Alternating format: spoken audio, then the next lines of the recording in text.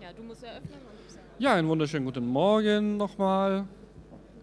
Jetzt sehen die Reihen auch etwas voller aus als vorhin. Ich habe ja ursprünglich schon gedacht, es liegt daran, dass ich heute Morgen nicht geduscht habe, dass hier so leer ist. Dann eröffne ich den Parteitag um 9.49 Uhr und ja, ein paar Sekunden ähm, am Sonntagmorgen und gebe an Julia. Guten Morgen.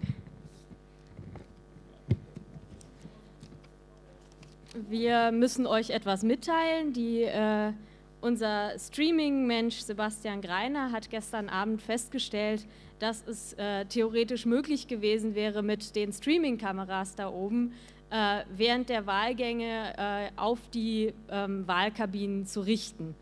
Ähm, Sebastian hatte die Kameras während aller Wahlgänge unter seiner Kontrolle. Er hat dort äh, die ganze Zeit gesessen äh, hat die Aufzeichnung unterbrochen und die Kameras auf eine Wand gerichtet. Ähm, wir, haben ihm, äh, wir haben uns das telefonisch von ihm ähm, bestätigen lassen und eine eidesstattliche Erklärung vorbereitet, die er, sobald er ankommt, unterzeichnen wird, damit äh, bestätigt ist, also dass wirklich niemand zu irgendeinem Zeitpunkt die Möglichkeit hatte, diese Wahlkabinen zu filmen. Selbstverständlich haben wir jetzt für den Beisitzerwahlkampf, äh, Wahlkampf, ja, für die Beisitzerwahl die Kabinen hier auf die Seite geräumt. Wir werden aber mit den äh, Wahlen zu, zu, den Beisitzerinnen und Beisitzern nicht fortfahren, ehe Sebastian hier ist und ähm, diese Erklärung unterschrieben hat. Das heißt, äh, wir werden gleich einen Antrag auf Änderung der Tagesordnung einbringen und erstmal mit den Satzungsänderungsanträgen fortzufahren. Gibt es dazu Fragen? Bitte schön. Ähm, ich habe gehört, da sei irgendein Video aufgetaucht, das so einen Wahlgang äh, zeigt. Das kann dann ja nicht von, dem, äh, von den Streaming-Kameras kommen, aber es kommt woanders her. Welche Auswirkungen hätte das, wenn dieses Video echt wäre? Es gibt neun Zeugenaussagen, dass dieses Video nicht echt ist. Genau, also diese Videoaufzeichnung war im Prinzip, äh, wie Sie festgestellt haben, dass es theoretisch möglich gewesen wäre und das war nach Unterbrechung der Versammlung gestern. Gibt es weitere Fragen? Genau. Ähm, und es gibt Zeugen dafür. Gibt es weitere Fragen dazu?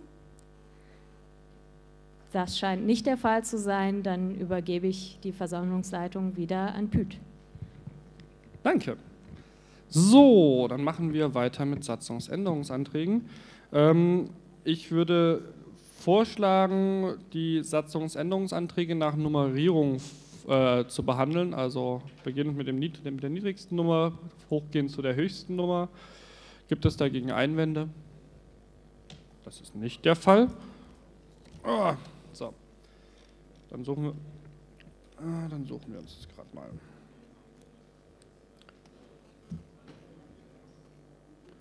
So, dann rufe ich Satzungsänderungsantrag, Satzungsänderungsantrag 1 auf. Ich hatte noch gerade hier. Und, und rufe Nicole Staubus zur Vorstellung. Dein Satzungsänderungsantrag. Da gibt es noch einen konkurrierenden. 2 und 2a. Hm. Achso, gibt es Einwände gegen die Tagesordnungsänderung? Das ist nicht der Fall, dann per Akklamation.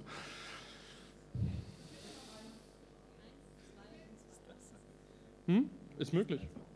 Ja, ist kein Einspruch erhoben worden und dann müssen wir nicht abstimmen. Ähm, dann, äh, Nicole, stellst du vor, fängst du an mit deinem Vorstellen und dann kommt der Ralf dran, der hat da auch seinen Ralfstuhl. Geht. Also, wie wir ja in Gernsheim gemerkt haben, ist es ziemlich unklug, keine Fristen für Satzungsänderungs äh, Programmänderungsanträge zu haben. Wenn man nämlich einen Tag vorher kommt und es sind doppelt so viele Programmänderungsanträge äh, im Wiki als vorher. Daher wäre es schön, eine Frist zu haben, damit man sich auch vernünftig auf die Programmänderungsanträge vorbereiten kann. Und das ist einfach nur die Änderung so, wie sie in der Bundessatzung auch geregelt ist. Ralf, jetzt kommst du, das dauert länger. So, das ist ja schon fast eine wertende Aussage. Nein, Ralf, äh, Satzungsänderungsantrag 2. Ja, Nicole hat leider recht, dass er ist etwas komplexer in der Formulierung, aber im Prinzip, was wir uns überlegt hatten, auch an einem Hessen-Campus schon, ist, dass wir ein besseres System brauchen, um unsere Anträge einzureichen. Wir sehen es alle selbst. Gernsheim war das beste Beispiel. Auch heute sind wieder Anträge, sage ich mal, zum Landesparteitag oder am Landesparteitag gestellt worden. Und äh, wenn wir an der Antragsuhr spielen, gerade wenn Leute halt kurz vor knapp Sachen einreichen, gibt es halt keine Chance, die ordentlich zu diskutieren und eventuell Alternativen äh, zu generieren oder eben auch Verbesserungen an Anträgen vorzunehmen. Auch gleichzeitig brauchen wir halt, das ist im Vergleich zu Nicoles Antrag, wir brauchen auch die Chance, dass wir flexibel Anträge auch noch zum Landesparteitag einreichen können in Form von einer Dringlichkeit, weil man stelle sich vor, so eine Geschichte wie bei den Grünen, wir haben eingeladen zum Landesparteitag und dann passiert hinter der Antragsfrist so etwas wie Fukushima, was wir alle nicht hoffen wollen, aber wir hätten dann keinerlei Chance mehr, einen Antrag dazu zu formulieren, obwohl wir der Landesparteitag das höchste Gremium hier im Landesverband sind. Deswegen haben wir uns ein Fristenkonzept überlegt und ja, man kann es auf dem Beamer äh, ein bisschen sehen. Ich probiere es mal ganz kurz zu erklären, weil es, im Prinzip ist es relativ einfach. Es gibt eine Einreichungsfrist für Anträge, bis dahin müssen alle Anträge eingereicht sein. Danach gibt es eine Änderungsphase, wo man die Anträge diskutieren kann, kann man natürlich auch schon vorher, aber man kann sie weiterhin, sie sind noch offen. Alle eingereichten Anträge können verändert werden oder man kann Alternativanträge dazu stellen. Dann wird das auch irgendwann geschlossen. Diese Phase kann zum Beispiel, also dem einen Antrag haben wir sie flexibel gehalten, da könnten wir abstimmen, wie lange das dauern soll. In dem zweiten Antrag ist sie auf vier Wochen festgelegt. Ja, auch gerade im Hinblick, dass der nächste programmatische Landesparteitag in Butzbach schon bereits in, in neun Wochen sein wird. Dann danach folgt eine Reihenfolgenbildung, das heißt die Basis. Ihr alle werdet gefragt, welche Reihenfolge denn ihr von diesen eingereichten Anträgen gerne äh, behandeln möchtet, weil nicht jeden interessiert jedes Thema und es ist ein bisschen unfair, wenn wir in der Hinsicht immer die Leute, die schnell ihre Anträge einreichen, bevorzugen, sondern es geht ja darum, was uns alle interessiert und was wir auch als Landesparteitag, dass wir da ein bisschen effizienter werden, im Konsens beschließen können und uns eben nicht immer bei vielen Anträgen im Detail verlieren und somit halt auch nicht vorwärts kommen, gerade im Hinblick auf die Landtagswahl. Ja, und äh, mit dieser Reihenfolgenbildung, wo die Basis befragt wird, die bildet dann auch die vorläufige Tagesordnung, die zwei Wochen vor dem Landesparteitag verschickt wird. Und dann hat man auch noch zwei Bitte Wochen. zum Schluss. Ja, dann hat man noch zwei Wochen Ruhe, um sich selbst für den Antrag, äh, den Landesparteitag vorzubereiten. Ja, und die Dringlichkeit, Anträge müssen halt mit 50 Unterschriften bewiesen werden, so dass der Parteitag äh, weiß, dass das dringlich Letzter ist. Letzter Satz. Danke. Gut. Du darfst gleich nochmal. Es gibt nämlich noch einen zweiten konkurrierenden Antrag. Im Übrigen ganz kurz, ähm, wer sich das äh, Konzept dort angucken will, das gibt es auch im Wiki. Ähm, alternativ, ihr könnt euch das Beamer-Bild, wenn ihr das nicht erkennen könnt, könnt ihr beamer.piraten-bpt.de, dann könnt ihr euch das auf euren Laptop holen, dann könnt ihr das besser sehen. So, dann Satzungsänderungsantrag. Ähm, ah ja, Satzungsänderungsantrag 2a. Ja, im Prinzip, wie gesagt, diese beiden Konzepte sind gleich und bei dem Zweier ist es komplett flexibel gehalten. Da könnten wir uns also durcharbeiten, wenn ihr das wollt, um die, wie lang diese Fristen sind, welche Dauer sie haben, zu beschließen. Oder der 2b ist im Prinzip so das Best-of, was wir zusammengestellt haben, was auch kompatibel ist zum äh, Landesparteitag in Butzbach, dass er halt von den Fristen her passt und dass wir es einfach mal ausprobieren. Wir hatten eigentlich auch Flyer vorbereitet, um sie zu verteilen, aber der André ist leider noch nicht da, glaube ich. Äh, die wollten wir eigentlich austeilen, um das halt ein bisschen vielleicht im Vorfeld besser zu kommunizieren. Wir sind auch ein bisschen überrascht, dass wir jetzt so früh schon dran sind, und, äh, weil eigentlich waren ja noch ein paar Wahlen vorgesehen. Aber ich denke mal, wenn ihr Fragen habt, stellt bitte die Fragen, dann können wir sicherlich ein paar Sachen klären, als wenn ich sie jetzt alle probiere, in einem 5-Minuten-Vortrag euch äh, ja, reinzuhämmern. Danke. Du hättest eh nur zwei Minuten. Gut. Hätte auch noch eine Minute gehabt.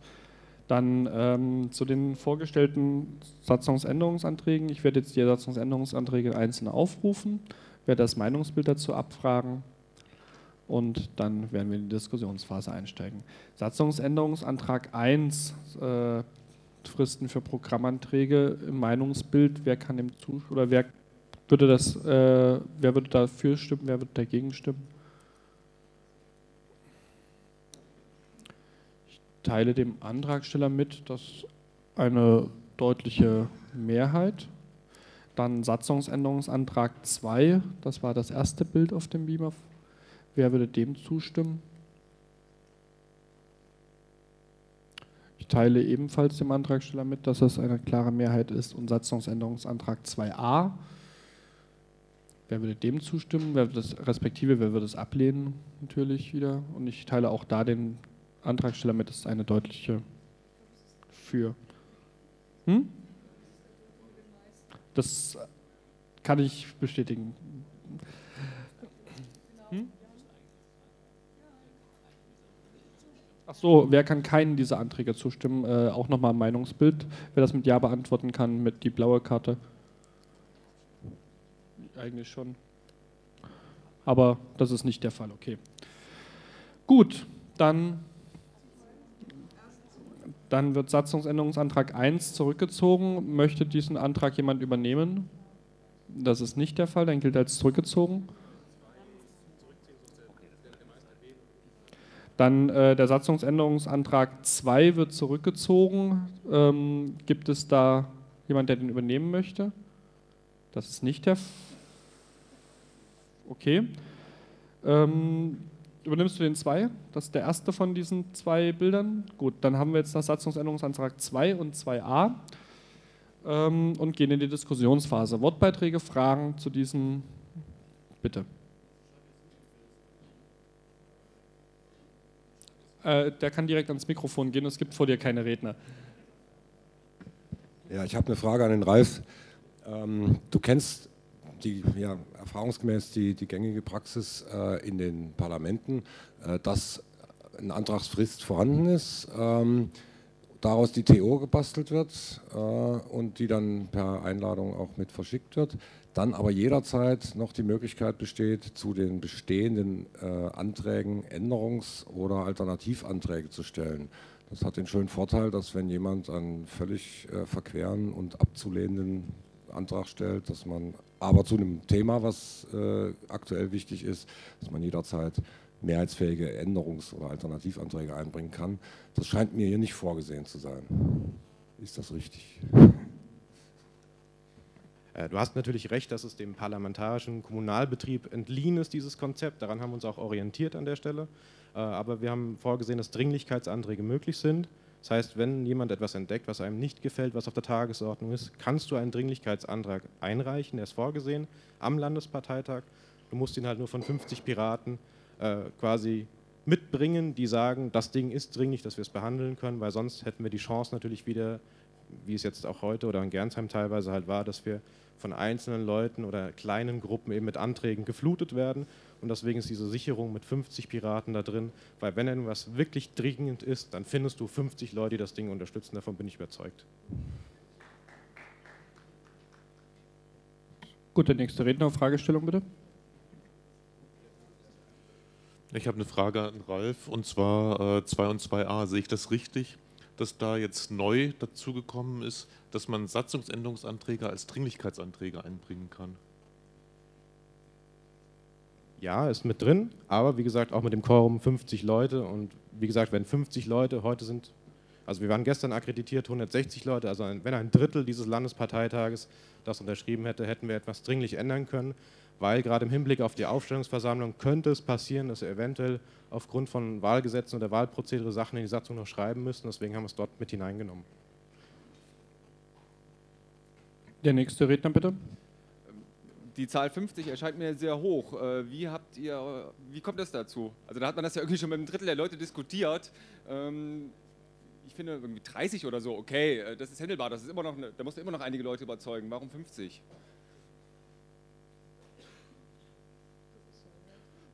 ja, wir haben es halt diskutiert, sage ich mal, auf dem Hessen Campus. Wir haben es auf der Mailingliste und auf Twitter diskutiert.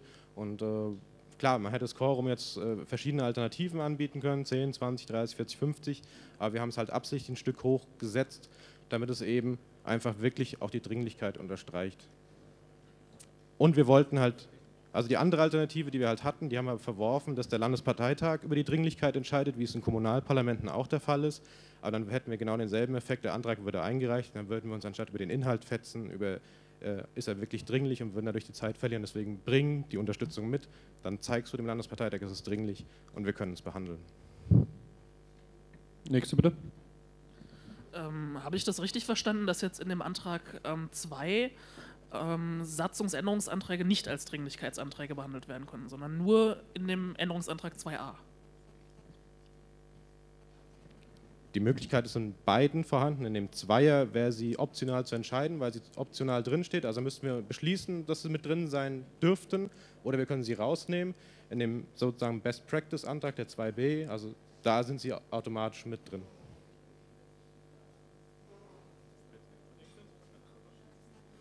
Habt ihr darüber nachgedacht, das Quorum äh, prozentual zu machen, also beispielsweise ein Viertel der Akkreditierten oder sowas? Und wenn nein, was sind eure Gegenargumente? Ja, wir haben darüber nachgedacht und es verworfen. Aus welchen Gründen? Weil wir auch keinen GO-Antrag mehr auf Nennung der akkreditierten Piraten haben und eine fixe Anzahl ist einfach viel einfacher handelbar als eine prozentuale Angabe. Ich bitte, sich immer wieder hinten an der Rednerliste anzuschließen, äh, anzustellen, wenn man neue Wortbeiträge hat. Der nächste bitte. Du bist äh, doch der Einzige auf der Rednerliste. Ach so, du bist fertig. Gut, dann gibt es weitere Fragen oder Redebeiträge?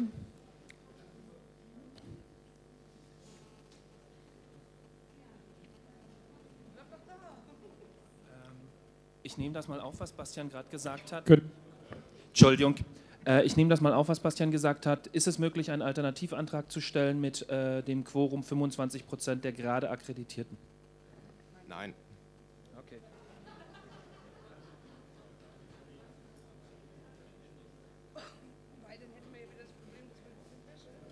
Vielleicht nur zur Erklärung, warum es ein Nein ist. Äh, Satzungsänderungsanträge hätten vor vier Wochen eingereicht müssen. Hätten wir jetzt schon dieses Fristenkonzept, hättest du es als Dringlichkeitsantrag einbringen können? Also ich gebe den Hinweis, wenn der Antrag beschlossen wird, dann kann er es als Dringlichkeitsantrag einbringen.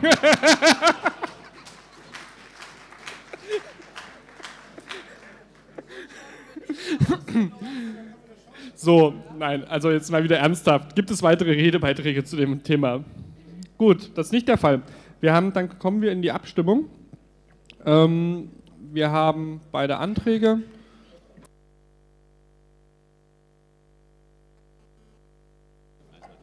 Nee, Fleißner hat den ersten vom.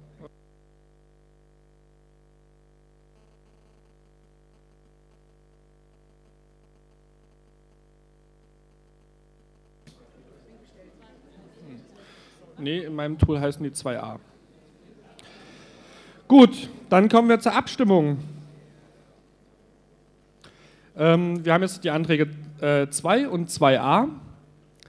Ähm, ich werde jetzt die Zustimmung gegeneinander auf, äh, aufrufen. Ähm, ihr könnt einem zustimmen, beiden oder keinem. Das wird dann als drittes abgefragt. Ähm, der Antrag mit der meisten Zustimmung wird dann abgestimmt. Wer Satzungsänderungsantrag 2 zustimmt, das war der erste Vorgestellte vom Ralf.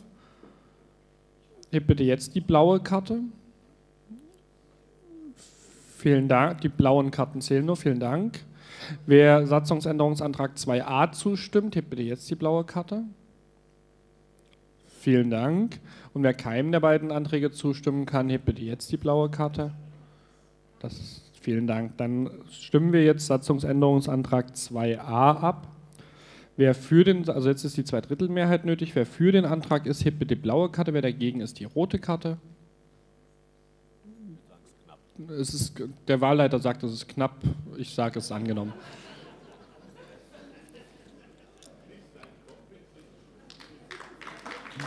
Gut.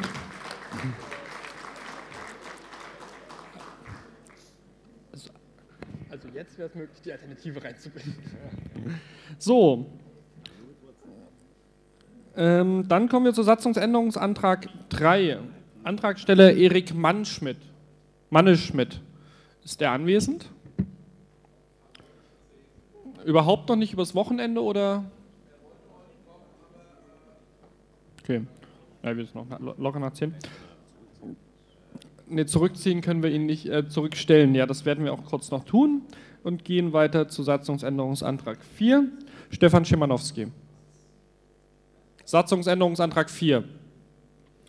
Dazu gibt es dann auch noch einen konkurrierenden, 4a, und da ist der Antragsteller du. Ich ändere das gerade.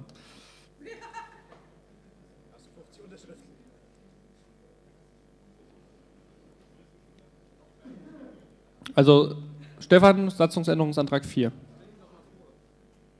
Ich soll ihn vorstellen, ich kann den Wortlaut verlesen.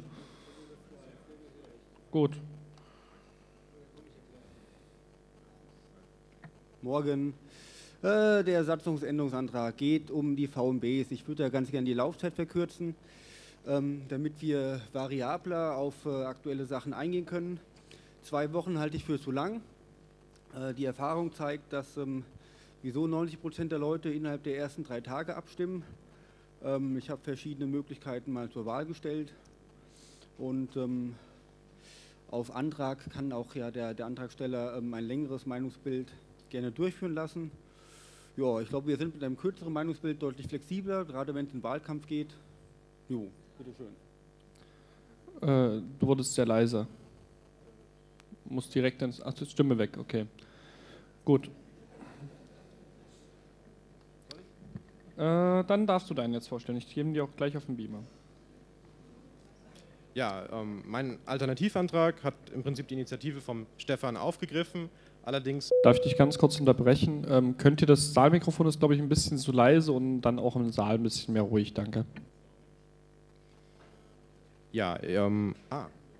Ja, ich habe die Alternative oder die Initiative vom Stefan aufgegriffen, weil wir halt einfach gesehen haben, die meisten Leute bei einem virtuellen Meinungsbild stimmen halt in den ersten Tagen halt ab. Und gerade im Hinblick auf tagespolitische Ereignisse, die uns sicherlich im Wahlkampf durchaus auch die Chance liefern, dazu tagesaktuell Stellung zu nehmen, äh, habe ich halt die Alternative geschrieben, aber dass die Laufzeit eben äh, auf sieben oder drei Tage nur zu begrenzen ist, dass wir halt einfach auch wissen, wir haben halt virtuelle Meinungsbilder mit drei, sieben oder 14 Tagen, so kann man halt einfach auch entscheiden, ja, welche Laufzeit man haben möchte. Und jeder weiß halt auch, es gibt nur diese drei Modelle und äh, wir können uns auch daran orientieren, dass man halt weiß, okay, das ist ein sehr schnelles Meinungsbild, das ist ein mittleres und das ist ein normales, was wir halt haben, dass wir es ein bisschen eingrenzen und nicht total flexibel halt haben. Das ist der Unterschied.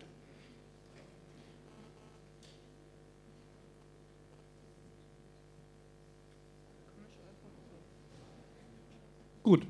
Ja, ich muss das. Wir kommen jetzt erst zum Meinungsbild. Erst Meinungsbild, dann machen wir, gehen wir in die Diskussionsphase. Die Geschäftsordnung sagt aber, nach Vorstellung des Antrags wird ein Meinungsbild eingeholt und danach gehen wir in die Diskussionsphase. Ähm, Entschuldigung. Gut. Mein, Im Meinungsbild, wer würde dem Antrag, Satzungsänderungsantrag 4 ähm, zustimmen? Wer, wer, das mit Ja beantworten kann, die blaue Karte, wer das mit Nein beantworten kann, die rote Karte. Vielen Dank. Ich teile dem Antragsteller mit, es ist ein sehr gemischtes Meinungsbild. Wer kann dem Satzungsänderungsantrag 4a, wer das mit Ja beantworten kann und mit Nein beantworten kann, dann die rote Karte, genau. Ich teile dem Antragsteller mit, dass eine Mehrheit erkennbar ist. Wir kommen in die. Du ziehst zurück, der. Du übernimmst ihn also wieder. Gut. Okay, dann kommen wir in die Diskussionsphase. Fragen, Wortbeiträge bitte. Ich wollte fragen, wie denn festgelegt wird, wann ein virtuelles Meinungsbild dringend ist und wann nicht. Wer das bestimmt? ja, im Prinzip ist es der Antragsteller, der sagt, ich hätte gerne ein Meinungsbild auf drei Tage, ich hätte gerne ein Meinungsbild auf sieben Tage oder ich hätte gerne ein Meinungsbild auf 14 Tage. Das ist bewusst offen gelassen, dass es halt eben äh, letztendlich der Landesvorstand kann natürlich auch ähm, eine Empfehlung aussprechen hier, das ist so ein Ding, tagespolitisch vielleicht will es kürzer Laufzeit haben oder er fragt den Antragsteller, so ist man flexibel in der Entscheidung, wir müssen nicht unbedingt äh, die Satzung so zementieren, dass wirklich nur eine Möglichkeit, du musst es genau so und so und so und so und so machen, sondern wir sind ja letztendlich flexibel ein bisschen, wir können miteinander reden. Und manche Dinge sind halt schneller interessant oder die Abstimmung zum Beispiel über unsere Programm, ja, was wir durchgeführt haben, da ist sicher eine längere zu empfehlen und da kann man ja durch die Diskussion auch in der Landesvorstandstelco immer noch zusammen zu einem Konsens kommen und eventuell die Einstufung oder Einstellung variieren und im Prinzip obliegt es dann dem Antragsteller. Michael? Da schließen sich für mich auch direkt verschiedene Fragen an. Also die eine ist, der Antragsteller wünscht sich eine Frist, ist die dann verbindlich oder kann der Vorstand auch jedes Mal, in jedem Fall sagen, ja, das Meinungsbild machen wir, aber wir stimmen dir nicht bei der Fristsetzung zu. Beispielsweise der Antragsteller wünscht sich drei Tage und der Vorstand sagt, wegen der Wichtigkeit der Thematik würden wir eine Diskussion über einen Zeitraum von sieben Tagen oder von 14 Tagen bevorzugen. Oder ist der Antragsteller da derjenige, der die letzte Instanz ist und die Frist setzt und der Vorstand kann sie nur noch abnicken. Das würde mich interessieren. Das Zweite ist, wir haben ja zwei unterschiedliche Arten von virtuellen Meinungsbildern, nämlich das verpflichtend Positionierende bis zum nächsten Landesparteitag und das normale Meinungsbild, was nur abfragt, wie ist denn die Meinung zum heutigen Zeitpunkt. Ist eine kurze Laufzeit von drei Tagen auch für ein verpflichtend positionierendes Meinungsbild nach diesem Konzept möglich? So. Ja. Ähm, ich möchte bitte noch mal darauf hinweisen, dass wir hier eine Frageschlange haben und hier eine Wortbeitragsschlange. Also wer Wortbeiträge hat, hier anstellen, wer Fragen hat, hier anstellen. Der nächste bitte. Ach so.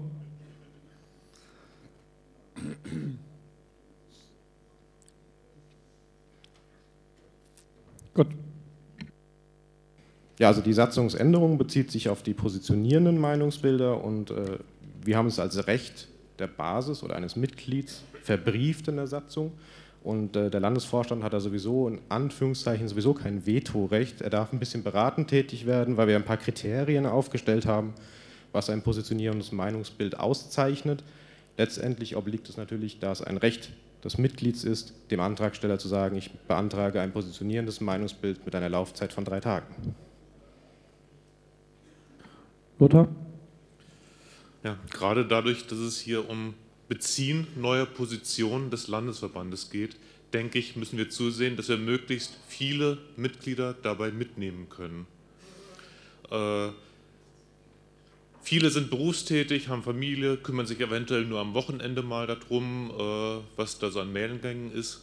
Und da halte ich es für sehr wichtig, äh, dass mindestens ein, besser noch zwei Wochenenden dazwischen liegen um neue Positionen beziehen zu können. Neue Positionen beziehen kann ich auch nicht so als besonders dringlich ansehen, dass man das innerhalb von 24 Stunden machen muss. Es wollen sich vielleicht auch Leute mal was überlegen. Und auch wenn äh, viele bereits äh, in den ersten ein, zwei Tagen abstimmen, eine Abstimmung kann sich durch den letzten Abstimmenden, können sich die Mehrheitsverhältnisse ändern. Von daher bin ich dagegen, das so anzunehmen.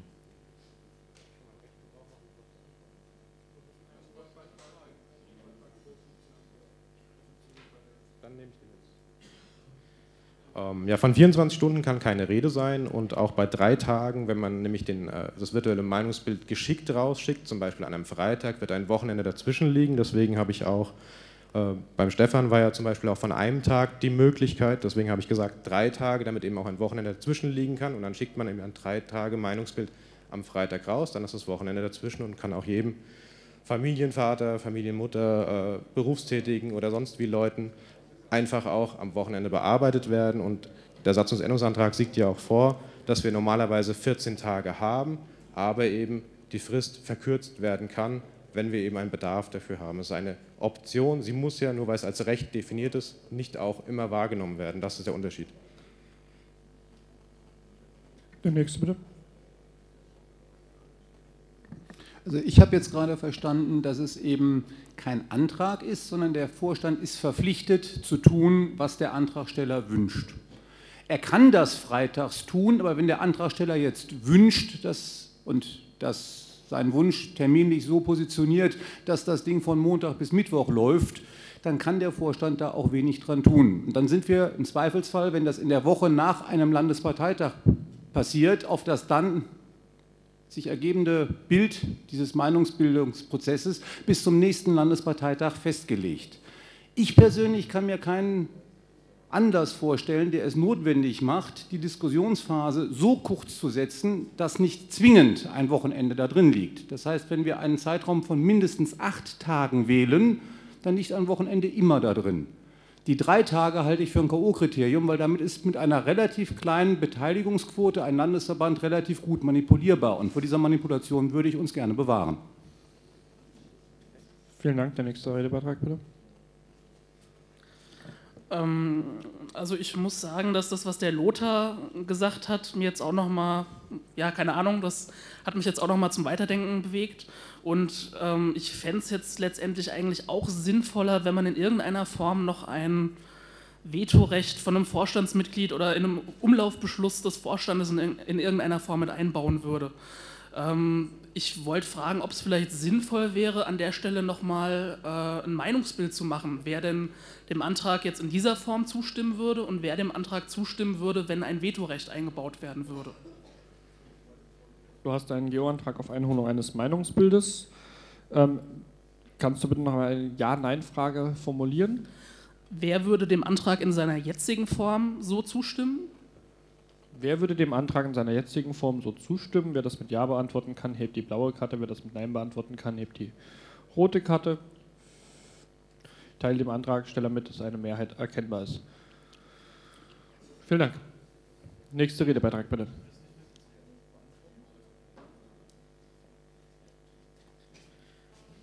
Können wir nicht einfach mal die Sachen machen, statt ständig irgendwie zu sagen, was alles nicht möglich ist? Punkt. Wir haben doch einen Vorstand. Vertrauen wir doch mal dem Vorstand und uns allen mal was zu machen. Diese ständige, nee, kotzt mich an.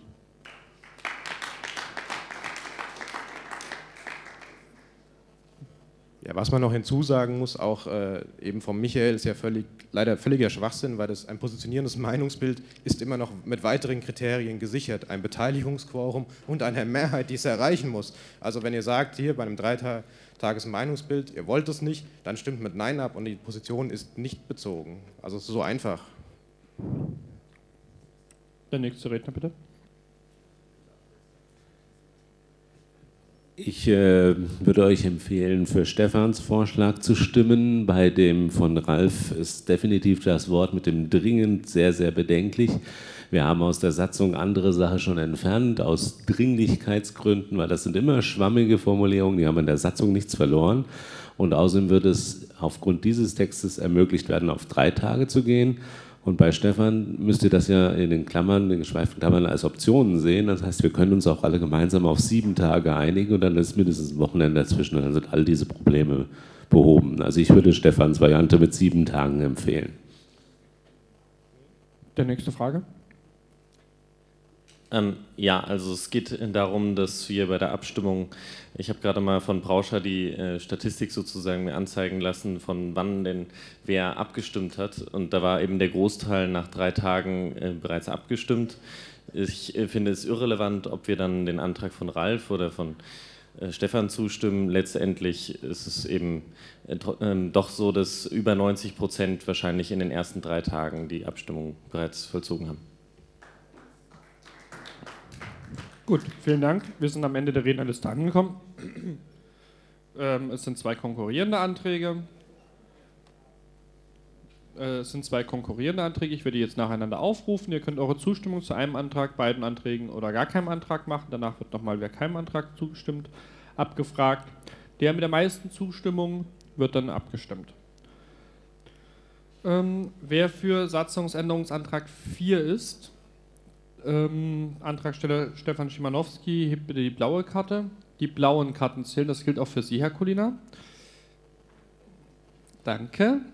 Wer für Satzungsänderungsantrag 4a ist, ähm, das ist der von Ralf Braschak, äh, Antragsteller, äh, hebt bitte die blaue Karte. Es, ja. Übrigens, es zählen nur die blauen Karten. Und ich bitte die roten, ihr könnt die Karten wieder runternehmen, ihr könnt die roten Karten in der Zustimmungsabstimmung unten lassen. Das verwirrt auch nur mehr, als dass es bringt. Und wer kann keins von beiden zustimmen? Gut. Mal ganz kurz. Hat, hat mal jemand zwei Stimmen? Gib mir mal die zwei Stimmkarten. Also ich habe jetzt in drei Abstimmungen, habe ich jetzt dreimal gesagt, die roten Karten zählen nicht. Ja?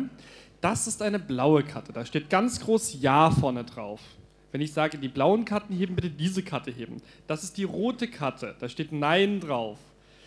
Das heißt dann, nein, diese in dem Moment nicht heben, wo ich nur die blauen Karten heben, äh, sehen möchte. Ja? Also es war jetzt wirklich in allen drei Abstimmungen waren mindestens zwei Leute dabei und immer andere, die die rote Karte gehoben haben. Und der Matthias macht das jetzt als nächstes nur aus Trollerei, das weiß ich schon. Gut. Ja. Ähm, also, wollen wir nochmal von vorne? Eins und zwei, die, genau. Wir machen jetzt nämlich nochmal eins und zwei, weil die haben die meiste Zustimmung von allen drei Varianten gehabt. Wer für den Satzungsänderungsantrag 4 ist, Antragsteller Stefan Schimanowski, hebt bitte jetzt die blaue Karte.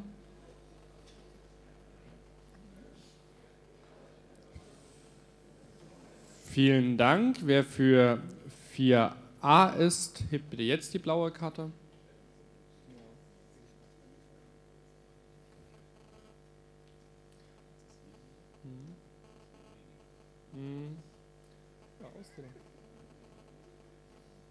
Äh, beide Approval. Komplett. Erst der eine Zustimmung, dann die andere Zustimmung. Und dann machen wir auf dem Gewinner die Zweidrittelabfrage offen und äh, wenn es dann wieder klappt. So, die Wahlhelfer. Ihr habt lang genug geschlafen heute. Ähm, wie viele Wahlhelfer haben wir denn mal da? Hebt mal die Arme. Eins, zwei, drei, vier, fünf, sechs, sieben. Uh, das sieht echt gut aus. Acht, neun. Ja, super, acht. Kommt mal, äh, ich gebe mal den Wahlhelfer zur Auszählung. Ja, sag ich doch. Das Wahlhelfer gesagt. Das sage ich schon die ganze Zeit. Ich bin zwar der Wahlleiter, aber sonst ist schon okay. Also, wir brauchen äh, für jede Reihe zwei Wahlhelfer bitte. Also wenn sich genug finden, dann können sich die restlichen erstmal wieder setzen.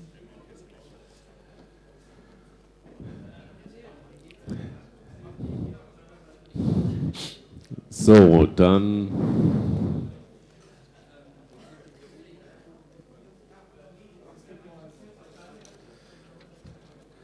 bitte alle setzen, die nicht Wahlhelfer sind. Vielleicht sollten auch in dem Moment ihr, äh, die Antragsteller hier vorne, ihr solltet euch jetzt vielleicht auch mal an eure Plätze jetzt gerade setzen, in dem Moment, ja? Oder auf irgendwelche Plätze, Hauptsache ihr habt eure Abstimmungskarten dabei. Ja, nicht jetzt machen. Das ist so. Das ist jetzt auch wieder nur Wahl durch Zustimmung. Das heißt, es werden nur äh, blaue Karten äh, in die Höhe gehoben, nacheinander für den einen und für den anderen Antrag. Ich zähle hier oben. Ich bitte die Wahlhelfer, sich jetzt mal, ich habe jetzt, jetzt euch keine Papiere zur Verfügung gestellt, dass ihr euch mal ein Papier nehmt und äh, die Ergebnisse, oder hast du? Irgendwo? Okay, der zweite Wahlleiter geht die Reihen ab, das heißt, äh, genau, also die laufen sowieso durch, das heißt, du. Äh, gut. Nee, der äh, André macht das dann, der übernimmt die Ergebnisse, wenn ihr sie festgestellt habt. Mach doch nicht. So.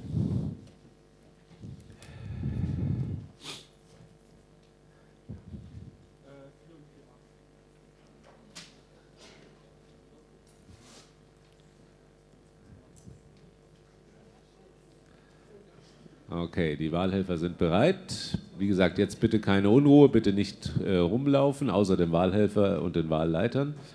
Alle anderen bitte setzen. Dann, wer für den Satzungsänderungsantrag 4 äh, war es, ne? der erste, von Stefan Schimanowski ist, der hebe jetzt bitte die blaue Karte.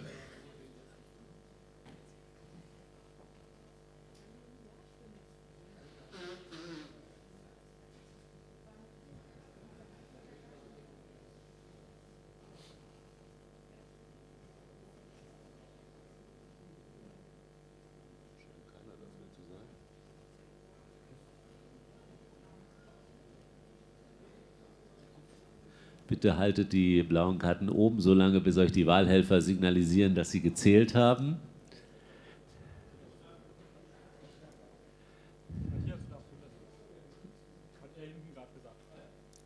So, bitte kurzes Signal von den äh, Wahlhelfern pro Reihe, dass ihr fertig seid oder dass ihr die äh, Anzahl gezählt habt. Okay. Was ist mit der vierten Reihe? Ihr habt auch äh, gezählt? Okay. Gut. André, du hast die Ergebnisse? Okay. Dann warten wir erstmal, bis er die Ergebnisse aufgenommen hat. Die Wahlhelfer bitte wieder positionieren.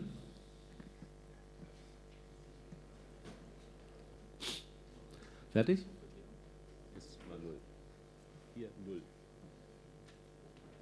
So, jetzt zweiter Wahlgang 4b von Ralf Braschak. Wer dafür ist, hebt jetzt die blaue Karte. Und oben halten bitte. Und anfangen zu zählen.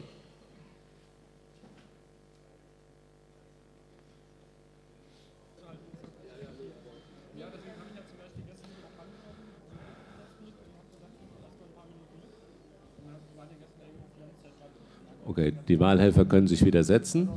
Danke.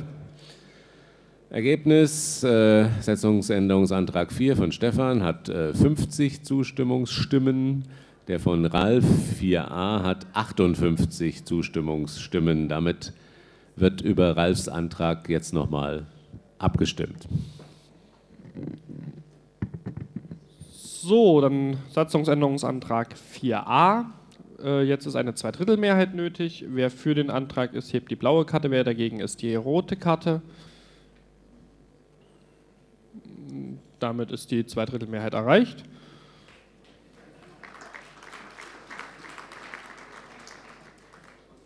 An Satzungsänderungsantrag 5, Stefan Schimanowski. Hallo. Äh, es geht ums virtuelle Meinungsbild. Und zwar möchte ich gern das Quorum erhöhen. Bisher ist das Quorum 10 Prozent. Das halte ich für ein wenig niedrig. Ähm, denn wenn ein Thema gerade mal 10 Prozent der Leute interessiert und die abstimmen, dann finde ich, es ist einfach nicht wichtig genug. Ähm, wir haben mehrere Optionen und äh, außerdem gibt es noch die Option, ähm, dass nur die stimmberechtigten ähm, Piraten zählen. Gut. Dann Fragen, Anregungen, Wortmeldungen dazu? Ja, als Wortmeldung kann man sicherlich sagen, die letzten positionierenden Meinungsbilder hatten alle deutlich höhere Beteiligungsquoten als 10 Prozent. Deswegen ist es auf jeden Fall sinnvoll, gerade auch im Hinblick, dass wir eben die äh, Laufzeit verkürzt haben, dass wir dort einfach ein Stück weiter die Sicherung hochfahren, dass einfach mehr Beteiligung eben notwendig ist, damit wir eine Position beziehen können. Und somit äh, sichern wir auch gerade eben die verkürzte Laufzeit ab. Deswegen empfehle ich auf jeden Fall, dass wir die Sicherung an der Stelle mit der Beteiligungsquote ein Stück hochfahren. Danke. Ähm, das mit der Stimmberechtigung weiß ich nicht, ob das äh, nicht zu technischen Komplikationen führt, die dann möglicherweise verhindern, dass virtuelle Meinungsbilder tatsächlich gemacht werden. Außerdem finde ich das Ganze, ich sag's mal, handwerklich schlecht, denn es, ist, ähm, es müssen sich alle Piraten beteiligen und was passiert, wenn nicht? Klar, dann ist das Meinungsbild ungültig oder sowas, aber das sollte, wenn es so ist, in der Satzung festgehalten werden. Aber vielleicht steht das ohnehin im nächsten Satz, das weiß ich nicht. Und wir sehen es jetzt bloß nicht. Gut, der nächste Wortbeitrag bitte. Ich bin ein Gegner von Liquid Feedback, weil Liquid Feedback äh, A durch die Delegationen verzerrt und B, weil es nicht anonym ist. Virtuelle Meinungsbilder sind meiner Meinung nach der richtige Weg und ich möchte, dass jeder sich daran beteiligen kann und dass jeder auch die Ergebnisse sehen kann. Und wir haben ja, ich sage mal, die Möglichkeit, bei den Ergebnissen die Beteiligung einzusehen. Ich glaube, jeder Pirat ist intelligent genug zu erkennen, was so eine Beteiligung aussagt. Und ich möchte auch Leute mitnehmen, die halt ihren Beitrag nicht bezahlt haben, aus welchem Grunde auch immer. Das heißt, dies ist eine aktive Geschichte für Liquid Democracy. Ich bedanke mich und ich möchte euch bitten, sozusagen diesen Antrag abzulehnen. Danke. So, vielen Dank. Der nächste Wortbeitrag. Sämtliche Meinungsbilder, die wir bisher hatten, hatten eigentlich eine höhere Beteiligung als der Parteitag momentan selbst. Wir haben 175 Akkreditierte von 2060 Piraten, das heißt äh, weniger als die 10 Prozent, die jetzt gefordert werden wie weit wird uns das anschließend lähmen, dass wir sich zwischen Parteitagen keine Position mehr einnehmen können. Vielen Dank. Nächste bitte. Ähm, also ich bin sehr für eine Erhöhung des Quorums. Ähm, virtuelle Meinungsbilder bewähren sich im Moment recht gut und werden, wie ich das einschätze, einfach äh, ziemlich zunehmen in nächster Zeit. Ähm, und wenn das Quorum erhöht wird, erhöht das quasi die Notwendigkeit, sich damit auseinanderzusetzen, dass man entweder mitstimmt oder das Ganze halt doch zu keinem Ergebnis führt was ich für sinnvoll halte, weil wenn sich die Zahl der virtuellen Meinungsbilder erhöht, glaube ich, dass es viele Leute geben könnte, die sagen, oh, jetzt soll ich schon wieder und ständig kommt da irgendwie so eine Mail und das nervt mich. Also das Ganze verliert vielleicht etwas den Charakter tatsächlich äh, einer, der für das Einzelmitglied ähm, Teil einer Positionierung zu sein. Und ich glaube, wenn dann irgendwie einzelne Bilder mal nicht zu einem Ergebnis führen, weil das Quorum unterschritten wurde und das öfter passiert, dann könnte das durchaus einen äh, förderlichen Effekt haben auf den Wert des ganzen Prozederes und auch auf die Wahrnehmung innerhalb der Mitgliedschaft. Gut, vielen Dank. Nein, erste Frage. Ich habe tatsächlich eine Verständnisfrage, äh, was die, das Quorum angeht. Das kann ja erst nach der Durchführung des VMBs ermittelt werden. Ähm, heißt das also, dass das virtuelle Meinungsbild komplett als nichtig angesehen wird oder nur, dass es daraus keine Positionierung des Landesverbandes folgt? Ja, letzteres ist der Fall. Also das Meinungsbild wird durchgeführt und wenn es halt eines der Kriterien, die wir definiert haben, also keine Zweidrittelmehrheit oder nicht das Beteiligungsquorum erreicht, ist die Position für den Landesverband nicht bezogen. Die Meinung ist trotzdem eingeholt und sie ist für jeden sichtbar und daraus kann man ja auch Schlüsse ziehen, neue Anträge generieren oder ein neues Meinungsbild anregen und so weiter und so fort. Aber es wird durchgeführt, es positioniert uns nur nicht automatisch, wenn wir die Kriterien nicht alle erfüllt haben. Nächste bitte.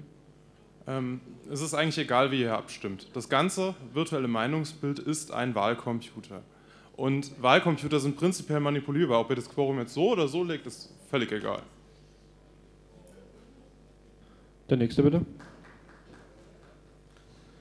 Ähm, ich bitte um Ablehnung, äh, vor allen Dingen eine Erhöhung. Es handelt sich nämlich um ein Beteiligungsquorum und nicht um ein Zustimmungsquorum. Das ist demokratietheoretisch sehr problematisch. In vielen Landesverfassungen wird das gerade abgebaut, diese Beteiligungsquoren, weil es führt nämlich dazu, das ist ja meistens eine Fragestellung mit einer Intention, die soll ja eigentlich mit Ja beantwortet werden, vom Antragsteller aus gesehen. Nehmen wir mal an, es gibt eine Mehrheit dafür, dann werden ab einem gewissen äh, Beteiligungsquorum die Leute, die dagegen sind, nicht mehr abstimmen, weil in dem Moment erhöhen sie das Beteiligungsquorum und damit die Chance, dass das Meinungsbild angenommen wird.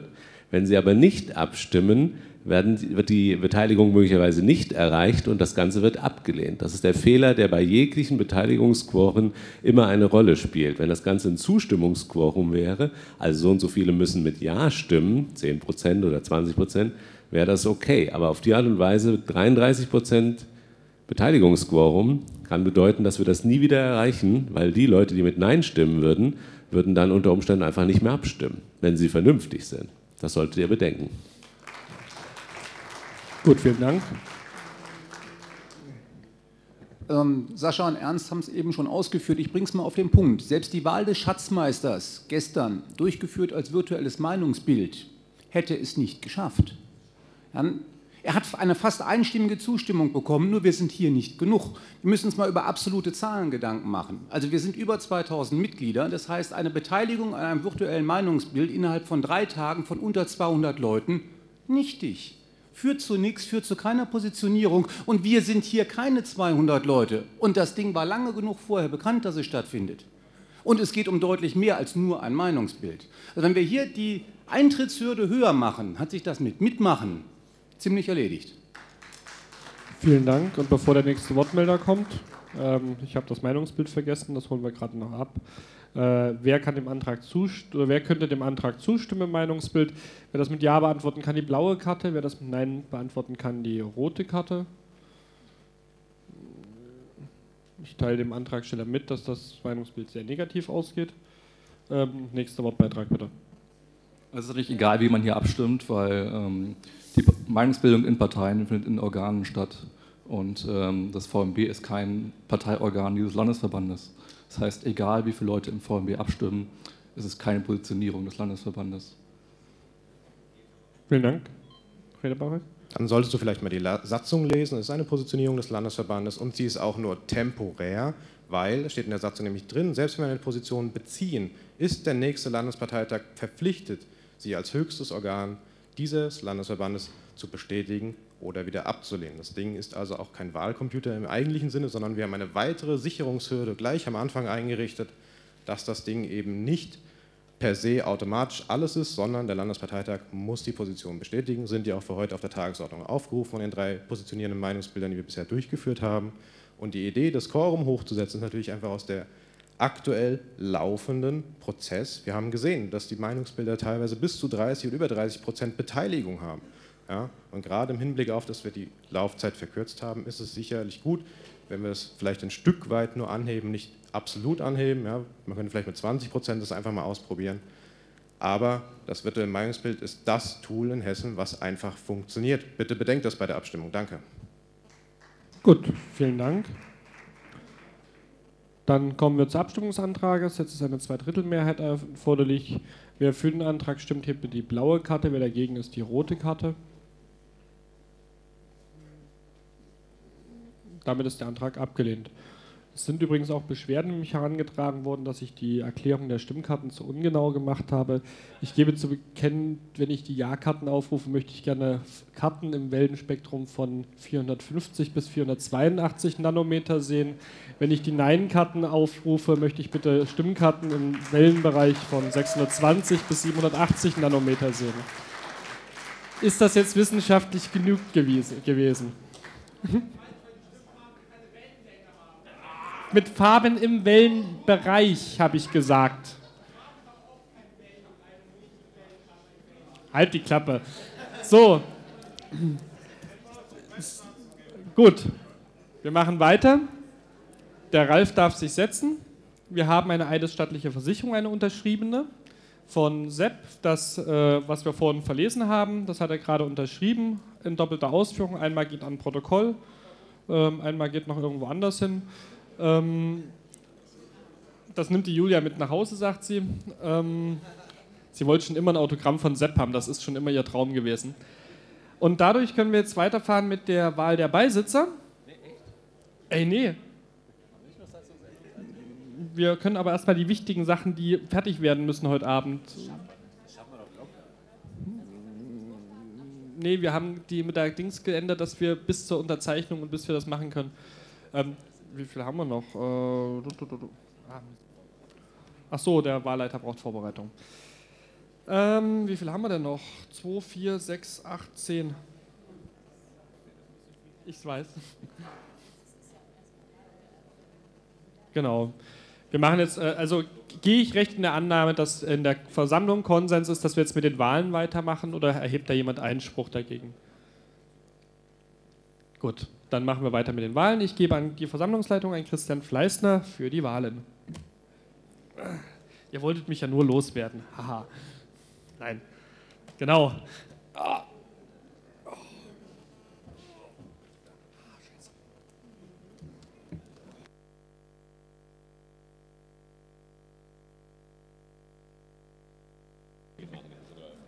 So, dann ähm übernehme ich jetzt die Versammlungsleitung und gebe gleich mal ab an den Wahlleiter.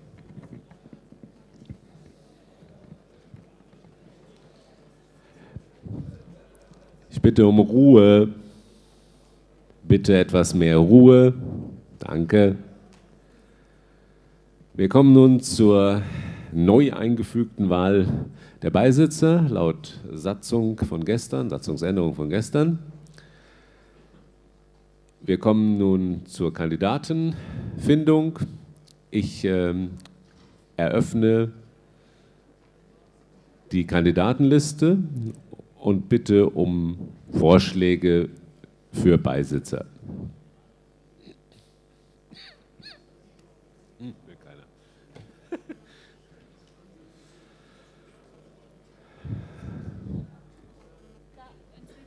Ins Mikro, bitte. Unten einschalten. Ja. Ich schlage Michael Rath äh, als Beisitzer vor. Er ist zurzeit Vorsitzender im Schwalm-Eder-Kreis. äh, wäre auch bereit, wenn das gewünscht wäre, den Vorsitz abzugeben. Das haben wir intern schon geregelt, wer dann das vielleicht auch übernehmen könnte. Äh, bin mir nur nicht ganz sicher, ob er das unbedingt muss, wenn er Beisitzer werden würde. Danke. Michael, wie sieht's aus? Er würde kandidieren, okay. Ich schlage den Sascha Neugebauer vor. Sascha Neugebauer, wo ist er? Ich bin jetzt irgendwie gerade tot, blind, da. Und, wie sieht's aus? Ja, okay, er wird kandidieren. Alex, bitte. Ich schlage mich selber vor als Kandidat. Ich stehe sogar im Wiki. Bah. Weiter. Michael. Ich, ich schlage Nicole Seiler vor. Ich schlage die Nicole Staubus vor. Nicole Seiler möchte nicht. Nicole Staubus, Nicole Staubus. Da kommt. Machst du? Okay, kandidiert. Ihr wollt Waldeck-Frankenberg entvölkern, oder?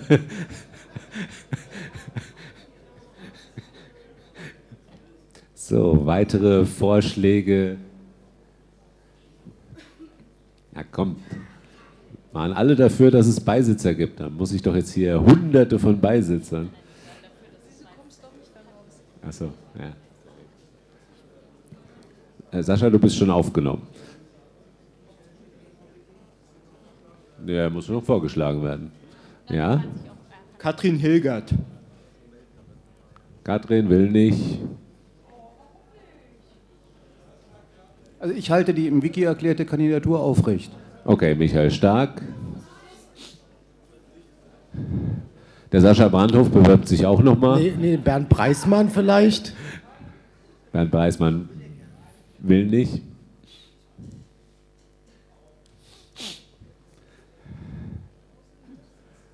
Jo.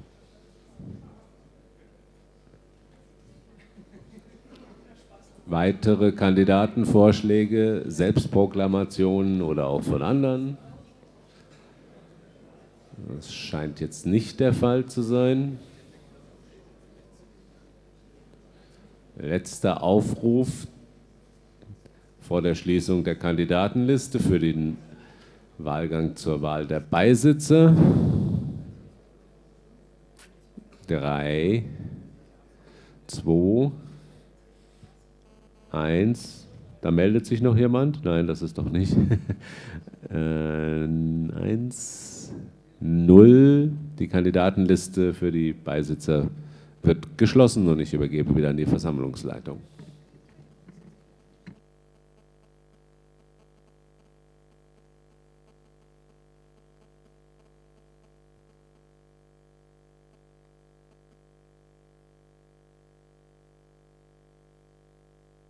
So, ähm, ich erläutere kurz das äh, Verfahren jetzt. Ähm, wir haben aufgrund der Satzungsänderung von gestern, die äh, über die Anzahl der Beisitzer bestimmt, äh, jetzt einen zweistufigen Vorgang. Zunächst einmal gibt es zweiminütige Vorstellungen, Kurzvorstellungen für die Kandidaten.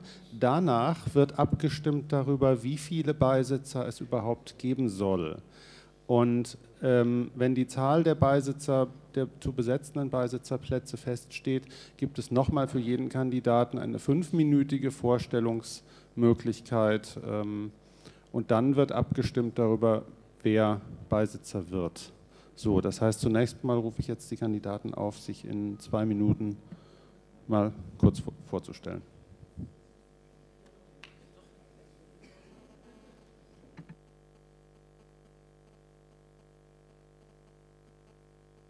Guten Morgen, ich hatte mich ja gestern schon kurz vorgestellt.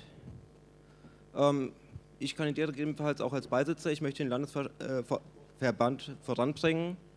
Ähm, ich sehe nicht nur die Mitgliederverwaltung, auch die Mitgliederbetreuung, dementsprechend auch den Aufbau von einfachen, verständlichen Strukturen, gerade dass sich auch neu oder lange Zeit inaktive Piraten relativ schnell und einfach wieder einfügen können, sich selbst aktiv einbringen können und auch was ich mit relativ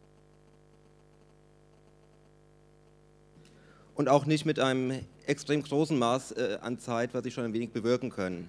äh, eine konstante Arbeit von, was ich, eins, zwei Stunden in der Woche ist mehr wert als einmal zehn Stunden an einem Tag mit durchgekloppt und danach, was ich, verschwindet man für Wochen in der Versenkung. Das hilft uns leider nicht weiter. Also würde ich gerne, was ich über die Mitgliederverwaltung auch versuchen, die Mitglieder zu aktivieren und eine wirklich breite Basis zu schaffen. Wir haben einen Wahlkampf, wir brauchen jede helfende Hand.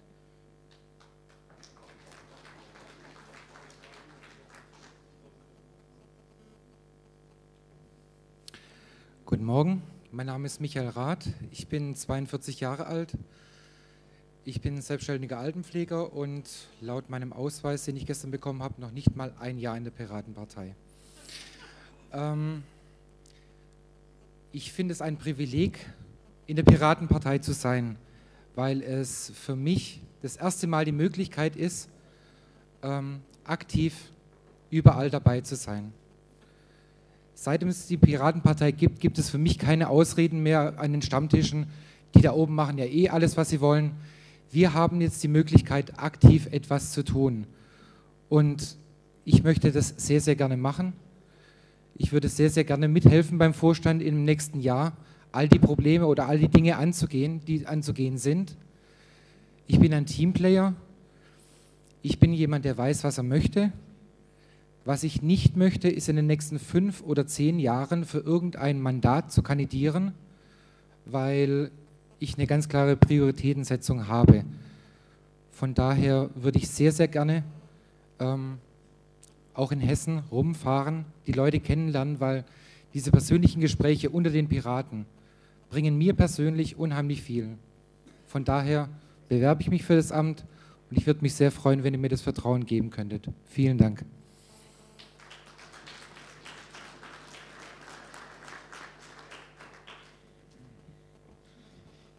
So, ich habe jetzt drei DIN A4-Seiten geschrieben. Die lese ich in zwei Seiten, in zwei Minuten durch. Nein. Äh, mein Name ist Alexander Schnapper. Äh, ich bin Neuhesse, Exilschwabe oder Exil-Bad-Württemberger. Ups. Ähm, eigentlich sollte hier draufstehen, Hessen verstehen, weil ich gern im Landesvorstand, mit dem Landesvorstand und mit euch die kommenden Aufgaben, die nicht leicht werden, gemeinsam bewältigen, werden, äh, bewältigen möchte. Ich ähm, kandidiere nicht auf ein Bundes-, Landes- oder Europaparlament. Ich bin sehr zufrieden mit meinem aktuellen Job. Äh, Habe ich auch erst angefangen. Ähm, ich betreibe einen Blog. Die Werke stehen unter einer Creative Commons Lizenz. Das heißt, ich werde nicht von einem Verlag gesponsert. Und will auch nicht. Ähm, ich bin bald 32, ledig und mir gefällt es hier in Hessen sehr gut. Ähm, und über die Aufgaben, die auf einen Beisitzer zukommen, kann gemeinsam im Landesvorstand besprochen werden. Vielen Dank.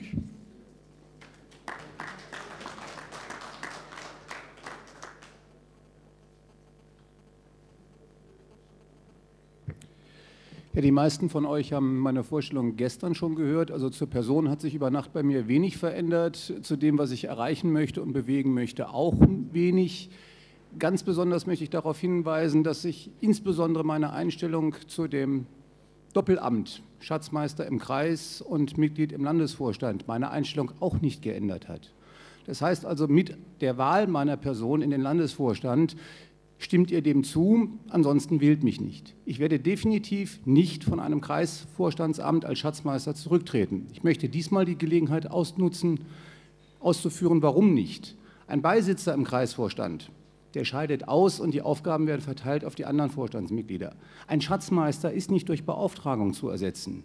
Ich werde auf gar keinen Fall meinen Kreisverband zwingen, weil ich jetzt bereit bin, noch zusätzliche Aufgaben im Land zu übernehmen, einen außerordentlichen Kreisparteitag zu machen und einen Nachfolger für den Schatzmeister zu wählen.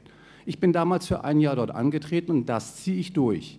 Ich halte zusätzlich das Angebot aufrecht, mich auch im Land stärker zu engagieren. Das ist mein Angebot an die Versammlung. Überlegt euch, was ihr damit machen wollt. Danke.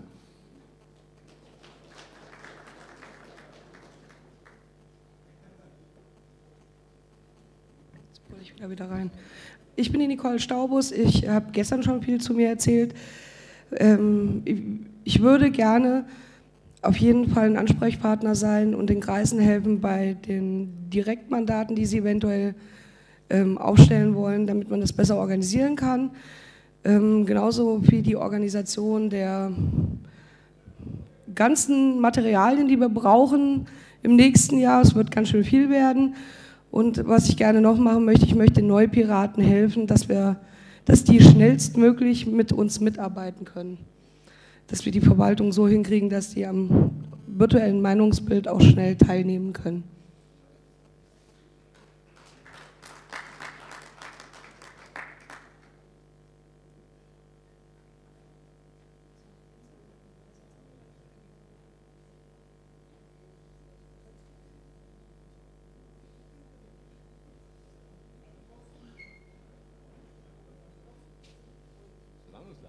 Stimmt. Ich nehme mir das Wort kurz. Ähm, die Versammlung muss ich kurz informieren. Ich habe heute Morgen um. Wann war denn das? Heute Morgen, nee, die Nacht um 20 nach 0 habe ich noch eine E-Mail gekriegt äh, mit Anfrage an eine Kandidatur, wo noch Fragen an mich gestellt wurden, was denn als Voraussetzung ist. Die habe ich erst heute Morgen gesehen, konnte ich also noch nicht dementsprechend beantworten. Ähm, das ist keine direkte Kandidatur, also nur für den Fall, dass es dann irgendwie Ärger gibt. Es wurde nichts schriftlich, äh, dass er kandidiert oder ähnliches, das waren nur allgemeine Fragen. Nur für den Fall, dass das irgendeiner mitgekriegt hat und dann sich beschweren wollte, wollte ich es euch Bescheid sagen. Die Mail kann dann auch zur Not bei mir eingesehen werden.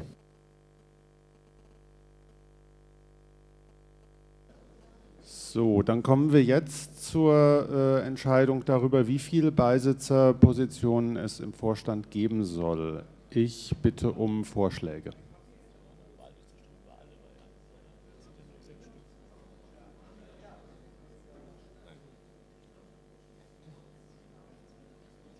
Haben wir Vorschläge? Gut, ein Vorschlag ist null. Ähm, ich würde gerne zwei vorschlagen. Null ist ja schon vorgeschlagen worden. Zwei finde ich ganz gut, damit wir wieder eine ungerade Zahl im Vorstand haben. Damit es dann nicht lange Diskussionen gibt und immer ein, eine Mehrheit schnell gefunden werden kann. Deswegen finde ich eine ungerade Zahl an Vorstandsmitgliedern einfach sinnvoller. Deswegen schlage ich zwei vor.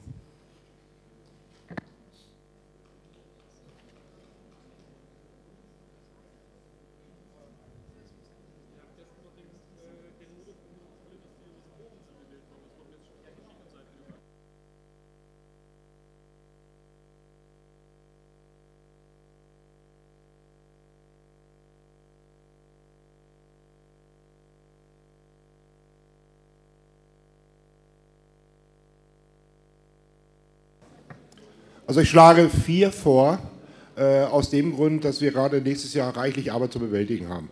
Und die Folgejahre dann eben können wir neu entscheiden. Danke.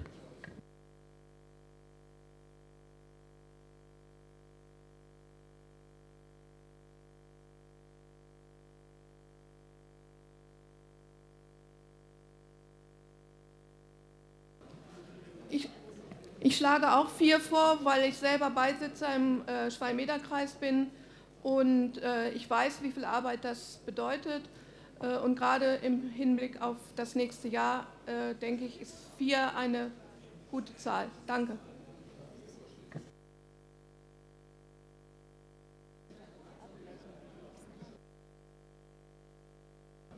Ähm, so, wir haben jetzt die Vorschläge 0 Beisitzer, 2 Beisitzer und 4 Beisitzer im Landesvorstand. Gibt es weitere Anzahlen von Beisitzern, die jemand gerne zur Abstimmung stellen würde?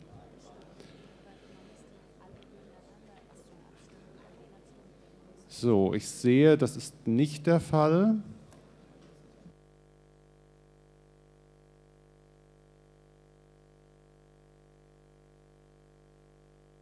Dann ähm, wäre jetzt zunächst mal die Aussprache darüber, also wenn jemand äh, dazu etwas sagen möchte, dann bitte ich jetzt nach vorne zu kommen.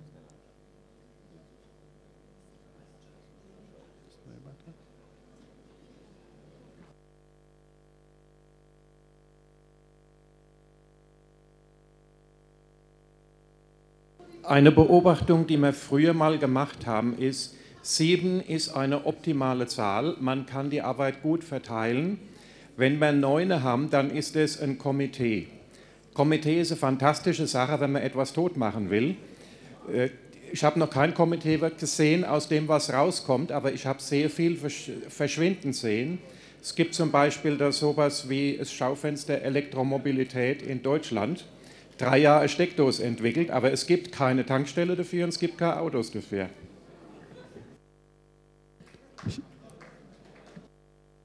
Ich bitte um etwas mehr Ruhe. Danke. Also wir haben uns für einen Vorstand entschieden, der organisiert und der verteilt und mit, äh, damit arbeiten wird, dass wir wieder Leute haben, die die Arbeit tun. Wir brauchen nicht viele Leute im Vorstand. Die Arbeit, die dort ansteht, ist zu machen mit den Leuten, die wir haben. Was ich ein bisschen vermisst habe, ist, dass äh, keiner eigentlich wirklich gesagt hat, welche Arbeit ein Vorstandsamt benötigt mit dem, was er machen möchte. Nichts von dem, was ich gehört habe, war für den Vorstand notwendig. Ich bitte einfach darum, lasst uns diesmal keine Beisitzer machen und stattdessen lieber uns bewerben für Beauftragungen, für Arbeit, die anstehen, wo der Vorstand sagt, bitte tut das und dann tut es auch.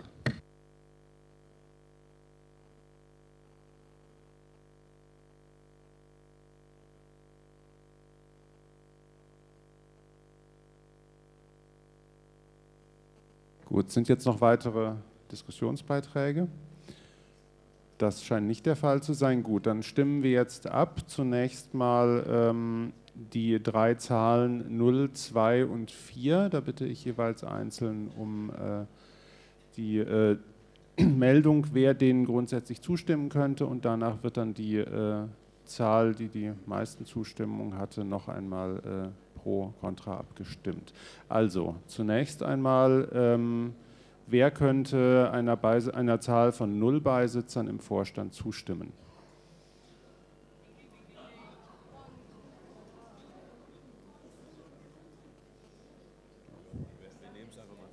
Ja, danke. Dann, ähm, wer könnte einer Zahl von zwei Beisitzern im Vorstand vor zustimmen?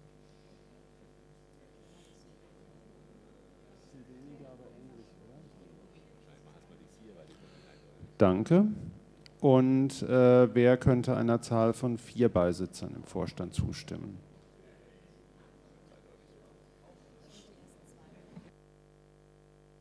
Danke. Also äh, die vier sind vom Tisch. Wir stimmen jetzt die äh, 0 und die 2 noch einmal gegeneinander ab, weil das sah sehr ähnlich aus von der Beteiligung. Also noch einmal die Frage, wer könnte einer Zahl von 0 Beisitzern zustimmen?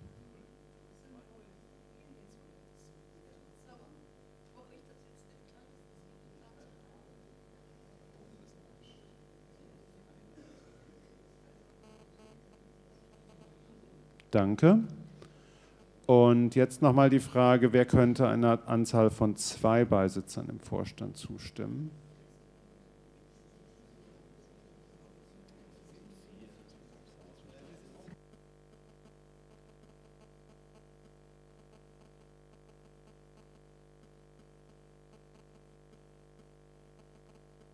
Ja, äh, danke. Wir müssen das auszählen, das ist einfach zu uneindeutig. Ähm, dann übergebe ich jetzt wieder an den Ernst.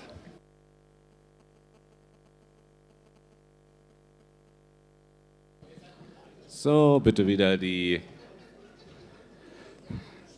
Wahlhelfer hier nach vorne für jede Reihe 2.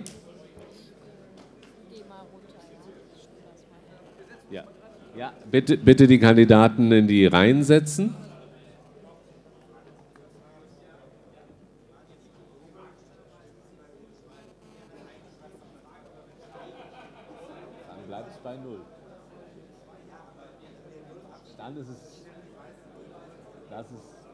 Das, das, Verfahren ist in dem Fall Schwachsinn, aber es geht nicht anders.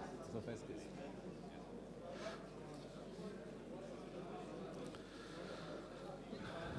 So, dann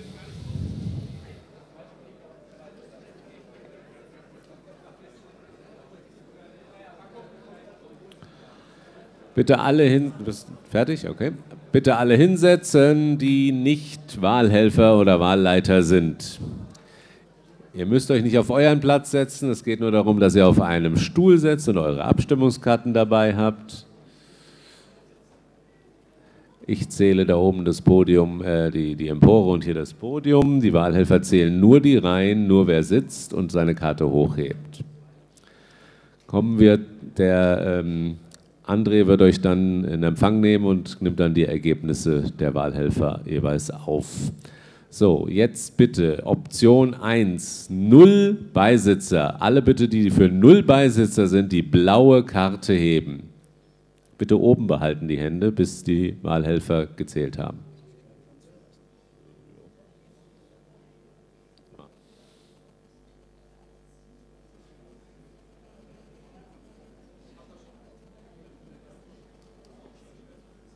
So, Wahlhelfer bitte wieder auf die Initialposition. Ich hatte ähm, drei. Jetzt bitte, wer für zwei Beisitzer ist, hebt jetzt die blaue Karte.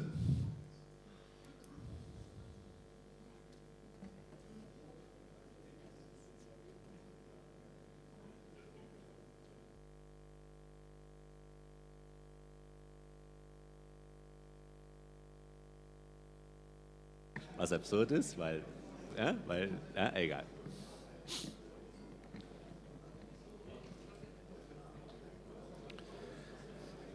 So, die Verkündung des Ergebnisses. Ich bitte um etwas Ruhe. Ruhe bitte. Auch die Versammlungsleitung da links vorne.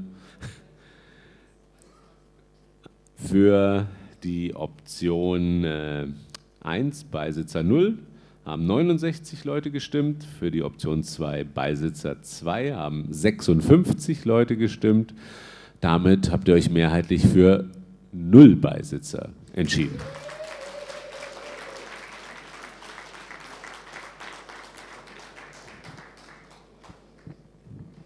So, das äh, war jetzt keine Abstimmung darüber, ob es null äh, Beisitzer gibt, sondern nur die Frage, ob null oder zwei bevorzugt wird. Jetzt müssen wir darüber abstimmen, ob, ihr, äh, ob die Zahl der Beisitzer auf null festgelegt werden soll.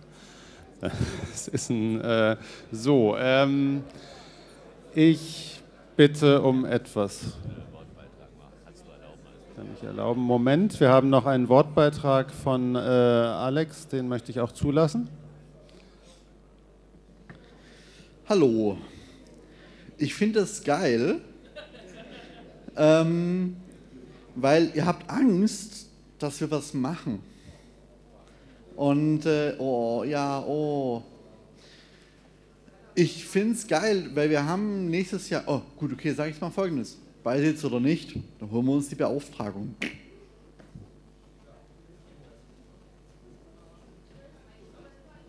So, also dann. Okay, ich lasse noch einen Wortbeitrag zu. Ja, ich muss ehrlich sagen, ich finde das ein bisschen schizophren. Wir haben gestern mehrheitlich beschlossen, dass Beisitzer so in die Satzung kommen und diese Anzahl von 0 bis 4 mit der Begründung, dass äh, der jetzige oder der ehemalige Vorstand ähm, einige Sachen hat liegen lassen und von daher das Arbeitspensum zu viel war für die momentane Anzahl an Vorstandsmitgliedern, ob die jetzt Beauftragte haben oder nicht. Deswegen war gestern die Mehrheit halt für Beisitzer. Ich finde das jetzt ein bisschen ähm, nicht nachvollziehbar. Einen Moment bitte mit den weiteren Beiträgen.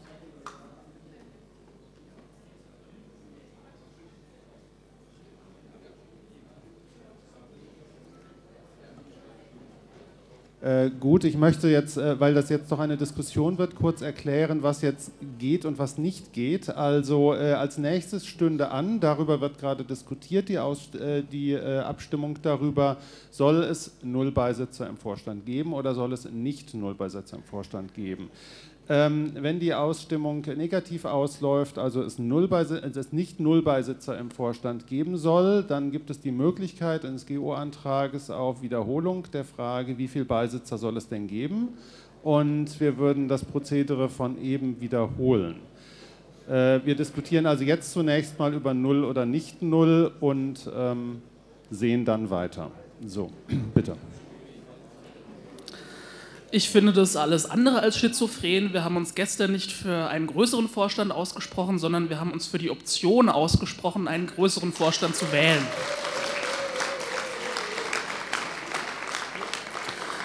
Allerdings muss ich sagen, geht mir dieses ganze Wahlprozedere hier jetzt auch unheimlich auf die Nerven und ich wollte einfach schon mal ankündigen, dass ich wahrscheinlich dann auf dem nächsten LPT einen Antrag stelle, dass einfach ohne Aussprache das Ganze einfach durch Zustimmung abgestimmt wird, weil das dauert einfach wieder viel zu lange.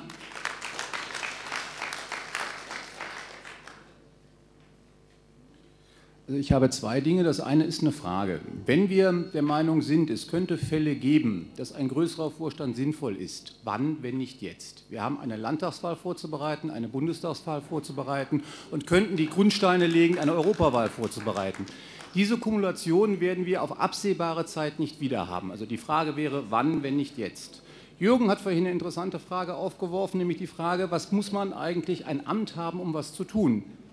Da fällt mir keine Antwort darauf ein. Ich würde aber gerne eine Gegenfrage stellen. Warum wollen man das Leuten, die wir für ihre Arbeit nicht bezahlen, nicht gönnen, einen Titel zu führen?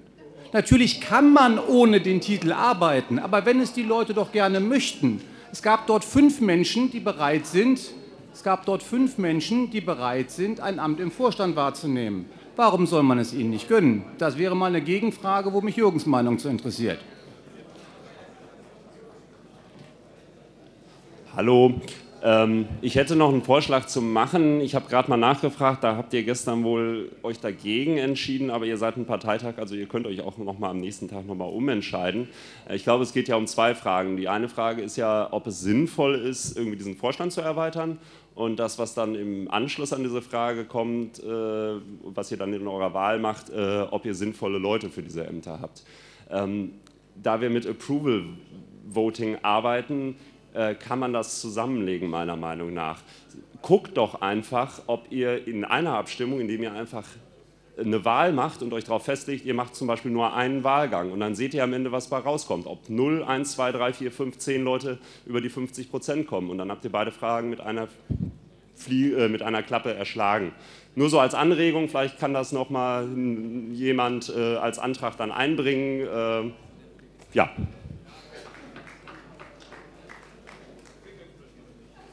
Ja, ich habe eigentlich nur eine Bitte, und zwar, dass wir als Basis doch bitte die Entscheidungen, die wir als Basis treffen, respektieren. Dankeschön.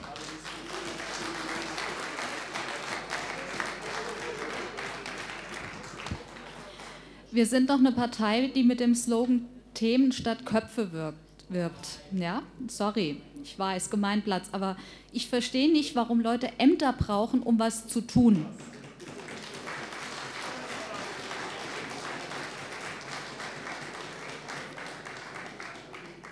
Ja, äh, viele Leute sehen die Partei ja auch als eine Art Bewegung.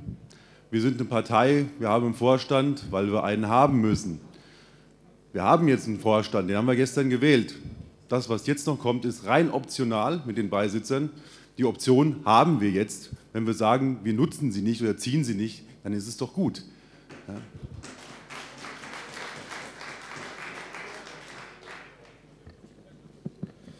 Wir sind eine Mitmachpartei, aber keine Titelvergabepartei. Äh, und wir sollten uns ins Bewusstsein rufen, dass Vorstand Verantwortung bedeutet. Leute, die für uns alle den Kopf hinhalten, wenn wir irgendwie rechtlich Scheiße bauen. Und warum sollen wir dort noch mehr Leute mit reinziehen, wenn wir alle genau das machen wollen? Diese Leute dürfen uns bremsen, wenn wir über das Ziel hinausschießen. Aber mitmachen und sollen, also mitmachen sollen, das tun wir alle. Und die Leute, die wir gestern gewählt haben, halten dafür den Kopf hin. Da brauchen wir nicht noch mehr. Danke.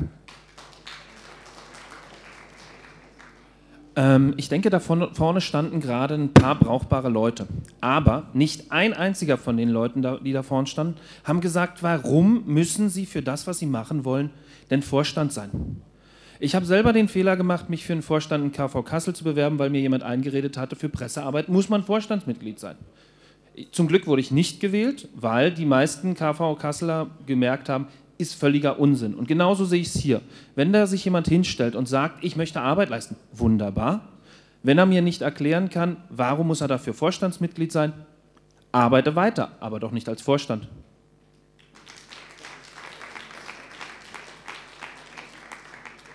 Wir hatten schon große Vorstände, wir hatten schon kleine Vorstände.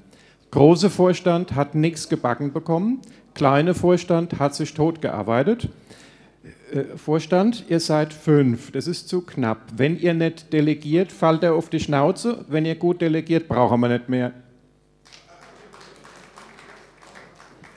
Eine Orga-Durchsage, der Matthias Tampe-Haberkock möge bitte hier vorkommen. Der Matthias Tampe-Haberkock möge bitte hier vorkommen. Danke. Mehr wollte ich doch gar nicht. Ja, ich wollte nur kurz anmerken, dass nicht alle Kandidaten nicht gesagt haben, was sie im Vorstand tun würden. Es gab zum Beispiel eine Anmerkung, die sehr wichtig ist, dass jemand zum Beispiel sich um die Direktwahlaufstellungsversammlungen und so weiter kümmern muss. Und da sind eben nicht nur Kreisverbände betroffen, sondern aufgrund der Zuschnitte der Wahlkreise haben wir kombinierte Geschichten zwischen Landkreisen, die unter der Verwaltung des Landesvorstandes stehen und unter Kreisverbandsverwaltung. Da wird sehr viel Koordination möglich sein und nötig sein. Das heißt, an der Stelle war eine Meldung, warum man dort im Vorstand sein muss, weil dies eben in die Hoheit des Landesvorstandes fällt.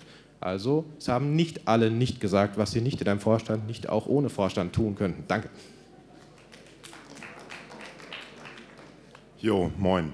Wiesbaden ist jetzt nicht repräsentativ für Hessen. Wir haben sieben äh, Vorstände. Es kommt sehr oft vor, dass mal zwei fehlen. Und da kann man trotzdem Entscheidungen treffen. Das ist eine gute Sache. Ich würde mir jetzt wünschen, dass mein kurzer Redebeitrag auch der letzte ist, weil ich glaube, es ist alles gesagt und es wiederholt sich hier sehr stark. Vielen Dank. Muss dich enttäuschen. Nein, nur zur, äh, falls das Verfahren noch nicht verständlich genug war, weil vielleicht dieser eine Vorwurf etwas unfair ist. Es gibt eine Kurzvorstellung von zwei Minuten für jeden Kandidaten Danach entscheidet ihr über die Anzahl und danach gibt es eine weitere Vorstellungsrunde der Kandidaten von weiteren drei Minuten.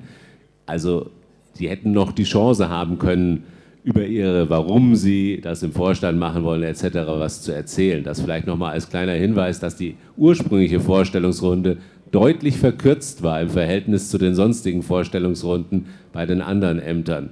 Wollte ich nur mal darauf hinweisen. So, es ähm, scheint keine weiteren Diskussionsbeiträge zu geben. Dann kommen wir jetzt zur Abstimmung über die Frage, soll es Nullbeisitzer im Vorstand geben oder soll es nicht? Ähm, ich bitte um Zustimmung durch blaue Karten, Ab äh, Ablehnung durch rote Karten.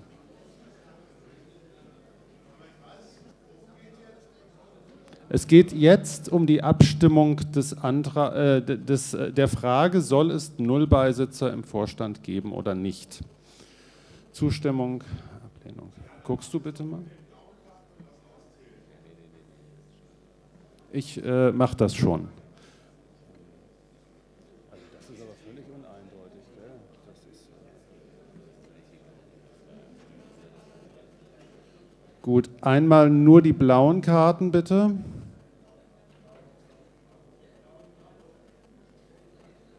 Und einmal nur die roten Karten bitte.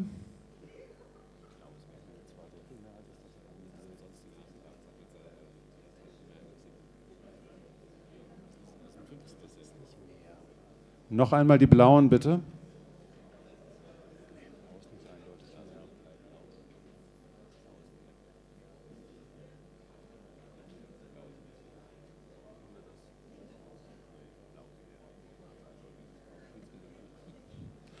Also ähm, es scheint blau mehr zu sein. Insofern ist, äh, gibt es jetzt null Beisitzer im Vorstand.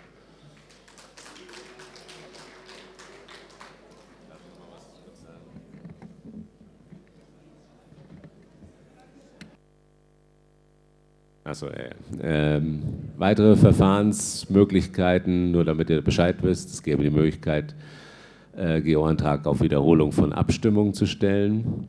Des Weiteren könntet ihr auch mit 50 Personen einen Satzungsänderungsantrag einbringen. der das gestern abgelehnte Verfahren, die Beisitzer so zu wählen, wie es hier vorgeschlagen wurde, nämlich einfach durch Zustimmung, wer die 50 Prozent schafft, wird gewählt und so weiter. Also diese Möglichkeiten gibt es alle entsprechend.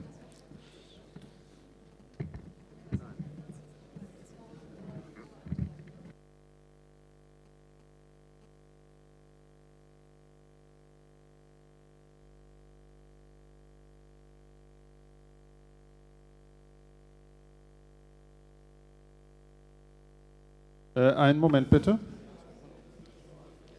Ich stelle den Antrag, dass jetzt abgestimmt wird und wer 50 Prozent hat, hat es oder eben nicht. Äh, das äh, tut mir leid, in der Form ist das jetzt nicht möglich. Du musst 50 Leute mitbringen, um einen Satzungsänderungsantrag zu stellen, um das ganze Prozedere zu ändern.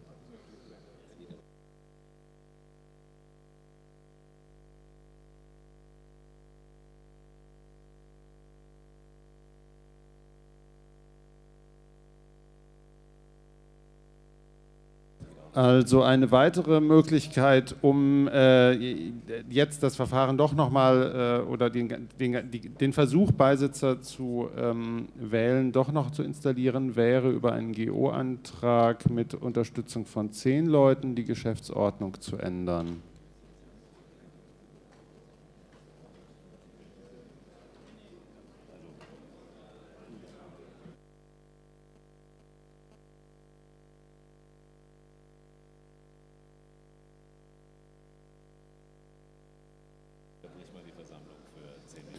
Wir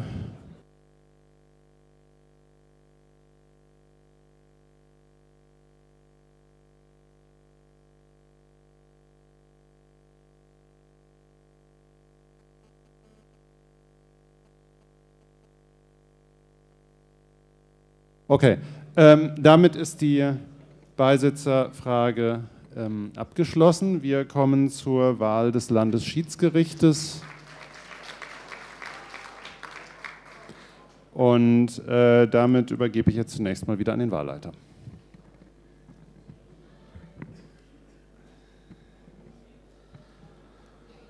So, bitte ein bisschen Ruhe. Ich bitte um äh, Kandidatenvorschläge und eröffne hiermit offiziell die Kandidatenliste für die Wahl der Schiedsrichter. Es werden drei Schiedsrichter gewählt. Es müssen auch drei gewählt werden. Also ich bitte um zahlreiche Kandidaten. Da. Stell dich kurz vor und sag, dass du kandidierst. Nur, dass du kandidierst, nur nicht vorstellen. Also. Bernhard Kern, ich kandidiere als Landesschiedsrichter. Gut, damit haben wir den ersten Kandidaten.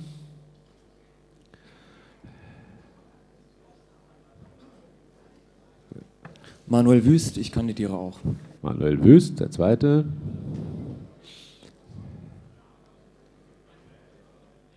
Ralf Donat aus Darmstadt, ich kandidiere. Der dritte. Äh, Ralf, du kannst auch im Prinzip gleich äh, hier bleiben.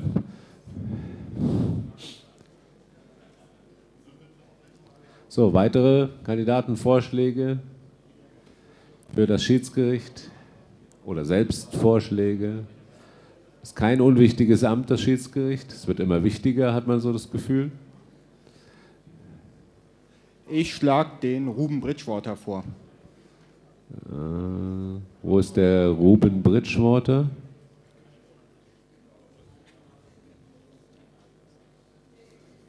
Oben? Ach, da. Ja, ich kandidiere.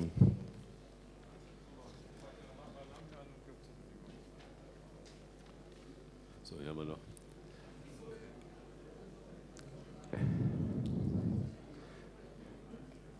Ich habe noch eine schriftliche Bewerbung. Der ist, Bewerber ist nicht hier. Das ist ein Mannhenke, Klaus Mannhenke, der auch für das Schiedsgericht äh, kandidiert.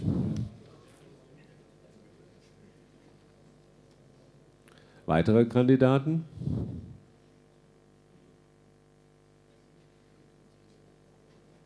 Scheint nicht der Fall zu sein.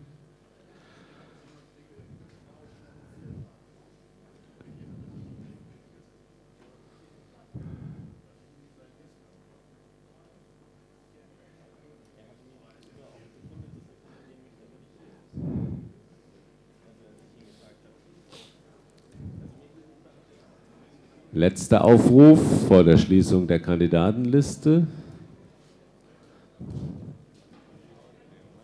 Ich kann es jemand vorschlagen, aber ich.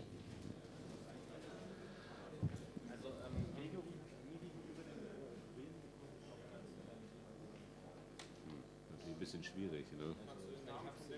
Ja, ja. Er, er war bisher Richter, ne? Er ist ja bisher Richter, der Gregory. Okay, also laut Wiki hat noch Gregory Engels äh, kandidiert noch.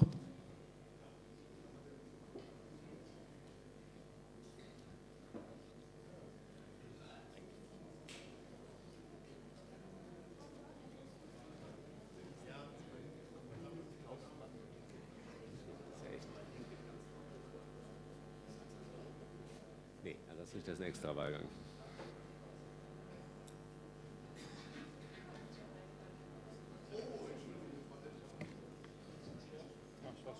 Aber ich, ah, hier, dein Stift.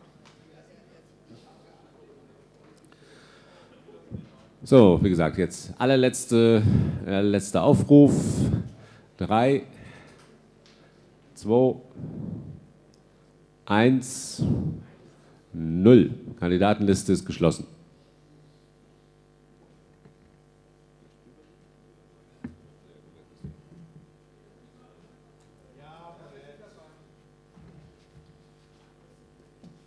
Dann übernehme ich die Versammlungsleitung ab jetzt vom Christian.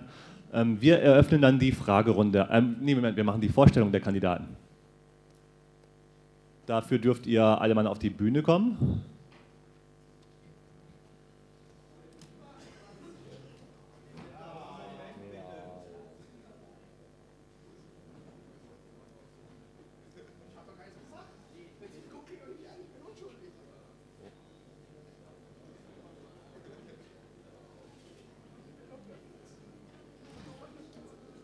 So, wir fangen dann auch in der alphabetischen Reihenfolge an. Auch ihr habt fünf Minuten, euch vorzustellen. Das heißt, zuerst wäre der Ralf dran.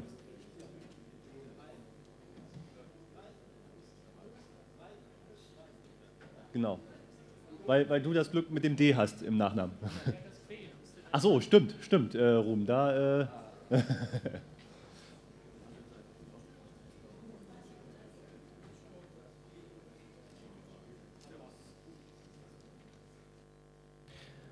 Ja, ich bin jetzt äh, zwei Jahre im Landesschiedsgericht gewesen, einmal in Bremen, einmal jetzt hier in Hessen.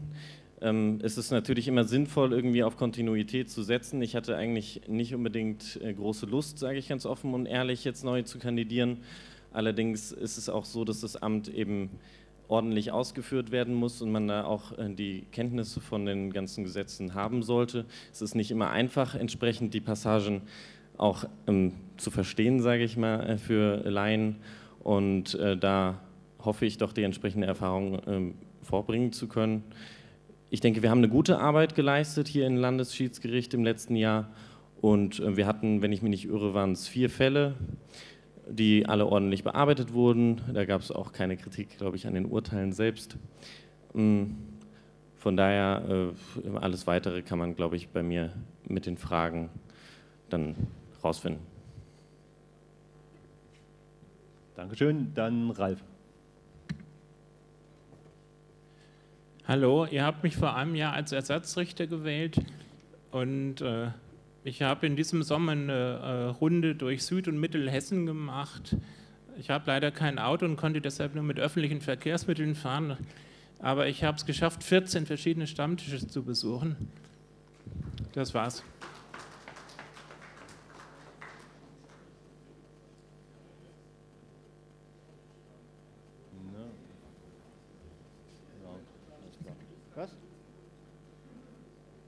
Genau, dann Bernhard bitte. Hallo, ich bin nicht Gregor Engels, wie er jetzt da steht. Ich bin Bernhard Kern ähm, und äh, vielleicht bekannter bei Twitter als Nutella-Berliner. Ähm, das deutet auch darauf ähm, hin, wo ich herkomme, nämlich aus Berlin. Ich bin vor anderthalb Monaten aus Berlin nach Darmstadt gewechselt, bin jetzt im KV Darmstadt. Ähm, beruflich bin ich Volljurist und mache den Einkauf bei der GSI. Ähm, was habe ich sonst getan? In Berlin habe ich das Squad Innen- und Rechtspolitik mitgegründet. Ich vertrete zurzeit, in Berlin habe ich zwei Verfahren vom Berliner Landesschiedsgericht vertreten. In Niedersachsen habe ich jetzt, glaube ich, fünf Verfahren vor dem Landesschiedsgericht und Bundesschiedsgericht um die Aufstellungsversammlung ähm, in Niedersachsen. Zwei davon bisher gewonnen.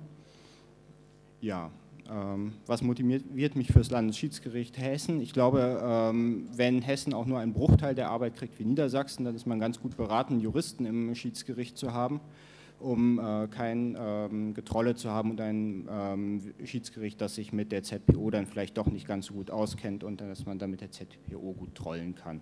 Ich glaube, das kann ich leisten. Und für alles Weitere stellt mir bitte Fragen. Danke.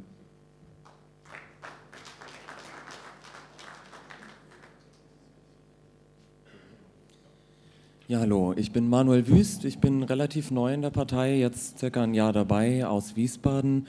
Ähm, deswegen vielleicht ein, zwei Worte zu mir, weil ich denke ich noch nicht bekannt bin, großartig.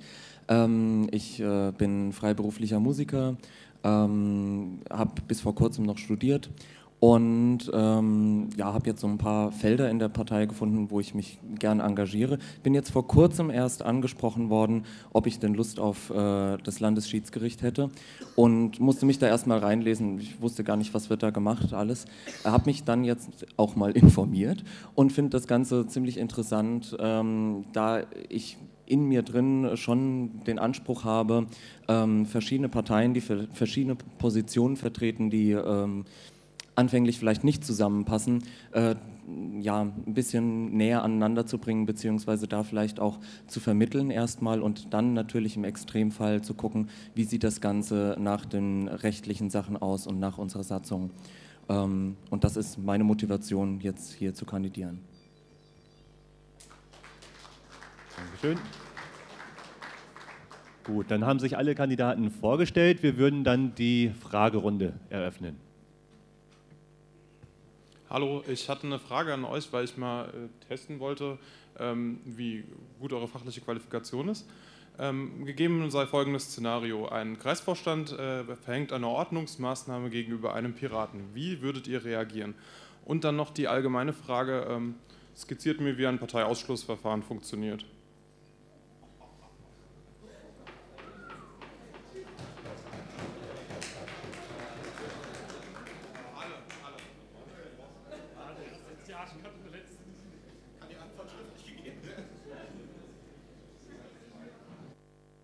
Dieses Verfahren ist jetzt interessant, ähm, erstmal ganz kurz, wenn man das hintereinander macht. Aber gut, ich meine, wir können das auch gerne schriftlich machen. Markus? Sollen wir das vielleicht schriftlich machen, so rein Sinnhaftigkeit mäßig?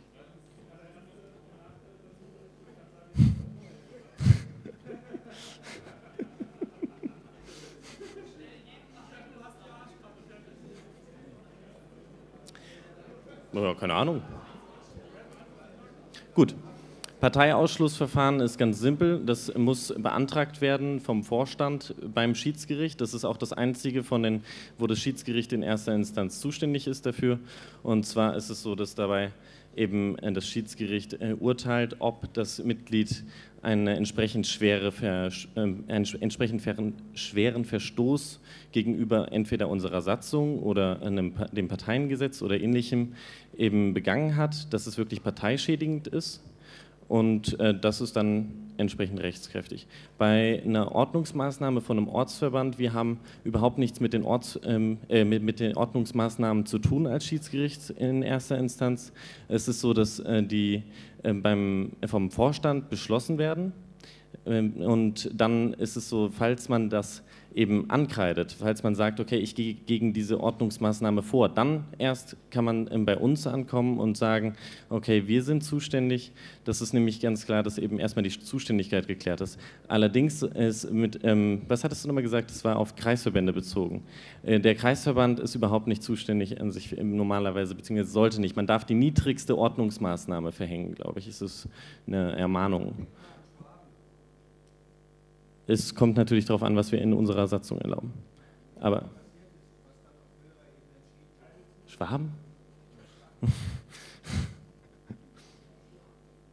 ja.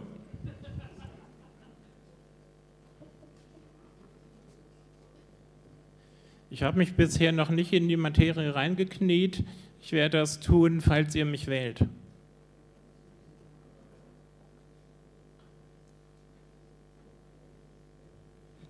Gut, ähm, zu der ersten Frage zur Ordnungsmaßnahme hat Ruben eigentlich schon alles gesagt, da ist nichts weiter zuzufügen. Ähm, das Schiedsgericht hat halt nichts zu tun mit einer Ordnungsmaßnahme, bis das Mitglied die Ordnungsmaßnahme nicht anficht. Ficht das Mitglied die Ordnungsmaßnahme nicht an, bleibt das Schiedsgericht draußen. Wenn nicht, dann muss sich das Schiedsgericht ähm, angucken, ob die Ordnungsmaßnahme ähm, zulässig ist, ob sie angemessen ist ähm, und ob sie begründet ist. Und ähm, entweder hebt das Schiedsgericht dann die Ordnungsmaßnahme auf oder bestätigt sie und dann kann das Ganze eventuell noch zum Bundesschiedsgericht gehen. Ähm, beim Parteiausschlussverfahren ist es wiederum anders. Das muss vom ähm, zuständigen Gremium beim Landesschiedsgericht beantragt werden dann, ähm, und diese Ordnungsmaßnahme, also der Parteiausschuss, muss dann zulässig und begründet sein. Zulässig ist er, wenn unter anderem die Frist gewahrt ist, wenn, ein, wenn das zuständige Organ ähm, gehandelt hat, wenn das Mitglied auch wirklich äh, Mitglied in dem ähm, Landesverband ist, wo, äh, wo die Ordnungsmaßnahme verhängt wird. Und begründet ist die Ordnungsmaßnahme, wenn die Voraussetzungen von äh, ich glaube, Paragraph 9 äh, der Schied, nee, Paragraph 6 ähm, der Bundessatzung und, und Paragraph 10 Absatz 4 Parteiengesetz erfüllt sind. Nämlich, wenn ein, ähm, das Mitglied gegen ähm, die Satzung verstoßen hat oder ähm, sonst gegen die Ordnung ähm, der Partei und dadurch einen schweren Schaden verursacht hat. Das muss beides kumulativ vorliegen.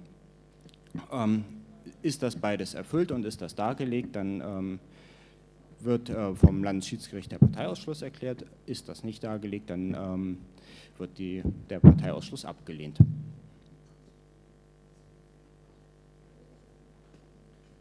So, ich könnte es mir jetzt einfach machen und sagen, ich stimme den Vorrednern zu. Äh, das mache ich aber nicht, weil ich kann das gar nicht überblicken. Das stimmt absolut. Ich habe mich in diese Materie noch nicht reingelesen. Deswegen kann ich nicht genau wissen, welcher Paragraph und warum und wieso und wie das genaue Verfahren äh, ganz korrekt abläuft. Was ich aber weiß, ist, ich kann mich sehr schnell in äh, solche Materien reinlesen. Ich kann sehr schnell Texte verstehen. Ich kann ähm, dann versuchen, das mit einem gesunden Menschenverstand, und ich denke, der ist da natürlich am besten angebracht, ähm, abzuwägen. Und ähm, das, denke ich, ist eine gute Voraussetzung, um in diesen Job reinzustarten. Dankeschön. Ähm, wir unterbrechen jetzt die Fragerunde kurz, weil wir den äh, Kandidaten ähm, Klaus Mann-Henke, ähm, da haben wir einen kurzen Text zur Vorstellung, den wir jetzt äh, einschieben würden, damit das... Ganz kurz, weil er hat eine schriftliche Erklärung halt abgegeben, weil er nicht da ist. Falls er gewählt wird, nimmt er die Wahl an. Das ist schon mal ganz wichtig. Äh, Person, er ist Angestellter im EDV-Bereich und Elektrohandwerksmeister. Ähm, Ehrenamt, Vorstand im Kreiselternbeirat Kreis Marburg-Biedenkopf und wahrscheinlich wesentlich wichtiger hier für den Job ehrenamtlicher Arbeitsrichter am Arbeitsgericht Gießen als Arbeitnehmervertreter. Das also, um Herrn Klaus Mann-Henke besser einschätzen zu können, vielleicht auch, wenn er nicht da ist. Gut, dann setzen wir die Fragerunde fort. Gibt es weitere Fragen an die Kandidaten? Ja, ich habe eine Frage an Ralf. Äh, also ich habe jetzt, es sind jetzt zwei Leute, die relativ ähm, un, unerfahren sind. Von Manuel habe ich gehört, dass er sich hier bewirbt, nachdem er äh, irgendwie sich äh, da, also zunächst mal angeschaut hat, was geht denn da und gemerkt hat, ihm liegt das. Von dir habe ich gehört, dass du über 14 Stammtische getourt bist, was ich jetzt ein relativ äh, zweitrangiges bis fragwürdiges Kriterium finde. Kannst du da mal irgendwie Stellung zu nehmen, bitte?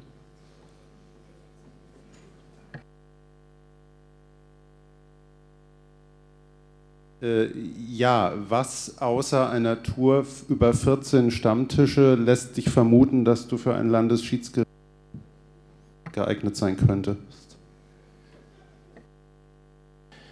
Ja, ich, ich habe eben den einen Satz vergessen. Also ich habe ja schon äh, seit ungefähr zwei Monaten einiges im Wiki stehen und äh, ähm, das hätte man in den letzten Wochen nachlesen können.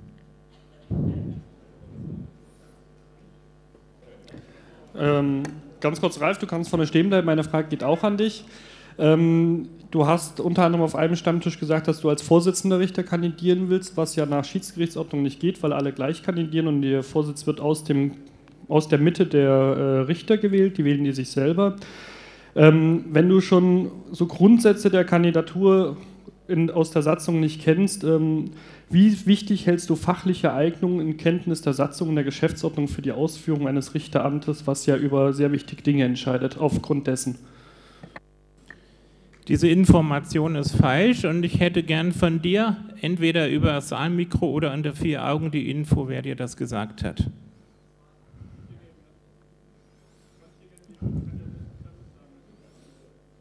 War die Frage soweit beantwortet oder?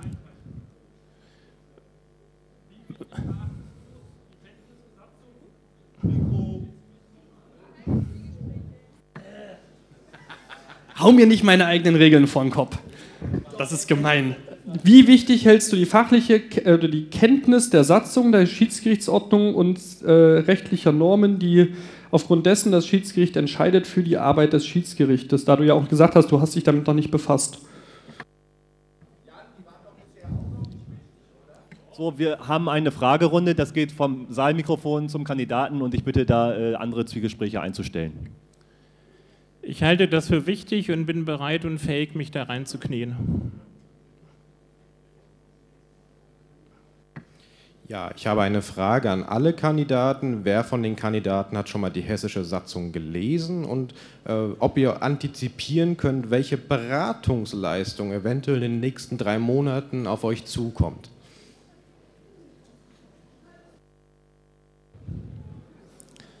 Ich habe die Satzung gelesen, das ist aber jetzt schon etwa drei Monate her und werde die äh, Frage bei Gelegenheit ausführlicher beantworten.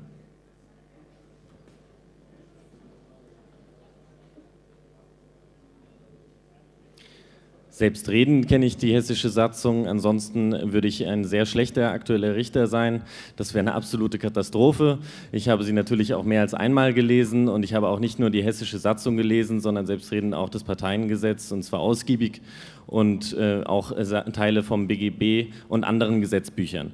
Außerdem auch Urteile vom Bundesgerichtshof und so weiter und so fort. Das ist halt einfach der Job vom Richter. Da muss man sich auch mit anderen Dingen beschäftigen, die über die Satzung hinausgehen.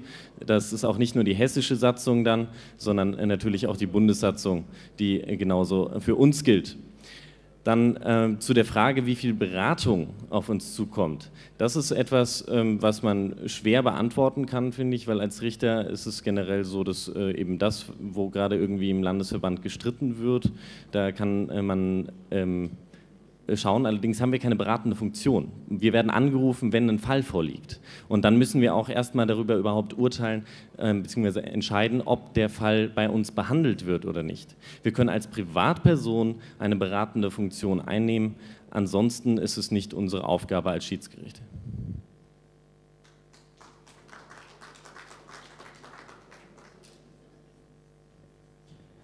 ich habe sonst immer was zu sagen und äh, auch zu vielem eine Meinung, aber ähm, jetzt muss ich leider Ruben zustimmen.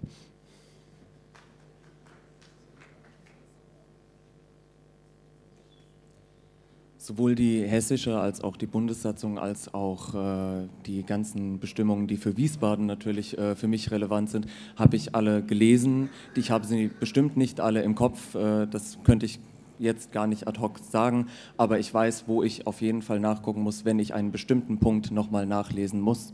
Und ähm, damit, denke ich, äh, kann ich dann äh, auch ganz gute Antworten geben.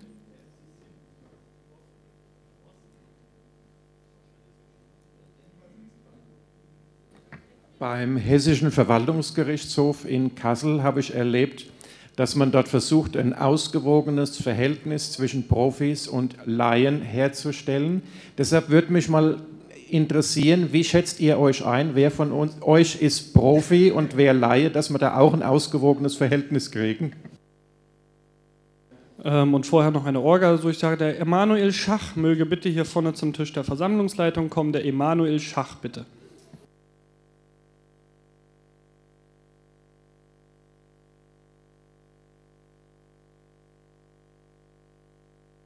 Nachdem ich beim letzten Mal nichts sagen durfte, fange ich jetzt mal an einfach. Ähm, also soweit ich weiß, ist der Hessische Verwaltungsgerichtshof als Verwaltungsgericht mit, Richter, mit Berufsrichtern besetzt. Der, der Verwaltungsgerichtshof nicht. Du kannst es beim Verfassungsgerichtshof machen, du hast es teilweise beim Strafgericht, aber beim Verwaltungsgerichten und gerade bei den oberen Verwaltungsgerichten sind Vollrichter. Ähm, das heißt nicht, dass ich das für das ähm, Hessische Landesschiedsgericht auch für gegeben halte, dass man äh, nur Profis haben sollte. Eigentlich sollte man vielleicht schon Leute haben, die sich mit der Aufgabe des Richters auseinandergesetzt haben vorher, die wissen, was auf einen zukommt und die ähm, sich auch so einschätzen, dass sie Texte lesen und verstehen können und dann da, daraufhin diese Lebenssachverhalte anwenden. Das ist eigentlich das, was man können muss und das denke ich, kann ich. Könnte ich es nicht, wäre ich, glaube ich, nicht Jurist geworden.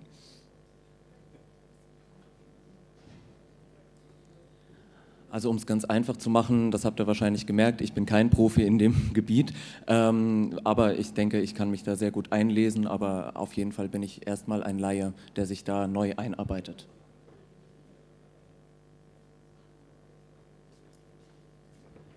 Ich bin ebenfalls Laie.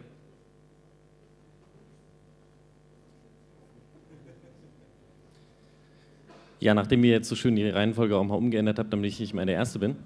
Ähm, es ist so, dass, äh, was ist überhaupt ein Laie, ist eigentlich die Frage. Weil ich bin zum Beispiel entgegen äh, Bernhard kein ausgebildeter Rechtsanwalt und äh, ich bin als solches ganz klar ein Laie, unabhängig davon, ob ich irgendwie die Sachen in meinen Augen gut beherrsche und äh, da eine entsprechende Fachkenntnis bereits vorweisen kann.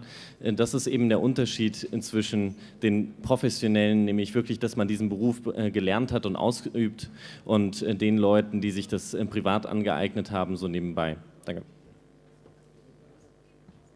Gut, damit sind alle Fragen beantwortet. Es liegen keine weiteren Fragen vor. Damit schließe ich die Fragerunde an die Kandidaten. Äh, der Jan wünscht noch. Ach so, wir müssen noch die Frage mit Gregory klären. Deswegen äh, unterbreche ich noch mal für drei Minuten. Ähm, das wären drei Minuten, wo vielleicht die Gelegenheit für jemanden besteht, noch äh, ein Thema vorzustellen, was ihm auf dem Herzen liegt. Aktionen, Vorstellungen von KVs, irgendwie sowas?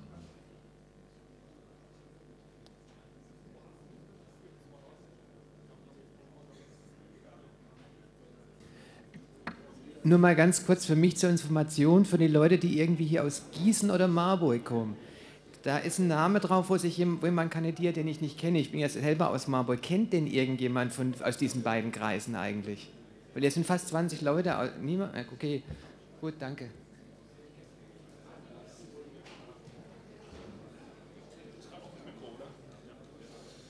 Äh, hi. Ähm, nächsten Sonntag ist Kreispartei. Entschuldigung. Kreisparteitag äh, in Groß-Gerau vom äh, Kreisverband Groß-Gerau in Groß-Gerau. Wer also Zeit und Lust hat, kommt gerne vorbei. Danke.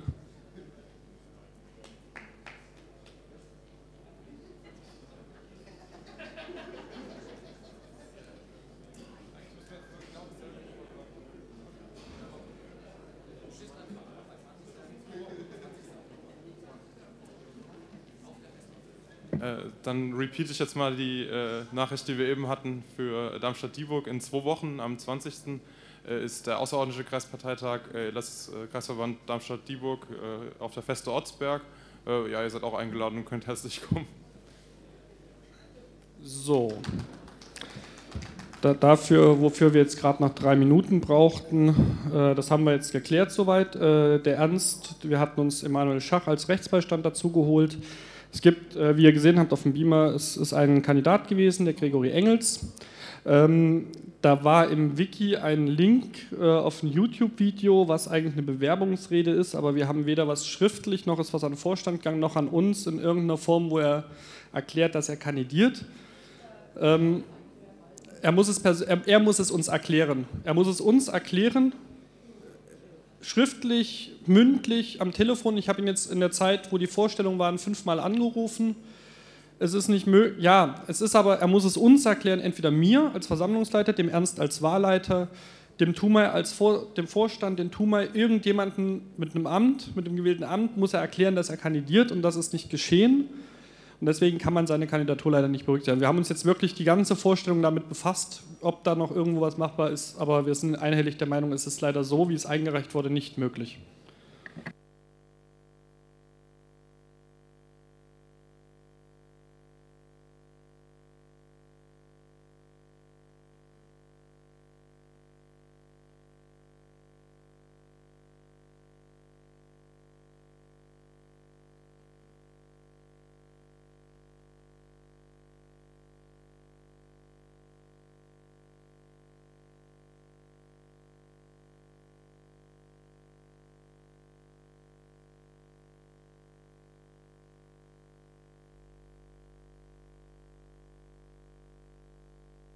Wir setzen die Unterbrechung noch kurz fort. Es gab noch einen Redebeitrag, den jemand halten wollte. Vielleicht machst du es doch einfach gleich, weil äh, da gibt es noch ein bisschen Diskussionsbedarf.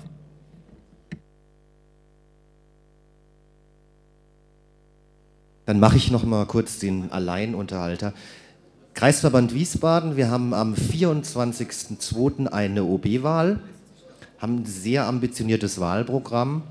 Wir werden das auch über die diversen Mailinglisten und so weiter veröffentlichen. Und ähm, wir werden dann auch zu einem Zeitpunkt um eure Unterstützung bitten. Die sieht folgendermaßen aus. Natürlich das Ganze weiter zu verbreiten, vor allem über die sozialen Medien und unter Umständen vielleicht auch in der Endphase des Wahlkampfs so ein bisschen körperliche oder Anwesenheitsunterstützung. Da wären wir sehr dankbar, wenn ihr das verfolgen würdet. Wir haben wirklich sehr, sehr viele ambitionierte Dinge vor. Einige davon sind auch, würde ich behaupten, Premiere für die Piraten. Und ähm, ja, wir brauchen da eure Unterstützung und es wäre schön, wenn ihr uns die geben würdet.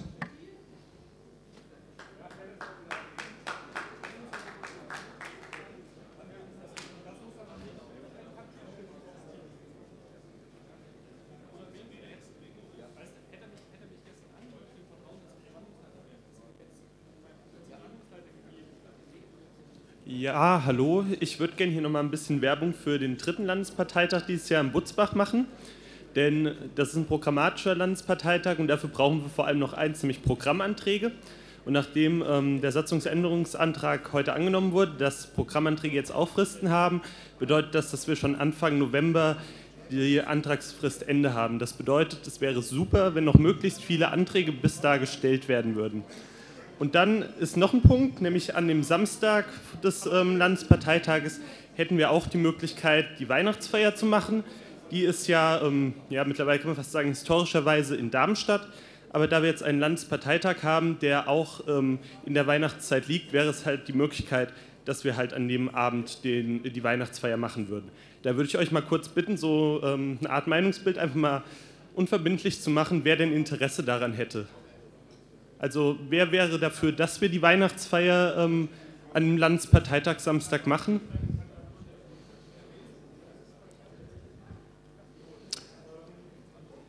Okay. Die Beteiligung ist relativ gering, aber deutlich positiv. Dankeschön.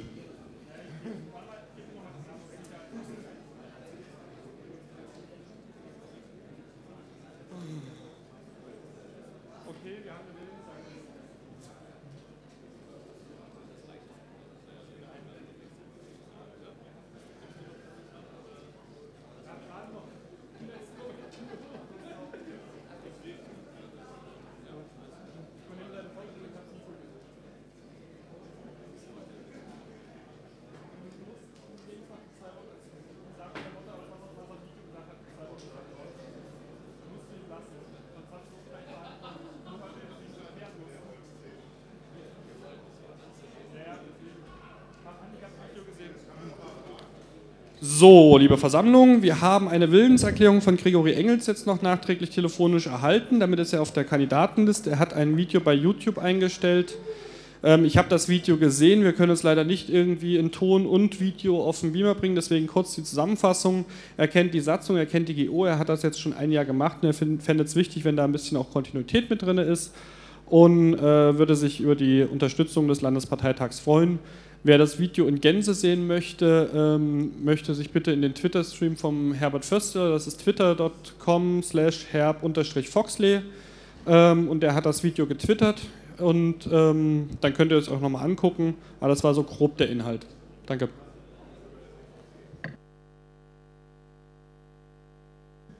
Gut, damit ist die Kandidatenliste jetzt nochmal aktualisiert. Das ist, ähm, die Kandidaten, sind die Kandidaten, die jetzt zur Wahl des ähm, Landesschiedsgerichts äh, anstehen. Und wir kommen zur Durchführung der Wahl und dazu übergebe ich an den Ernst.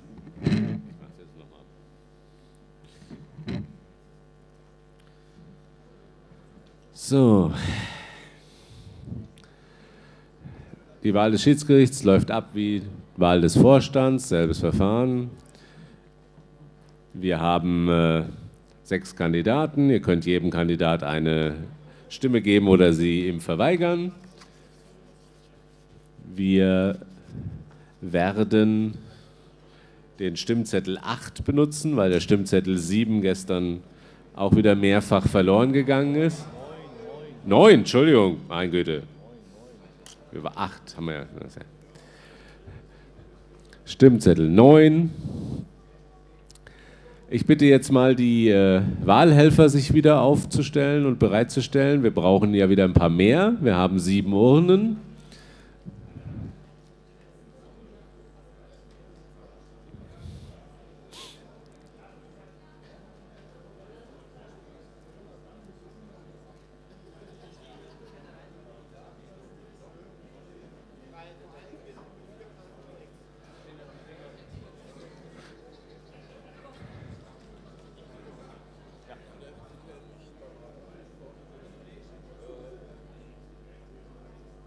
Okay, alles klar. Hauptsache, wir haben zwei Wahlhelfer pro Reihe. So, also, Moment, wartet noch mal mit dem Vorzeigen, bis ich das äh, ansage. Also, Reihe 4, hinten 2, vorne 2, hinten 2 in der Reihe 3, vorne 2 in der Reihe 3, hier habe ich vorne 2. Äh, wie sieht es aus hinten in der Reihe 2 und in der Reihe 1? Da brauche ich noch zwei Wahlhelfer, bitte. Einen sehe ich jetzt. Okay, dann zwei. Ja, okay, alles klar. Alle Wahlurnen sind besetzt. Okay, ähm, die Kandidaten stehen ja noch da wie die Vögel auf der Stange aufgereiht. Äh, ich möchte euch bitten, noch mal ganz kurz ähm, euren Namen zu sagen, damit, also am Saalmikro, damit die Leute noch mal euer Gesicht mit Namen verbinden können. Einfach jeweils ans Saalmikro zu gehen. Ich bin Ruben Bridgewater. Ralf Donat. Bernhard Kern. Und Manuel Wüst. Vielen Dank. Jetzt könnt ihr auch die Bühne verlassen und euch vorbereitet. Wie gesagt, Stimmzettel 9. Ich bitte die Wahlhelfer, die Wahlurnen vorzuzeigen, dass sie leer sind.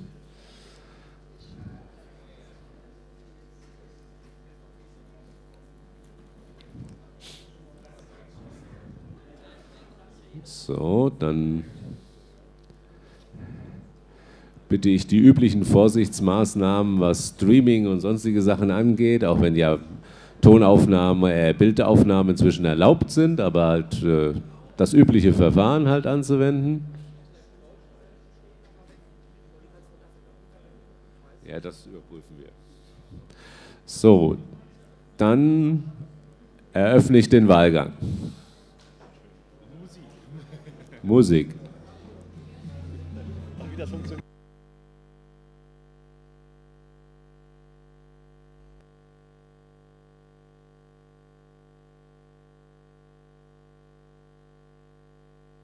So, bitte alle noch, die noch keine Stimme abgegeben haben, zu den Wahlurnen.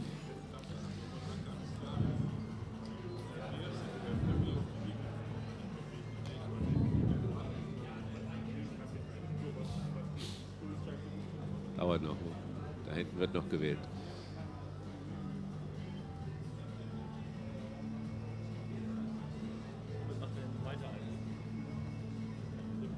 Jetzt nicht mit den Ersatzrichtern weitermachen? Nein, weil da werden sich einige von. sich Genau, das geht nicht. Machen wir denn dann mit den Kassenprüfern? Geht das schon? Das geht, das kannst du machen, das muss ich nicht machen. Das ist ja eine offene Abstimmung. Das ist eine offene Ja. Abstimmung. Ne? So, letzter Aufruf für den Wahlgang. Bitte, wer jetzt seine Stimme abgeben möchte, bewegt sich klar und deutlich sichtbar zu den Wahlurnen. Scheint nicht der Fall zu sein. 3, 2, 1, 0. Der Wahlgang ist geschlossen. Auszählung wie immer hinten im Nebenraum.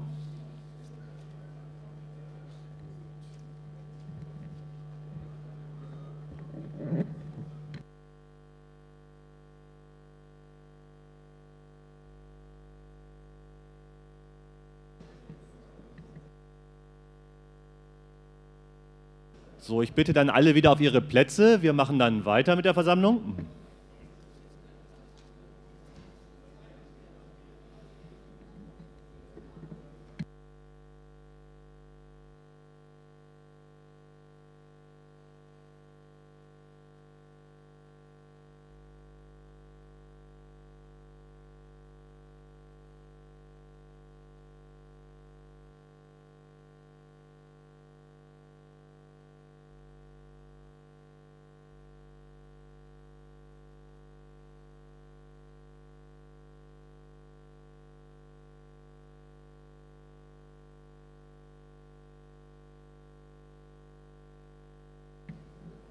Gut, wir fahren dann fort mit der Wahl der Kassenprüfer. Ähm, die Ersatzschiedsrichter, da würden wir warten auf das Ergebnis der Wahl und äh, es ist ja relativ wahrscheinlich, dass dann äh, Kandidaten vielleicht auch für das Amt des Ersatzschiedsrichters äh, noch zur Verfügung stehen.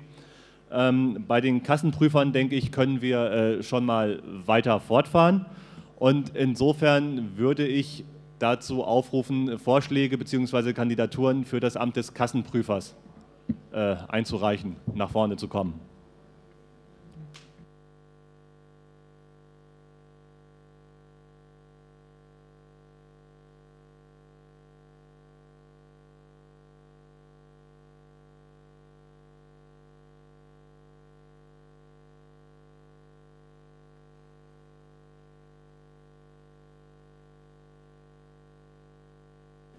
Ähm, wir machen doch eine kleine Pause. Nicole ist da, ne?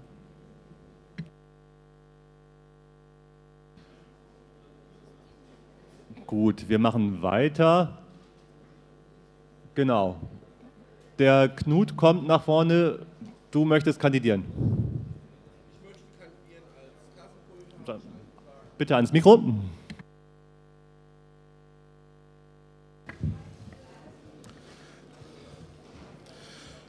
Hallo, ich bin Kenat oder Knut, je nachdem, wie ihr es haben möchtet. Ich kandidiere als, Schat äh, als Rechnungsprüfer, war mal Schatzmeister und habe auch immer noch Interesse an dieser Art der Verwaltungsarbeit, auch wenn den Schatzmeisterposten jetzt ein viel besserer Mann bekleidet. Danke. Ähm gar nicht, gar nicht ganz vorstellen jetzt, sondern irgendwie einfach nur äh, sagen, dass ihr kandidiert, wer ihr seid. Und Vorstellung kommt dann gleich. Ja, hallo, ich bin Martin äh, aus dem KV Schwalmeda und ich kandidiere für den Rechnungsprüfer. Langhorst. Gibt es weitere Vorschläge oder Kandidaturen für das Amt des Rechnungsprüfers? Unsere Satzung sagt, wir wählen mindestens zwei, maximal drei Rechnungsprüfer. Ähm, die Wahl der Rechnungsprüfer ist die einzige, die in offener Wahl durchgeführt werden kann.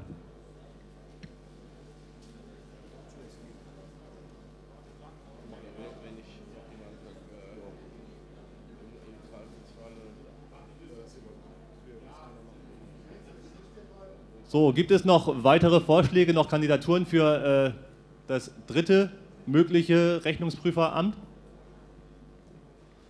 Fünf, 4, 3, 2, 1. Dann schließen wir die Sammlung der Kandidaten. Ähm, dann würde ich euch beide äh, bitten, euch kurz vorzustellen. Knut, vielleicht fängst du an. Hallo, wie gesagt, mein Name ist Knut oder Kenat. Ich war mal Schatzmeister und bin schon seit geraumer Zeit auch Rechnungsprüfer seit letztem Jahr. Mir macht die Sache Spaß und ich, mein Anliegen ist es, dafür zu sorgen, dass unbeabsichtigte Fehler bei irgendetwas sichtbar werden, damit der Rechenschaftsbericht anständig abgegeben werden kann. Das ist mein Ziel. Ja, und ich würde mich freuen, wenn ihr mich wählt, beziehungsweise mir euer Vertrauen ausspricht. Danke. Hallo, kurze Durchsage, wir haben einen Gewinner, die Nummer 189018. Ihr könnt es beim Antragsbüro abholen. Danke. Ja, wie gesagt, ich bin Martin vom KV Schwameda. Ähm, ich habe mal irgendwann bei der Sparkasse gelernt vor vielen Jahren, ich kann mit Zahlen umgehen, habe Spaß daran und ich denke, das ist eine Arbeit, die gemacht werden muss. Äh, die Kassenführung darf nicht angreifbar sein und dazu dienen die beiden Rechnungsprüfer und äh, das werden wir auch machen. Danke. Alles klar, vielen Dank. Gibt es Fragen an die beiden Kandidaten?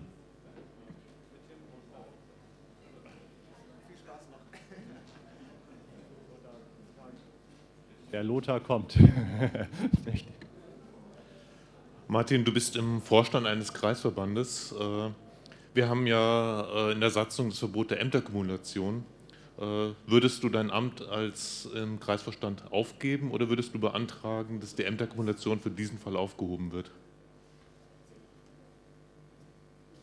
Also aufgrund der Tatsache, dass wir so wenig äh, Leute sind bei uns im Kreisverband, weil wir ein ganz junger Kreisverband sind, würde ich dann auch beantragen, äh, das bis zu unserem nächsten Kreisparteitag im März nächsten Jahres weiterhin fortführen zu dürfen.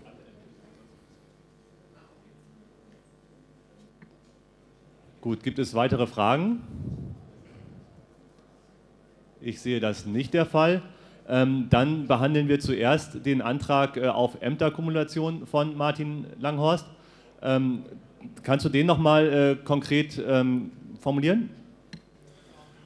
Also ich beantrage im Falle meiner Wahl, dass ich mein Amt als Beisitzer, als zweiter Beisitzer im äh, Kreisverband Schwalm-Eder weiterhin fortführen darf bis zum nächsten Kreis, äh, Kreisparteitag, den wir im 31. März nächsten Jahres haben.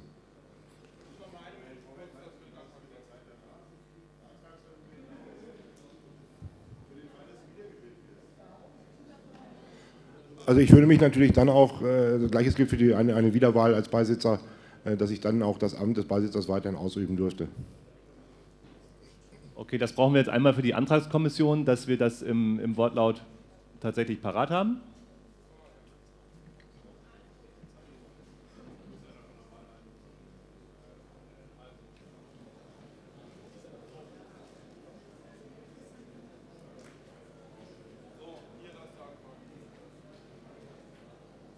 Gut, der Antrag ist jetzt auf dem Beamer.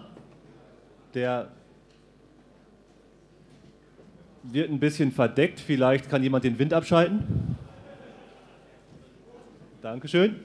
Ähm, der Antrag lautet, der Landesparteitag möge gemäß 4.1 Landessatzung beschließen, dass Martin Langhorst für den Fall seiner Wahl als Kassenprüfer sein Amt als Beisitzer des Kreisverbands Schwalm-Eder bis zur nächsten Landesvorstandswahl ausführen darf.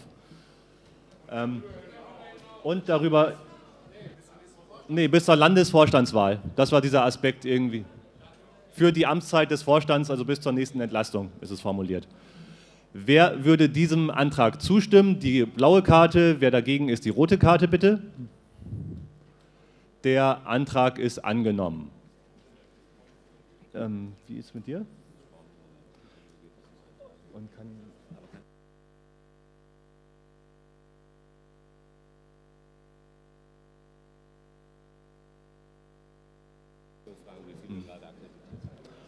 Ähm, dann eine Frage an die Akkreditierung. Wie viele Piraten sind aktuell akkreditiert?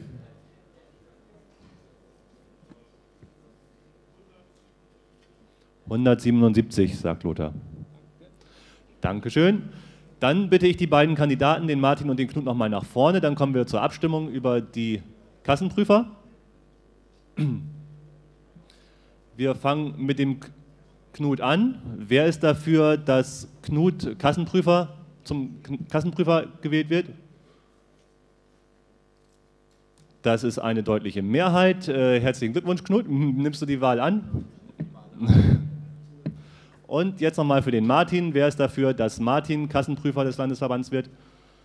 Auch das ist eine deutliche Mehrheit. Martin, nimmst du die Wahl an? Herzlichen Glückwunsch.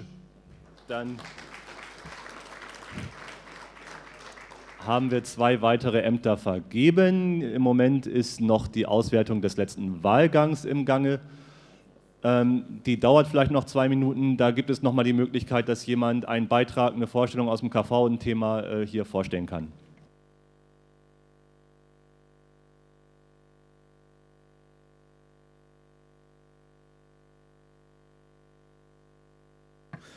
Ja, ich, möchte euch gerne einladen. Äh, am Mittwoch, am 10.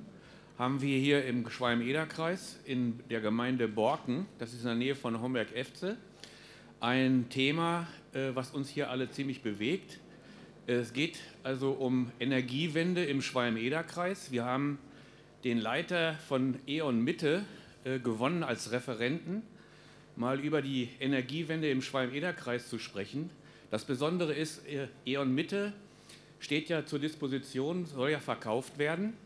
Das, äh, da wurde also schon groß Interesse angemeldet von verschiedenen Städten, vom Landkreis selber, äh, wie sich das also auch auf uns als Bevölkerung auswirken wird, was mit den Netzen passiert, wie es um Arbeitsplätze da geht und natürlich auch um die Preise. Und dazu möchte ich euch ganz herzlich einladen. Vielleicht habt ihr auch mal daran Interesse, das mal zu hören, Äh, wir hatten also vorab ein Gespräch mit dem Leiter, Herrn, Herrn Keil. Äh, E.ON wird ja auch häufig, sagen wir mal so, als Großkonzern ziemlich verteufelt. Ich muss sagen, äh, der hat also eine ganz klare Statistiken mal so gezeigt, wie bei E.ON das alles aufgestellt ist und wie die Verhandlungen da laufen. Und ich denke, da kann man eine ganze Menge lernen, wenn man an dieser Infoveranstaltung teilnimmt. Und deswegen möchte ich euch recht, recht herzlich einladen. Ist also in Borken, da gibt es ein Freilichtmuseum. Borken ist früher mal ein Bergbaustandort gewesen, wo Kohle abgebaut worden ist. Und da gibt es ein Bergbaumuseum Freilicht, im Freilichtgelände. Und äh, die haben eine Halle da und die haben wir angemietet. Und äh, da findet das am Mittwoch um 19 Uhr statt. Danke.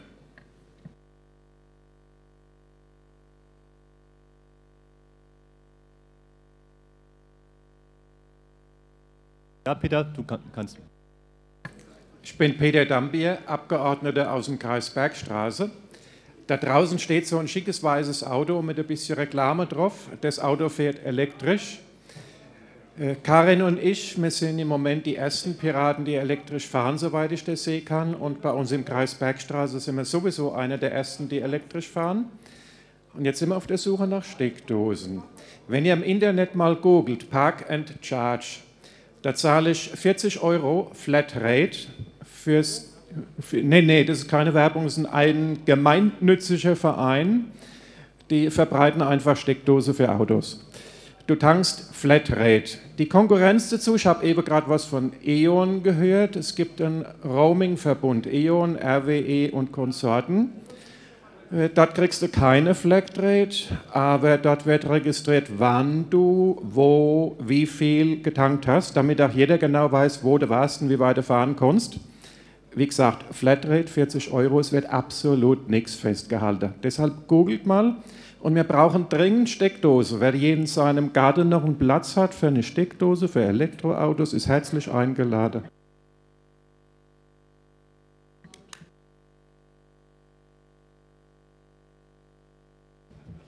Äh, Ayos, was kurzes? Ganz kurz in Ayos und dann machen wir weiter mit dem Ergebnis der Wahl.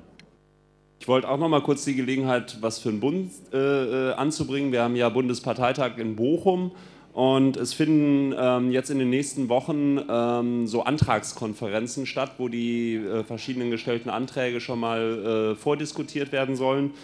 Ich weiß, äh, sind Veranstaltungen in Berlin, in Chemnitz, in Dortmund, in Frankfurt, in Schwerin, glaube ich. Ähm, aber das findet ihr im Detail im Wiki, äh, also wikipiratenpartei.de slash ähm, Antrag Doppelpunkt Konferenzen. Da findet ihr dann auch die, einfachen, äh, die ganzen Konferenzen. Also da, wenn ihr euch da beteiligen wollt, ich glaube, das macht Sinn, so eine Konferenz mal zu besuchen. Danke.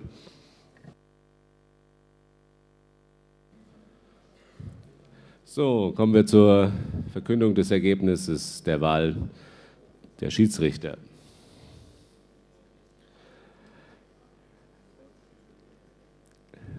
Abgegebene Stimmen 117, gültige Stimmen 115.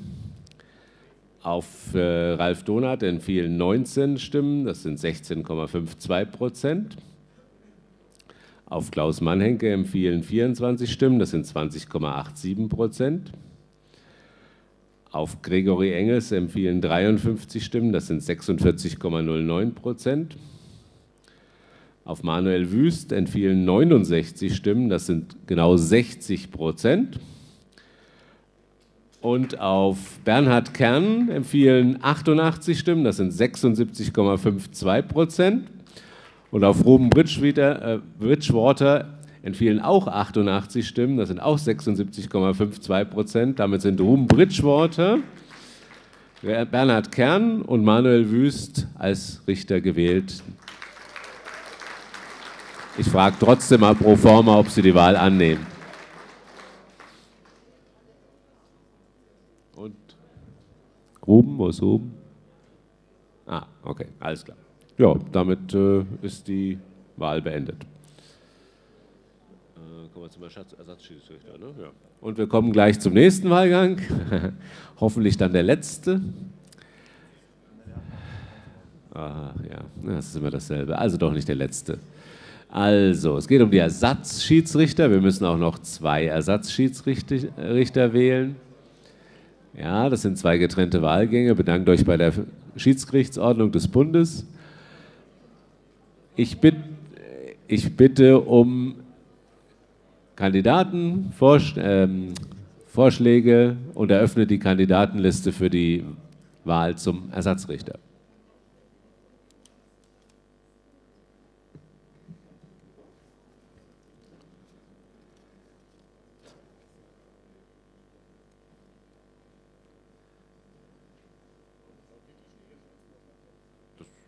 musst du schon bestätigen. Also, dann stell dich kurz vor, deinen Namen nur. Ja, mein Name ist Marcel. Ich habe mich im Wiki eingetragen als Ersatzrichter.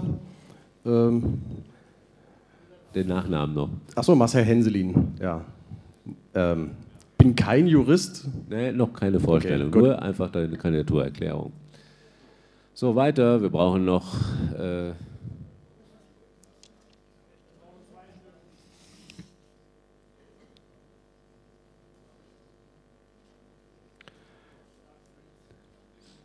Ich äh, interpretiere, dass auch der Klaus Mannhenke auch für den Ersatzschiedsrichter kandidiert hat.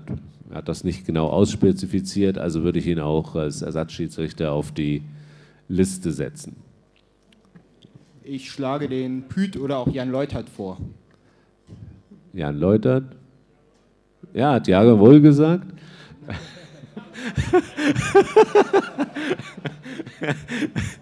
okay, es war am Telefon, aber. Haben wir weitere Vorschläge?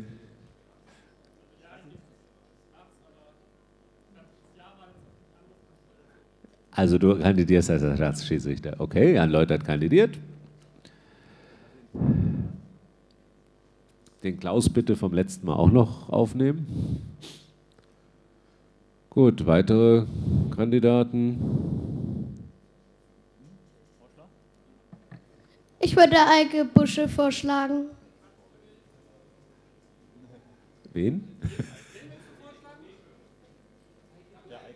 Eike Busche? Du möchtest nicht. Achso, weil es ist, er kann nicht vorschlagen. Wer sagt das? Äh, er ist kein Mitglied der Versammlung. Ach.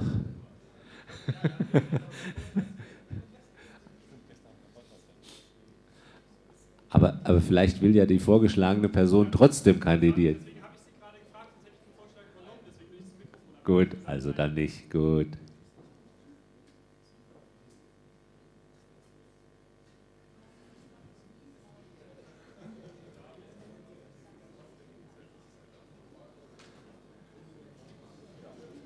Gut, äh, weitere Kandidaten, bevor ich die Kandidatenliste schließe. Wie wäre es mit IC Wiener? Nein, habe ich nicht. Habe ich nicht. Ich habe ich nicht.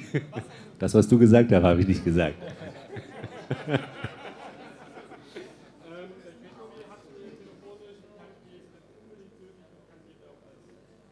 Scheint ja nicht der Fall zu sein.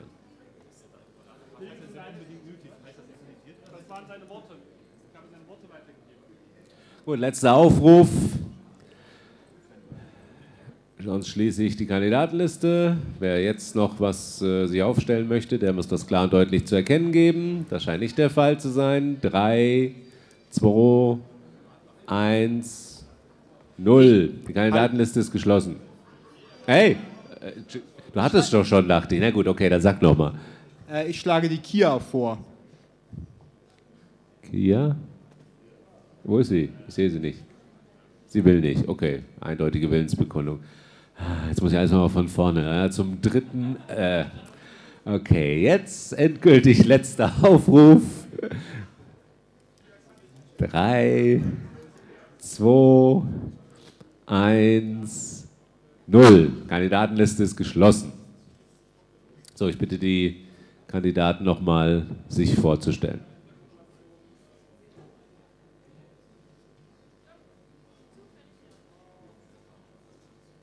Marcel?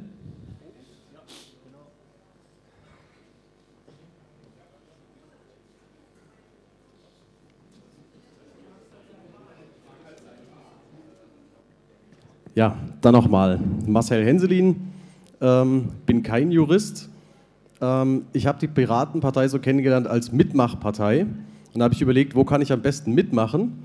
Und ich denke, ich habe ein sehr gutes äh, Rechtsempfinden und komme auch mit Ge Gesetzestexten relativ gut klar. Und deswegen habe ich gedacht, als Ersatzrichter, das wäre was für mich. Und deswegen bin ich hier.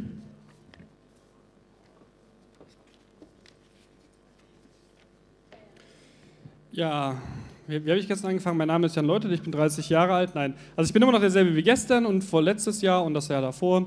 Ich habe jetzt zwei Jahre lang äh, Landesschiedsgericht gemacht als äh, Vorsitzender Richter. Ähm, ja, der Ersatzrichter kommt ja eh nur zum Tragen, wenn einer von den ähm, Schiedsrichtern befangen ist oder aus irgendeinen, irgendwelchen anderen Gründen nicht am Verfahren teilnehmen kann. Das war bisher erst einmal in den zwei Jahren der Fall. Ähm, ich würde mich da zur Verfügung stellen ähm, kann aber dann trotzdem auch noch äh, beratend tätig sein am Schiedsgericht und so weiter. Und ja, wenn ihr Fragen habt, fragt. Leutert. Hallo, Entschuldigung, hallo. Gut. Ich bin der Klaus Mann-Henke, ich bin 46 Jahre alt und bin beim Arbeitsgericht in Gießen ehrenamtlicher Arbeitsrichter sozusagen für die Arbeitnehmerseite und habe von daher ein bisschen Erfahrung von ich sage mal, Recht und Vorgehensweisen und stelle mich deshalb für das Schiedsgericht zur Verfügung. Danke. Alles klar. Dann läuten wir die Fragerunde an die Kandidaten ein. Wer hat eine Frage an die Ersatzschiedsrichter? Kandidaten. Es gibt jetzt die Möglichkeit zu fragen. Hinterher könnt ihr sagen, ihr hättet oder könnt ihr dann nicht sagen, ihr hättet nicht die Möglichkeit gehabt. Aber wenn die Vorstellungen soweit umfangreich und ähm, ergiebig waren, dann schließe ich hiermit auch wieder die Fragerunde. Also wenn jemand noch die Chance nutzen möchte, 3, 2, 1, die Fragerunde ist geschlossen und wir machen weiter mit dem Wahlgang und dem Ernst. Aha. Das habe ich gehört. So, ihr kennt ja inzwischen das Prozedere, auch wenn es erstaunlicherweise immer noch bei jedem Wahlgang mindestens zwei Personen schaffen, falsch abzustimmen.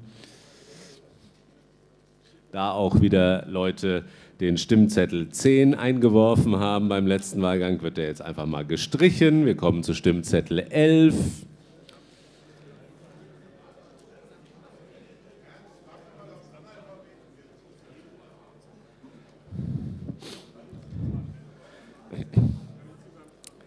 Das hat mit Analphabetismus nichts zu tun. Das hat was mit Verständnis zu tun. Ja, die Namen bitte nochmal einblenden. Also Stimmzettel 11. Ich bitte darum, die Wahlhelfer sich wieder an die Wahlurnen zu begeben. Wenn Wahlurnen fehlen, dann bitte nochmal schauen, wo die abgeblieben sind.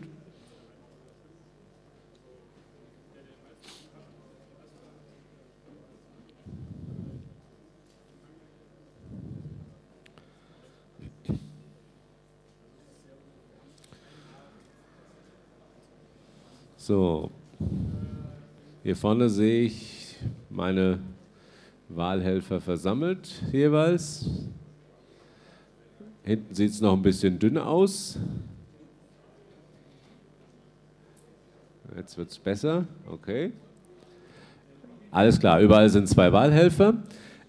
Äh, ich bitte das entsprechende Streaming und so Sachen zu beachten, was da wie üblich eingeschaltet oder nicht eingeschaltet wird. Ich bitte die Wahlhelfer, die Wahlurnen vorzuzeigen, dass sie leer sind. Gut, dann bitte ich euch, die Wahlurnen wieder zu schließen. Und eröffne den Wahlgang. Können wir wieder gehen? Wir können wieder gehen. Gott sei Dank.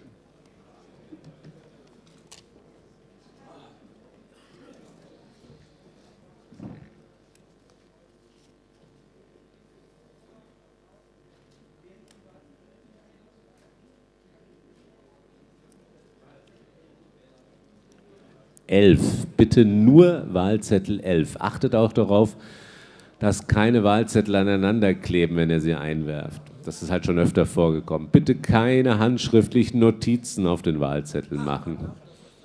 Ja, auch du, Jürgen. Und Musik, wo ist die Musik?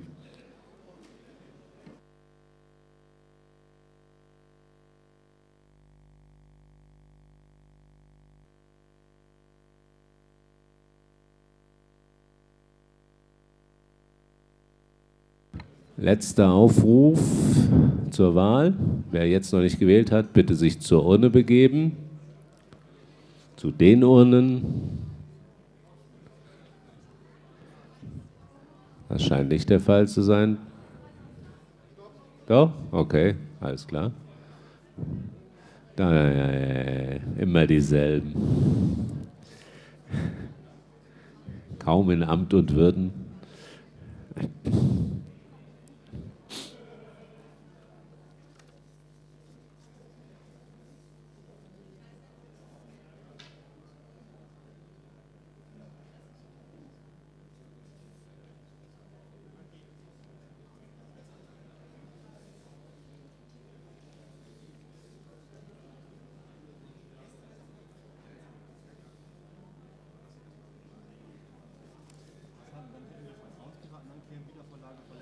So, letzter Aufruf.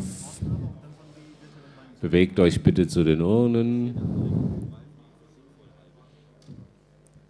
Drei, zwei, eins, null. Wahlgang ist geschlossen.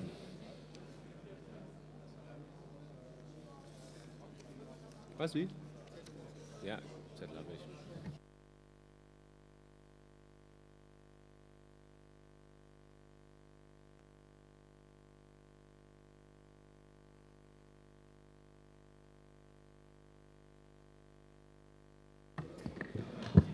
Moin zusammen. Eine Frage, ist jemand vielleicht auf dem Weg nach Hanau, wenn der Landesparteitag zurück ist, äh, vorbei ist? Ja? Mit Auto und...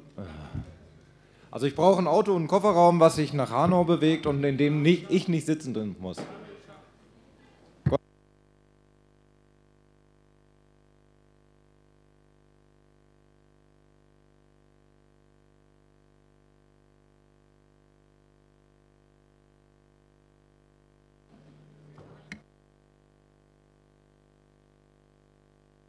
Gut, wir haben jetzt noch zwei Tagesordnungspunkte im Bereich Wahlen. Das ist die Wahl der Vertrauenspiraten und das ist die Vertretung Hessens im Bundesfinanzrat.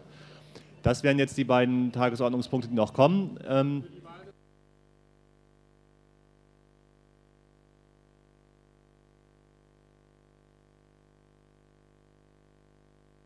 An der Stelle übergebe ich die Versammlungsleitung jetzt nochmal an den Jan.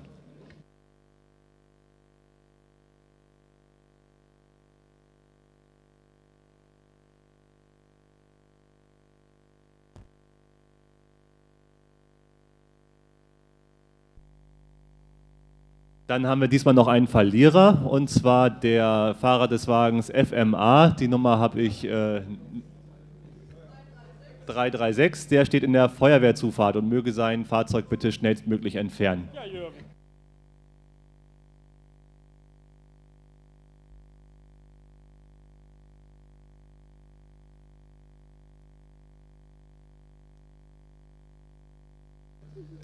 Ich sitze vor einem MacBook.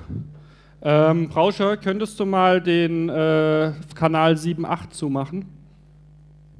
Danke. Man weiß halt, wo das Brummen herkommt. So, wir kommen zu, ich rufe den Tagesordnungspunkt Wahl der Vertrauenspiraten an auf. Da gibt es einen Antrag.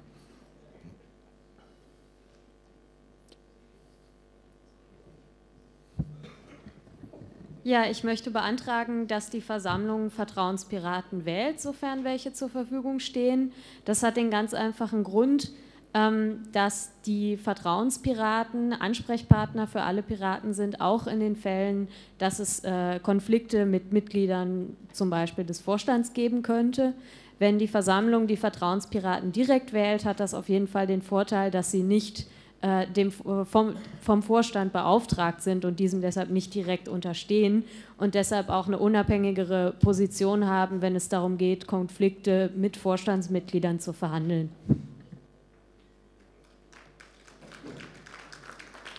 Gut, das ist ein sonstiger Antrag zu diesem Tagesordnungspunkt. Gibt es zu diesem sonstigen Antrag Redebeiträge?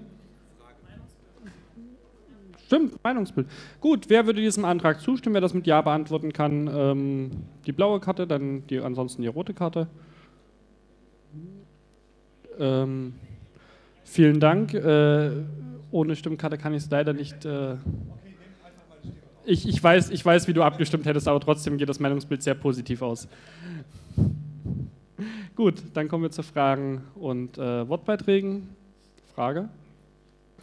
Äh, einfache Verständnisfrage, wenn ich das richtig verstanden habe, dann haben, hat der Vorstand ja auf der letzten Vorstandssitzung zwei Vertrauenspiraten bestimmt. Das heißt, also wenn ich den Antrag jetzt richtig verstehe, dann geht es darum, dass die beiden jetzt keine Vertrauenspiraten mehr sind, sondern dass Vertrauenspiraten generell vom LPT gewählt werden und wir die jetzt neu wählen. Habe ich das richtig verstanden? Julia zur Beantwortung.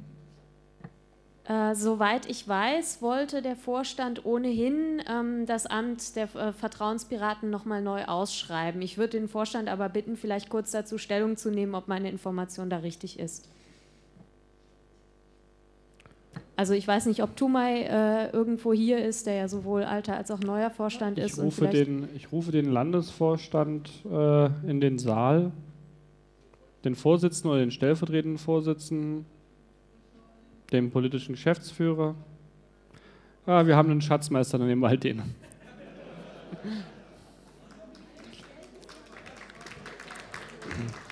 Lothar, ich möchte dich aber persönlich bitten, das jetzt nicht der Vertrauensperson, äh, die, die Kosten dafür aufzurechnen. Nein, bitte einmal kurz dazu Stellung nehmen. Ach, Thomas ist auch da. Eventuell kann mich Thomas dann korrigieren, aber äh, es ist, äh, war geplant, dass wir Vertrauensberaten erstmal ausschreiben, aber dass damit äh, die Anzahl Vertrauensberaten nicht festgelegt ist, sondern dass äh, wir eigentlich froh sind, wenn es eine möglichst große Gruppe ist. Und es sollte auch die Option geben, dass der Landesparteitag auch welche wählt, weil das ja äh, Vertrauensberaten benötigen ja erstmal Vertrauen der Mitglieder. Thomas? Ich muss gestehen, ich habe die Frage nicht mitbekommen. Ähm, ob der Landesvorstand äh, den Posten des äh, Vertrauensberatens erneut ausschreiben möchte. Also nochmal eine Ausschreibung für Vertrauenspersonen, äh, für Piraten. Bitte? Ähm, ich also bitte, ich würde alle ganz kurz, äh, Tumay, äh, ich nehme dir kurz das Wort weg. Ich bitte die äh, Fragestellerin dann nochmal die Frage explizit zu stellen. Also um meinen Antrag zu konkretisieren, ich möchte mit der Wahl der Vertrauenspiraten auf dem Landesparteitag nicht die vom Vorstand benannten Vertrauenspiraten ersetzen, sondern zusätzliche wählen lassen. Ähm, also grundsätzlich bin ich absolut dafür, und das haben wir ja, wie der Lothar gesagt hatte, ähm, mit der Ausschreibung der Vertrauenspiraten gesagt, das ist kein äh, einmaliger Vorgang, sondern wir wollten das durchaus auch weiter ähm, fortführen. Und ähm, ich habe allerdings ein Problem, wenn wir jetzt hier anfangen, Vertrauenspiraten auf dem LPT zu wählen, weil wir hatten in dem Rahmen der Ausschreibung, die wir gehabt hatten, klare Anforderungsprofile gehabt. Wir haben äh, Interviews geführt persönlich. Wir haben uns dann auch im Rahmen der äh, Vorstandssitzung offen äh, diskutiert und ausgetauscht.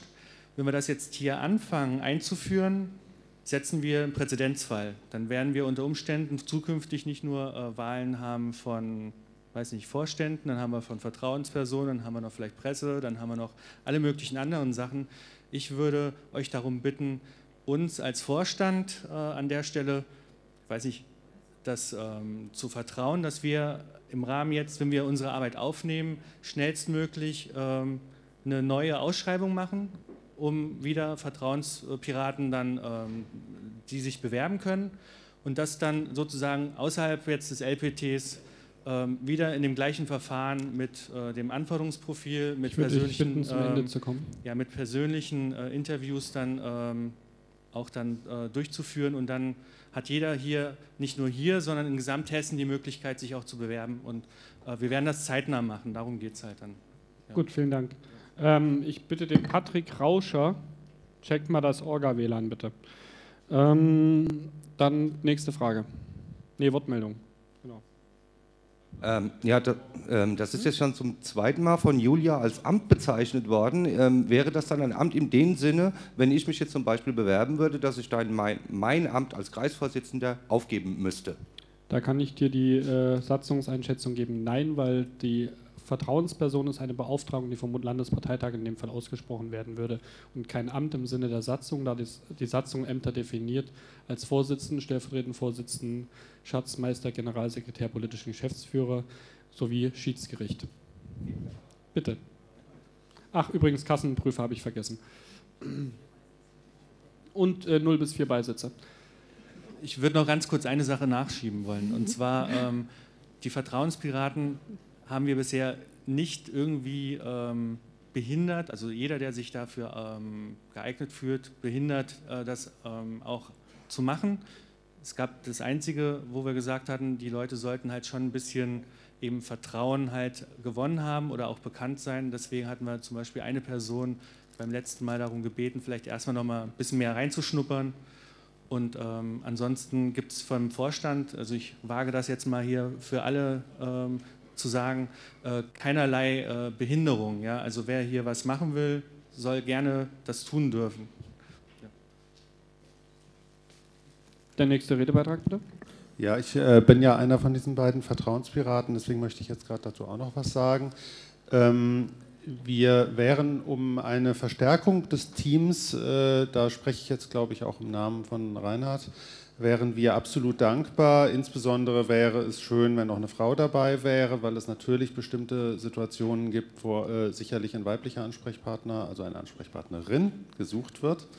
Ähm, aber auch sonst hat eine Vergrößerung des Teams natürlich äh, erkennbare Vorteile. Äh, es gibt für Leute, die jemanden ansprechen möchten äh, und Sie finden jetzt nur einen Vertrauenspiraten vor, den Sie, mit dem Sie persönlich nicht können und der andere sitzt bei Ihnen äh, am Stammtisch, gibt es vielleicht ein situatives Problem und so. Insofern wäre statt zwei irgendwie mindestens mal so drei, vier, fünf zu haben, auf jeden Fall wünschenswert. Ich halte allerdings den Landesparteitag dafür, ehrlich gesagt, für vollkommen ungeeignet, weil hier können sich Leute für wenige Minuten vorstellen und die haben jeweils einen Kreis, der sie kennt. Dieser Kreis von Leuten kann die Person gut beurteilen und wird ihr vielleicht eben Vertrauen schenken, weil sie äh, dort gut bekannt ist. Aber dem Großteil der Leuten wird diese Person nicht über einen Eindruck von Integrität oder sowas äh, ähm, bekannt sein, sondern nur über eine wenige Minuten dauernde Rede. Das ist viel weniger, als jetzt bei den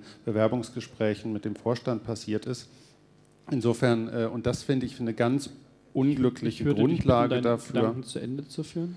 Das empfinde ich als eine ganz unglückliche Grundlage dafür, letztlich eine Vertrauensansprechperson zu sein. Insofern äh, bitte ich, diesen Antrag zumindest abzulehnen und äh, ja.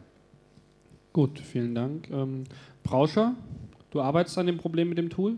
Danke. Dann nächster Wortbeitrag. Ja, ich halte den Landesparteitag für sehr geeignet, über Vertrauenspersonen abzustimmen. Denn ähm, auch wenn es kein Amt ist, sondern nur eine Beauftragung, ähm, letzten Endes haben wir gehört, es geht auch darum, im Zweifelsfall Konflikte mit Mitgliedern und dem Vorstand zu lösen. Und von daher ist das für mich so etwas Ähnliches wie eine Kassenprüfung. Ich vertraue dem Vorstand, aber die Kassenprüfung beauftragt trotzdem nicht der Vorstand, sondern das macht der Landesparteitag. Also von daher fände ich ein unabhängiges Gremium dass diese Vertrauenspersonen wählt, fände ich besser. Vielen Dank. Der nächste Redebeitrag bitte. Ich würde gerne die Christiane Busche vorschlagen. Ich weiß, dass sie beruflich äh, damit zu tun hat und dass sie von der Ausbildung her geeignet ist und auch menschlich geeignet wäre aus meiner Sicht. Also ich schlage sie vor. Möchte übrigens die Redebeiträge darauf hinweisen, dass wir gerade zum Antrag sprechen und nicht zu Vorschlägen. Der nächste bitte. Ich wüsste gerne, ob das zutrifft, was die, ähm, danke, ob, äh, was die Julia gesagt hat, dass sich die Vertrauenspiraten an den Vorstand gebunden fühlen. Weil wenn das nicht so wäre, wäre Ihr Antrag eigentlich hinfällig, finde ich. Gut, ähm, sind die äh, Christian als eine der Vertrauenspersonen? Ähm, kannst du die Frage beantworten für dich? Ob du dich an den Vorstand gebunden fühlst? Nein, also ich fühle mich keineswegs an den Vorstand gebunden. Ähm, ich ähm, muss übrigens auch eine Verschwiegenheitserklärung unterzeichnen in dieser Beauftragung, die natürlich, also was jetzt Namen von Beteiligten oder erkennbare Merkmale von Beteiligten betrifft, genauso gegenüber dem Vorstand gilt. Gut, vielen Dank. Nächste Frage. Ähm, ich wollte jetzt auch noch mal fragen, was ist denn jetzt, was sind die konkreten Aufgaben von so einem Vertrauenspiraten dem Vorstand gegenüber und was wäre eine konkrete Situation, wo es, ähm, ich sag mal, ausgenutzt werden könnte von irgendeinem Vorstandsmitglied, jetzt einen bestimmten Vertrauenspiraten zu wählen, weil ich kann mir im Moment keine solche Situation wirklich vorstellen. An wen richtet sich deine Frage? An den Antragsteller. Die äh, Vertrauenspiraten äh, sind Ansprechpartner oder Ansprechpartnerinnen in Fällen von Konflikten innerhalb des Landesverbands. Ähm, sie können zum Beispiel eine, eine äh, Vermittlung anstreben. Wie gesagt, sie sind äh, der Verschwiegenheit verpflichtet. Ich ähm, möchte nochmal deutlich machen, weil das jetzt häufiger gekommen ist, dass ich äh, diesen Antrag nicht stelle, weil ich dem Vorstand in irgendeiner Form misstraue.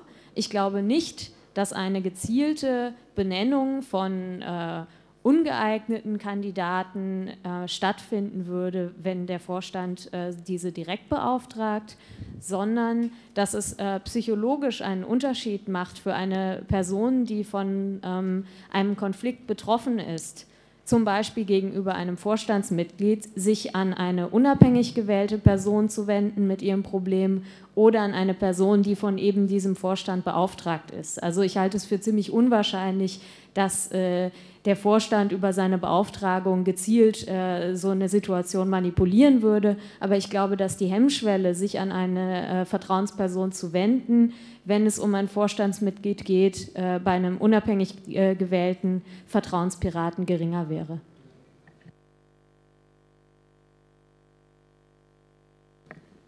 Ja, ich finde es ein bisschen umständlich, ähm, ja, ein bisschen merkwürdig, jemanden wählen zu wollen, den man dann vertrauen soll also für mich macht das irgendwie keinen großen Sinn. Also ich glaube auch nicht, dass der Vorstand so drauf ist, wir bestimmen jemanden, dem ihr jetzt vertrauen sollt, sondern da melden sich Leute, die sagen, okay, ich bin vertrauenswürdig, schätzt du das ähnlich ein?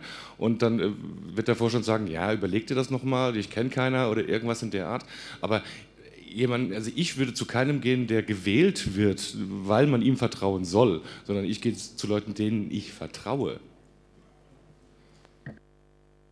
Gut, vielen Dank. Ähm, wenn ich bei dir ein Ad machen will, dann schließt sich der Browser. Nee, ich habe die Frage, wenn ich, ich, ich, muss ein Ad, ich muss ein Ad machen, wie geht denn das? Ja, okay. Apfel L? Okay, danke. Ähm, dann bitte dran.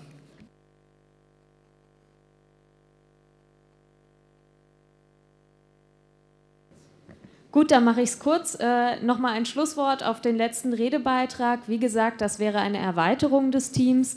Eine Mehrheit äh, wäre natürlich erforderlich. Das heißt, zumindest eine Mehrheit der Piraten, die hier anwesend sind, würde dieser Person vertrauen. Aber natürlich stünde es dir weiterhin frei, dich an einen der beauftragten Vertrauenspiraten zu wenden, wenn du das möchtest. Das würde nur den Mitgliedern mehr Möglichkeiten eröffnen.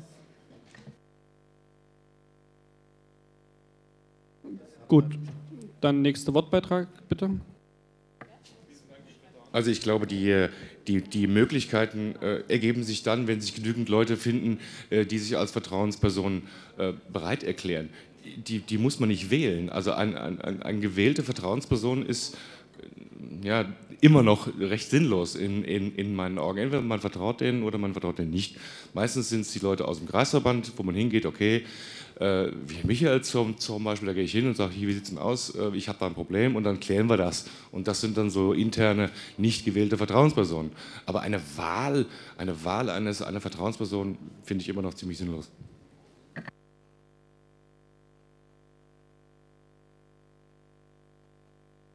bitte. Ich weiß, dass ich ein ziemlich breites Kreuz habe und im Prinzip keinen Vertrauenspirat gegenüber dem Vorstand brauche. Aber ich weiß, dass es auch andere Leute gibt. Und jetzt kommt mein Problem mit diesen Vertrauenspiraten. Was ist genau dieses Problem, wenn ich als Betroffener, der sich alleine nicht traut, niemand hat, dem ich von diesen Vertrauenspiraten, die ich nicht vertrauen kann eigentlich. Warum besteht da nicht die Gefahr, dass jemand, dem ich vertraue, der das auch machen würde, es dann nicht machen darf, weil er ja kein beauftragter Vertrauenspirat ist? Kann nicht jeder von uns der Pirat eines anderen Vertrauens sein, der sich entsprechend auch beim Vorstand gegenüber den Betroffenen einsetzt. Die Frage ist, brauchen wir denn wirklich exponierte Leute, die sowas machen? Und resultiert daraus nicht die Gefahr, dass der Vorstand dann andere Leute einfach ablehnt? Die Frage sollte sich jeder mal vergegenwärtigen und für sich selber beantworten. Danke. Gut, vielen Dank. Ähm, du willst jetzt von dem Recht, du willst jetzt, ja, du möchtest von dem Recht Gebrauch nehmen, dich zu Wort zu melden, ja? Äh, da in diesem Wortbeitrag ja eine Frage versteckt war, ähm, was ist der Unterschied äh, zwischen ich wende mich eine, an eine mir befreundete Person und ich wende mich an einen Vertrauenspiraten. Also es wurde gerade zum Beispiel schon erwähnt, die, die Verschwiegenheitserklärung, die unterschrieben wird.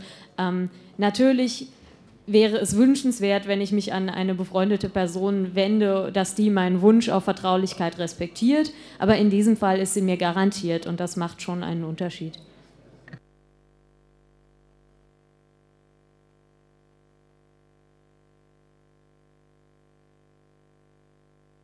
Gut, bitte.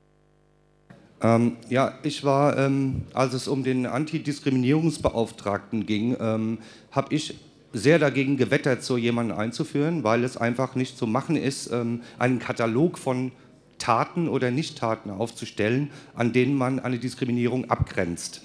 Ähm, bei den Vertrauenspiraten, mit denen bin ich eigentlich sehr einverstanden. Allerdings möchte ich hier mal zu bedenken geben, dass ich von einem Piraten erwarte, dass er für seinen nächsten Piraten und nicht nur für den ein Vertrauenspirat ist. Wir haben also in Hessen 2060 Vertrauenspiraten, wenn es nach mir ginge. Danke.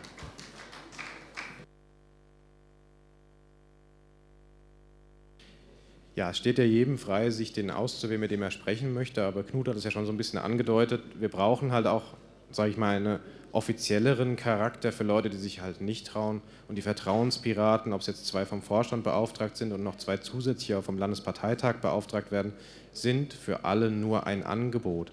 Wer es wahrnehmen möchte, darf es gerne wahrnehmen, kann sich vertrauensvoll an ihn, sie wenden, weil sie zur Verschwiegenheit verpflichtet sind. Es hat etwas offiziellen Charakter, gerade wenn es um zwischenmenschliche Konflikte und so weiter geht.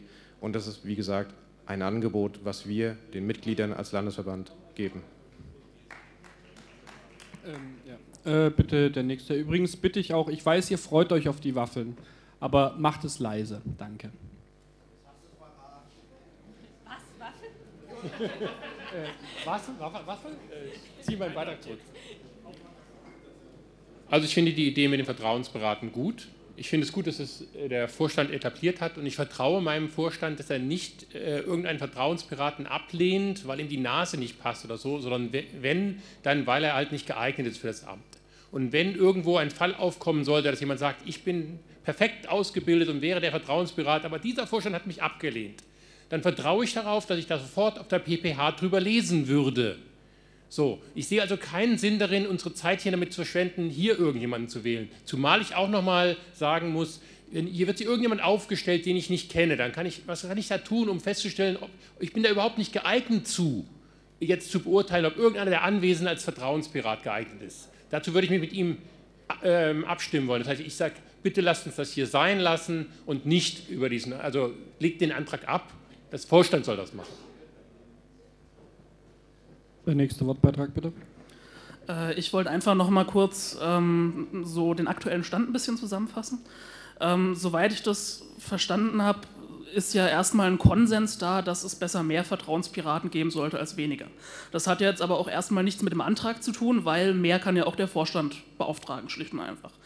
Ähm, dann ist ja scheinbar die Intention von dem Antrag, dass ähm, der, der Vorstand einfach unabhängiger ist darin, ähm, zu so einem Vertrauenspiraten hinzugehen. Und wir haben ja eben schon von den Vertrauenspiraten gehört, dass die jeder eine Verschwiegenheitserklärung unterschreiben mussten, wenn ich das richtig verstanden habe. Das heißt, es gibt ja schon mal zumindest einen Versuch, dem Vorstand diese, diese Hürde irgendwo zu nehmen. Ähm, das heißt, für den Antrag spricht, dass diese Hürde vielleicht noch ein bisschen gesenkt wird, Vorstandsmitgliedern gegenüber. Und gegen den Antrag spricht meiner Meinung nach, dass es halt wieder unheimlich viel Zeit auf Landesparteitagen kostet. Wenn wir schlicht und einfach mal wieder zählen, wie lange wir jetzt schon wieder hier drüber diskutieren, es kostet halt einfach Zeit. Und wir haben ja jetzt auch schon unheimlich viele Ämter gewählt. Ich denke, ihr könnt es alle nachvollziehen. Und im Moment, also zwischen diesen beiden Sachen müssen wir, denke ich, einfach abwiegen. Wollen wir diese Zeit auf den LPTs, wollen wir die opfern? Dafür, dass der ähm, Vorstand vielleicht einfach eine niedrigere Hürde hat, zu diesen Vertrauenspiraten hinzugehen. Und Bitte dich zum Ende zu kommen. Ja, Dankeschön. Danke. Christian? Ähm, also die Zeit, finde ich, sollte man sich jetzt auch an so einer Stelle schon nehmen. Wir haben genug äh, auch ein verdammt nochmal soziale Probleme im alltäglichen Umgang miteinander in, im Landesverband, als dass eine Vertraueninstanz durchaus mal ein paar Minuten Aufmerksamkeit ziehen darf. Und die Frage, wie die Mitgliedschaft dazu steht. Ähm, ich habe übrigens, äh, als äh, Tumai vorhin nicht wusste, zu welcher Frage er hier Stellung nehmen soll, dann deswegen, weil ich mit Tumai gerade draußen war und wir haben darüber gesprochen, dass jetzt irgendwie eine neue Beauftragungsrunde äh, rausgegeben werden soll. Ich wollte noch eine Sache zu etwas sagen, was Knut gesagt hat, nämlich, ähm, dass er erwartet, dass der Vertrauenspirat neutral sein muss, damit er sich auch beim Vorstand für eine Person einsetzen kann. Nein, das ist überhaupt kein bisschen die Aufgabe des Vertrauenspiratens, sich beim Vorstand für jemanden einzusetzen. Der Vertrauenspirat ist ein Ansprechpartner, dessen Funktion zunächst mal nur zwischen dem, der ihn anspricht, und dem Vertrauenspiraten besteht. Wenn ich zum Vorstand gehe und mich für jemanden einsetze, das kann ich unter Umständen tun, aber dann muss derjenige mich zum Beispiel erstmal von meiner Verschwiegenheitserklärung entbinden. Solange er das nicht tut, werde ich mich für gar nichts einsetzen. Und das genau ist eine wesentliche Qualität des Vertrauenspiraten, dass er weiß, das bleibt jetzt erstmal hier in diesem Gesprächskreis. Gut, vielen Dank. Ähm, damit, das war der 15. Redner, damit wird die Rednerliste geschlossen. Wer jetzt auf die Rednerliste möchte, möge sich bitte jetzt erkennbar Richtung Mikrofon bewegen. Das ist nicht der Fall. 3, 2, 1, 0 und damit endet die Rednerliste hinter Bernd. Und deine 15 laufen eh wieder von vorne. Ja, okay. ähm, wir haben hier natürlich einen gewissen Widerspruch. Äh, wir sind beauftragt zum Vertrauen. Vertrauen ist natürlich was, was nicht irgendwie institutionell beauftragt werden kann. Das sehe ich auch so. Warum mache ich das trotzdem? Ähm, ich finde Konflikte und Auseinandersetzungen wichtig äh, oder sagen wir Konflikte dann wichtig, wenn sie zu einer Auseinandersetzung führen und man sich in dieser Auseinandersetzung auch wieder zusammensetzt. Ähm, was ich aber oder was ich erlebe, ist, dass sehr viele Konflikte auf eine persönliche Ebene ähm, kommen und auf dieser persönlichen Ebene dann überhaupt nicht mehr produktiv sind, sondern letzten Endes schaden und zwar den Personen, die daran beteiligt sind und letzten Endes der ganzen Sache. Und das ist der Grund, warum ich mich dann institutionalisiert einfach bereit erkläre und ich, wie das die Vorredner gesagt haben, das ist ein Angebot, ähm, ein Angebot, das man wahrnehmen kann. Man muss es aber nicht, denn Vertrauen ist, wie gesagt, nicht institutionalisierbar. Und jeder der Piraten ist Vertrauenspirat. Das sehe ich auch so, wenn er in Anspruch genommen wird. Bei meinem Angebot ist es einfach, dass bestimmte Rahmenbedingungen dazu erfüllt sind, wie zum Beispiel ähm, Vertrauenserklärung und ähm, ja auch eine gewisse Professionalität, weil ich eben eine Ausbildung in dem Bereich habe. Aber grundsätzlich ist natürlich jeder befähigt, Vertrauensberat zu sein, wenn er in Anspruch genommen wird. Gut, vielen Dank. Ich möchte noch einmal um Ruhe bitten und äh, der nächste Redner. Das erinnert mich so ein bisschen an den Klassensprecher in der Schule. Es gab zwei Möglichkeiten. Entweder der Lehrer hat gesagt, Christiane wird jetzt Klassensprecherin oder die Schüler haben den gewählt und das war meistens nicht der Beste in der Schule, sondern der, der am lautesten sein Maul aufgerissen hat. Punkt 1. Punkt 2 ist, ein Vertrauenspirat ist da für jemanden, glaube ich, der sich vielleicht auf einer gewissen Ebene, wenn er auch angegangen wird, persönlich nicht selbst wehren kann oder möchte Ich habe jetzt kein Problem damit, ich werde keinen Vertrauenspiraten brauchen, weil ich kann sagen, hör mal, du gehst mir gerade auf den, möchte ich jetzt nicht sagen, und kann das Thema selbst klären. Aber ich bin mir sicher, in der Vielfalt der Piratenpartei gibt es eben einige, die in mancher Situation einen Vertrauenspiraten gerne hätten. Und zwar den, den sie gewählt haben und nicht den, der der Vorstand vor die Nase setzt. Und dann, gut, Bernhard zieht zurück und dann Julia zum Abschluss.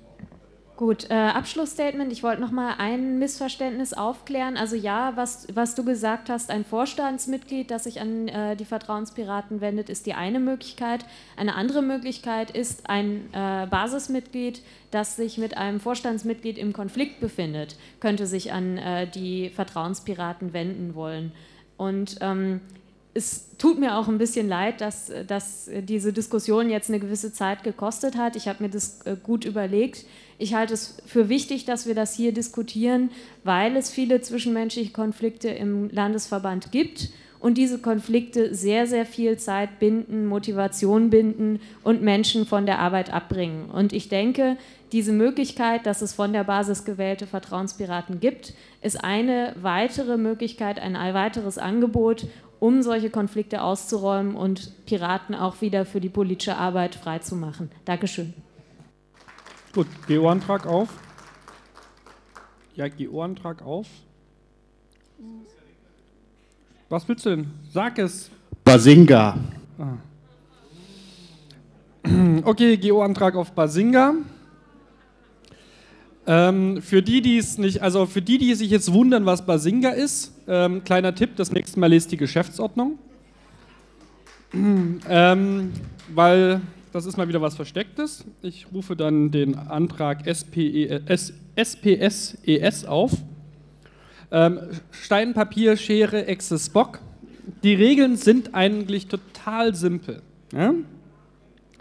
Wer es nicht kennt, jetzt funktioniert das schon wieder nicht. Na, jetzt. Ähm, die Regeln sind total simpel.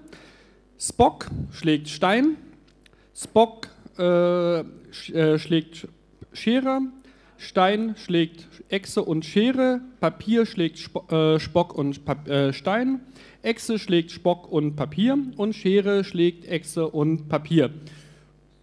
Habt ihr das soweit verstanden? Dann bitte jetzt mit eurem Tischnachbarn eine Runde Spock, Echse, Stein, Papier, Schere spielen. Spock, Echse, Schere, Stein, Papier. Ach so. Ja, ja, du rufst sie alle an. Eins, zwei, drei. Eins, zwei, drei. Also das, eins, zwei, drei. Echse. Ja. Ha, gewonnen. So. Wer hat bei euch gewonnen? Alle mal die Hand heben, die gewonnen haben. Gut. Alle, die die Hand heben, die es verstanden haben.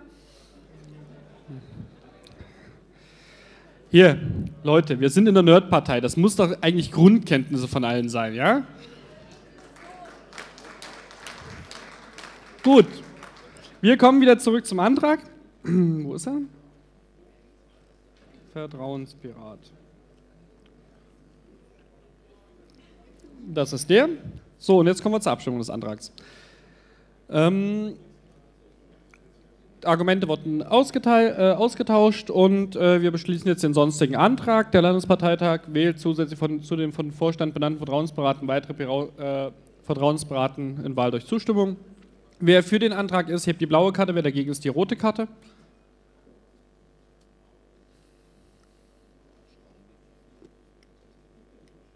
Mhm, aber wird angenommen. Wird angenommen. Mhm. Und ich gebe an den Wahlleiter zum Essen des Kekses und zur Verkündung der Ergebnisse. Genau. Nicht die Ergebnisse zur Wahl des Vertrauensberaten. Die haben wir ja noch nicht.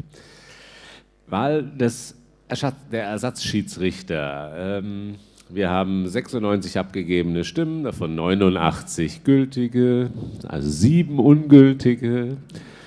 Es fehlen eigentlich nur noch Blü fehlen eigentlich nur noch Blümchen auf den Wahlzetteln, dann haben wir eigentlich schon alles gehabt. Äh, ja, die Option 1, Marcel Henselin hat 56 Stimmen bekommen, das sind 62,92 Prozent. Die Option 2 Jan Leutert hat 59 Stimmen bekommen, das sind 66,29 Prozent. Und Klaus Mannhenk in Abwesenheit hat 60 Stimmen bekommen, das sind 67,42 Prozent. Das heißt, Jan Leutert und Klaus Mannhenke sind Ersatzschiedsrichter. Jan, nimmst du an? Ja. Der Klaus hat beschriftet. Ist da? Äh, klar. Äh, Entschuldigung, also, äh, ach, da bist, ist er später dazugekommen, das hatte ich dann gar nicht mitbekommen, alles klar. Gut. Ähm, ja, dann nimmst du auch an, gehe ich mal davon aus. Gut. so, damit ist äh, die Wahl beendet. Gut, dann machen wir weiter mit der Wahl der Vertrauenspiraten. Ähm, gibt es Kandidaten zur Wahl äh, zu den Vertrauenspiraten? Sebusch? Was? Wer? Kevin Kulina? Der hebt den Zeigefinger und sagt Nein. Kia? Dann komm hoch. Äh, Bernd, du auch? Wer noch? Äh, tut mir leid, der Namen kenne ich nicht. Christiane Denfeld? Busche. Dann bitte auch hoch. Ähm, noch weitere Kandidaten oder Vorschläge? Christian, der ist, jetzt, der ist ja schon vom Vorstand benannt. Das geht ja zusätzlich zu den vom Vorstand benannten. Gibt es weitere Vorschläge oder Kandidaten? Das Bastian Zapf. Dann komm hoch. Stefan Schimanowski.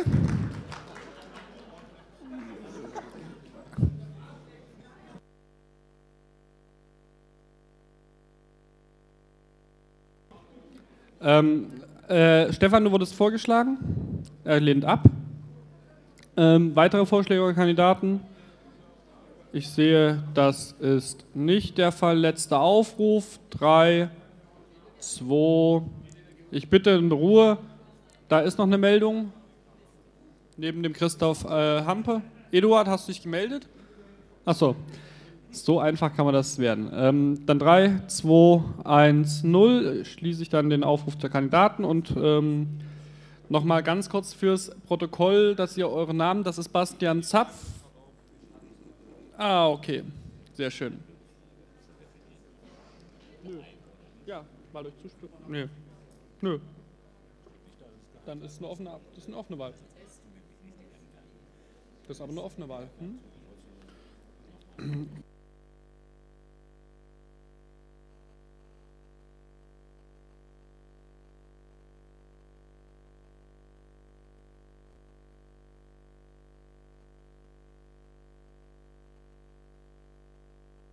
Ähm, und dann gibt es noch den Kandidaten Boris Behnke, der hat bereits vor dem sonstigen Antrag mir telefonisch die Kandidatur erklärt.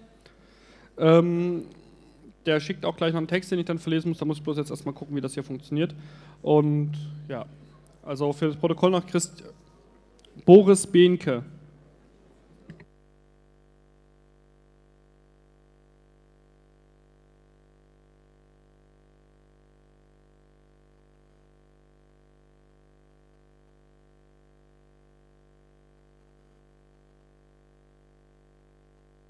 Sind wir soweit? Gut, Bastian da fehlt noch. Kia fehlt da noch?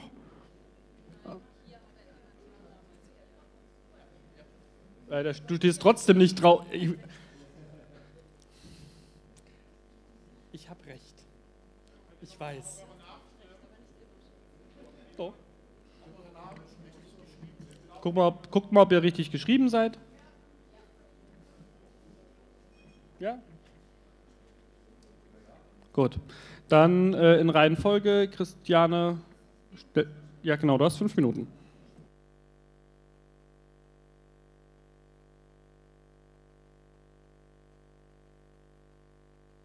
Ja, guten Tag, Piraten. Mein Name ist Christiane Denfeld-Busche.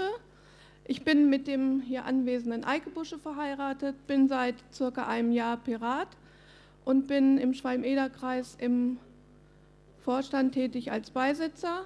Und ich finde es ganz wichtig, dass eine Frau eine dieser Funktionen übernimmt, weil ich denke mal, einige von immer wiederkehrenden Problemen, die so diskutiert werden müssen, sollten auch von weiblicher Seite mitdiskutiert werden können und mitberaten können. Ich bin von Beruf her Sozialarbeiterin und bin auch ausgebildete Mediatorin, von daher weiß ich, um was es geht. Und ich denke, ein Stück Professionalität gehört auch dazu, Konflikte zu bearbeiten und zu lösen. Ähm ja, meine Intention, auch hier in diesem Rahmen mitzuarbeiten, ist auch immer wieder die Außendarstellung von Piraten. Und manchmal ist es doch wichtig, auch ganz äh, wichtige Situationen nicht öffentlich zu diskutieren, sondern in der Verschwiegenheit zu bearbeiten, weil letztendlich äh, häufige Auseinandersetzungen nicht nur der Person oder den Personen nicht gut tun, sondern auch letztendlich unserer gesamten Partei. Ja, Dankeschön. Vielen Dank. Ich bitte. Ach so, da sitzt du ja. Darf ich? Äh, ja, du darfst dich vorstellen. Okay, ähm, ich bin Bernd Fahringer. Es kam ja vorhin schon durch, dass ich ähm, der Vorsitzende des äh, Kreisverbands Wiesbaden bin. Ähm, ich habe keinerlei Hintergrund, wie ähm, sie jetzt gerade gesagt hat, also weder mediatorischen noch sonst irgendeinen Hintergrund, aber ähm, ähm, ich habe halt das, einfach das gute Gefühl, dass man mir einfach vertrauen kann das von vornherein schon mal und dass man das auch tut, das sehe ich in meinem Kreisverband ganz klar. Ähm, meine Aufgabe wäre in erster Linie, ähm, ähm, Piraten, die sich ähm, angegriffen fühlen und dadurch eine persönliche ähm, Schwäche offenbaren, will ich, ich sage das jetzt mal einfach so platt daher, ähm, dahin zu führen, dass sie ein eigenes Rückgrat entwickeln. Ja? Es soll also jeder möglichst sich selbst verteidigen können. Meine, meine ähm, Hauptagenda wäre also die Anleitung zur Selbstverteidigung. Dankeschön. Ich bitte bitte um Ruhe während der Kandidatenvorstellung. Bitte?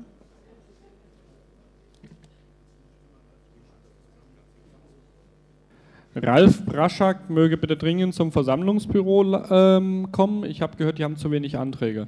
Nein, Ralf Braschak bitte dringend zum Versammlungsbüro. ähm, des Weiteren kommen wir als nächstes zur Vorstellung von Boris Behnke. Ich gebe, habe eine E-Mail erhalten, wo die Vorstellung an Volker Perkut ähm, Haut äh, übertragen wird und bitte Volker. Ja, hallo Boris im Stream. Ähm, ich übernehme das natürlich gerne, dich kurz vorzustellen. Und zwar ist der Boris im Kreisverband Kassel aktiv, der kommt aus Kaufung. Ähm, ja, ist, ist regelmäßig äh, auf Treffen, hat da äh, verschiedene Aufgaben übernommen, Vorbereitungen von Versammlungen und von, von Aktionen. Ähm, steht da auch immer für persönliche Gespräche zur Verfügung. Ähm, ansonsten ähm, weiß ich jetzt nicht ganz viel über ähm, die ähm, Ideen zur, zur, Kandidatur. Deswegen äh, würde ich das vielleicht einfach dabei belassen.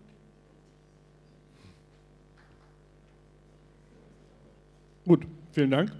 Dann ist jetzt als nächstes die Anne dran. Püt will mich ärgern. Ja. Äh, mein Name ist zwar Anne Peffeköver, aber bitte nennt mich Kia. Ich mag meinen Namen nicht besonders. Ähm, ich komme aus dem KV Frankfurt. Ich habe kein Amt, ich strebe kein Mandat an, bin aber Fraktionsgeschäftsführerin bei den Elf Piraten der Fraktion in Frankfurter Römer. Ähm, ich habe das Ganze hier angeleiert und es tut mir ein bisschen leid, dass dabei jetzt so viel Zeit drauf gegangen ist, aber ich fand das wichtig. Ähm, ich finde es auch schön, dass ihr euch dafür entschieden habt, das vom LPT wählen zu lassen.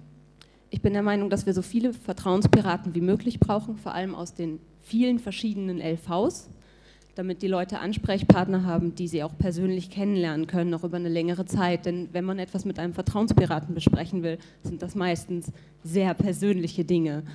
Äh, ich habe keinerlei beruflichen Hintergrund, der ja, etwas mit Mediation zu tun hat. Ich halte mich aber für einen diplomatischen Menschen. Ich äh, ich habe keinerlei Probleme, die Verschwiegenheit zu wahren. Und ich würde dieser auch wirklich, also ich würde die Leute nicht mal, nicht mal fragen, ob sie, die, ob sie mich davon entbinden möchten. Das äh, müsst ihr schon selber entscheiden, ob ihr das mit demjenigen, der der andere Seite, der die betroffen ist, klären wollt oder ob ihr nur mit mir darüber sprechen möchtet. Ich würde mich einfach freuen, äh, wenn nicht nur eine Frau dabei ist, weil die, äh, ich habe direkt erst mal gefragt, sie ist aus dem Schwalm-Eder-Kreis. Wir brauchen mehr Vertrauenspiraten. Ich würde mich auch freuen, wenn noch mehr hier oben stehen würden. Gut, vielen Dank. Vor der nächsten Vorstellung, Brauscher, fix mal das LAN. Fix mal das, äh, fix mal das Orga-WLAN. Nein, das funktioniert nicht. Dann fix mal deinen VL-Tool-Server. Bastian. Ja, die meisten, ich sag mal, viele kennen mich wahrscheinlich. Ich bin Bastian aus dem Kreisverband Marburg-Biedenkopf. Dass ich hier als Vertrauenspirat vorgeschlagen wurde, mag vielleicht überraschen, denn ich bin äh, unter anderem als kontroverser Diskutant äh, mit sehr starken politischen Ansichten bekannt. Äh, es ist aber so, dass ich vielleicht auch gerade deswegen relativ häufig auch das Vertrauen von meinen Mitpiraten genieße. Äh, das merke ich in persönlichen Gesprächen sehr, sehr häufig. Ähm, das ist auch der Grund, warum ich mich hier hinstelle. Der, ähm, ich habe ich hab keinen beruflichen Hintergrund äh, in Mediation oder in Sozialarbeit. Ich hatte aber ähm, persönlich bereits mehrere Male, ähm, wie soll ich das nennen, Erfahrungen mit, ähm, ja, mit, mit, mit, schwierigen Themen, mit schwierigen Themen wie zum Beispiel äh, Menschen in äh, prekären Arbeitsverhältnissen, Menschen in äh, psychiatrischen Verhältnissen.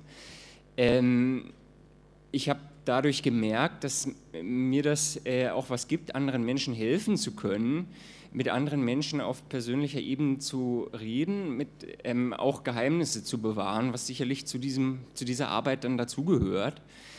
Ähm, ich denke also, ähm, dass ich, dass ich äh, dafür qualifiziert bin. Ähm, ich fände es schön, äh, wenn so eine persönliche Ebene häufiger in der Piratenpartei praktiziert würde das, ich glaube, das hängt so ein bisschen mit der Struktur der Partei zusammen, dass das selten der Fall ist. Ich möchte aber auf jeden Fall mich dafür zur Verfügung stellen, als Ansprechpartner ähm, solche, ja, solche, solche Kommunikation, solche Verhältnisse auch eben zuzulassen. Von daher halte ich die Idee, äh, Vertrauenspiraten ja, zu bestimmen oder zu wählen, überhaupt für eine sehr gute und äh, möchte darum um meine Wahl bitten. Gut, vielen Dank.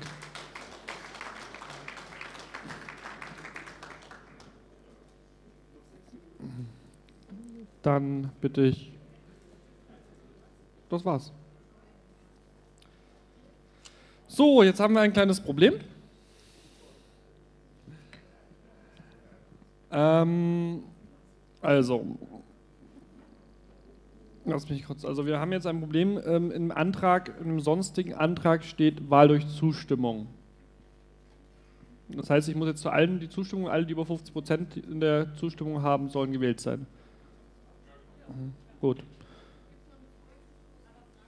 Ja, jetzt kommen wir zur Fragerunde. Ähm, ja, ich muss ja mich dann auch schon darauf vorbereiten, deswegen wollte ich das vorher, vorher geklärt haben und so. Gut, wir kommen zu Fragen, mehr, äh, zu Fragen an die Kandidaten. Age. Ich erteile Julia als erster Fragestellerin das Wort. Vor dir ist die Schlange. Meine Frage richtet sich an Bernd Fachinger. Ähm, ich möchte dich fragen, ob du dich äh, für dieses Amt für qualifiziert hältst, angesichts einiger Aussagen, die du in der Vergangenheit getroffen hast.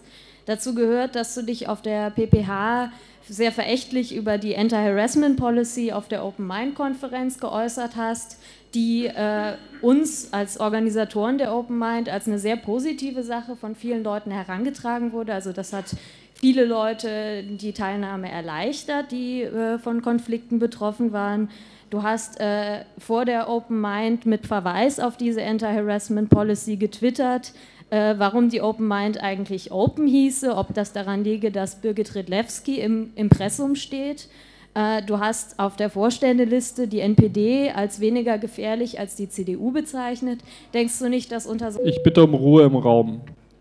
Denkst du, dass unter solchen Umständen nicht Leute gerade davon abschrecken würden, die Vertrauenspiraten anzurufen, ähm, wenn du durch solche Aussagen aufgefallen bist? Ist die eine Frage. Die andere Frage, du hast in deiner Vorstellungsrede jetzt äh, gesagt, du möchtest den Menschen, die sich an dich wenden, helfen, Schwäche abzubauen und Rückgrat zu entwickeln. Das klingt für mich so, als würdest du eigentlich die Leute, die sich an Vertrauenspiraten wenden, als das Problem ansehen. Ich bitte äh, nicht, deine eigenen Fragen zu beantworten. Ja, also deshalb wollte ich fragen, ob du diese Kaltschnäuzigkeit, also die Eigenschaft, sich nicht von äh, persönlichen Konflikten beeinflussen zu lassen, für eine wichtige oder notwendige Eigenschaft für politische Beteiligung hältst. Dankeschön.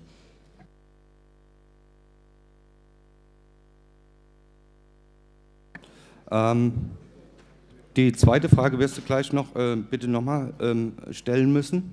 Ähm, zur ersten kann ich ganz klare Aussagen machen. Also ich habe tatsächlich gesagt, dass ich die NPD für weniger gefährlich halte als zum Beispiel die CDU oder die SPD. Das habe ich gesagt, denn ähm, ähm, bei uns hat die NPD ähm, noch keine äh, Gesetze erlassen. Ja? Also deswegen bin ich nicht Pirat. Ich bin nicht Pirat, weil, weil die NPD in, äh, in Hessen ähm, irgendwelchen, äh, irgendwelche äh, ähm, ähm, gesetzgeberischen Unfug machen würde. Das machen die großen Parteien. Ja? Deswegen bin ich Pirat, weil die meiner Ansicht nach Blödsinn machen.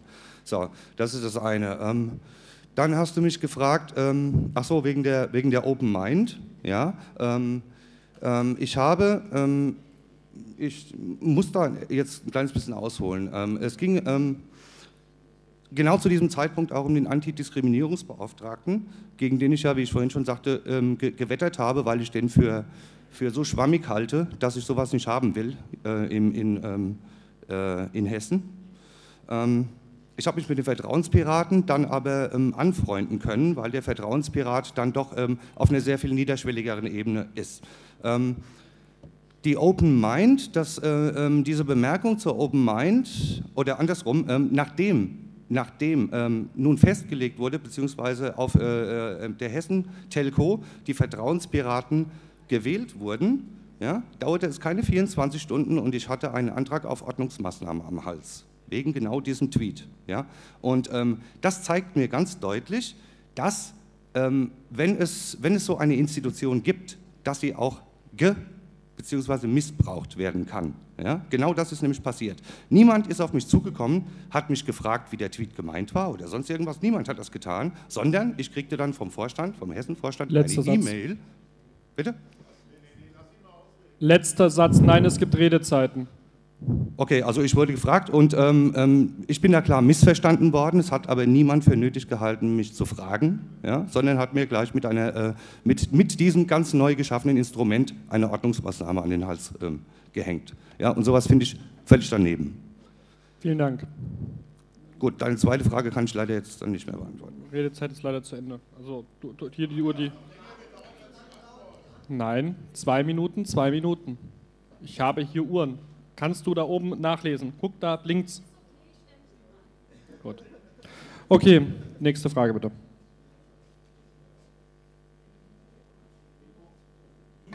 Okay, ich wende mich dann mal an Bastian Zapf. Ähm, ich zitiere aus einer Mail. Ich greife Menschen, die mich mehrmals aufs Übelste beleidigt haben, gerne und häufig an. Noch lieber solche, die widerliche Dinge über Leute sagen, die ich leiden kann in diesem Fall André Stern. Ich habe nachgefragt, was ich André Stern getan habe. Da hast du nicht geantwortet. Am liebsten tue ich das so, dass sie sich nicht mit ihren Werkzeugen wehren können. Glaubst du allen Ernstes, dass äh, jemand, der selber Anlass ist, dass äh, Leute sich an den Vertrauenspiraten wenden, ähm, geeignet ist, Vertrauenspirat zu sein? Bitte zur Beantwortung, Bastian. Also zunächst glaube ich nicht, dass ich von jedem Menschen das Vertrauen genießen kann. Ich glaube auch nicht, dass man äh, in diesem Amt oder wie wir es jetzt bezeichnen wollen als Vertrauenspirat von jedem Menschen das Vertrauen genießen muss. Ähm, ich habe dir auf diese Frage geantwortet. Ich weiß nicht, warum du das nicht gelesen hast. Äh, ähm, dass ich äh, Menschen angreife und dass, dass im politischen Alltag, im politischen Geschehen äh, Angriffe durchaus dazugehören. Das, äh, wie soll man sagen, ich kann mir nicht vorstellen, wie eine Welt äh, ohne, ohne politische Auseinandersetzung, unter die ich das jetzt mal subsumieren würde, aussehen könnte. Von daher, du kannst es mir gerne erklären. Ich habe dich da auch persönlich öfter mal gefragt, aber das äh, kommt ja dann, da kommt ja nichts. Und von daher rein, ich glaube wirklich nicht, dass ich von jedem das Vertrauen genießen muss, dass ich deins nicht habe, das weiß ich. Aber darum kann es ja an dieser Stelle nicht gehen. Vielen Dank. Der nächste Redner bitte. Eine Frage an alle Kandidaten. Es gab ja eine Ausschreibung zum Vertrauensberaten vom Vorstand. Ähm, Frage, habt ihr euch darauf beworben? Wenn ja, warum seid ihr dann jetzt nicht Vertrauensberater oder warum glaubt ihr dann, äh, dass ihr das dann nicht geworden seid? Und wenn ihr euch nicht beworben habt, warum habt ihr euch da nicht beworben und jetzt hier? Danke. Ähm, ich bitte um, bevor der Beantwortung bitte ich um eine Sekunde. Jetzt. Weil manchmal im Leben ist auch Spontanität sehr wichtig. Und ich habe mich heute spontan dafür entschieden.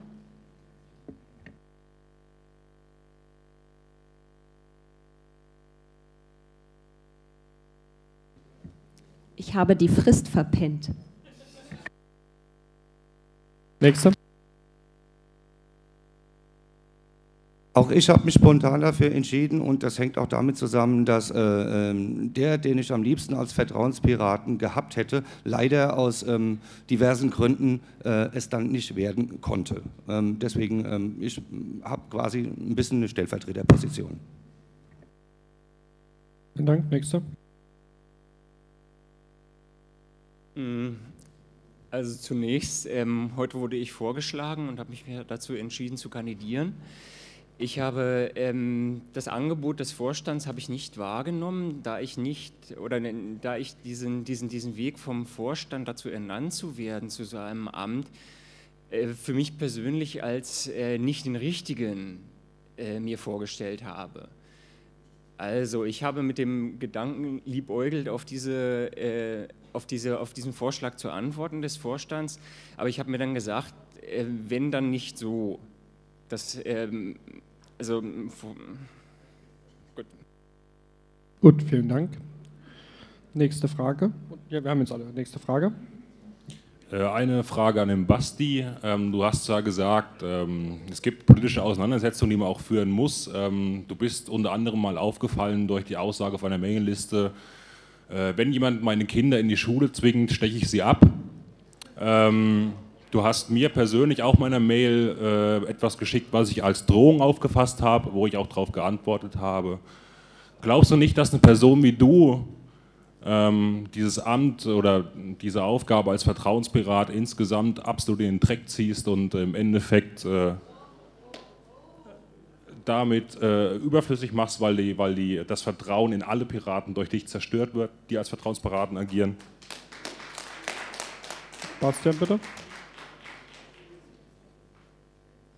Ich sag's mal so, wenn jemand von meiner Person auf alle Piraten schließt, dann ist das erstmal sein Problem. Ähm, wenn jemand der Überzeugung ist, äh, dass gewisse Sachen, die ich sage, äh, im Übrigen hast du mich da falsch zitiert und im Übrigen habe ich äh, auch auf das, was du eine Drohung genannt hast, äh, ich sag mal differenziert geantwortet und ich glaube nicht, dass wir diese Unterhaltung zu Ende geführt haben. Ähm, genau. Ähm, also ich denke nicht, dass äh, der Ruf eines einzelnen Menschen auf seine Gruppe, auf, auf die gesamte Partei beispielsweise ausstrahlen müssen sollte. Ich glaube auch, wenn wir damit anfangen, dann ähm, brauchen wir letztendlich gar nicht mehr darüber reden, was wir hier veranstalten. Dann brauchen wir eigentlich einfach nur noch eine Person, die steht dann für die gesamte Gruppe oder wir stellen uns irgendwie so einen, einen Mischmasch aller Personen, die in der Gruppe vertreten sind, vor als die gesamte Gruppe. Also das ergibt irgendwie keinen Sinn für mich. Vielen Dank. Der nächste Redner, bitte. Ich habe eine Frage, die ich gerne von allen beantwortet wissen möchte, äh, wobei mich die Antwort von Bastian persönlich äh, am meisten interessiert. Ähm, wir wählen euch hier. Äh, eine Mehrheit von mehr als 50 Prozent äh, würde euch als gewählt ansehen. Ähm, da bleiben ja immer noch eine Minderheit übrig, die äh, auch einen Vertrauenspiraten nötig hätten unter Umständen. Wärt ihr also im Falle eurer des Nichterreichens einer Mehrheit von mehr als 50 Prozent äh, persönlich bereit, euch den Bedingungen, die den Vertrauenspiraten äh, auferlegt werden, sprich Verschwiegenheit, äh, auch zu stellen, um der Minderheit eine Möglichkeit zu geben, äh, mit jemandem im Vertrauen zu sprechen. Danke. Du gibst sehr schön wieder. Ah, ah, darf ich? Du gibst sehr schön wieder, was ich eingangs gesagt habe. Ich bin der Ansicht, jeder sollte Vertrauenspirat sein. Danke. Der nächste bitte.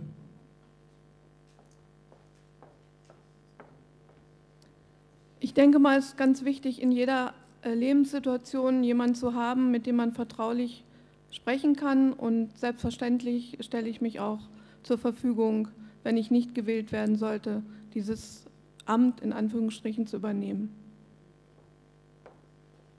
Der nächste. Da kann ich mich eigentlich nur anschließen. Persönlich halte ich das schon immer so, wenn mich jemand um Verschwiegenheit bittet, dass ich die dann auch einhalte. Ähm, ich würde mir da nur diesen Hut aufsetzen, aber mich kann selbstverständlich jederzeit äh, jeder um Verschwiegenheit bitten oder über ein Thema mit mir reden, was ihm wichtig ist und was vielleicht dann auch ein bisschen ins Persönliche hineingeht. Und braucht dann nicht zu erwarten, dass ich, das, äh, dass ich das, was ich da erfahre, gegen ihn verwende oder über ihn lästere oder sowas. Darum geht es ja da am Ende. Gut, vielen Dank. Kia noch? Ähm, wenn ich gewählt werden sollte, wäre ich so oder so immer noch nur Vertrauenspirat für diejenigen, die mir vertrauen möchten. Und wenn ich nicht gewählt werden sollte, gilt das genauso. Der einzige Unterschied für gewählte Vertrauenspiraten ist der, dass Fremde eine geringere Hemmschwelle haben, diese anzusprechen. Und das ist der Grund, warum ich hier stehe. Vielen Dank. Dann der nächste Fragende, bitte. Ich habe eine Frage an den Basti. In diesem Landesverband werden Leute gerne mal als Justizwichser bezeichnet. Wenn sich da jemand vertrauensvoll an dich wendet, dass das aufhört, wie reagierst du denn dann? Bitte zur Beantwortung. Ähm, ich weiß nicht, wie ich die Verwendung eines Wortes verhindern kann. Ich könnte natürlich darauf. Ähm, ganz kurz, das geht nicht von deiner Redezeit ab. Ich bitte die Versammlung daraufhin, Zwischenrufe auch in leicht beleidigender Form sind durchaus zulässig. Das war allerdings jetzt schon unter der Grenze und ich rüge das. Ja, ich denke, damit ist zu dem Thema eigentlich auch alles gesagt. Also wenn wir hier anfangen, Worte zu verbieten äh, oder das auch nur zu versuchen, äh, ich meine mal im Ernst, ist dieses sogenannte Äußerungsrecht, das ist seit Jahrzehnten ein kontroverses Thema, ob es überhaupt sinnvoll ist, jemanden für Beleidigungen zu bestrafen. Ähm, wir werden das nicht lösen können, das Problem. Und wir werden es vor allem nicht dadurch lösen können, dass ich jetzt sage, bitte sagt nicht mehr XYZ. Geht nicht. Gut, bitte der nächste Fragende. Äh, ich möchte vorsorglich bei dir dann auf die Redezeit von zwei Minuten nochmal extra hinweisen. Ja, äh, erstmal, Bernd, möchte ich dir natürlich nochmal die Möglichkeit geben, auf meine zweite Frage zu antworten. Also äh, die mit den äh, Schwächen abbauen und Rückgrat zeigen, ob du die äh, Schuld für die Anrufung oder das Problem bei der Anrufung Vertra Vertrauenspiraten bei der Person siehst, die sie anruft. Und zweitens möchte ich dich fragen, das musst du natürlich nicht beantworten, ähm, ob vom Vorstand äh, dir zweimal herangetragen wurde, dass sich jemand über diesen Tweet beschwert hat. Denn einmal habe ich das getan, ich habe allerdings keine Ordnungsmaßnahme beantragt. Also ob es da noch einen zweiten Fall gab. Falls das nicht der Fall war, denkst du nicht, dass das dass so ein Missverständnis gerade ein Zeichen ist, dass wir Vertrauenspiraten äh, als unabhängige Institution brauchen um gut ausgebildet als Mediator solche Missverständnisse zu vermeiden. Dankeschön. Vielen Dank, deine Zeit. Gut, also zu der ersten Frage, ob ich ähm, die Anrufenden zu den Schuldigen mache, so war es, glaube ich, ähm, verstehe ich jetzt nicht wirklich. Ähm, ähm wenn jemand, ähm, wenn jemand Redebedarf hat, dann ähm, soll er reden können. Also ich sehe jetzt nicht, wieso er, wieso er äh, da irgendwie auch nur in die Nähe ähm, des Schuld, ähm, der, der, Schuld, der Schuldigkeit gerückt werden könnte. Ist, also ist mir, das, also da, da, gehen wir irgendwie, da ver, verstehe ich deinen Gedankengang nicht. Ähm, deine zweite Frage, ähm, es gab nur diese eine, diese eine, äh, äh, diese einen Mailkontakt, also diese eine äh, äh Kontaktaufnahme vom Vorstand zu mir. Der Vorstand hat das übrigens, das habe ich vorhin ein bisschen fälschlich dargestellt, stellvertretend für die Vertrauenspiraten gemacht, also in, in, in seinem Amt als Vertrauenspirat quasi. Ähm, und äh, es gab nur diese eine und ähm, sonst war da nichts, nein. Es war, ähm, es war eine, ähm, die, Frage, die, die Frage ging dahin, ob ähm, über mich eine Ordnungsmaßnahme verhängt werden solle, weil ich diesen Tweet abgesetzt habe. Und ich weiß auch nicht, wer das war. Ich hatte auch darum gebeten, äh, über den Vorstand, ähm, ähm, denjenigen, denjenigen, den, demjenigen zu sagen, er möge mit mir in Kontakt treten oder möge das auch gerne öffentlich machen. Da ist nichts weiter geschehen. Danke. Gut, vielen Dank. Ähm, Tomai? Ich hätte eine Frage an das Plenum. Ich bitte, die ähm, Fragen an die Kandidaten zu richten. Wir sind in einer Kandidatenbefragung. Ich, ich hatte, dir gerade die Frage Du hast gestellt. gesagt, du wolltest eine Frage an alle richten. Ja. Ach so. Alle. Ja. Du möchtest einen Geo-Antrag auf Einholung eines Meinungsbildes stellen. Ähm, ich weiß nicht, ob das. Nee, es ist kein Meinungsbild. Dann vielen Dank. Du möchtest einen Geo-Antrag auf Einholung eines Meinungsbildes stellen. Glaub es mir, du möchtest es. Wenn du sagst, dass ich eine Meinung, äh, ein Meinungsbild einholen will, okay.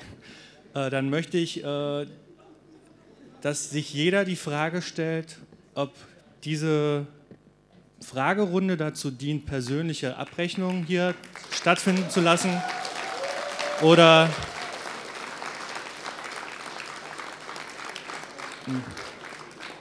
oder ob es darum geht, einfach zu gucken, ist jemand grundsätzlich befähigt, ähm, als Gesprächspartner, äh, also ja, äh, formuliere okay. das mal für dich. Geo-Antrag auf Einholung eines Meinungsbildes. Seid ihr der Me also zwei Meinungsbilder, seid ihr der Meinung, dass hier jetzt nur persönliches Klein-Klein abgehalten wird? Wer das mit Ja beantworten kann, hebt bitte die blaue Karte, wer das mit Nein beantworten kann, die rote Karte. Vielen Dank. Ähm, okay. Danke. Gut, damit ist die, deine Frage beantwortet.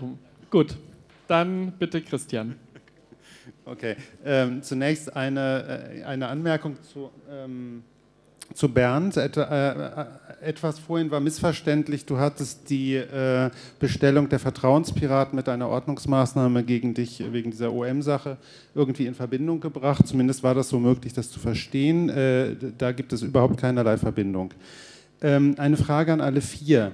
Der, ähm, die also, dass man in seinem persönlichen Umfeld als möglicherweise vertrauliche Person angesprochen wird und zur Verfügung steht und das gut macht, ist ja etwas, dafür muss man ja nicht gewählt werden.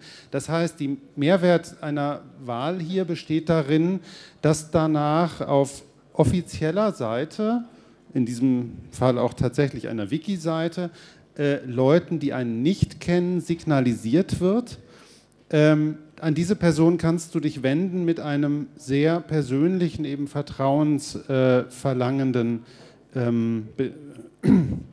äh, Anliegen. Ähm, dieses, ähm, das setzt auch voraus, dass man äh, mit seinen eigenen, möglicherweise dabei berührten Konflikten irgendwie umgehen kann. Also es kann ja, es ist möglich, dass jemand mit einer mit einem Anliegen kommt, was bei mir selber. Christian, äh, möchtest du auf eine Frage hinauskommen? Ja, ich, äh, also genau, ich möchte genau an alle vier äh, fragen, ähm, ob sie einen, äh, sich sicher sind, dass sie äh, mit ihren eigenen Konflikten so weit umgehen können, dass sie auch ähm, also mit jemandem umgehen kommen, der mit etwas kommt, was Sie an einer persönlichen Stelle berührt. Das, die Frage richtet sich ein wenig explizit äh, an Bernd, weil ich diese Selbstverteidigungsstrategie irgendwie ganz bedenklich finde für, für eine Vertrauenskonstellation, aber auch an alle anderen drei. Gut, vielen Dank. Dann ähm, machen wir wieder Reihenfolge äh, Christiana. Ich möchte etwas anmerken. Und zwar, ich merke ganz eindeutig und deutlich, dass dieses Thema Vertrauen und Vertrauen. Darf ich dir ganz kurz äh, den Saal mal ruhiger machen? In Baden-Württemberg hatte ich sowas gemacht, habe ich mal von fünf rückwärts gezählt ge und äh, gesagt, ich schreie gleich. Dann habe ich das Mikrofon ausgemacht und in Ruhe geschrien. Ich möchte das nicht, weil meine Stimme eh, eh, nicht mehr so gut ist. Ich bitte Gespräche, wenn ihr dringende Gespräche zwischen euch machen wollt, geht bitte raus. Ansonsten bitte ich die Gespräche so zu halten, dass sie nicht hier vorne bei uns ankommen. Das gilt auch für, Teil, äh, für Mitglieder der Versammlungsleitung. Das gilt auch für Mitglieder der Versammlungsleitung. Ja, Julia, du bist gemeint. Danke. Okay, dann fange ich nochmal von vorn an. Also ich denke mal, es wird hier sichtbar, wie wichtig dieses Thema Vertrauen, Vertrauenspersonen, äh, alles, was damit zusammenhängt, ist und ganz besonders auch hier für Piraten ist. Und ich denke mal, das Thema äh, oder ein Thema ist äh, ganz wichtig hier zu benennen, dass es was, auch was mit äh, Professionalität zu tun hat. Denn wenn ich ähm, in meiner Arbeit als Mediatorin muss ich Emotionales trennen und etwas Emotionales auf eine Sachebene bringen. Und in dem Moment, wo ich das schaffe, wird mich auch ein eigenes Thema nicht berühren. Also ich denke mal, hier wird, wird es ganz wichtig zu wissen, dass Mediation und ein klärendes Gespräch ein Unterschied ist. Ein Unterschied deshalb, weil man von der Professionalität abgeht. Und jedes persönliche Gespräch hat auch was mit Persönlichem zu tun. Und immer dann werde ich auch an mein persönliches Erlebnis erinnert. Anders gesehen ist das Gespräch Mediation zu sehen. Vielen Dank. Der nächste. Ähm, deine Frage war, ähm, ich habe jetzt irgendwie den Faden verloren. Kann mal jemand anders? Äh, ja, okay, äh, machen wir das mal. Ähm. Ähm, in weniger professionell formuliert, das, was Christiane gesagt hat. Kriege ich hin. Okay. Bastian? Da der Bernd noch nicht so weit ist, ähm, ich glaube, es gibt Situationen, in denen ich, oder es gäbe dann in diesem Verhältnis Situationen, in denen ich so befangen wäre, dass ich sagen müsste, ähm, ich kann an dieser Stelle nicht mehr weiterarbeiten, du musst dir irgendwie eine andere Möglichkeit suchen, damit umzugehen. Ähm, ich weiß nicht, wie häufig das der Fall sein würde und das hängt auch sicherlich sehr stark von den genauen Umständen ab, aber ich würde natürlich versuchen, damit so umzugehen, dass eben diese Tätigkeit davon nicht negativ beeinflusst wird. Gut, vielen Dank. Okay, ich versuche es nochmal. Also ähm, bekanntermaßen läuft ja 80 Prozent der Kommunikation nonverbal und nur 20 Prozent verbal ab. Das heißt, ähm, dieses ganze Nonverbale, was wir zum Beispiel auf Mailinglisten nicht mitkriegen, das führt natürlich dazu, dass wir, äh, das führt zu Missverständnissen. Dazu kommt, dass natürlich jeder in seiner eigenen Wirklichkeit lebt ähm, und das entsprechend filtert, was er liest und hört. So, jetzt haben wir also einen Konflikt da. Ähm, dieser Konflikt müsste eigentlich nicht entstehen, wenn, ähm, wenn man sich auf Sachebene, und das ist jetzt auch der Anknüpfpunkt zu dir, ähm, verständigen würde. Und zwar, ähm, wenn ich sage, dass ich ähm, dafür sorgen möchte, dass Piraten ähm, sich selbst verteidigen können, dann meine ich damit, dass die Rückgrat entwickeln. Ja? Dann meine ich damit, dass die ähm, lernen, in eben so einer so eine schwierigen äh, äh, Konversationssituation wie der Mailingliste beispielsweise ähm, oder in Kurznachrichten ähm, äh, auf der Sachebene zu, zu, bleiben und sich nicht, nicht davon beeindrucken lassen, äh, dass irgendwer irgendetwas persönlich meinen könnte. Ja? Man filtert nämlich sehr gerne erstmal dahingehend, dass man etwas persönlich nimmt. Ja? Das muss nicht sein. Und das hätte ich gern so. Und ich finde, ähm, ich finde ganz einfach, dass das etwas ist, was, ähm, ich bitte dich zum Ende zu kommen. jeder, wo jeder dem anderen beistehen kann. Ich finde also, ähm, ja, man bräuchte diese, diese ganze Veranstaltung hier jetzt gerade nicht zu machen eigentlich. Dankeschön. Danke. Ja, einige dieser Antworten waren so komplex, dass ich vergessen habe, was ich fragen wollte. Deswegen versuche ich es simpel zu fassen. Glaubt ihr, ähm, dass ihr das euch entgegengebrachte Vertrauen äh, nutzen könnt, um allen zu beweisen, dass ihr auch anders könnt? Einige von euch, äh, das hat man gerade gesehen, sind in einige Konflikte verheddert. Ähm, ich würde mal sagen, haben eventuell sogar eine Außenseiterposition. Ähm, sind vielleicht, äh, glaubt ihr, dass ihr vielleicht auch gerade deswegen für andere Außenseiter erst recht ein Ansprechpartner sein könnt?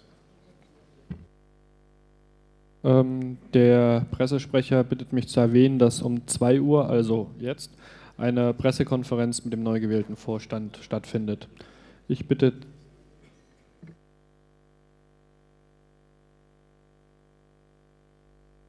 ähm, ich bitte zur Beantwortung. Also das ist eine sehr schöne Kontrastbetrachtung. Natürlich kann auch eine ähm, Außenseiterposition ähm, in einer Konfliktsituation eben genau dazu führen, dass man, ähm, dass man äh, sich Vertrauen erarbeitet, ähm, in, insbesondere wenn man öffentlich damit umgeht. Und ähm, ähm, ich habe kein, ich persönlich habe kein Problem damit, äh, irgend, mit irgendwelchen Konflikten umzugehen, weil ich, irgend, weil ich selbst irgendwelche Konflikte austrage. Ich kann das sehr wohl trennen und ähm, gebe gern meine Erfahrung weiter. Danke.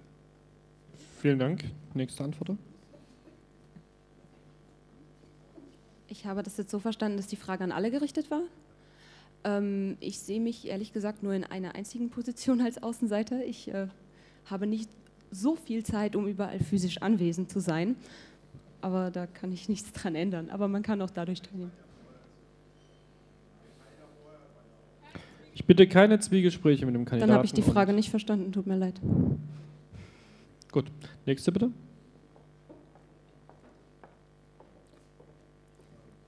Ich denke mal, wir sind alle irgendwo ähm, an einer Position im Leben immer Außenseiter.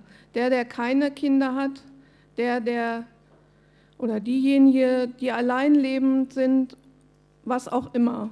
Und ich denke mal, was ganz wichtig hier ist, äh, dieses Thema Außenseiter ist schon etwas, was zu diskutieren wäre. Und deshalb würde ich dieses Wort auch so nicht benutzen wollen. Vielen Dank. Äh, genau, Bastian noch. Ähm, also Außenseiter dürfte wohl jedem klar sein, insbesondere mir ist das klar. Ähm, da kann ich, oder ich kann mir das nicht aussuchen, es ist einfach so, ich weiß nicht, woher es kommt.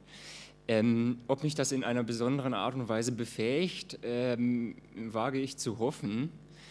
Äh, worauf ich nicht hoffe, ist, dass mich diese exponierte Stellung, äh, ja, dass mir das die Möglichkeit gibt, mich selbst darzustellen. Das ist auch gar nicht mein Ziel bei dieser Veranstaltung. Das ist, ähm, man könnte das sicherlich so gebrauchen oder so missbrauchen vielleicht auch, aber das würde ich so nicht wollen. Also mir ist es schon ein bisschen unangenehm, mich hier hinzustellen und zu sagen, ihr könnt mir vertrauen. Das ist... Äh Gut, vielen Dank. Damit sind wir durch die Beantwortung. Dann kommt die nächste Frage. Okay, um das Ganze ein bisschen sachlicher zu gestalten. Ähm, um das Ganze verständlicher zu gestalten, bitte direkt ins Mikrofon, danke. Vorschlagen, dass ähm, ich einen Fall konstruiere. Und zwar geht es um jemanden, der Hilfe sucht, weil er. Ganz kurz zwei Dinge. Einmal bitte ins Mikrofon reden und bitte eine Frage stellen. Okay, die Frage ist: Es ist ein Fall. Neue Piraten wenden sich an euch. Wie wäre eure Vorgehensweise? Die Hilfestellung zu geben über Frage XY, lass sonst wie nennen. Einfach ganz kurz die Vorgehensweise, wie würdet ihr versuchen zu helfen, dass das Ganze ein bisschen sachlicher gestaltet wird. Gut, vielen Dank. Dann bitte einmal die Beantwortung. Ich habe jetzt nicht verstanden, wie du äh, wie du das meinst. Also wenn, wenn jemand äh, neu in die Piratenpartei äh, eintreten möchte, hat das ja nichts mit Konflikten zu tun. Keine Zwiegespräche.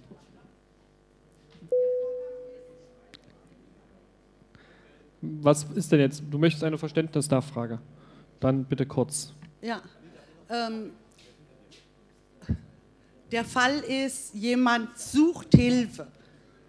Über, er kommt nicht mehr weiter in seinem Kreisverband, in egal was. Wie würdest du vorgehen, wenn dieser Pirat sich an dich wendet? Wie würdest du versuchen, Hilfestellung zu geben? Das in erster Linie würde ich den, äh, die Person erstmal reden lassen, um welches, wenn es überhaupt ein Problem gibt oder ob es überhaupt ein Problem da ist. Weil ich kann ja nicht ins Blaue hinein reden oder ins Blaue hinein beraten. Also grundsätzlich ist doch, wenn jemand äh, in die Piratenpartei äh, aufgenommen werden möchte, ist nicht grundsätzlich damit ein Problem verbunden. Wenn aber dieser Pirat oder dieser zukünftige Pirat sagt, ich komme nur in die Partei, wenn eine Person XY nicht mehr im Vorstand ist. Ich habe es äh, jetzt wirklich nicht verstanden, um was es dir geht. Ich bitte keine Zwiegespräche zwischen Fragen und Frageantworter. Okay. Gut, vielen Dank. Ähm, dann kommen wir. Ich bitte übrigens auch noch mal ein bisschen um Ruhe und wir kommen zum nächsten. Ah, ich habe das jetzt so verstanden, dass du nach der Strategie fragst, die man anwendet, wenn jemand mit einem Problem auf uns zukommt. Ähm, ich habe dafür keine Strategie, weil das situationsbedingt ist. Ich weiß ja nicht, was derjenige für Probleme hat, ob der Probleme mit, mit anderen Piraten hat. Ähm, natürlich erstmal zuhören und demjenigen vor allem auf möglichst objektiver Weise ein, äh, das spiegeln, was er einem erzählt. Man muss das ja auch erstmal verstehen. Und dann muss man im Gespräch schauen, wie es weitergeht. Vielen Dank. Der nächste bitte. Also da muss man ja erstmal unterscheiden, ob das irgendwie äh, sachbezogene Probleme sind, die jemand hat. Also angenommen, er weiß nicht, wie er ins Wiki findet. Dafür gibt es Anleitungen. Ja, die kann man ihm, die kann man ihm äh, zeigen. Ähm, dann äh, kann, man, kann man ihm sagen, äh, äh, was weiß ich, was das Bier auf dem Stammtisch kostet. Ich bin mir jetzt nicht ganz klar. Also das sind halt alles Sachen, so sachliche Dinge, die lassen sich so sachlich ganz einfach lösen. Ja? Und alles andere, wenn jemand Probleme mit jemand anderem hat, ja, und, äh, und das auch nicht selbst ausräumen kann, ähm, klar, dann stehe ich natürlich als Ansprechpartner zur Verfügung, sowieso. Ja? Also mir ist deine Intention auch nicht ganz klar. Danke, der nächste bitte. Ähm, also sachlich kann ich mich meinen Vorrednern fast nur durchgängig anschließen. Äh, ich kann noch hinzufügen, ich betrachte diese Aufgabe gewissermaßen als äh, psychosozial. Das soll nicht heißen, dass wenn mich jemand fragt, wo man Hilfe bekommt, wie man jetzt einen Text auf irgendeine Website stellt oder sowas, dass ich dem nicht versuchen würde, nach, im Rahmen meiner Möglichkeiten zu antworten. Aber äh, ich erwarte nicht, dass diese Form der Fragestellung besonders häufig auftaucht in dieser Tätigkeit. Vielen Dank. Der nächste. Eins, zwei, drei, ob ihr richtig steht, seht ihr, wenn das Licht angeht oder sowas.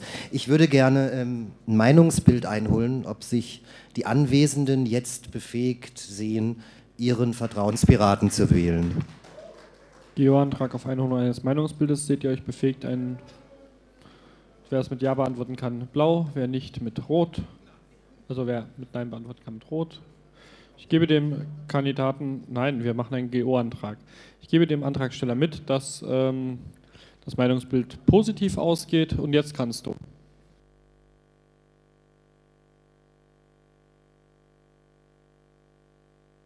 Gut, bitte. Ich habe das Ergebnis zur Kenntnis genommen. Ich will nur kurz sagen, ich habe bei der Antragsformulierung einen wichtigen, äh, also einen äh, schwerwiegenden Fehler begangen, da der Antrag schon angenommen wurde und die Wahl, äh, die Kandidatenaufstellung abgeschlossen ist. Kann Wir ich sind in einer Fragerunde. Ja, ja, es ist eine Frage. Ich versuche das Problem jetzt durch eine Frage an die Kandidatinnen und Kandidaten zu heilen. Und zwar, wer, also die, würdet ihr die Anforderungen, die für die Beauftragung der äh, ähm, Vertrauenspiraten durch den Vorstand bestehen, das heißt Unterschreiben einer, äh, Vertra der Vertraulichkeitserklärung ähm, und insbesondere Angabe einer Kontaktmöglichkeit, also eurer Telefonnummer im Wiki, würdet ihr dem zustimmen? Ich würde euch einfach bitten, das kurz im Protokoll gegenüber äh, zu, äh, zu erklären. Dankeschön. Dann ist, bitte ich jeden zu äh, beantworten. Auch wenn ich nicht wirklich einsehe, warum ich eine Vertrauenserklärung unterschreiben soll, das ist sowas von selbstverständlich, würde ich das tun. Ich würde auch meine Telefonnummer angeben. Und dann gab es da, glaube ich, noch etwas Drittes, nämlich ähm, irgendwie äh, ähm, äh, fähig zu sein, Mediation zu betreiben. Oder war, war da nicht irgendwas als Anforderung drin? Das habe ich nicht, ganz klar. Danke. Gut, vielen Dank. Nächste Antwort bitte. Ja, ich werde das selbstverständlich tun. Äh, und ich denke mal, ganz besonders wichtig an dieser Stelle, äh, vielleicht ist das ähm, falsch rübergekommen. Ich denke mal, dieses äh, Amt oder ähm, nein, diese Fähigkeit, äh, Vertrauenspirat zu sein, hat nichts mit der Professionalität zu, tu, zu tun, sondern sicherlich auch an dieser Stelle, äh, nur an dieser Stelle auch mit einem sogenannten gesunden Menschenverstand und auch mit Lebenserfahrung. Vielen Dank. Nächste Beantwortung. Verschwiegenheitserklärung ja, Nummer im Wiki und sonst wo auch ja. Danke, Bastian. Also meine Telefonnummer steht schon im Wiki und äh, Verschwiegenheitserklärung würde ich natürlich auch unterzeichnen. Vielen Dank. Nächste Frage. Ich knüpfe noch mal daran an, dass äh, die Beauftragung verbunden ist mit der, ähm, äh, der Möglichkeit, angesprochen zu werden und der Möglichkeit, in einen Fall hineinzukommen, äh, in dessen Verlauf sich ähm, herausstellt, dass Themen angesprochen werden, die mich selber sehr stark betreffen und mit denen ich äh, sehr große Probleme habe, umzugehen.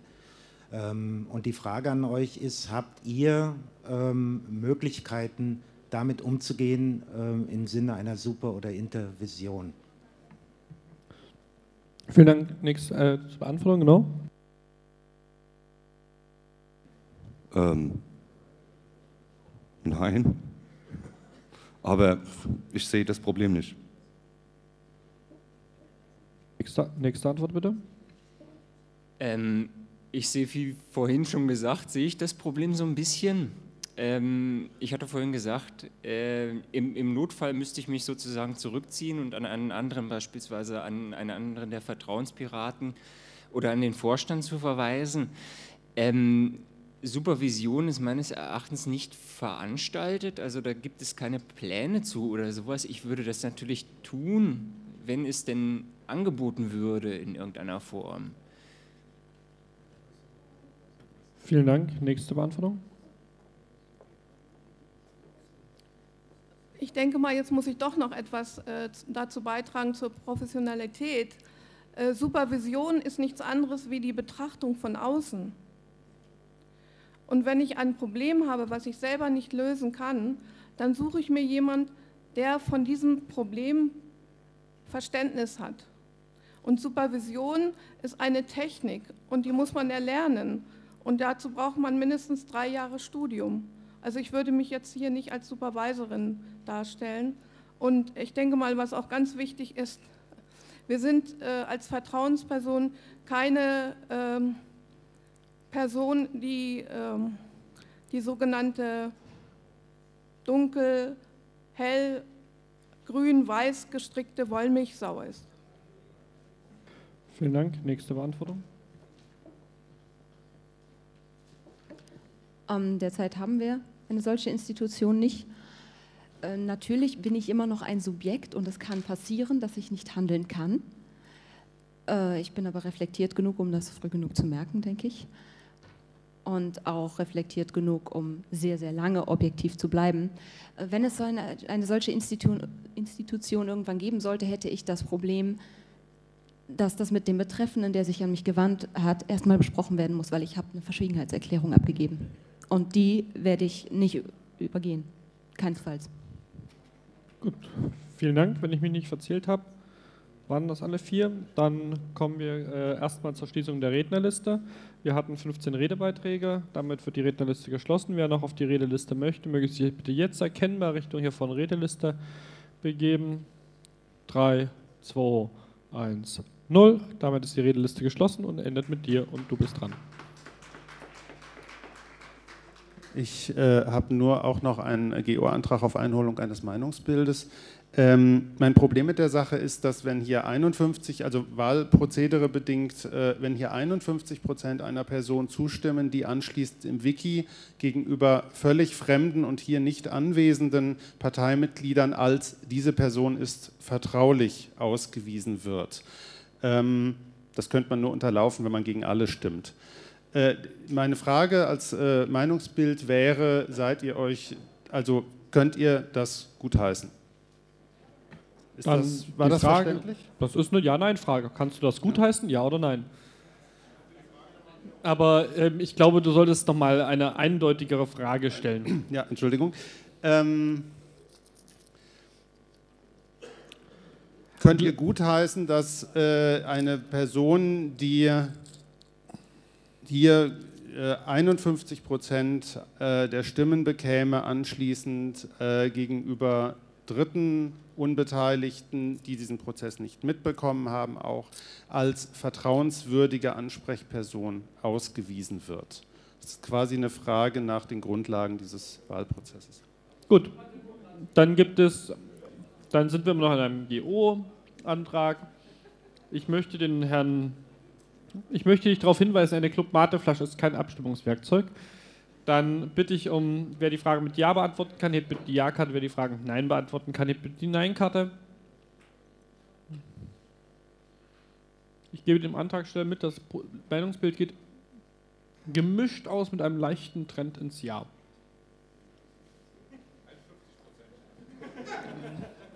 Nee, ich würde sagen eher so 2, 53 Prozent, aber ich möchte mich jetzt nicht auf die Kommastelle genau einigen. Dann bitte die Frage.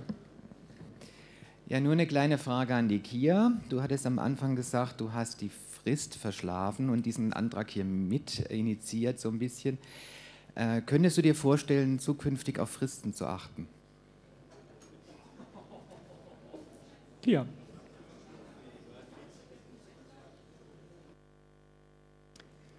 Ja, schon, aber ich werde hier nichts versprechen. Gut, damit sind wir am Ende der Frageliste angekommen.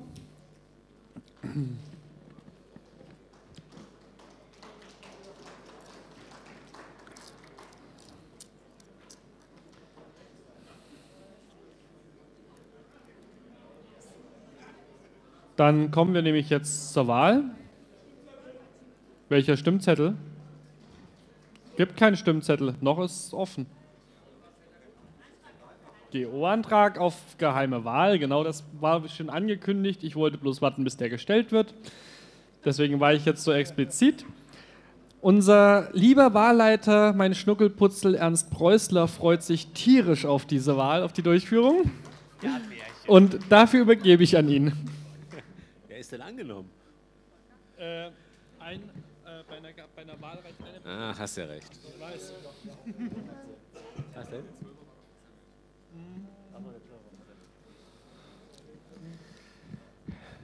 Und die Orga möge mal bitte den Müllbeutel hier vorbringen. ja, der, der, Müll vom Püt und der Püt selber möchten entsorgt werden. das zählt nicht. Also, das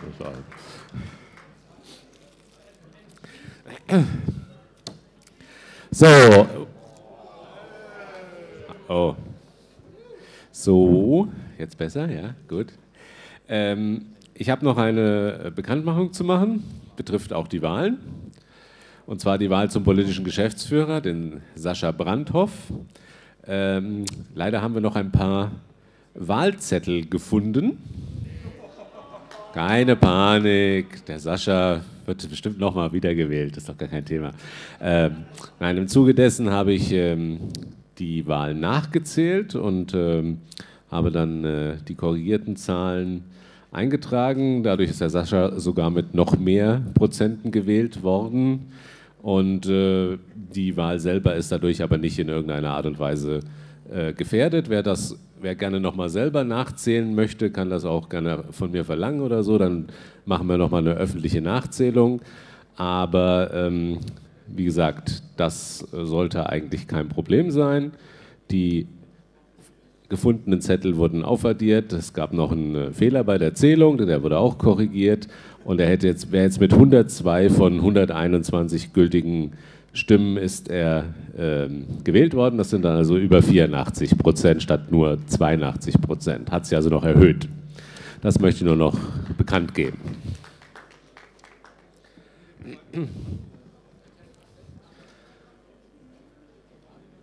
Ja, gerne. Wo wurden, ah, ich hätte auch einfach eine Frage dazu. Wo wurden denn die Stimmzettel gefunden? Weil sonst lege ich auch mal irgendwo irgendwelche Stimmzettel hin und addieren die dann auch später auf. Die, die Stimmzettel wurden unter dem Tisch gefunden, auf dem ausgezählt wurde und sind beim Ausschütten der Urne offensichtlich unter den Tisch gefallen. Wie man so schön sagt.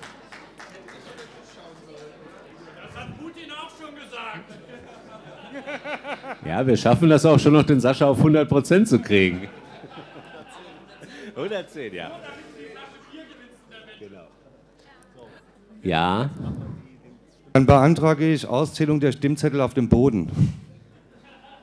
Kein gültiger GO-Antrag. Gibt es nicht als GO-Antrag. Da das, da das ein GO-Antrag ist, obliegt das mir als Versammlungsleiter. Ich weise dich darauf hin, dass das kein gültiger GO-Antrag im Sinne der Geschäftsordnung ist.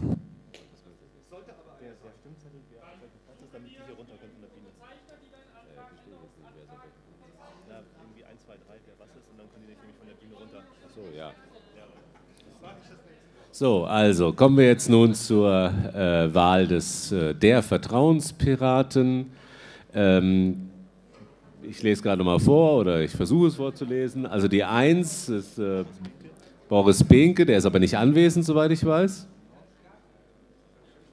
Die Zwei ist Christiane Denfeld-Busche. Busche. So, Bernd Fachinger ist die Drei. Anne Peffeköfer, alias Kia, ist die 4 und Bastian Zapf ist die 5. Damit könnt ihr jetzt, glaube ich, die Bühne verlassen. Wir nehmen den Stimmzettel 13. Sind wieder diverse Stimmzettel irgendwo verloren gegangen. Aber solange ihr nicht noch ein paar Anträge auf Wahlen von Pressepiraten, Vertrauenspiraten oder sonst was stellt, kriegen wir das dann schon noch hin. Wahl durch Zustimmung. Ihr könnt äh, jedem dieser Kandidaten eine Stimme geben oder auch nicht. So, ich bitte wieder die Wahlhelfer an die Position.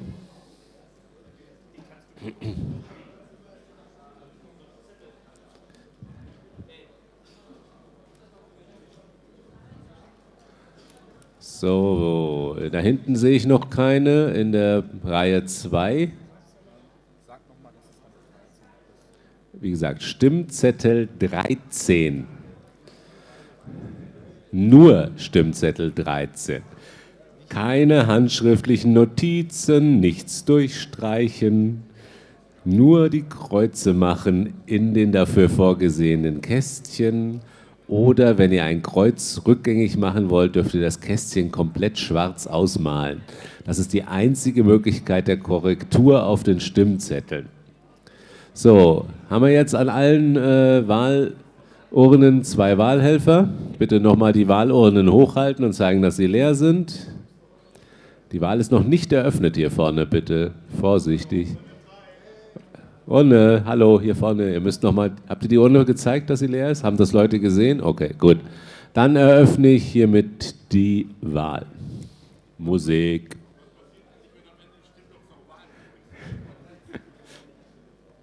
Ding, ding, ding, ding, ding, ding, ding. Di, di, di, di, di, di. Jetzt ein bisschen Fahrstuhlmusik. So, kommt. Ähm, Lothar Kraus, kannst du uns mal gerade sagen, wie viele Leute akkreditiert waren insgesamt? 179. Ähm, kommen wir langsam mal alle wieder rein. Es gibt gleich ein Ergebnis. Ich rufe schon mal jetzt auf, dass er reinkommt, weil dann sparen wir Zeit. Die Julia möchte mir auch noch was sagen.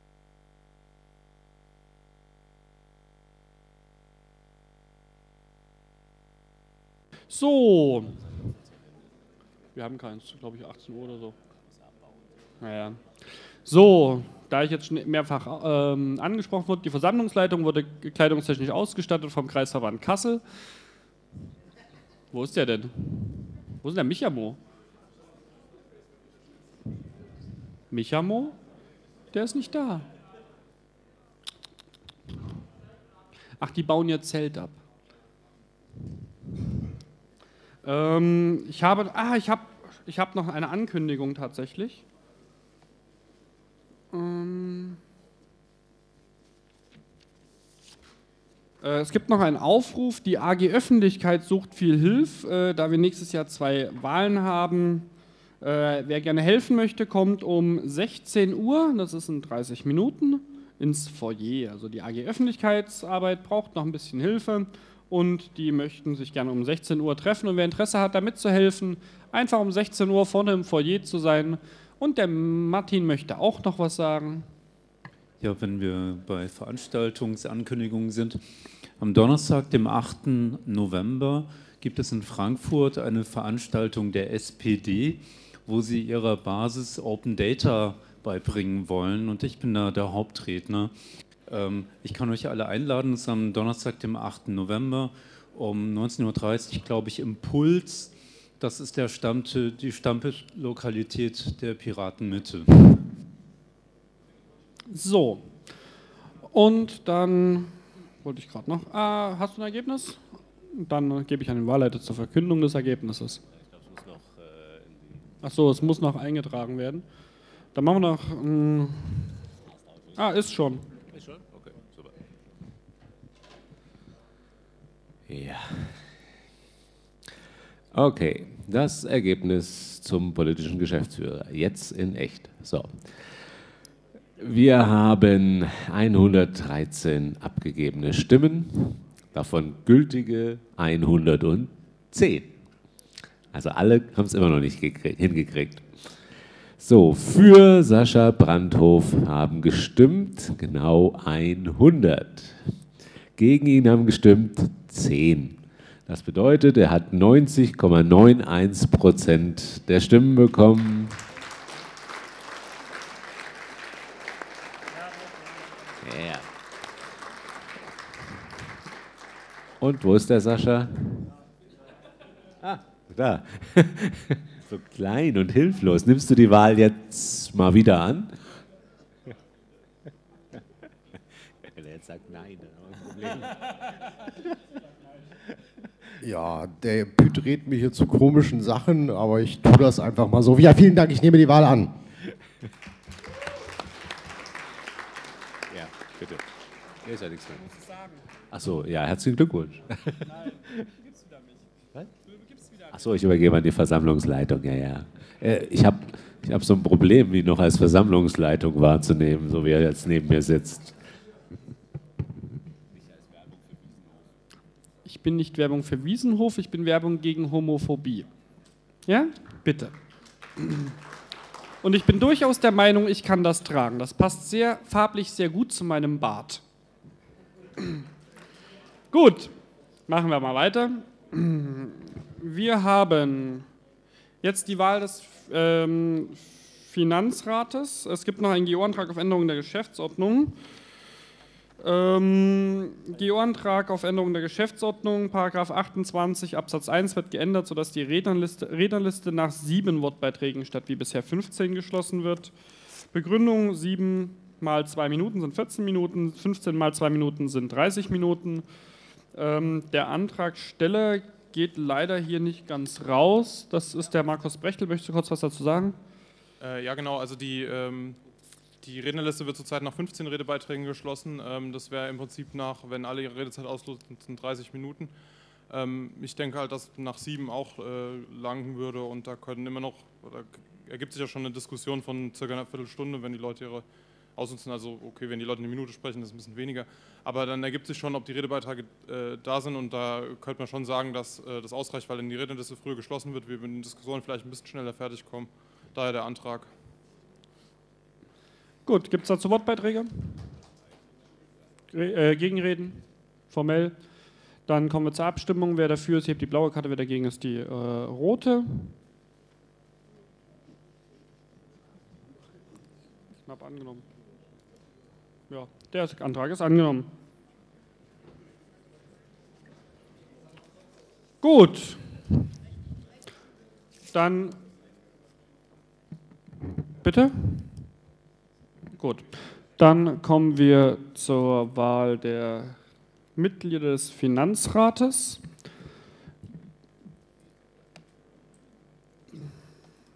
Gibt es dafür Kandidaten?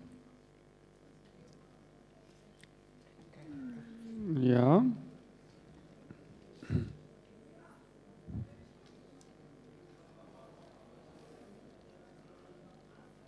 Sekunde, ich muss mir gerade raussuchen noch. Äh, Kassenprüfer, Vertrauenspirat, Polgev, Polgev. Genau. Die Wahl der Vertreter der Piraten im Finanzrat. Ähm, Knut, das ist eine diffamierende Aussage, mir ein Zelt als Mantel anzudrehen. Wir können gerne unsere Bräuche vergleichen und die Aufnahmeprüfung zur AG Dicken Piraten machen und gucken, wer gewinnt. Ich weiß. Ich weiß, dass ich das Mikro anhabe. Hm? Wir müssen einen. Ja. Wir brauchen. Knut, bei dir brauchen wir einen äh, Fusionsbeschluss, Kumulationsbeschluss bei dir auch. Also das sind sonstige Anträge, die müssen wir dann noch kurz vorher an. Gut, es gibt Kandidaten, einmal Knut Bensch, einmal Lothar Kraus. Gibt es weitere Kandidaten für die Piraten als Vertreter im Finanzrat? Das der Alios kann nicht kandidieren hier. Obwohl doch kannst du, äh, wenn dich jemand vorschlägt. Aber gut, gibt es weitere Kandidaten? Das ist eine offene Wahl, deswegen kann ich das machen. Letzter Aufruf. 3, 2, 1, das nicht. Dann ist die Kandidatenliste geschlossen. Möchtet ihr euch vorstellen? Ja, kommt hoch. Hoch. Put, put, put, put, put. Nein, die Wiesenhof hat eine andere. So, Knut, du darfst zuerst. Hallo, ich bin nach wie vor der Knut oder Kennert. Mir war nicht bewusst, dass dies ein Amt entsprechend ist. Ich bin auch von einer Beauftragung ausgegangen. Nichtsdestotrotz möchte ich mich hierfür bewerben. Für den Finanzrat, das ist eine Gruppe von Piraten, unter anderem ein Vertreter der Basis, welcher sich trifft, um über die Verteilung der, äh, der Bundesfinanzen, die an die Länder ausgeschüttet wird, zu beraten. Ja, das war's. Und ich bräuchte von euch dann auch den Beschluss, dass ich eine Ämterkumulation für genau diese Versammlung betreiben darf. Danke. Vielen Dank. Lothar? Ja, ihr kennt mich, ich bin Lothar Kraus, äh, gestern gewählt als Schatzmeister. Äh, ich bräuchte von euch dann auch äh, den Beschluss, dass die Ämterkumulation dass die Ämterkumulation für diesen einen Zweck äh, erlaubt wird. Der Hintergrund, warum ich es für sinnvoll erachte, äh, dass der Landesschatzmeister hier mit dem Finanzrat ist, ist, äh, es hat sich gezeigt, dass eine wesentliche Aufgabe davon ist, die Finanzen der Landesverbände zusammenzutragen, die Finanzzahlen. Und da sind die kurzen Wege natürlich wesentlich besser. Und nur wenn die Gesamtfinanzzahlen für den Gesamtbund bekannt sind, dann kann auch entsprechend darüber diskutiert werden, wie man es am besten verteilt. Ich war jetzt schon seit Gernsheim Vertreter Hessens im Finanzrat. Es gab dabei äh, eine Real-Life-Sitzung in Dortmund am 1.7. und äh, jetzt kürzlich, äh, vorletzten Freitag, eine Mammelsitzung. Äh, da habe ich halt auch darauf hingewiesen, jeweils, äh, dass Hessen äh, auch das Problem hat, dass eine Landtagswahl mit den Bundestagswahlen ansteht. Hier dann auch entsprechend mehr Finanzmittel benötigt werden und wir das Problem mit der Parteienfinanzierung haben, dass Hessen dort sozusagen naja, die Arschkarte gezogen hat. Von daher bitte ich euch zum einen um den Beschluss, die Ämterkombination hier zu erlauben und für den Fall, dass dies erlaubt wird, kandidiere ich für das Amt des Finanz, äh, für, als Vertreter Hessens im Finanzrat. Gut, vielen Dank, Lothar. Gibt es,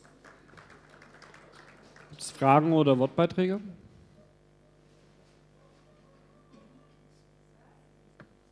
Wie viele Vertreter sind denn zu wählen? Zwei. Gibt es weitere Fragen? Oder wolltest du das einen Kandidaten fragen? Entschuldigung. Gut. Also laut Satzung, Abschnitt, äh, laut Abschnitt C der Satzung, der Finanzrat, äh, Quatsch, Abschnitt B der Satzung ist der Finanzrat, besteht der Finanzrat aus 33 Piraten, dem amtierenden Bundesschatzmeister sowie zwei Vertretern aus jedem Landesverband. Gibt es weitere Fragen oder äh, gibt es weitere Fragen an die Kandidaten? Ich sehe das nicht der Fall. Dann ähm, machen wir erst die Kumulationsanträge, ähm, die Ämterkumulation für Knut Bench. Äh, wer dafür ist, hebt die blaue Karte, wer dagegen ist, die rote. Damit ist der Antrag angenommen. Ähm, Entschuldigung, ich habe hab vergessen zu fragen, gibt es zu diesen Kumulationsanträgen Wortbeiträge oder Fragen? Gut. Dann kommen wir zur Ämterkumulation von Lothar Kraus. Wer dafür ist, die blaue Karte, wer dagegen ist, die rote Karte. Vielen Dank. Dann ist auch diese Ämterkumulation bestätigt. Dann kommen wir zur Wahl. Ähm, wir wählen sie beide, also wir haben zwei besetzende Posten, das heißt, wir wählen beide per Zustimmung. Ne, wir wählen beide einzeln. Wir wählen beide einzeln. Ähm, wer für Knut Bench ist äh, in den Finanzrat, der hebt die blaue Karte. Wer dagegen ist, die rote Karte. Damit ist Knut Bench gewählt. Wer für Lothar Kraus ist in den Finanzrat, hebt die blaue Karte. Wer dagegen ist, die rote Karte. Damit ist Lothar Kraus gewählt. Ihr nehmt sicherlich an. Ich bedanke mich und nehme die Wahl an.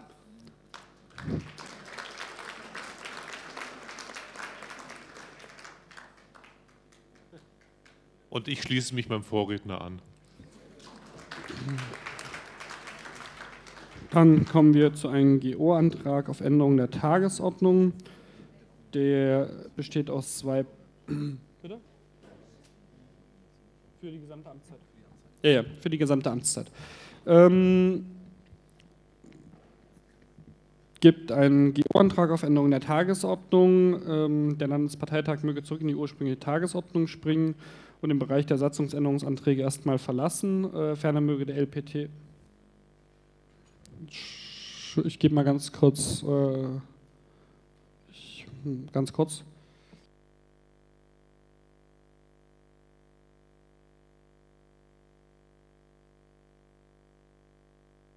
Nein, das war meine Arbeitsstelle. Ähm, der Aufzug ist stecken geblieben. so. Nee, das wart ihr aus das wart ihr ausnahmsweise mal nicht. So, ähm, ferner möge der LPT den sonstigen Satzungs, äh, Satzungsänderungsantrag 14, Verkürzung der Einreichungsphase von 8 bis 6 Wochen vorziehen, also sonstigen Antrag 14 auf 6, äh, von 8 auf 6 Wochen vorziehen, damit das Antragsfenster für Butzbach noch offen ist. Ähm, der Antrag besteht aus zwei Punkten. Der erste Punkt ist derzeit ähm, nicht möglich, weil wir nicht, uns nicht in Satzungsänderungsanträgen befinden. Ähm, aber es geht jetzt um die Vorziehung des sonstigen Antrags 14, Verkürz äh, 14, Verkürzung der Einreichungsphase von acht auf sechs Wochen. Möchte der Antragsteller dazu was sagen?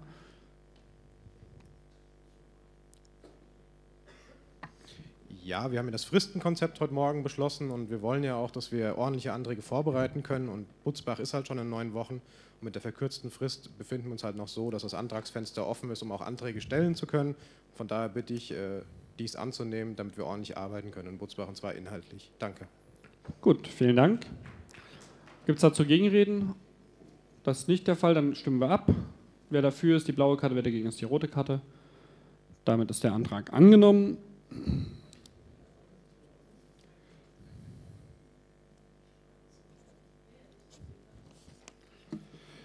So, dann kommen wir zum sonstigen Antrag 14, Verkürzung der Antragsfrist für Satzungsänderungsanträge ähm, zum LPT in Butzbach.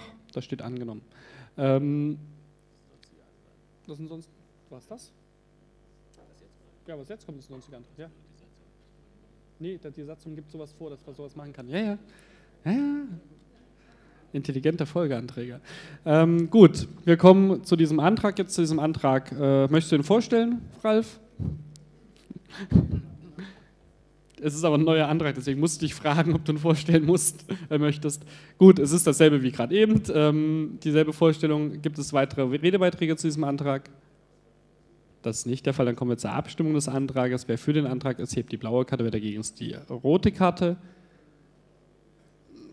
Damit stelle ich fest, Butzbach hat eine Antragsfrist von sechs Wochen für Programmanträge. Dann kommen, dann kommen wir zur Wiedervorlage Verlängerung und Kosten des Tor-Servers. Ähm, wir betreiben einen Tor-Exit-Node äh, bei der GPF, der German Privacy Foundation, und sind da Mitglied. Die Kosten belaufen sich auf x Euro, 59 Euro den Mitgliedsbeitrag. Der Lothar sagt uns gleich, was es kostet.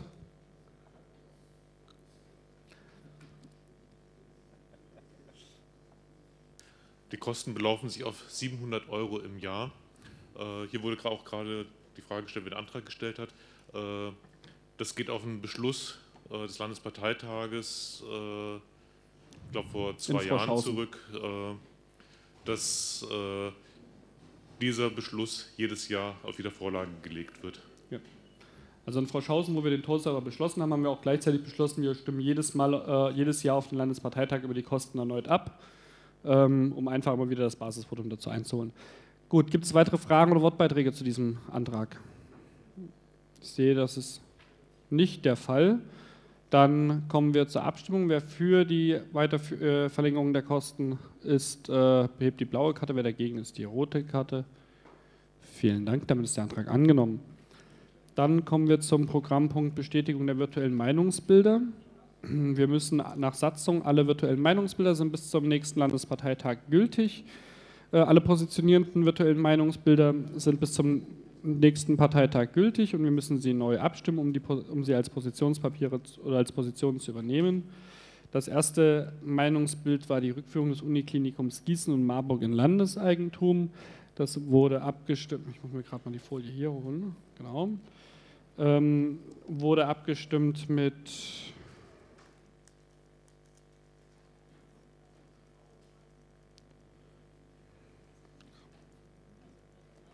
Die Zahlen kann ich gerade leider nicht sagen, weil ich die nicht habe. Ähm, gibt es zu dieser, stimmt, ich kann ja im VMB nachgucken. Wie mache ich denn hier? Machen wir es so. Vote-Politik. Mit 70,4 70 Prozent wurde es im Meinungsbild angenommen. Mit, und dann mit dem Rest ab. Hm, hier haben wir es doch. Haha, wäre doch gelacht, wir haben ja Internet. Wurde mit 70,4 Prozent angenommen, 20,93 Gegenstimmen und 8,59 Prozent Enthaltungen. Ähm, gibt es zu diesem Antrag oder gibt es zu dieser Positionierung Redebeiträge, Martin? Ich habe das durchgelesen. Ähm, ich möchte aber jemand, der näher dran ist, aus Marburg bitten, zu erklären, ob das noch aktuell ist. Ich weiß nicht, wie lange das Meinungsbild her ist weil gerade im, in dem Bereich äh, Rückkauf ähm, oder ähm, Wiederverstaatlichung der Klinik Marburg ähm, tut sich ja beinahe täglich was und ähm, deswegen würde ich das gerne nochmal auf einen aktuellen Stand haben. Zur Information, das Meinungsbild wurde im Zeitraum vom 10.07. bis zum 25.07.2012 erhoben. Ich gebe dir zur Beantwortung das. Ich nehme dann nun verteidigsten Antrag, dann gebe ich dir das Wort. Ja, mein Name ist Jens Fricke aus dem KV Marburg-Biedenkopf, dort auch im Kreistag vertreten. Ähm, eigentlich wollte der äh, Christoph Steltner hier dazu sprechen, der aber sich entschuldigen lässt, weil er derzeit im Staatsexamen sich befindet. Ähm, aber ich kann dazu auch was sagen. Ähm, das Uniklinikum ist seit sechs Jahren in Besitz der Rhön Klinikum AG. Ähm, Ausgangspunkt des VMBs war, dass äh, eine Entlassung von bis zu 500 Mitarbeitern am Klinikum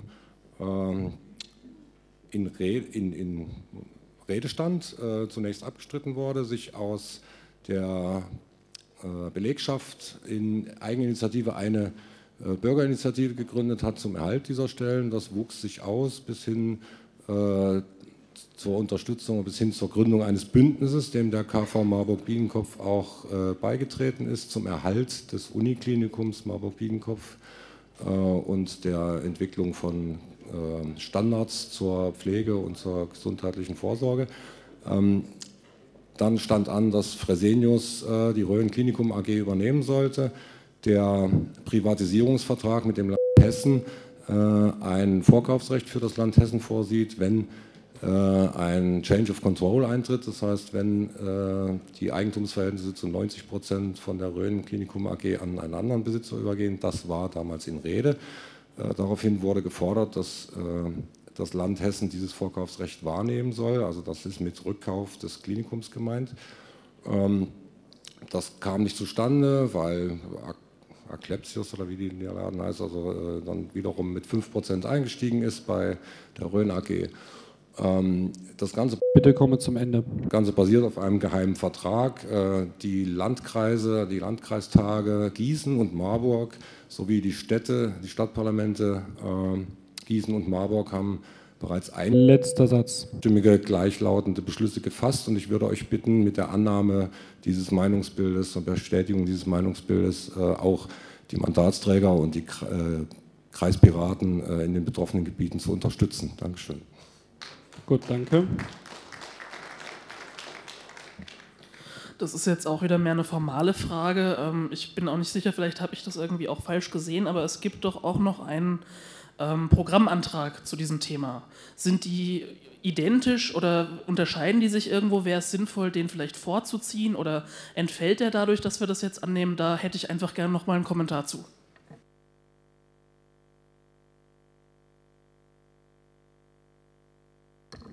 Also die Versammlungsleitung möge mich hier korrigieren. Äh, ich habe den Eindruck, dass die Satzung vorsieht, dass VMBs zunächst bestätigt werden müssen vom Parteitag. Äh, der Programmantrag soll dazu führen, äh, dass diese Position auch im äh, Landesprogramm der Piratenpartei Hessen festgeschrieben wird. Insofern gibt es einen ja, technischen Unterschied, meine ich. Ich würde, den ich würde der Versammlung den Vorschlag machen, wir also die sind wortgleich, die Anträge. Wir diskutieren die Anträge jetzt und äh, ich ziehe dann den Programmänderungsantrag direkt hinter die Positionierung und wir machen das in einem Abwasch, dann sparen wir uns zwei Diskussionen. Dem Applaus entnehme ich, dass das per Akklamation angenommen wurde.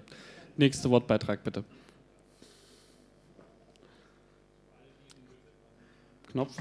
Zu allen drei virtuellen Meinungsbildern wollte ich nur kurz anmerken, an den Abstimmungen, speziell an der, über die wir hier gerade reden, haben sich 454 Piraten beteiligt. Das waren sehr viel mehr Piraten, als jemals auf einem Landesparteitag waren.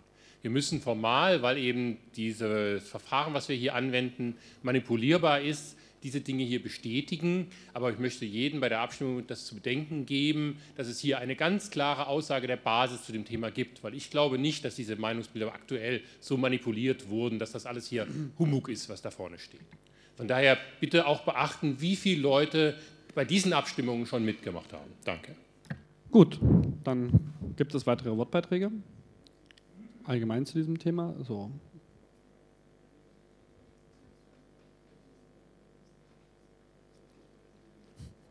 Knopf. Okay, ganz kurz inhaltlich, warum ich diesen Antrag befürworte, auf jeden Fall.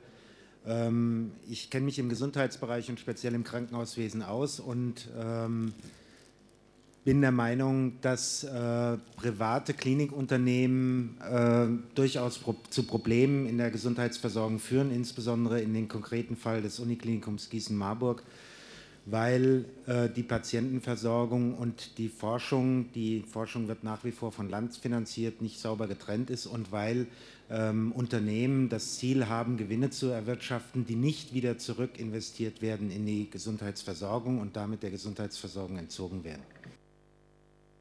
Gut. Vielen Dank.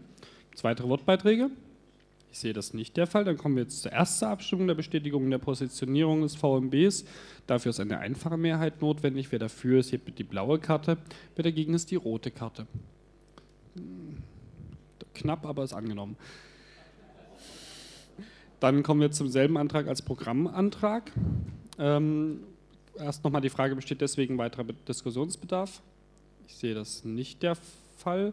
Dann kommen wir zur Abstimmung. Jetzt ist eine Zweidrittelmehrheit notwendig. Wer dafür ist, hebt die blaue Karte, wer dagegen ist, die rote Karte. Vielen Dank. Damit haben wir den ersten Programmantrag beschlossen.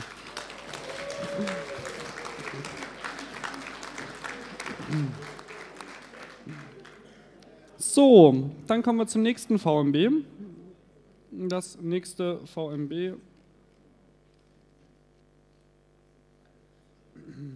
Genau. Medizinisch nicht notwendige Beschneidung an nicht einwilligungsfähigen Kindern. Ähm, ich, verfahre einfach mal genauso wie vorher. Dieses VMB, das ist äh, das VMB, das, das VMB Position Beschneidung 1, ist ähm, mit 74,27% Ja-Stimmen, 19,11% Nein-Stimmen und 6,63% äh, Enthaltungen bei 649 abgegebenen von 1923 möglichen Stimmen angenommen worden. Ähm, ich würde auch sagen, wir verfahren immer so, dass das vorlese am Anfang. Ähm, gibt es zu diesem, Position, äh, zu diesem positionierenden VMB Wortbeiträge? Und auch hier ziehe ich wieder den, äh, da gibt es glaube ich auch einen Antrag zu. Gibt auch einen Antrag zu, der ist auch wieder wortgleich. Ähnlich, ich ziehe den Antrag dann dazu äh, wieder vor. Gibt es zu diesem VMB Wortbeiträge? Dann bitte.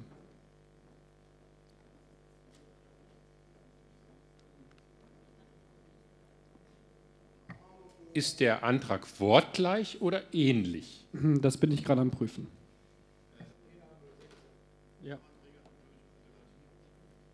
Ja, die haben unter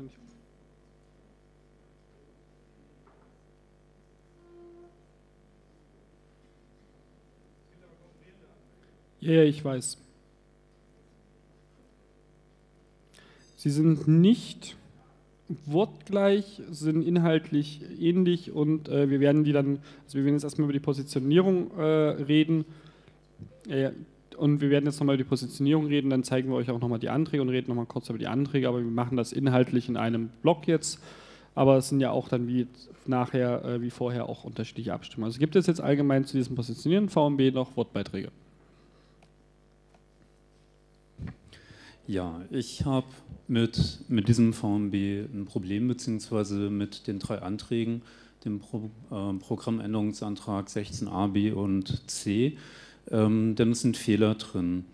Ähm, also zum einen hat sich in der Zwischenzeit was getan, nämlich die Bundesregierung hat mit Abstimmung äh, zum 1. Oktober ähm, inklusive der SPD-Beteiligung einen Gesetzentwurf ähm, vorgelegt, der sagt, ähm, dass die das ist eine Gesetzänderung des BGB, der besagt, dass die Personensorge der Eltern ebenfalls das Recht umfassen soll, in eine medizinisch nicht erforderliche Beschneidung des nicht einwilligungs- und urteilsfähigen männlichen Kindes einzuwilligen, wenn diese nach den Regeln der ärztlichen Kunst durchgeführt werden soll. Dies gilt nicht, wenn durch die Beschneidung auch unter Berücksichtigung ihres Zweckes das Kindeswohl gefährdet wird. Und ähm, dazu würde im, Einzel im, Einzelfall eine gebotene und wirksame Schmerzbehandlung ähm, dazugehören. Außerdem gibt es sowieso schon eine Aufklärung über Folgen und Risiken, die ist erforderlich. Dadurch ähm, ist also, äh, es ist weiterhin eine Körperverletzung, die Strafbarkeit wird dadurch entfernt es wird ähm, das Kindeswohl berücksichtigt und es wird gesagt, Aufklärung und Schmerzbehandlung muss sein. Ähm, der Antrag A ist insofern auch noch ähm, fehler, fehlleitend, denn dort werden sämtliche medizinisch nicht notwendigen chirurgischen Eingriffe abgelehnt. Das bedeutet also auch Schönheitsoperationen. Ähm, das heißt also, es gibt auch durchaus ähm, Geburtsfehler, die vielleicht medizinisch nicht notwendig wären oder ähm, Entfernung eines äh, nicht, äh, ähm, eines nicht äh, bösartigen Hauttumors. Ähm, das würde darunter auch fallen. Bitte kommen wir zum Ende. Okay.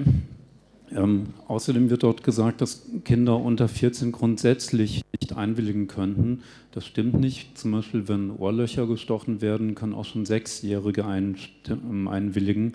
Denn ähm, es geht um die Einsichts- und ähm, Steuerungsfähigkeit des Kindes und nicht, ob sie jünger oder älter als 14 sind.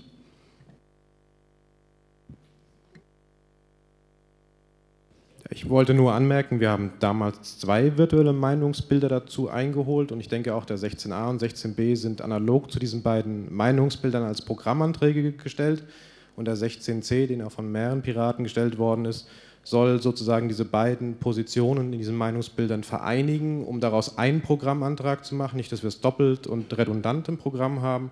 Und ich würde auch bitten, dass wir vielleicht den sonstigen Antrag, falls wir dieses Programmpunkt beschließen sollten, äh, mit verhandeln, dass wir, falls wir das annehmen, äh, auch entsprechend, falls das Gesetz von der Bundesregierung beschlossen werden sollte oder vom Bundestag eben Verfassungsbeschwerde mit initiieren oder unterstützen, dass das auch mitverhandelt wird, dass wir ein bisschen Biss in unser Programm bekommen. Danke. Vielen Dank. Kann ich? Muss ich ja. irgendwo draufdrücken? Nee, einfach reden, es leuchtet. Ich habe nur eine Frage an die Initiatoren der Meinungsbilder. Ähm, Wäre ganz gut, wenn du direkt ins Mikro sprichst. Ich habe nur eine Frage an die Initiatoren der Meinungsbilder bzw. die Antragsteller. Ich möchte nämlich wissen, inwieweit sie sich informiert haben, äh, nicht nur medizinisch aus eigenem äh, Menschenverstand oder ihrer eigenen Meinung her, sondern auch Informationen eingeholt haben von Angehörigen der Gruppierungen für die Beschneidung, ich rede jetzt nur von der Beschneidung von Jungen, eine wichtige Tradition seit Jahrhunderten ist. Ist da überhaupt eine Diskussion gekommen oder ist das allein äh, aus dem Willen der Antragsteller? Ich ne, gehe davon aus, die Antragsteller gehören nicht zu derartigen Gruppierungen. Nächste bitte. Hallo, ich kann nur dafür werben, den Antrag anzunehmen. Äh, jedem, jedem Menschen steht es frei, aus eigenem Willen äh, sich beschneiden zu lassen oder sonst irgendwelche äh, medizinischen Handlungen vornehmen zu lassen. Es kann aber nicht sein, dass das in einem Alter entschieden wird, wo er das noch gar, nicht, äh, noch gar nichts von seinem vermeintlichen Glück weiß. Es ist völlig klar, wenn irgendwelche medizinischen Gründe dafür sprechen, dass dann dass ein Kind nicht erst dass nicht gewartet werden kann, bis das Kind es entscheiden kann, klar. Aber äh, es kann nicht sein, dass aus irgendwelchen vermeintlichen Traditionen gesagt wird, äh, wir machen das jetzt und das Kind hat, hat keine Chance mehr, es zu korrigieren. Wie gesagt, ich, äh, ich will nicht das grundsätzlich verbieten, dass es solche Behandlungen gibt aber bitte erst, wenn das Kind selbst einwilligen kann und auch nicht äh, zu sagen, hier irgendwie, okay, ähm, wenn sechs ist, kann es das schon entscheiden, weil es kann es dann oftmals nicht, da dann so ein Druck oftmals von den Eltern ausgeübt oder das Kind weiß es einfach nicht besser. Ähm, ja, also ich bitte, euch, ich bitte euch herzlich, den Antrag anzunehmen. Dankeschön.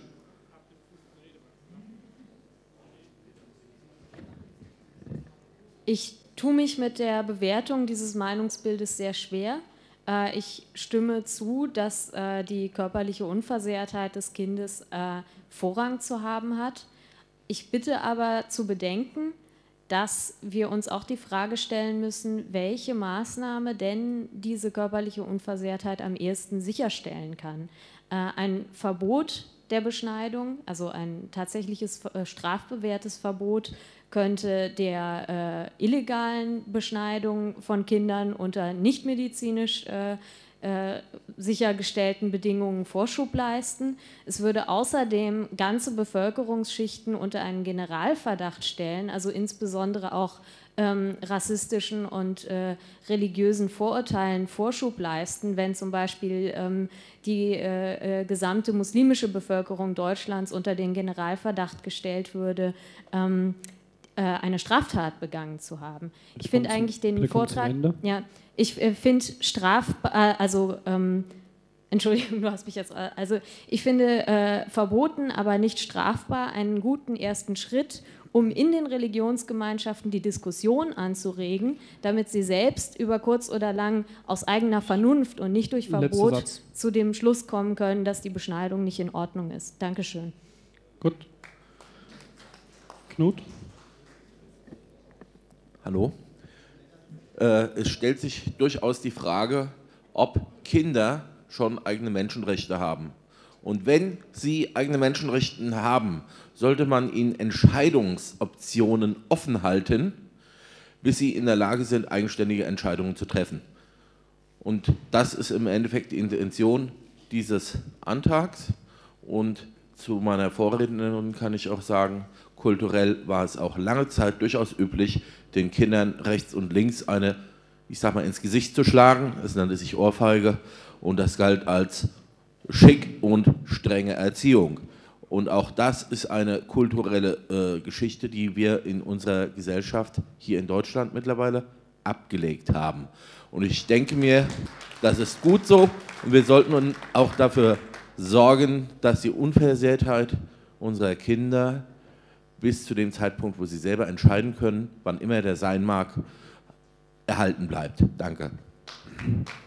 Vielen Dank. Damit war der siebte Redner an der Reihe. Ähm, damit ist die, Redner, oder die Rednerliste jetzt geschlossen. Wer noch auf die Rednerliste möchte, möge sich bitte jetzt erkennbar, ja, du kannst hier sitzen bleiben, du musst dich jetzt hinstellen, möge sich bitte jetzt erkennbar Richtung Rednerliste äh, bewegen. Ich schließe die Rednerliste in 3, 2, 1, 0. Die Rednerliste endet hinter den Namen schon wieder vergessen. Michael Palm, genau. Emanuel, du hast das Wort. Knut, nicht alles, was hinkt, ist ein Vergleich und die Ohrfeige, die äh, nicht wirklich kulturell und schon gar nicht religiös begründet ist, mit einer religiös begründeten Ver Beschneidung zu vergleichen, ist leicht daneben. Ich sehe das Problem ähnlich wie die Julia. Ich verstehe alle Argumente, die für das Kindeswohl sprechen. Die allerdings sind eben nur die Argumenten der einen Seite. Wir haben aber das Problem, dass wir Religionsgemeinschaften haben, die zu nicht geringen Teil ihrer Religion darüber definieren, dass die Beschneidung Teil davon ist, und zwar wesentlich. Bei diesem Antrag fehlt mir jede Auseinandersetzung mit der Frage, wie gehen wir damit um, dass es diese Religionengemeinschaften gibt und wie positionieren wir uns denen gegenüber. Weil für die bedeutet dieser Antrag ein offener Affront. Und da haben wir keine Option und keine Gegenlösung. Der Ansatz von der Julia wäre sicherlich ein Weg, aber sich hinzustellen und zu sagen, alle, die ihre Religion so ausüben, sind aus Sicht der Piratenpartei kriminell, halte ich für problematisch. Und solange es da keine Gegenposition gibt, kann ich diesen Antrag nicht befürworten. Danke. Vielen Dank. Ähm, Also ich frage mich dabei, wo man die Grenze ziehen soll. Ich meine, es gibt diverse Formen, von Genitalverstümmelung. Ähm, wo zieht man jetzt genau die Grenze? Und wer soll das festlegen? Wie? Also ich bitte euch sehr dafür, einen dieser Anträge anzunehmen, weil ich denke, bei einer klaren Linie, dass wir sagen, wir lehnen jede Form dieses äh, Eingriffes in die körperliche Unversehrtheit ab, dann setzen wir eine klare Position dafür, dass wir äh, für die Menschenrechte auch von Kindern stehen. Das ist meine persönliche Meinung. Äh, ich denke, dass, die, äh, dass wir uns auch noch sicherlich mit diesen Gegenargumenten auseinandersetzen müssen, die sind äh, sehr gut. Aber ich finde es so wichtig, dass wir uns positionieren, dass Kinder äh, auch Menschenrechte genießen und diese körperliche Unversehrtheit äh, ihnen zugutekommt. Vielen Dank.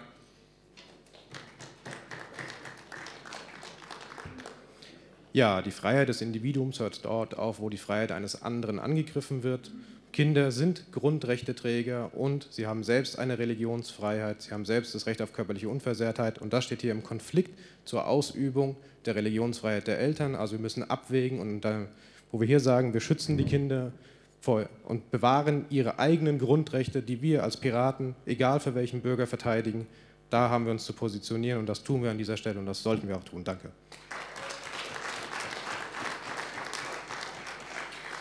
Als allererstes sollten wir andere Religionen respektieren. Ähm, dann kommt immer wieder dieses Argument der körperlichen Unversehrtheit. Äh, wichtig ist bei diesem Punkt zu bedenken, wenn das medizinisch korrekt gemacht wird mit einer Betäubung, ist es überhaupt kein Problem. Ich wurde auch beschnitten und ich habe keinen Schaden davon getragen.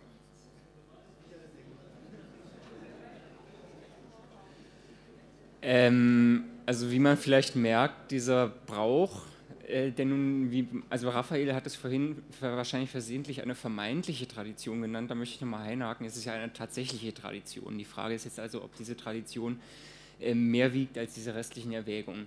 Ich möchte nicht die ganze Debatte wiederholen. Ähm, was ich anregen möchte, ist äh, in Antragsform gestellt, einmal den letzten Satz dieses, dieses Textes zu streichen, wenn das noch geht, also die Strafbarkeit daraus zu nehmen. Ich glaube, bei den Programmanträgen würde das noch gehen. Ähm, ein anderer Antrag äh, lautet auf geheime Abstimmung, denn äh, ich persönlich halte das für sinnlos, so eine Abstimmung mit Stimmkarten durchzuführen. Ähm, ganz kurz, äh, das mit den Ändern muss ich gerade gucken. Äh, könnt ihr das mal in den äh, Antragskonzeptänderungsantrag Protter? Protter? Könntest du, könnt ihr das mal prüfen bitte mit der Änderung und ähm, ich würde bitte dann mal einen anderen Versammlungsleiter noch mit als auf die Bühne und übergebe dann nämlich erstmal auch. Ähm, ich prüfe das gerade. Das ist kein Problem. Das machen wir jetzt so. Kommt jetzt, jetzt übernimmst du, der Volker begleitet dich und ich gehe mal das prüfen. Hm, ich gebe, ich gebe die, nee, ich übergebe die Versammlungsleitung an Volker Berghaut.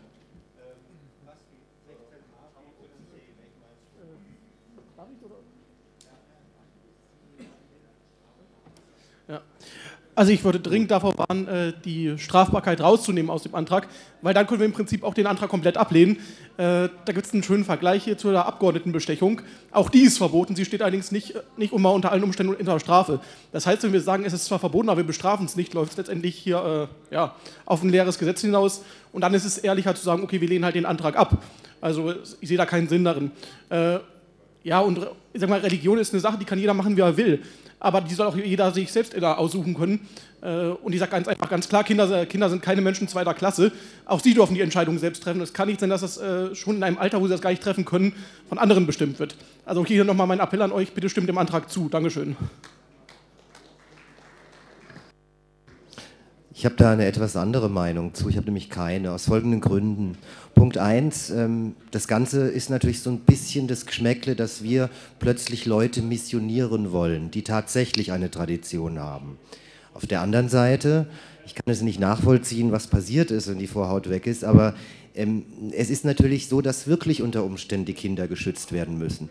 Mir geht es aber um was anderes. Wieso wird dieses Thema hier aufgegriffen? Das Thema wird deswegen hier aufgegriffen, weil es eigentlich ein Thema ist, was andere losgelöst haben. Und ich bin persönlich der Meinung, dass wir heute, hier und jetzt nicht unbedingt zu jedem und allem und auch nicht zu diesem Thema ein Statement überhaupt abgeben müssen, weil vielleicht die Diskussion noch gar nicht so weit gediehen ist und weil wir ausnahmsweise mal, und das ist wirklich das einzige Beispiel, was mir einfällt, den Medien folgen, anstatt die Medien vor uns herzutreiben. Müssen wir wirklich dazu eine Meinung haben heute? Ich habe keine.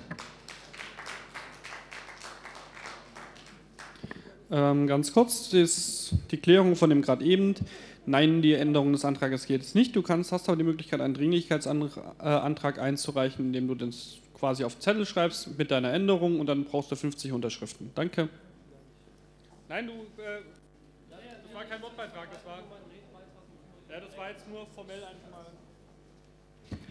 Ja, ich denke, wir müssen auch nicht bei jeder Sau, durch, die durchs Dorf getrieben wird, uns daran beteiligen. Die Sache ist nämlich insgesamt ziemlich kompliziert. Da stehen nicht nur zwei, sondern vier Rechte gegeneinander. Das ist auf der einen Seite das Kindeswohl, wo ich auch sehr dafür bin, eben das Kindeswohl zu schützen. Auf der anderen Seite die Religionsfreiheit, äh, das Recht der Eltern auf ähm, die als Elternbestimmungsrecht und das vierte ist Minderheitenschutz. Und das finde ich ganz extrem. Ähm, wir haben dort eine ethnische Minderheit.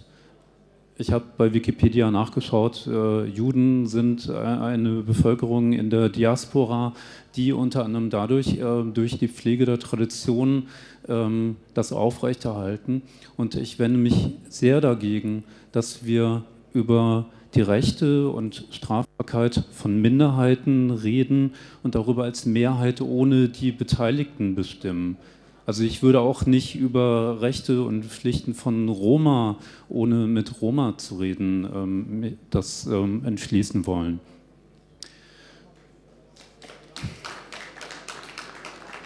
So.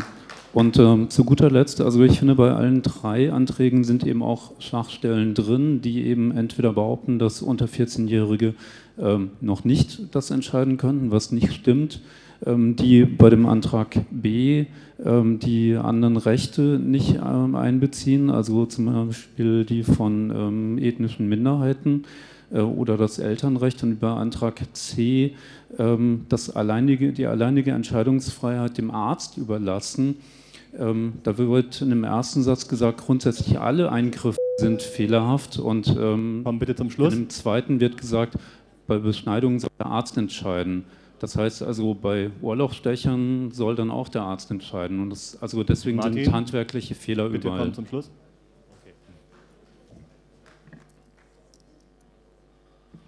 Okay, die Redeliste ist beendet. Es gibt einen GO-Antrag von Ernst.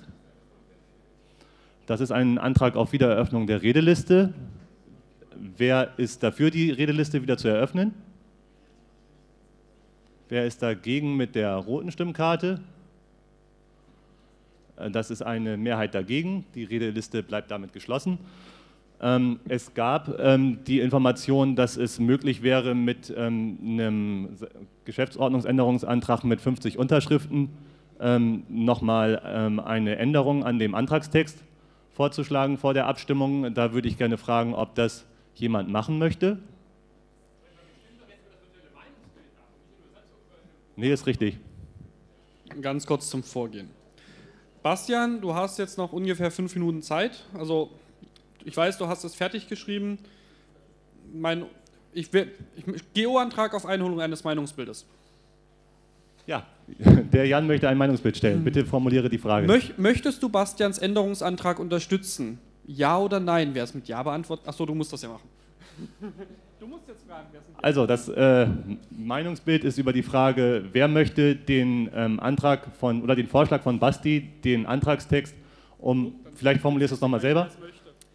Also ich habe ja einen Satz aufgeschrieben unter das Wort Dringlichkeitsantrag. Bei den Anträgen zum Thema Beschneidung werden Sätze, die sich zur Strafbarkeit beziehen, gestrichen, um eben dieses Element aus der Debatte rauszunehmen. Da habe ich schon zwei Unterschriften, da bräuchte ich jetzt noch 48. Genau. Quasi zeigt an, wo er hingehen muss, dass er die Unterschriften kriegt. Das ist ein Antrag auf ein ähm, Meinungsbild, deswegen wäre die Frage, wer würde ähm, den, ähm, den Weg, den Basti gehen möchte, unterstützen?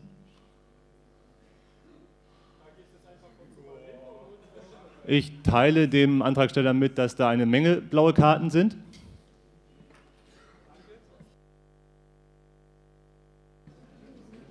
Gut. Ja. Also wir, wir stimmen jetzt tatsächlich erstmal über die Positionierung des VMBs ab, ob die Positionierung bestätigt wird oder nicht.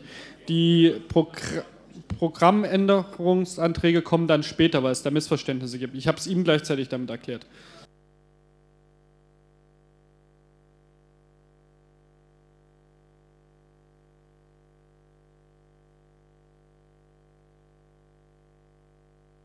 Es gibt noch einen GO-Antrag.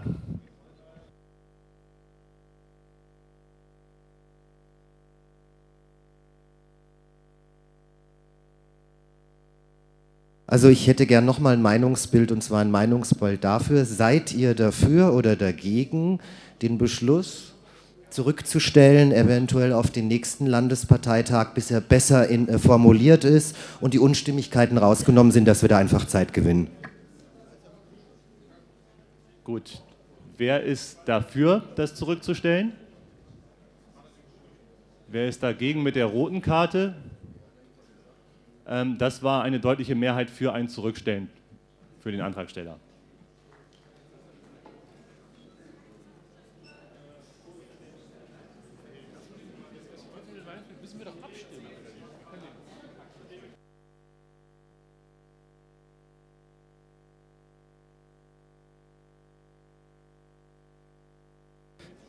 Weil es etwas komplizierter wird. Ähm, der Volker kommt mal zum Protter und erklärt ihm gerade mal, was er jetzt alles gemacht hat, weil es wurde jetzt etwas kompliziert. Gut, als Versammlungsleiter stelle ich einen, einen GO-Antrag, Ruhe bitte, einen GO-Antrag, also entsprechende Intention des letzten Meinungsbildes, stelle ich als Versammlungsleiter einen GO-Antrag auf Änderung der Tagesordnung. ähm, Vertagung dieser Beschneidungsanträge auf den Parteitag in Butzbach zur nochmal Diskussion, wie es halt jetzt gerade gefordert wurde im Meinungsbild. Ähm, das würde allerdings bedeuten, oder das möchte ich dazu sagen, das bedeutet, dass die Positionierung zwischen diesem Parteitag und dem Parteitag in Butzbach dann verfällt weil wir dann ja nicht über die Positionierung nochmal abgestimmt haben, äh, möchte trotzdem kurz das Votum dieser Versammlung haben. Wer, wird, oder wer stimmt den TO-Antrag auf Vertagung dieser Anträge zu? Die blaue Karte, wer dagegen ist, die rote Karte. Ne, wer dafür ist die blaue Karte, wer dagegen ist die rote Karte. Wie schon seit zwei Tagen. Der ist jetzt schwierig. Äh, der Ernst mal auf die Bühne. Der Ernst. Komm mal her mal nur die Ja-Karten. Guck mal mit. Guck dir das mal an. Bitte nur die Nein-Karten jetzt. Ist mehr Ja. Damit ist der TO-Antrag angenommen. Dann sind die Anträge vertagt. Und wir kommen weiter in den Satzungsänderungsanträgen. Das ist auch, äh, auch Beschneidung. Hm? Steht hier nicht drin. Ja, ja der, Land der Landesparteitag reicht diesen Antrag gerade dem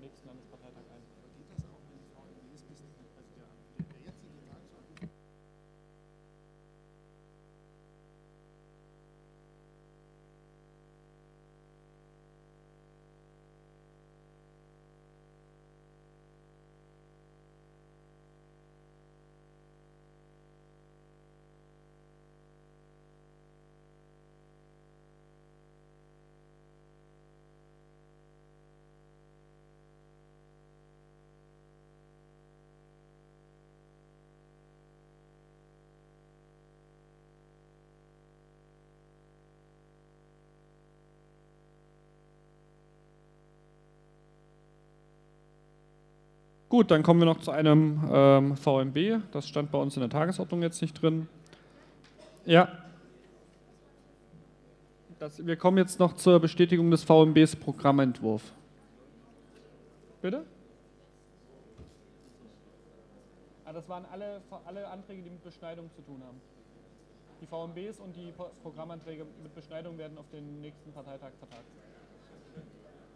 Das war meiner ich hatte die TO-Änderung. Das, das, das war das Meinungsbild und der TO-Änderungsantrag daraus. Schreibe einfach mal Nachfrage, ich mache das nachher so. Dann kommen wir nämlich weiter. So, wir haben ein VMB noch gehabt, ähm, das Meinungsbild Programmentwurf, das kommen wir jetzt noch, kann ich euch leider nicht auf, die, auf den Beamer legen, weil wir das nicht vorbereitet haben. Tut mir leid, äh, bis wir das Bild jetzt da drin haben, sind wir auch fertig. Ähm, das Meinungsbild besagte, soll der vorliegende Programmentwurf ähm, als Programm der Piratenpartei Hessen bestätigt werden. Da wurde ein, ähm, ein Programmentwurf äh, dann vorgeschlagen. An dem Meinungsbild haben 269 von 1943 möglichen Stimmen teilgenommen. Ja haben gestimmt 196, das sind 72,86 Prozent. Enthalten haben sich 14,87 Prozent und mit Nein haben 12,27 Prozent gestimmt. Ähm, Ralf? Ja, ihr kennt mich ja von der Mailingliste mit den unendlich vielen Mails, dass wir unser Programm endlich mal den, an den Start bekommen. Wir durch die Positionierung, das Meinungsbild haben wir ja schon, war ja versprochen von mir am letzten Landesparteitag, dass es auf die Webseite kommt, das haben wir geschafft, ja, auch kurz vor knapp. Ich würde euch bitten, diese Position erneut zu bestätigen und auch danach den äh, PA 005 sozusagen zu beschließen, dass wir endlich ein Programm als Grundlage haben, worauf sich dann alle anderen Programmanträge beziehen und wir jederzeit wissen, was für ein Programm wir haben. Vielen, vielen Dank. Gut. Ich mach mal den hier. Genau, das ist nämlich dann auch der Text des VMBs. Gibt es Wortbeiträge zu diesem VMB? Also ich ziehe dann auch wieder diesen Programmantrag zum VMB vor. Das sollten wir das nächste Mal eigentlich direkt in die GO schreiben. Das so als Anmerkung für mich fürs nächste Mal. Oder ein Satzungsänderungsantrag, ja. Du bist. Also ich habe den, äh, bei dem virtuellen Meinungsbild äh, teilgenommen und habe den gesamten Text durchgelesen und habe bei zwei Drittel aller äh, Anmerkungen, der Text kommt von da oder von dort, das nachgeprüft und habe keine Abweichungen gefunden. Es ist in der Tat so, dass hier nur bestätigt wird, dass die Arbeit korrekt gemacht wurde, dass alle Beschlüsse, die wir bisher gefasst haben, korrekt zusammengefasst wurden. Und wie gesagt, haben auch noch wohl wahrscheinlich andere gemacht, aber ich kann sagen, es ist wirklich nur das gemacht worden. Es ist hier keine inhaltliche Aussage in irgendeiner Form gemacht worden, die wir nicht vorher schon beschlossen hatten. Wollte ich nur noch mal klarstellen. Gut, vielen Dank. Gibt es weitere Wortbeiträge dazu? Da ich sehe, das nicht der Fall. Dann kommen wir jetzt zuerst wieder zur, Position, äh, zur Aufrechterhaltung der Positionierung. Wer für die Aufrechterhaltung der Positionierung aus dem VMB ist, hebt die blaue Karte, wer dagegen ist, die rote Karte. Vielen Dank, damit ist es angenommen. Dann kommen wir jetzt zu dem PA 005. Ähm, Gibt es da noch Diskussionsbedarf? Ich sehe das nicht der Fall. Dann kommen wir da zur Abstimmung. Jetzt brauchen wir eine Zweidrittelmehrheit. Wer dafür ist, hebt bitte die blaue Karte. Wer dagegen ist, die rote Karte. Damit ist der Antrag angenommen.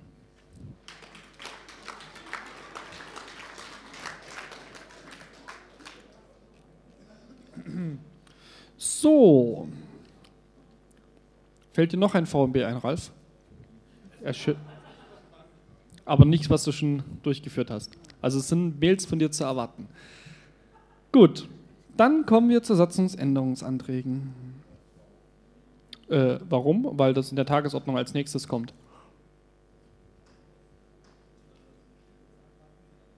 Bildungsantrag? Gibt es einen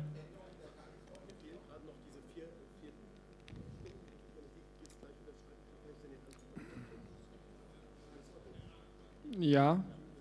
Wie viel braucht äh, du brauchst noch vier Stimmen?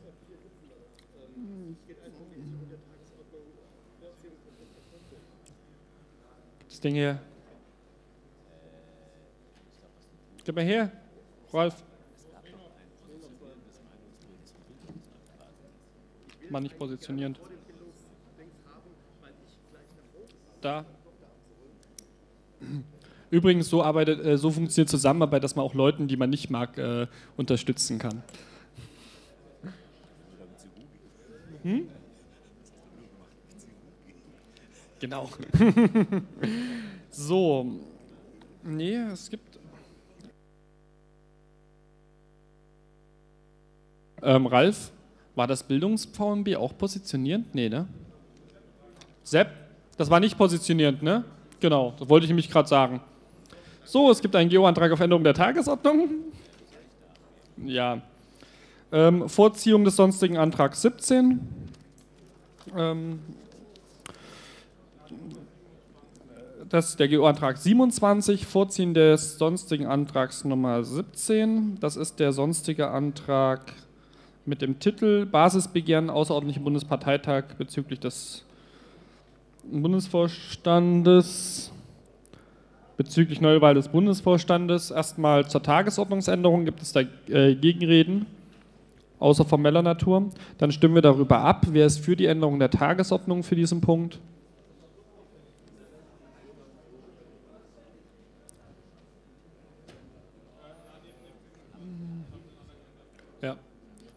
Damit ist der Antrag angenommen. Dann rufe ich sonstigen Antrag Nee, dann gebe ich die Versammlungsleitung ab an Volker Berghut.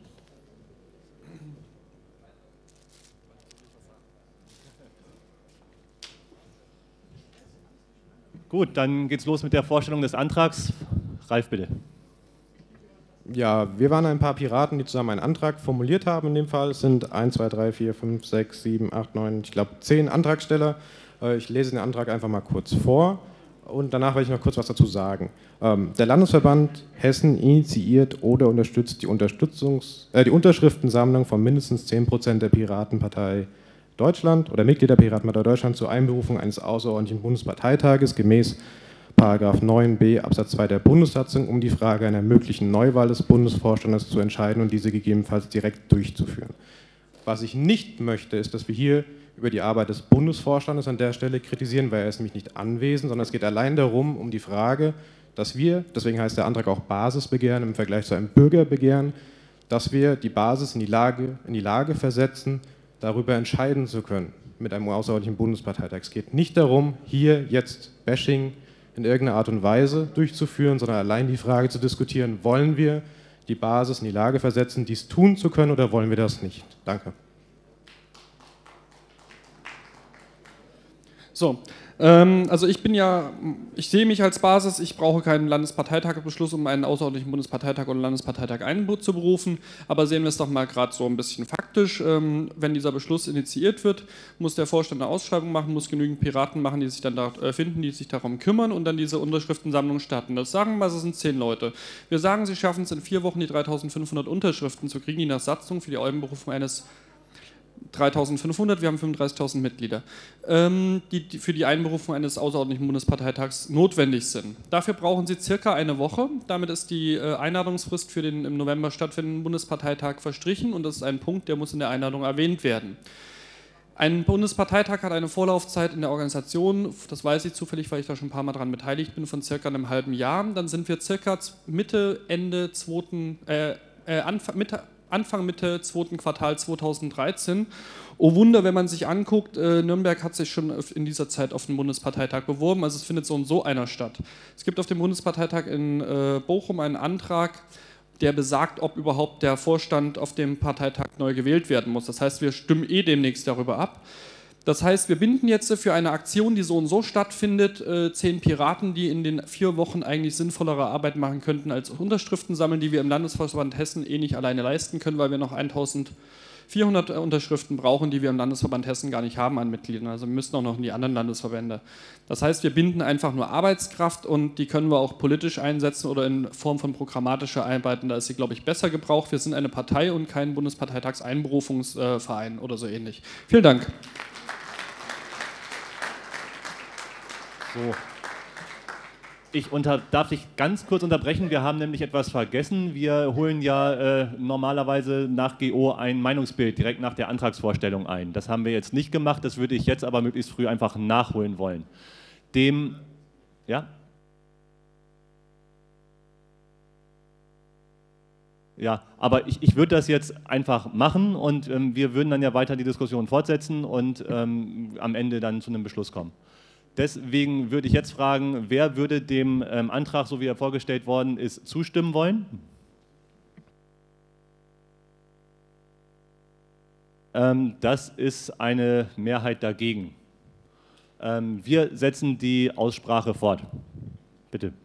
Ja, also die Argumente, die Jan gerade gebracht hat, kann ich komplett nachvollziehen. Auch ich sehe das, dass es tatsächlich technisch gesehen erstmal gar keinen Sinn macht. Denn in der Tat haben wir einen nächsten Parteitag im Frühjahr und üblicherweise wäre es ja so, dass dort der Bundesvorstand neu gewählt wird.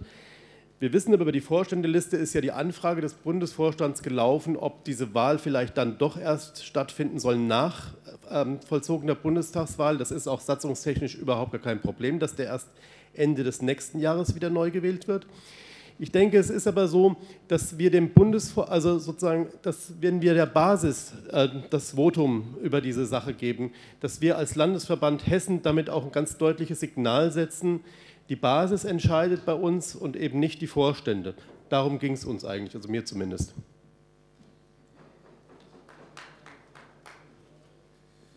Wir werden immer eine Menge Leute haben, die mit dem Vorstand unzufrieden sind, völlig egal, wer da drin sitzt. Wenn wir jedes Mal, wenn uns ein bisschen Pipifax stört, sowas initiieren, dann haben wir nur noch Wahlparteitage und können den Parteikram auch komplett sein lassen.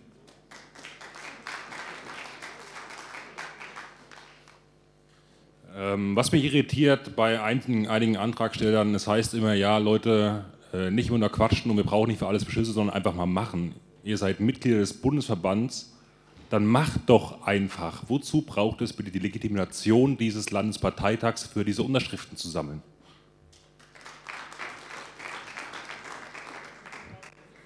Ich kann das Argument der Basisdemokratie an dieser Stelle nicht nachvollziehen. Der Bundesvorstand ist basisdemokratisch gewählt. Der Satzungspassus, äh, dass er bis zu knapp zwei Jahre im Amt bleiben kann, wurde auf dem Bundesparteitag 2009 basisdemokratisch nach Diskussionen genauso beschlossen, damit er diese Möglichkeit hat.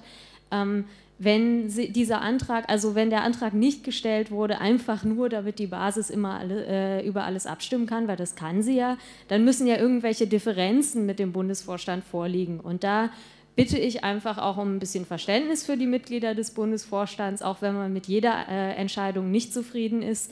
Ähm, dass sie eine sehr schwierige Aufgabe zu erfüllen haben. Sie sind auch für solche Dinge wie Umfragewerte nicht verantwortlich. Dafür sind für alle verantwortlich, dass wir einfach mehr Themen nach vorne bringen und eigentlich äh, jetzt wieder einen Parteitag nur zur Wahl eines neuen Bundesvorstands oder für die Möglichkeit zu bringen, ist eigentlich so der Inbegriff von äh, über Köpfen reden statt über Themen. Und ich finde, wir sollten die Zeit wirklich in programmatische Arbeit stecken. Dankeschön. Auch aus meiner Sicht ist es über Köpfen reden, wenn der Bundesvorstand unter Umgehung all dessen, was wir bisher immer gemacht haben, selbst entscheiden möchte, wie lange er im Amt bleibt, nämlich die maximal nach der Satzung mögliche Zeit. Natürlich kann er das tun. Fakt ist aber, dass wir alle bisher immer einen Bundesvorstand ein Jahr hatten und im Frühjahr neu gewählt haben. Ich hätte kein Problem damit, wenn der Bundesvorstand hergegangen wäre und hätte gesagt, liebe Piraten, gebt uns mal ein kurzes Feedback, was meint ihr? Und dann das Feedback bekommen und das dann machen. Die Art und Weise, wie das hier allerdings gemacht wird, dass der Bundesvorstand für sich entschließt, das so zu tun und uns das dann mitteilt, dass er das so zu tun gedenkt, das finde ich nicht in Ordnung. Egal, was wir an Satzungsänderungen damals beschlossen haben, das ist formal alles richtig. Es ist umgekehrt allerdings auch formal richtig, dass die Satzung uns die Möglichkeit gibt, diesen Unmut mit einem Bundesvorstand, der entscheidet und uns davon in Kenntnis setzt, und nicht, wie es früher üblich war, der Vorstand verwaltet die Meinung der Basis, sondern die, jetzt die Basis hat, die Meinung des Vorstandes zu akzeptieren, dass wir dagegen ein Zeichen setzen und da brauchen wir keine Legitimation. Aber ich finde, es wäre ein sehr schönes Zeichen für unseres Verständnisses von Basisdemokratie, wenn wir sagen, das halten wir nicht für in Ordnung. Danke.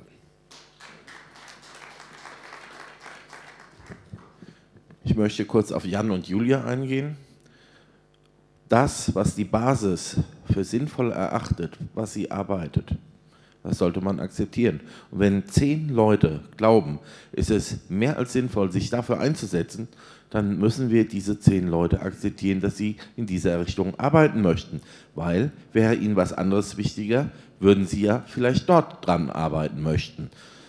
Und ich denke mir, dass auch dieser Landesparteitag auch eine Form der Organisation ist, Unterstützer hierfür zu finden und das Ganze, ich sag mal, öffentlicher zu machen.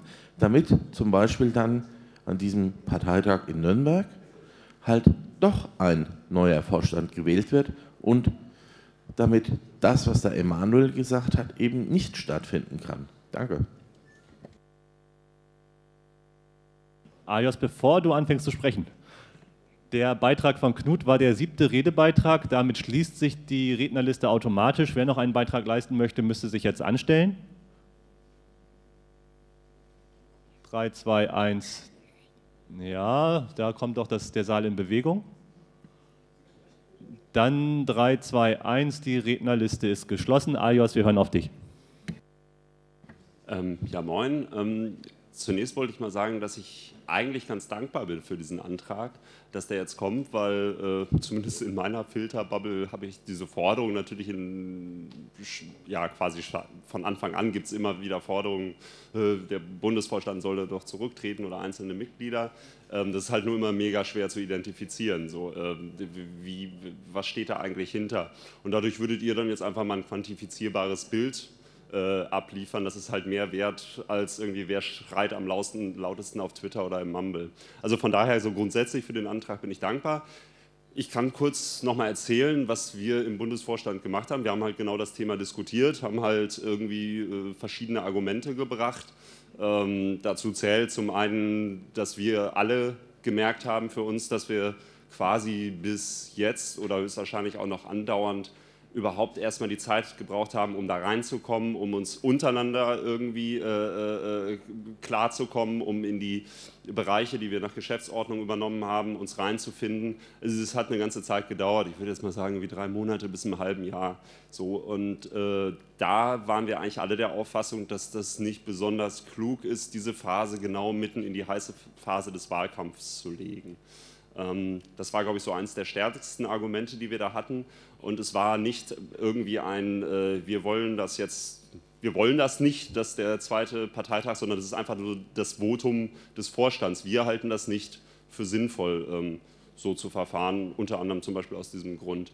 Ähm, zweiter Grund, der genannt wurde, dass es potenziell relativ schwierig werden könnte, Personal zu finden. Ähm, zum einen, weil dann eben halt auch viele dann schon auf den Listen sind, ob die dann nochmal für den Vorstand kandidieren, dann hat man diese Ämter-Mandatsdiskussionen und äh, vielleicht kandidiert dann jemand schon oder, die, oder viele gute Leute kandidieren für den Bundestag und äh, würden dann natürlich nicht nochmal ein Bufo-Amt anfangen. Das wäre ja auch komisch irgendwie, ich kandidiere für eine Liste für den Bundestag. So, also es könnte zu einem Personalproblem kommen. Das war noch ein Argument, aber ich glaube, meine Zeit Bitte kommt ist um. zum Schluss, genau. Ja, ähm, das wäre so meine Two Cent.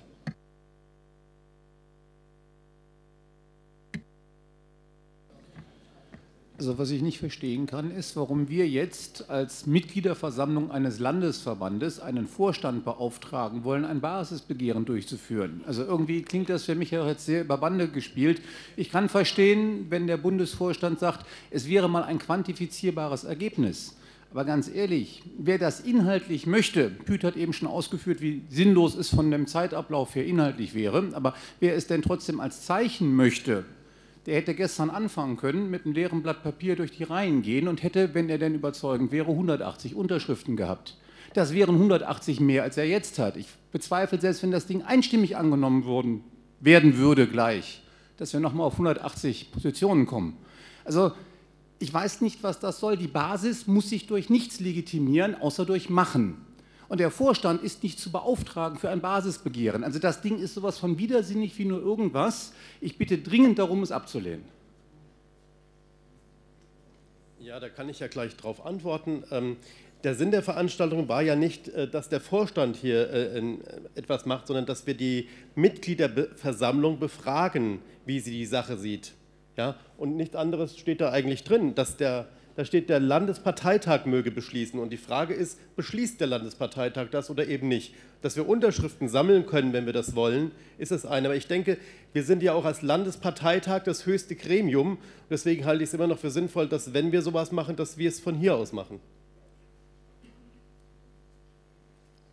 Ja, wir haben uns eben auch noch mal kurz beraten. Wir können natürlich auch den Antrag einfach zurückziehen und äh, hoffen, dass der Alios, sag ich mal, die aufgegriffene Kritik, die heute hier geäußert worden ist, mitnimmt und das auch einfach im Bundesvorstand als Gremium mal thematisiert, dass wir in Hessen uns einfach damit beschäftigt haben. Damit wäre, glaube ich, für den Anfang einfach schon mal viel geholfen und wir können weitergehen zum Inhalt. Ähm, Ralf, äh, wir könnten, ähm, ist das eine... Ich würde gerne ein Meinungsbild einholen, ob wir ihn zurückziehen ziehen möchten oder nicht. Ich Dann- teile dem Antragsteller mit, dass eine Mehrheit dafür wäre. Dann würden wir ihn zurückziehen. Also wir tun ihn zurückziehen. Dann ist die Aussprache damit beendet. Wir kommen zum nächsten Tag. Achso, möchte den Antrag jemand übernehmen? Nein, äh, das ist nicht der Fall. Doch, Moment. Dann haben wir einen GO-Antrag. Ähm, der ich Antrag hatte ist zurückgezogen, ja. Entschuldigung. Ich hatte gerade Alius gefragt, ob es für ihn okay ist, wenn wir einen GO-Antrag auf ein Meinungsbild machen, wie zufrieden die Versammelten mit der Arbeit des Vorstandes sind. Das würde nämlich ein quantifizierbares Ergebnis liefern. Dazu gibt es einen GO-Alternativantrag. Nee, ein GO-Antrag auf Einholung eines Meinungsbildes, der richtig gestellt ist. GO-Antrag eines, Me- auf Einholung eines Meinungsbildungs. Seid ihr mit der Arbeit des Bundesvorstands zufrieden, ja oder nein? Du musst eine Ja-Nein-Frage stellen.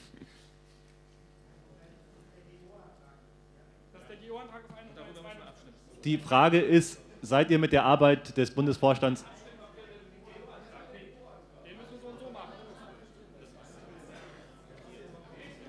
Also, es ist ein GO-Antrag gestellt. Es kommt zu einer automatischen Gegen. Es ist ein GO-Antrag auf Einholung eines Meinungsbildes, der nach Geschäftsordnung nicht abgestimmt wird, sondern direkt zur Ausführung führt. Genau, deswegen bleibt die Frage, seid ihr mit der Arbeit des Bundesvorstands zufrieden? Wenn ihr zufrieden seid, die blaue Karte, wenn ihr nicht zufrieden seid, die rote Karte.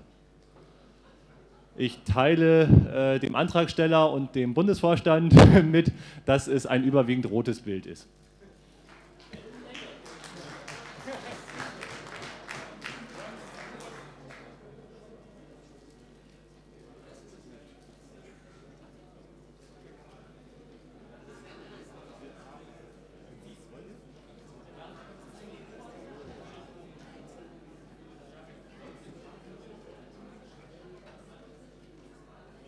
Wir kommen dann in den Bereich Satzungsänderungsanträge. Da wäre der nächste Antrag, den wir verhandeln, der Satzungsänderungsantrag 3, Finanzordnung, Begrenzung der Spendenannahme. Ich sehe einen GO-Antrag. Ralf, bitte.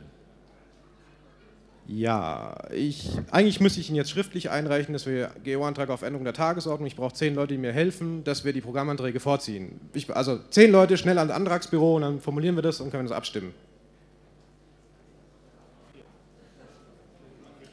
Die Frage ist, wollt ihr Satzungen beschließen oder wollt ihr Programm beschließen? Ich bin eindeutig für Programm, also brauche ich zehn Unterschriften. Danke.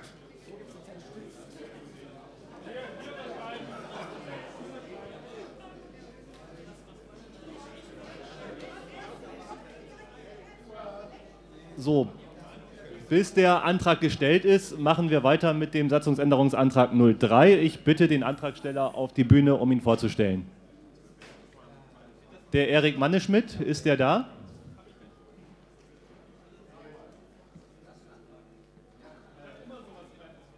Der Antragsteller ist offensichtlich nicht da. Möchte jemand den Antrag für, für Erik übernehmen? Der Michael Stark?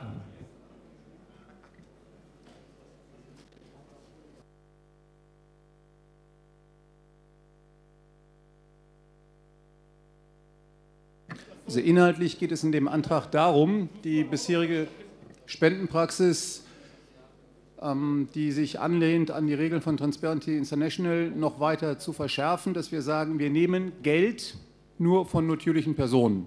Punkt 1, Obergrenze pro natürliche Person 10.000 Euro und das pro Jahr. Ich denke, das ist nicht nur ein Satzungsänderungsantrag, was es natürlich formal ist, es ist auch ein ganz klares Zeichen, wie wir uns das vorstellen könnten, wie sich der Politikbetrieb finanzieren soll. Deswegen werbe ich sehr stark dafür, diesen Antrag anzunehmen.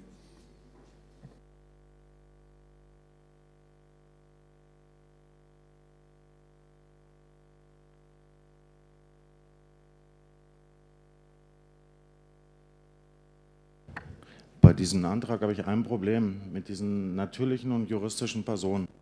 Ähm, jedem muss klar sein, dass die natürliche Person nur die Privatleute sind, die juristische Person auch Firmen sind. Wenn wir das so irgendwie beschließen sollten, wie ich das gerade überlesen habe, äh, hätten wir nur äh, also die ganzen Firmen ausgeschlossen. Wäre irgendwie aus meiner Sicht Wahnsinn. Also wir sind schon sehr streng, aber Wahnsinn, wenn wir das wirklich so machen würden.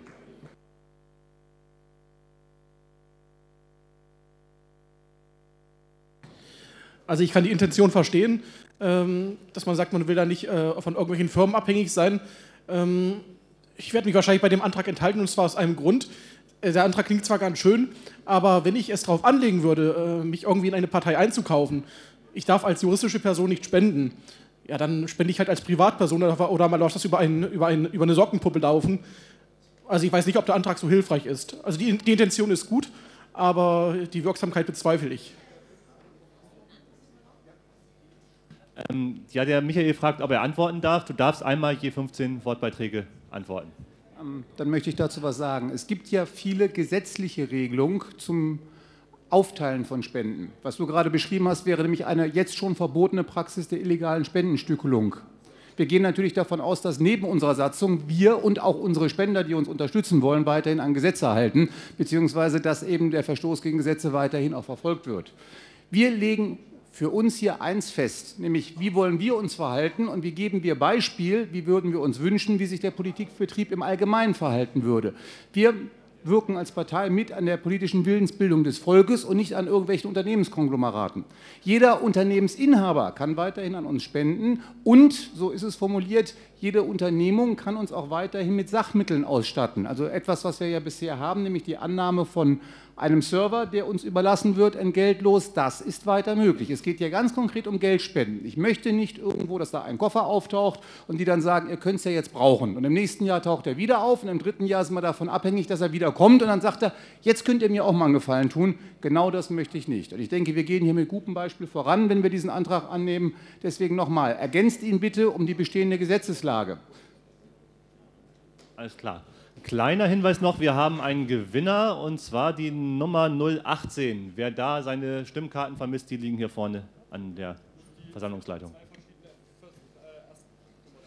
Also bei dem Antrag äh, habe ich äh, mit der Obergrenze zu einem äh, kein Problem. Es ist sinnvoll, wenn man äh, sich nicht zu sehr abhängig von einem macht. Aber mit den juristischen Personen habe ich ein großes Problem, zumal der Antrag formell einen Fehler enthält. Nämlich so etwas wie leihweise Belastung von Fahrzeugen und Technik ist keine Sachspende. Das ist allenfalls eine Aufwandsverzichtsspende und zählt zu den Geldspenden. Das heißt, immer wenn ein Unternehmen sagt, hier, ich habe zwar jetzt äh, für dich eine Leistung erbracht, äh, aber ich möchte zum Beispiel nur einen Teil oder gar nichts davon ausbezahlt haben, ist es eine Geldspende. Das äh, haben wir bereits. Äh, wir haben zum Beispiel den Messebau äh, von äh, in Wetzlar beim Hessentag. Da hat der Unternehmer auch gesagt, hier, das sind zwar unsere regulären Sätze, die müsste ich euch jetzt berechnen, aber ich gehe mit dem Preis ein bisschen nach unten. Das ist dann eine Spende gegen Forderungsverzicht, zählt als Geldspenden. Ich halte es für wichtig, dass dabei die gleichen Beschränkungen und gleichen Veröffentlichungsgrenzen wie bei natürlichen Personen bestehen, aber kein generelles Verbot. Die Transparenz ist hier unsere Waffe.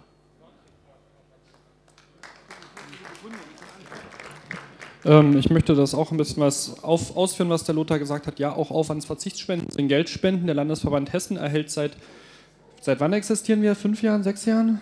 Seit fünf Jahren, also kurz nach der Gründung, erhält der Landesverband Hessen eine Daueraufwandsverzichtsspende. Und zwar gibt es eine Firma, die der IT die Server host im Rechenzentrum. Das war die, die auch gestern öfters angesprochen wurde. Wir haben, die Firma steht auf der Website ganz klein, äh, auf einer Unterseite äh, wo wir genannt haben, dass wir durch die gesponsert werden. Die, äh, ich werde jetzt den Namen nicht öffentlich ins Stream raushauen. Also wer möchte, kann da auf piratenpartei-hessen.de gucken, da steht es irgendwo drauf. Ähm, das machen die seit fünf Jahren.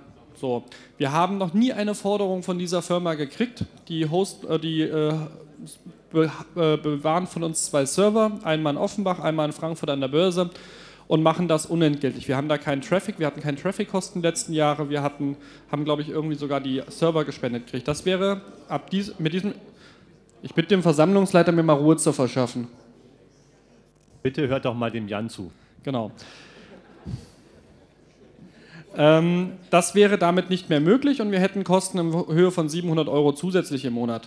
Um das, obwohl der Chef ist Pirat, der möchte uns einfach diesen Platz geben. Er hat gesagt, er hat, er hat eh Platz, es macht keinen Unterschied für ihn und dann gibt er uns das. Das Zweite ist, ähm, Geldspenden natürlich, es muss veröffentlicht werden, aber das sagt dieser Antrag nicht. Ich bin Firmeninhaber und sage, ho, ich kann mit meiner Firma jetzt der Partei nichts spenden. Ach hier, ich zahle mir mal kurz was aus meiner Firma aus. Übrigens, hier hast du mal, Lothar, hier hast du mal 5000 Euro. Äh, das ist genau dasselbe. Äh, Wo ist der Unterschied, ob eine Firma mir Geld spendet oder ob der Chef das Geld spendet?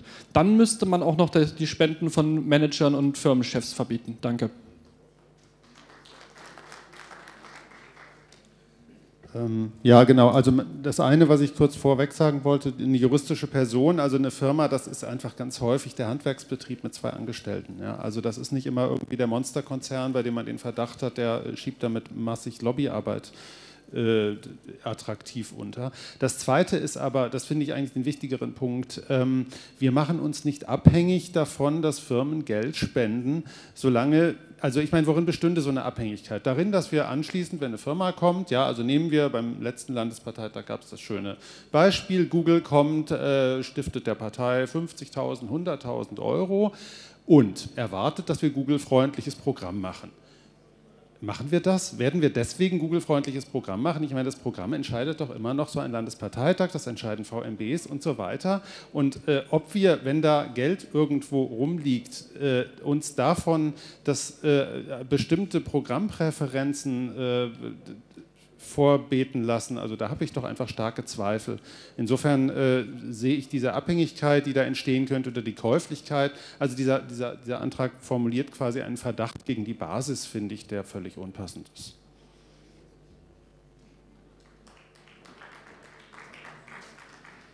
Ich sehe ergänzend zum Jan, der das finde ich sehr schön dargestellt hat, vor allem das Problem, dass Spenden ja nicht ausschließlich bei der Gliederung bleiben, wo sie eingehen, außer sie sind zweckgebunden. Das heißt, bundesweit haben wir eine andere Regelung, diese Beschränkung nicht. Wenn also eine entsprechend große Spende eingeht, kann der Landesverband in deutlich größerer Höhe, als es hier beschränkt ist, profitieren.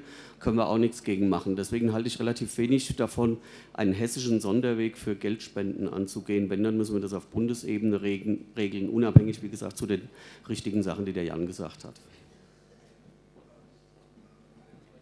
Gut, damit ist die Frageliste besprochen. Äh, Michael, möchtest du noch mal, ein, mal darauf antworten?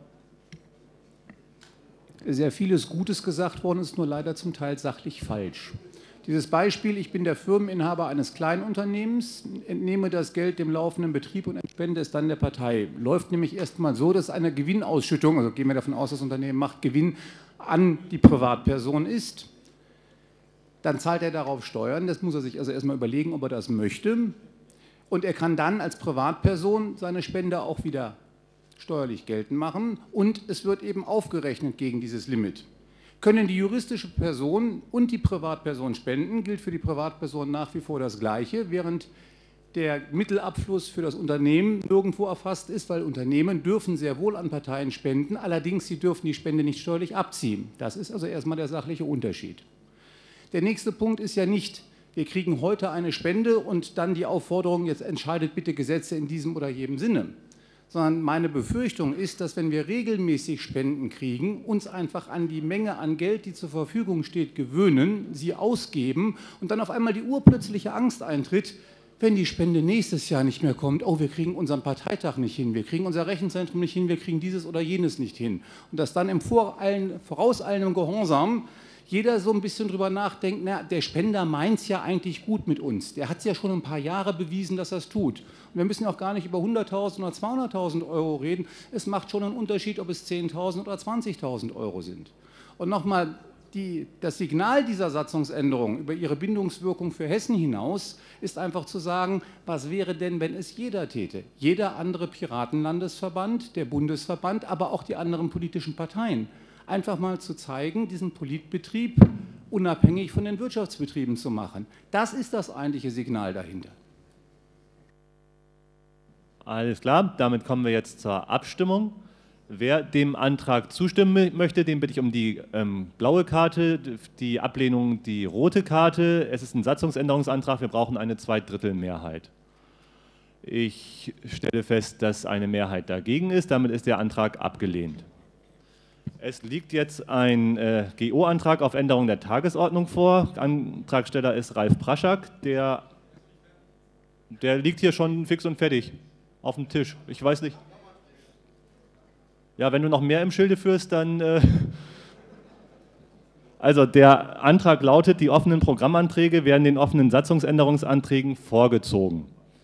Ähm, die notwendigen Unterschriften sind da, deswegen würde ich den jetzt zur Abstimmung stellen. Wer ist dafür, die Programmanträge jetzt vorzuziehen?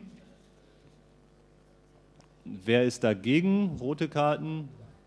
Das ist eine deutliche Mehrheit. Damit machen wir weiter mit Programmanträgen. Der Ralf hat einen GO-Antrag. Auf was? Ein GO-Antrag auf Einigung eines, Meinungsbildung, äh, eines Meinungsbildes, weil als erstes würde der PA 001 Bildung am Start stehen. Da stehen auch sehr viele konkurrierende Anträge an. Das sollten wir vielleicht nicht kurz vor knapp hier machen. Deswegen würde ich ein Meinungsbild einholen, ob wir hier und heute Bildung behandeln wollen oder ob wir das in Butzbach tun wollen. Alles klar. Wollen wir heute hier Bildung behandeln, ja oder nein? Also wer dafür ist, dass wir hier die Bildung behandeln, den bitte die blaue Karte. Wer das nicht möchte, die rote Karte. Ist Möchte jemand die Gelegenheit zur Gegenrede? Es gibt eine automatische Gegenrede, wird ohne Gegenrede abgestimmt. Auf Meinungsbild. Also, das äh, Bild war aber deutlich äh, ablehnend. Das heißt, äh, die, ich teile dem Antragsteller mit, dass die Versammlung das nicht wünscht. Also das nicht hier behandeln möchte. Selber.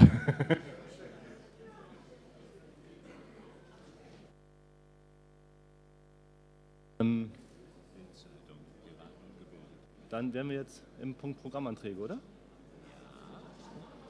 Dann wären wir jetzt äh, im Bereich Programmanträge. Ähm, das geht los mit dem PA001 Bildungsprogramm. Äh, angesichts des äh, gerade eben durchgeführten Meinungsbildes gibt es dazu GO-Anträge. Soll ich das selbst machen? Das Meinungsbild hat äh, gerade gesagt, dass eine Mehrheit der Versammlung ähm, die Bildungsanträge nicht hier ähm, beschließen möchte. Das, ja, Christian? Also dann übernehme ich den äh, daraus für mich zwing, zwingend folgenden GO-Antrag auf Änderung der Tagesordnung, dass es zurückgestellt wird. Ich, äh, ah, okay. Die Versammlungsleitung könnte das machen, die macht das dann äh, auch mal. In, Julia?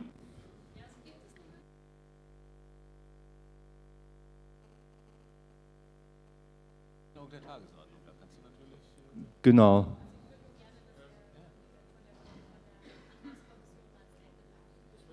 Ja.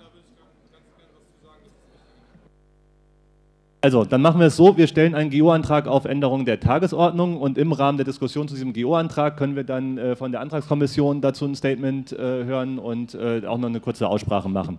Insofern würde ich jetzt den Antrag stellen, die Tagesordnung zu ändern und die Bildungsanträge zurückzustellen und stattdessen mit dem PA 002 Rewrite und Erweiterung des Kapitels Mehr Demokratie und dann den folgenden Programmänderungs- äh, oder Programmanträgen fortzusetzen. Dann gibt es eine Gegenrede bzw. ein Statement von der Programmkommission. Ähm, also ich versuche das mal neutral zu formulieren. Wenn wir diesen Bildungsantrag behandeln, haben wir ein Problem. Wir haben nämlich zu dem äh, Antrag A 26 äh, Minimaländerungsanträge bekommen. Ähm, diese werden wir heute nicht behandeln können, de facto. Ähm, dann stellt sich die Frage, wie gehen wir damit um?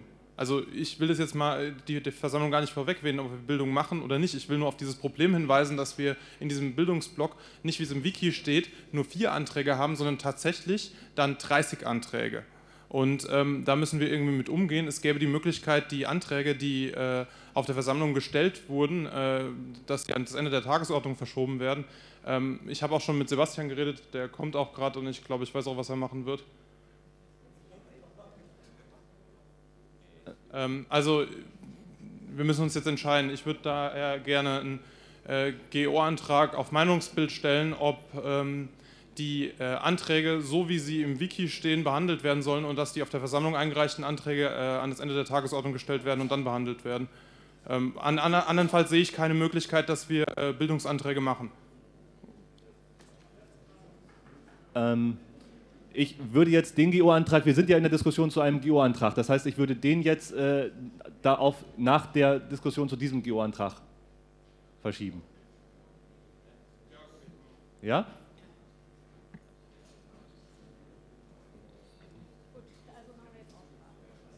Also gibt, gibt es noch eine Aussprache zu dem GO-Antrag, die Bildungsanträge ähm, hier nicht zu verhandeln, sondern mit dem PA 002 fortzusetzen?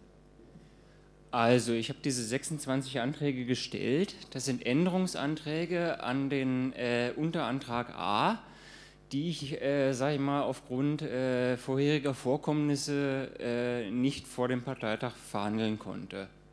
Das ist das Einzige, was ich dazu sagen kann. Ähm, von mir aus ziehe ich davon den größten Teil zurück. Können wir darüber reden. Äh, müssten wir halt irgendwie äh, uns über eine Modalität klar werden, wie das in Zukunft laufen soll.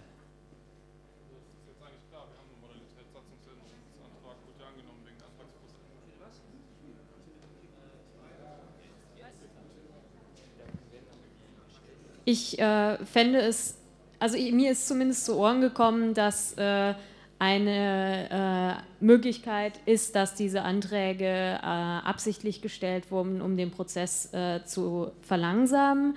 Äh, ich will dir das jetzt nicht unterstellen. Ich denke aber, dass die beste Möglichkeit weiterzumachen wäre, dass du diese Anträge zurückstellst. Wir haben sehr bald also dass du alle 26 Anträge erstmal zurückziehst, weil auch niemand die Möglichkeit hatte, sich darauf vorzubereiten, dass wir den Bildungsantrag und den einen konkurrierenden Antrag, der vorher drin war, behandeln und du dann einfach Änderungsanträge, falls er angenommen wird, zur nächsten, zum nächsten Programmparteitag stellen kannst, der ja sehr bald ist. Also das wäre in dem Fall meine Bitte an dich.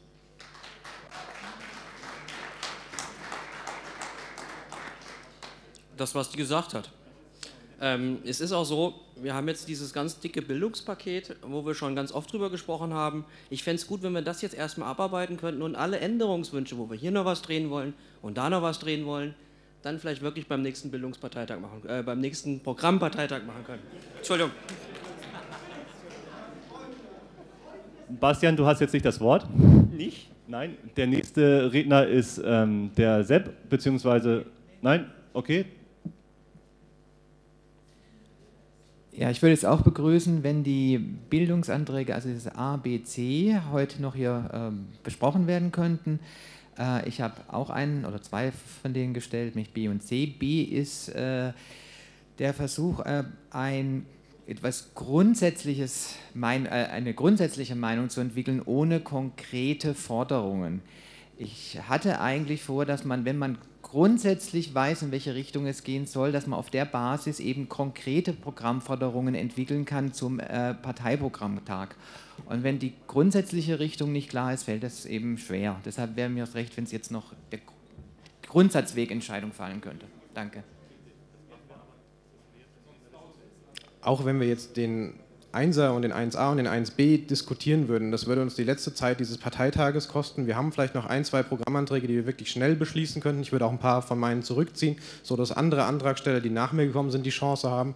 Und ich würde auch ganz gerne noch am Ende ein paar Beschlüsse, sonstige Anträge für die, die, kommenden Wahlen beschließen, weil wir haben noch ein Problem mit der Aufstellungsversammlung. Wir, müssen, wir können auch formell am Ende beschließen, dass an den Wahlen teilnehmen. Das würde ich auch gerne noch machen. Die gesamte Diskussion von Bildung wird uns alle restliche Zeit kosten. Und deswegen bitte in Butzbach. Danke.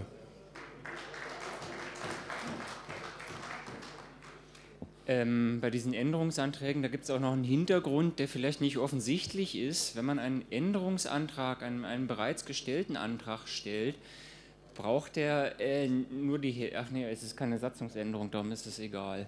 Okay. Okay, die, das war der siebte Redebeitrag. Die Redeliste wird damit geschlossen. Nein, ich muss keine Redeliste zumachen, ich habe es aber gemacht. Und ähm, wir haben jetzt noch zwei Redner drauf und äh, danach würde ich dann äh, zur Abstimmung über den GO-Antrag kommen. Ich ziehe die Änderungsanträge an Antrag 001a zurück, verspreche aber, dass sie auf dem nächsten Parteitag nochmal kommen werden, sollte der angenommen werden.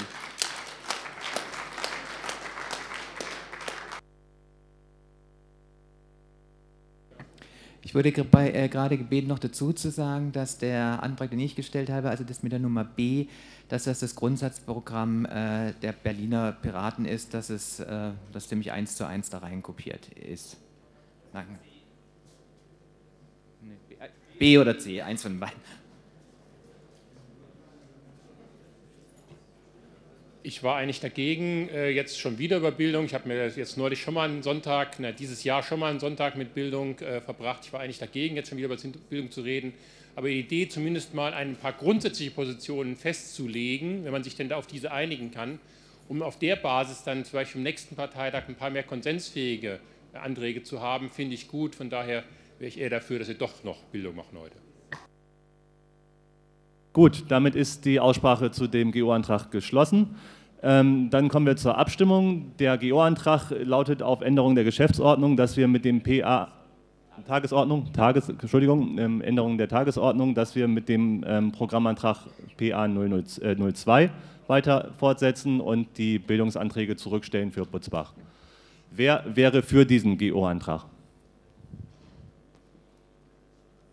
Wer ist dagegen? Damit ist der Antrag angenommen und wir machen weiter mit dem PA, 00, äh, PA 02. Da der auch relativ komplex ist, ziehe ich ihn zurück. Möchte jemand den Antrag PA 02 übernehmen?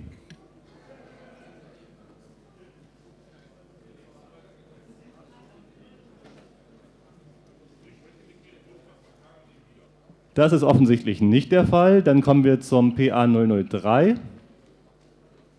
Ja, der ist relativ einfach. Es geht darum, dass wir in Hessen weder ein Informationsfreiheitsgesetz haben, wir haben auf der kommunalen Ebene auch kaum Informationsfreiheitssatzungen, was uns äh, behindert in der kommunalen Arbeit. Und wir haben in Hessen auch kein Transparenzgesetz, wie es jetzt in Hamburg beschlossen worden ist. Der Martin und ich, ich habe die Idee gehabt, der Martin hat es verbessert, ist ein Antrag, dass wir beides für Hessen in unserem Programm fordern. Und ich bitte um Zustimmung. Danke. Gut, ähm, wir haben das Prozedere, dass wir automatisch ein Meinungsbild äh, einholen. Wer würde dem Antrag in der Form zustimmen? Wer würde ihn ablehnen mit der roten Karte bitte? Ich teile dem äh, Antragsteller mit, dass es ein sehr positives Meinungsbild dazu gibt. Ähm, es gibt trotzdem die Möglichkeit zur Aussprache und zu Wortbeiträgen. Dann bitte jetzt ans Saalmikrofon.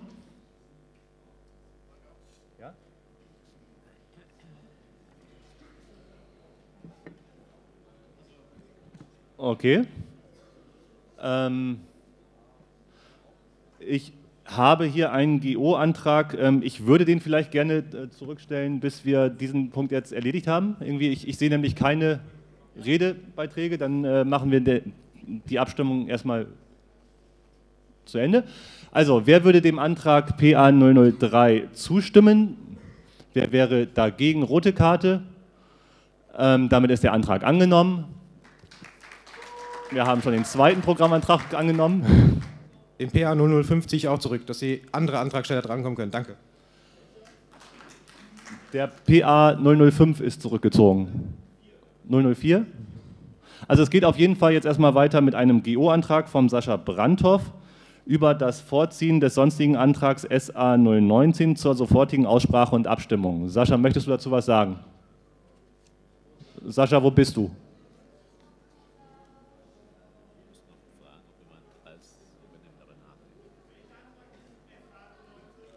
Suche ihn auch gerade.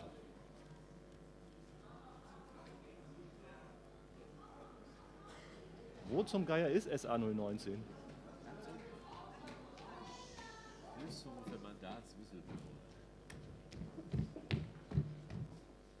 Entschuldigung, ich bin schon 30.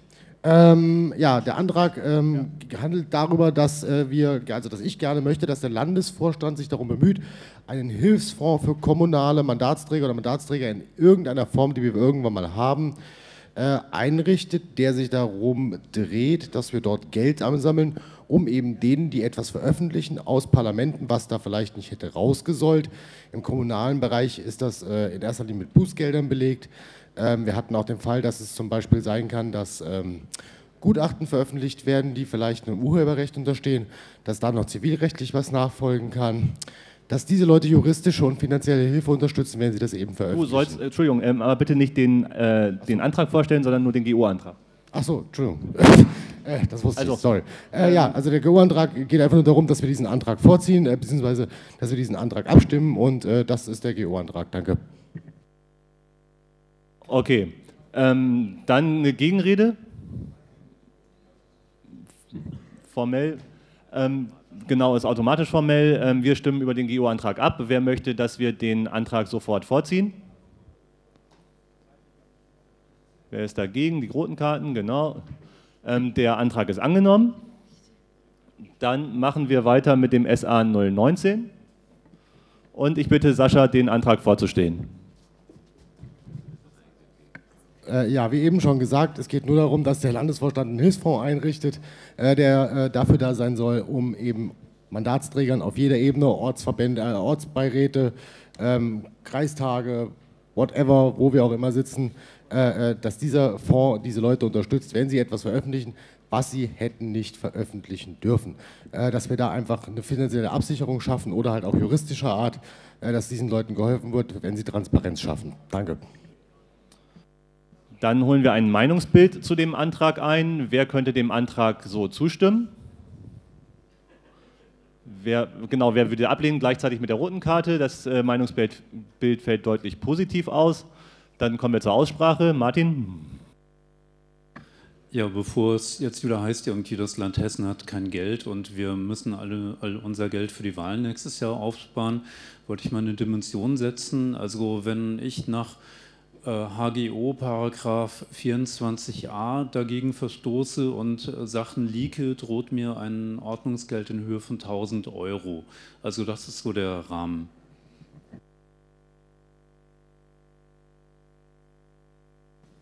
Also ich finde den Antrag an sich auch äh, ähm, gut, da stimmen wir auch zu. Die Frage ist aber tatsächlich, wie hoch soll dieser Fonds denn ausfallen? Also bis zu welchem äh, Betrag soll der denn eigentlich gehen? Wo ist das festgelegt? Ist eine gute Frage. Meine Frage ist, ist das nicht ein Aufruf zu illegalen Handlungen am Ende und könnte uns das nicht in der Öffentlichkeit negativ ausgelegt werden? Also die Idee dahinter ist natürlich, dass der Landesverband kein Geld da selbst reintut, sondern dass der Fonds mit Spenden aufgefüllt wird und das einfach zusätzliche Mittel sind, die dann einfach zur Verteidigung unserer kommunalen Abgeordneten möglich sind, falls es mal zu einem Fall kommen sollte. Und ich denke, vielleicht können wir das in den, Satz, in den sonstigen Antrag noch mit aufnehmen, dass der gegen Spenden aufgefüllt wird. Und dann hätten wir diese Problematik aus der Welt und wir könnten es beschließen. Danke. Ja, ich möchte auch darauf hinweisen, dass der Antrag eine konsequente Fortsetzung unseres Programminhaltes äh, zur Unterstützung von Whistleblowing wäre.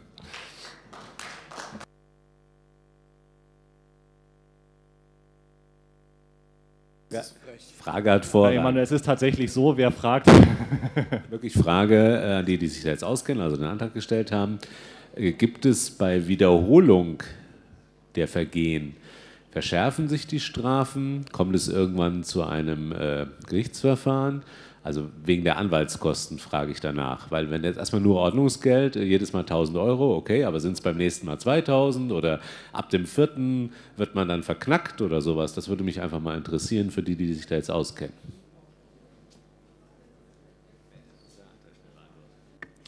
Also ich muss dazu sagen, ich bin da jetzt auch nicht ganz im Bild, aber soweit ich informiert bin, ähm, handelt es sich um ganz normale Ordnungswidrigkeit, deswegen auch das Bußgeld, das ich nicht erhöhen dürfte. Aber Emanuel steht hier da vorne, der ist ja so ein Rechtsmensch, äh, der weiß da vielleicht sogar mehr und kann das ein bisschen für mich mit beantworten. Kannst ruhig Justizwechsel sagen, das hat sich ja etabliert. Schöne Grüße an Herrn Zapf. Ähm, also ohne da jetzt allzu viel dazu zu sagen, vielleicht im Zusammenhang mit dem Antrag. In dem Antrag steht nicht drin, dass die kompletten Kosten übernommen werden. In dem Antrag steht was drin von finanzieller Hilfe und das wird sich sicherlich am Fall zu orientieren haben und darum, wie viel Geld in der Kasse ist, die da aufgefüllt wird. Es geht, und da schließe ich an meinen unmittelbaren Vorredner nicht vor, Frage an, es geht darum, hier äh, das Programm fortzusetzen und mit Leben zu erfüllen, praktisch umzusetzen. Deswegen finde ich das hervorragend. Und die Einzelheiten, denke ich, die kann man dann klären, wenn so ein Fall auftritt. Natürlich wird es immer schwerer, je öfter ein und dieselbe Person eintritt. Der Bastian sei beruhigt, die Tatsache, dass man Menschen juristisch unterstützt, ist Gott sei Dank für meinen Berufsstand bislang nicht strafbar.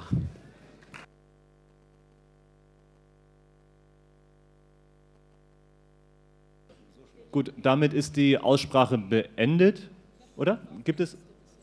Achso, gibt es noch Age? Wortbeitrag nicht. Alles klar.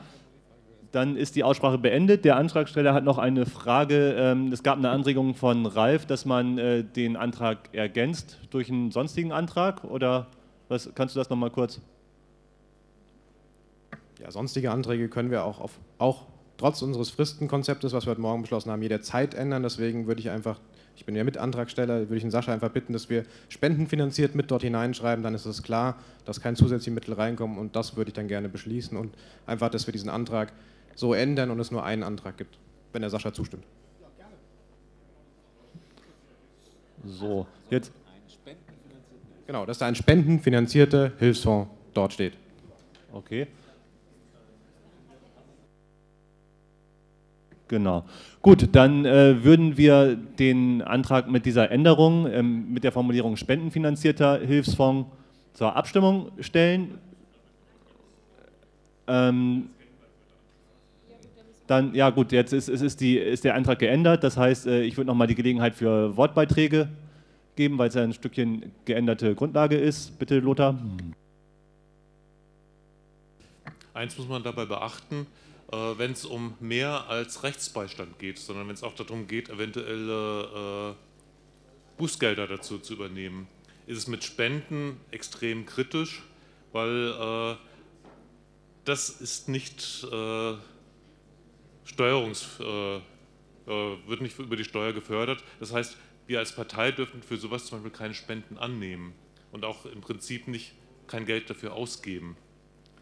Für ganz normal Beratung oder äh, Rechtsbeistand sieht das natürlich anders aus. Da können wir.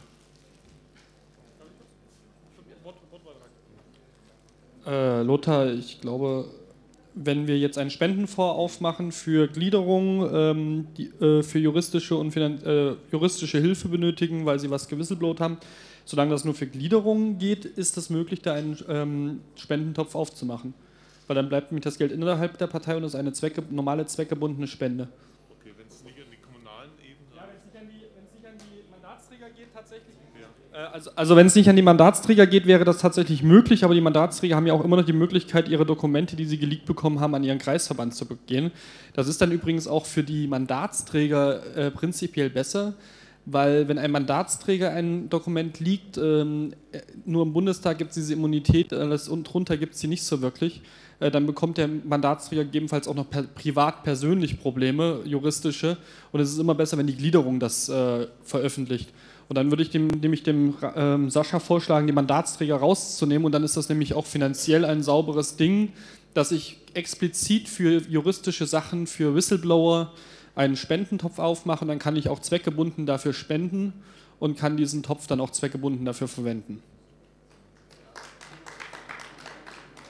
Ja, wäre eigentlich eine Frage an Lothar gewesen, wenn wir noch treuhändisch hinzufügen, dass es nichts mit der Parteienfinanzierung zu tun hat, wären wir dann auch aus der Nummer draußen, dass wir es einfach verwalten dürften für unsere Abgeordneten? Das wäre eine Verständnisfrage an Lothar, ob das so auch möglich wäre.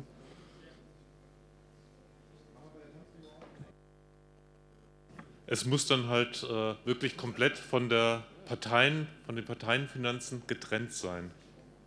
Das heißt, die Partei darf damit dann nichts zu tun haben, es darf nicht in keinem Rechenschaftsbericht auftauchen.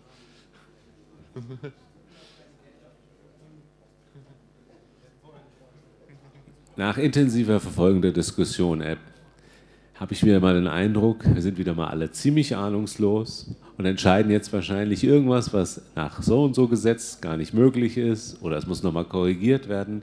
Wie wäre es denn bis zum nächsten Parteitag? Hat er noch ein bisschen Zeit, das Ganze nochmal rechtlich abzuprüfen, die richtigen Leute dazu einzuladen und diesen Antrag dann wieder vorzulegen, anstatt jetzt hier irgendwas wieder mal völlig fachlich inkompetent zu entscheiden. Danke. Ich würde meinen Antrag äh, unter der Voraussetzung, dass der Emanuel da ein bisschen mit dabei ist äh, oder andere Rechtsanwälte aus unserer Partei äh, zurückziehen und zum nächsten äh, Butzbacher LPT einreichen. Okay, Sascha zieht den Antrag zurück. Möchte ihn jemand übernehmen? Das ist nicht der Fall. Dann kommen wir zum nächsten Tagesordnungspunkt. Das wäre jetzt äh, Ralf, den PA 004 zurückgezogen. Das heißt, wir kommen PA 005. Äh, möchte jemand den PA 004 übernehmen? Nein? Dann äh, kämen wir zum PA 005, der Programmgrundlagenantrag. Den haben wir schon beschlossen, ist fantastisch. Dann haben wir PA 006, die Umsetzung der UN-Behindertenrechtskonvention.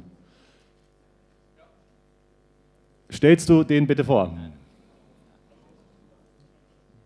Ähm, ja, der Antrag war ursprünglich vom Johannes Britz, der kann jetzt leider nicht da sein. Johannes kommt aus der Bergstraße, hat den, die Anreise diesmal nicht geschafft.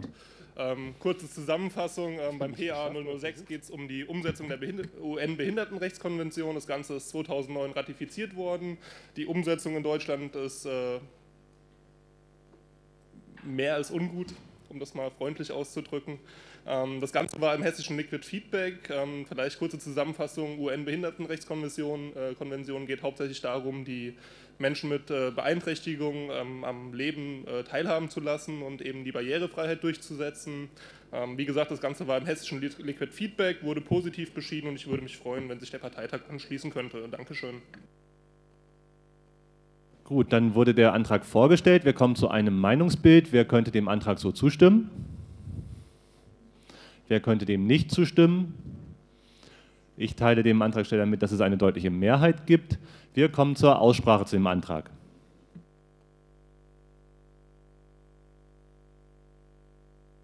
Der Martin hat einen Beitrag. Ja, ähm, ich weiß nicht, ob du die Änderungen verfolgt hast. Ich habe mir erlaubt, gestern noch ähm, die Ablehnung des Ressourcenvorbehaltes hinzuzufügen. Ein Satz. Ähm, und zwar, wir haben in Hessen jetzt ein Inklusionsgesetz für Schulen, aber mit einem Ressourcenvorbehalt, ähm, was dazu führt, dass von ungefähr 1200 Eltern, die inklusive Beschulung ihrer Kinder gefordert haben, ähm, ungefähr 300 abgelehnt wurden äh, wegen mangelnder Ressourcen. Also nicht, weil die Kinder keine normale Schule besuchen könnten, sondern weil irgendwie äh, Treppen oder Lehrmittel oder sonst was fehlt. Und das ist eine ganz miese Nummer. Ähm, man darf also mit dem Geld ähm, nicht auf einmal dann ähm, Menschen behindern. Und deswegen hatte ich das reingeschrieben. Ich hoffe, das ist okay. Ähm, jetzt mal zum Verständnis.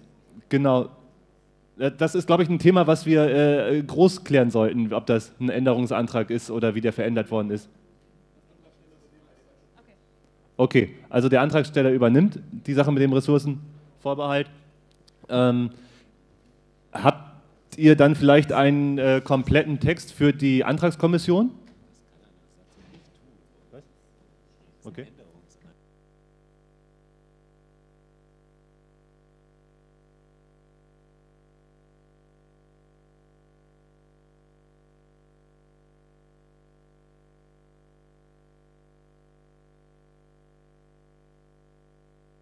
Ähm, Entschuldigung, wir sind gerade in der Diskussion, ob das denn möglich ist. Es ist ja kein sonstiger Antrag, so wie wir gerade eben verhandelt haben, sondern es ist ein Programmantrag. Und ähm, Änderungen von genau Änderungen von Programmanträge brauchen äh, 50 Unterschriften und irgendwie das war hm? genau. Ich hatte den aber gestern geste- ähm, geändert in dem Wiki, bevor dieser Antrag gültig war. Und er war auch nicht gesperrt. Also gestern hatten wir das noch nicht. Und also der, der vorgestellt war, ist der, der, der im Wiki steht.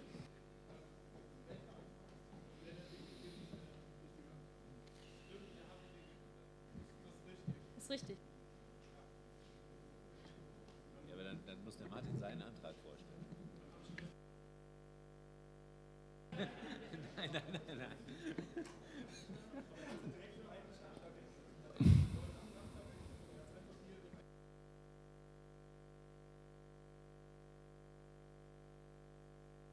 Okay, es, es herrscht eine große Einigkeit. Und wenn äh, irgendwie jetzt sowohl Sascha als auch äh, Christoph äh, den gleichen Antrag stellen wollten, dann äh, sollten wir doch über den Antrag jetzt auch abstimmen. Ähm, wer ist dafür, den Antrag äh, anzunehmen? Der, die blaue Stimmkarte. Wer dagegen ist, die rote Stimmkarte.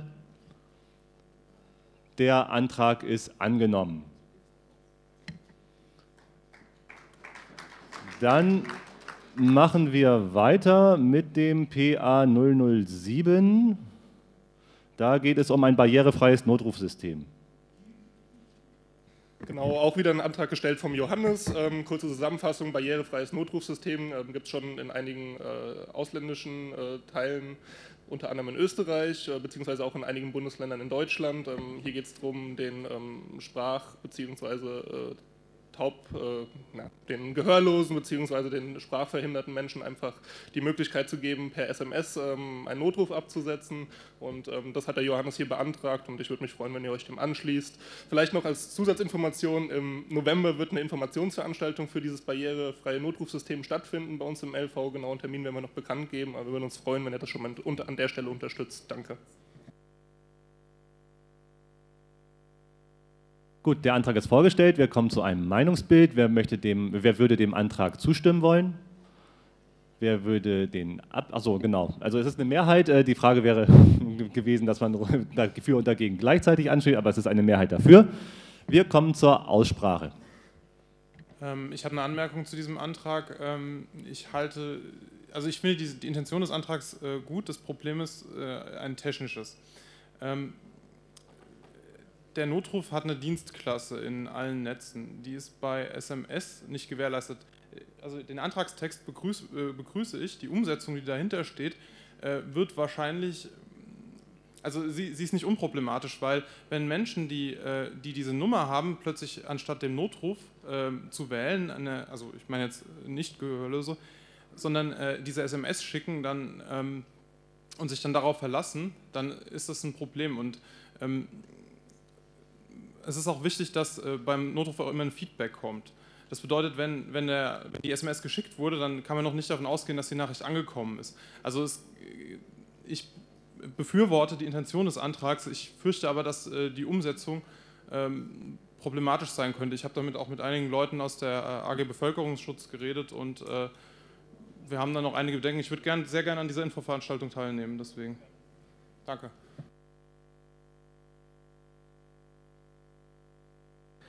Generell ist das natürlich zu begrüßen, wird ja wahrscheinlich auch positiv abgestimmt. Aber ich möchte anhand dieses Beitrags mal ein Problem, was ich generell mit solchen Anträgen habe, ähm, loswerden. Erstmal diese technischen Schwierigkeiten. Es wirkt also wieder, als wäre da nicht oft viel fundiertes Hintergrundwissen dahinter. Dann geht es um das Barrierefrei, weil eigentlich ist hier gemeint ein SMS-Notruf für Gehörlose, weil genau genommen ist das ja viel weitreichender, was hier steht. Was ist denn mit Leuten, die keine Arme haben zum Beispiel, sind behindert? Müssten wir jetzt nicht nach diesem Antrag auch dann ein barrierefreies Notrufsystem für die einrichten? Also die Intention ist ja klar, aber irgendwo geht es mir um schlechte Formulierungen, inhaltliche Schwächen von solchen Anträgen, die dann letztendlich einfach immer zu so schwammigen Sachen führen. Ja, ich sehe da kein ähm, Problem damit, denn der Antrag sagt nicht, wie das eingeführt werden soll, sondern dass es eingeführt werden soll. Und wenn es da technische Probleme geben sollte, dann muss man eben sehen, ähm, dass die ausgeräumt werden, aber das ist nicht unser Problem. Äh, den SMS-Notruf, also Notrufe per SMS abzusetzen, gibt es ja schon in anderen Ländern, da funktioniert das auch. In die umgekehrte Richtung ähm, SMS-Katastrophenwarnungen haben wir in Frankfurt bereits eingeführt. Also da kann man auf eine Webseite gehen, kann seine E-Mail-Adresse und äh, Telefonnummer hinterlassen und dann kriegt man, wenn das nächste Mal ein Gifttransporter umkippt oder so, kriegt man eine SMS. Das funktioniert auch und sowas könnte man sofort in Hessen einführen. Ja, ich möchte auch nochmal auf die handwerklichen Schwächen dieses Antrags hinweisen. Wir können hier alles Mögliche beschließen, es ist immer alles toll, wir wollen dies, wir wollen jenes. Wenn man ein SMS-Notrufsystem möchte, dann möge man bitte auch eins beantragen und nicht ein barrierefreies System. Barrierefreies System gilt, wie mein Vorredner sagte, auch für Leute ohne Arme. Ich möchte es gerne etwas genauer haben im Programm. So, und dann ist immer noch die Frage, es wird immer wieder dies gefordert und jenes gefordert. Und äh, was, ist, was kostet das? Hat das irgendjemand mal äh, ähm, ermittelt? Was, was, kostet die Einführung? Ich hätte gerne etwas mehr Informationen für die Anträge, die wir hier beschließen. Danke.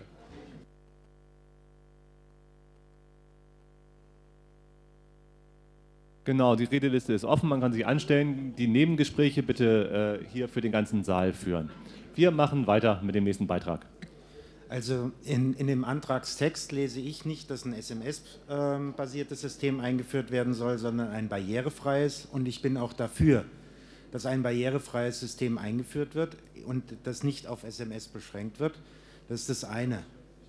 Das zweite ist, ähm, es ist zwar von Barrierefreiheit die Rede, auf der anderen Seite wird aber gleich dann doch die technische Umsetzung angesprochen, nämlich äh, über Mobilfunk das ähm, finde ich dann eigentlich wieder eine Einschränkung. Ich bin eigentlich dafür, das ganz offen zu gestalten und zu sagen, wir fordern die Einführung eines barrierefreien Notrufsystems. Und die Techniker müssen sich dann eben Gedanken darum machen, wie das umzusetzen ist. Das ist ein anderes Problem. Die Finanzierung kann ich nachvollziehen, dass ähm, wir schon uns grundsätzlich Gedanken machen müssen über die Finanzierung unserer Forderungen. Ähm, in diesem Bereich äh, ist meine Haltung, dass wir grundsätzlich eine ähm, Diskussion darüber führen müssen, wie viel uns Gesundheit und auch Barrierefreiheit wert ist. Aber das ist eine gesellschaftliche Diskussion, die wir hier anregen müssen, ähm, dass die Gesellschaft sich darüber äh, diskutiert. Also ich unterstütze den Antrag und würde eigentlich das Wort Mobilfunk da noch rausnehmen, weil ich das eigentlich noch weiter gestalten würde.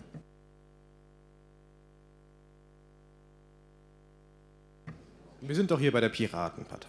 Wir haben Visionen. Das heißt, da steht unser Ziel. Das heißt, wir müssen uns auf den Weg machen und wir sind nicht morgen schon da. Und wenn es Dinge noch nicht gibt, dann setzen wir uns dafür ein, dass sie erfunden werden. Wo sind wir denn hier? Hallo, los geht's. Ja, drei Dinge. Also zum einen ähm, Menschen ohne Arme oder die blind sind, die können sprechen. Das heißt, sie können ein Telefon benutzen und die wählen die 112. Und dank Sprachsteuerung kann auch jemand ohne Arme die 112 wählen. Dann sagt er halt, Siri ruft die 112 an. Ähm, das ist das eine. Das andere, was es denn kostet, ähm, was kostet ein Menschenleben? Das ist unbezahlbar. Also die Kosten in dem Fall sollten ne, ähm, nebensächlich sein. Das dritte, das dort steht mit Mobilfunk, hat durchaus einen Sinn, denn ein ähm, Notruf per Fax für Gehörlose gibt es ja bereits. Nur hat man so ein Faxgerät nicht immer überall dabei und deswegen ist gerade die Betonung auf den Mobilfunk besonders wichtig. Okay, das war der siebte Beitrag. Die Rednerliste wird damit jetzt automatisch geschlossen. Wer einen Beitrag noch äh, geben möchte, der müsste jetzt nach vorne kommen und die äh, Antragsteller haben auch die Gelegenheit, noch eine Erwiderung zu geben. Okay. Ähm, also, die, ich denke, dass, also wie schon gesagt, ich würde den Antrag äh, befürworten. Ähm, es gibt ja auch noch mal so einen anderen Punkt, nämlich das Internet, der internetbasierte Notruf ist ja auch sowas, was wir zurzeit noch überhaupt nicht haben. Wir, es gibt immer mehr Leute, die nur noch Voice over IP haben, die dann, ähm, wo die Notrufmöglichkeit auch immer so mit einem Fragezeichen zu versehen ist. Ähm, das ist eine ganz komplexe Fragestellung. Äh, ich würde diesem Antrag zustimmen. Ähm, wir können den vielleicht danach noch ändern, weil ich finde es wichtig, was ich richtig scheiße finde, ist, dass an der Stelle quasi, wo es um Inklusion geht, dass Menschen den Zugang zu, äh, zu, zu lebensnotwendigen Dienstleistungen, nämlich dem Notruf bekommen, mit Kosten äh, argumentiert wird. Leute, what the fuck? Da möchte ich gleich ein bisschen widersprechen. Es wird nicht mit Kosten argumentiert. Ich würde das nämlich auch generell unterstützen, dass wir uns bei allen Sachen immer nicht überlegen, was es kostet, sondern dass zumindest ein Ansatz da ist oder aufgeführt wird, was es kosten wird.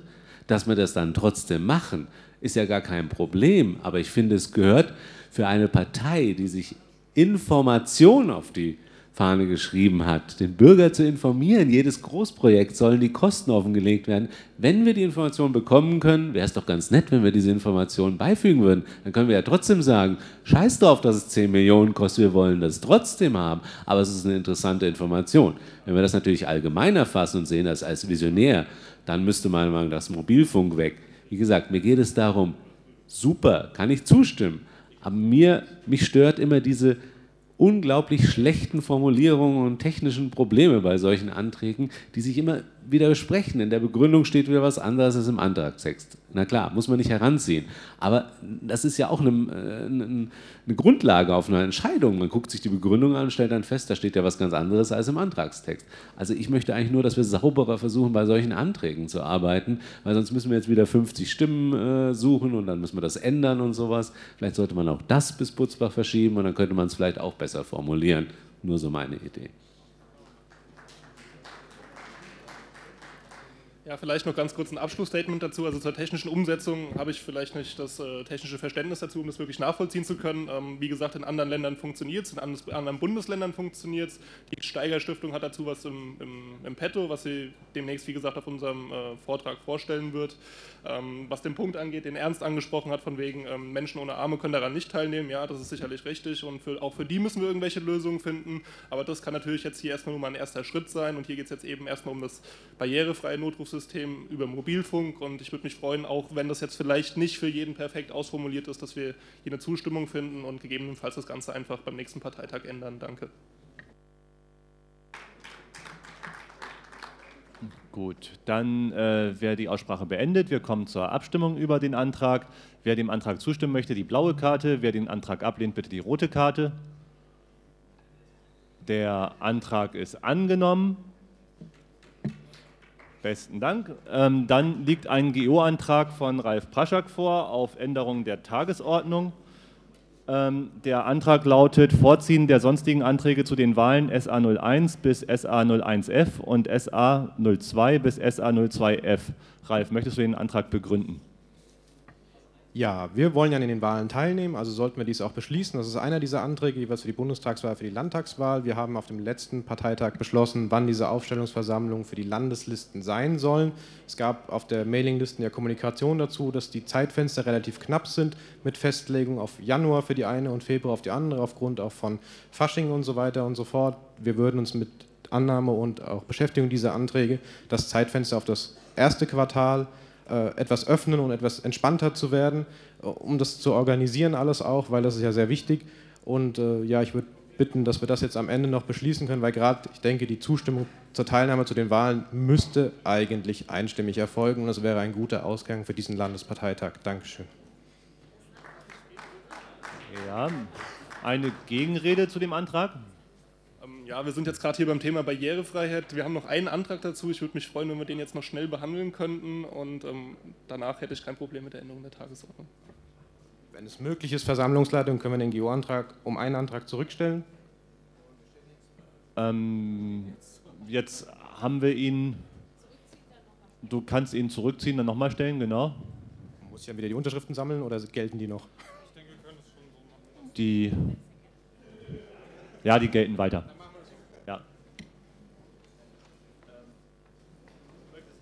Dann stell bitte den nächsten Antrag vor. Ja, auch wieder ein Antrag vom Johannes. Ähm, jetzt geht es um die Barrierefreiheit beim Hessischen Rundfunk. 2013 äh, soll das Gesetz, Gesetz geändert werden, dass auch Kommunikationsbehinderte zukünftig GEZ-Gebühren zahlen sollen. Ähm, die sollen ein Drittel der Gebühren zahlen, die normale zahlen. Ähm, momentan sind ca. 15 Prozent der Sendungen überhaupt äh, untertitelt bzw. eben äh, barrierefrei dementsprechend. Ähm, wir sollten dafür sorgen, dass die auch da die Leistung bekommen, für diese bezahlen und von daher, ich würde mich freuen, wenn wir den Antrag schnell noch beschließen können. Danke. Gut, der Antrag wurde vorgestellt. Wer möchte, äh, wir machen ein Meinungsbild darüber. Wer würde dem Antrag so zustimmen können? Das ist eine Mehrheit, teile ich dem Antragsteller mit. Wir beginnen die Aussprache. Wer möchte ähm, einen Redebeitrag zu dem Antrag leisten? Es gibt die Möglichkeit, hier vorne was zu sagen zu dem Antrag. Drei, zwei, eins. Dann kommen wir zur Abstimmung über den Antrag. Ähm, wer ist dafür, den Antrag anzunehmen?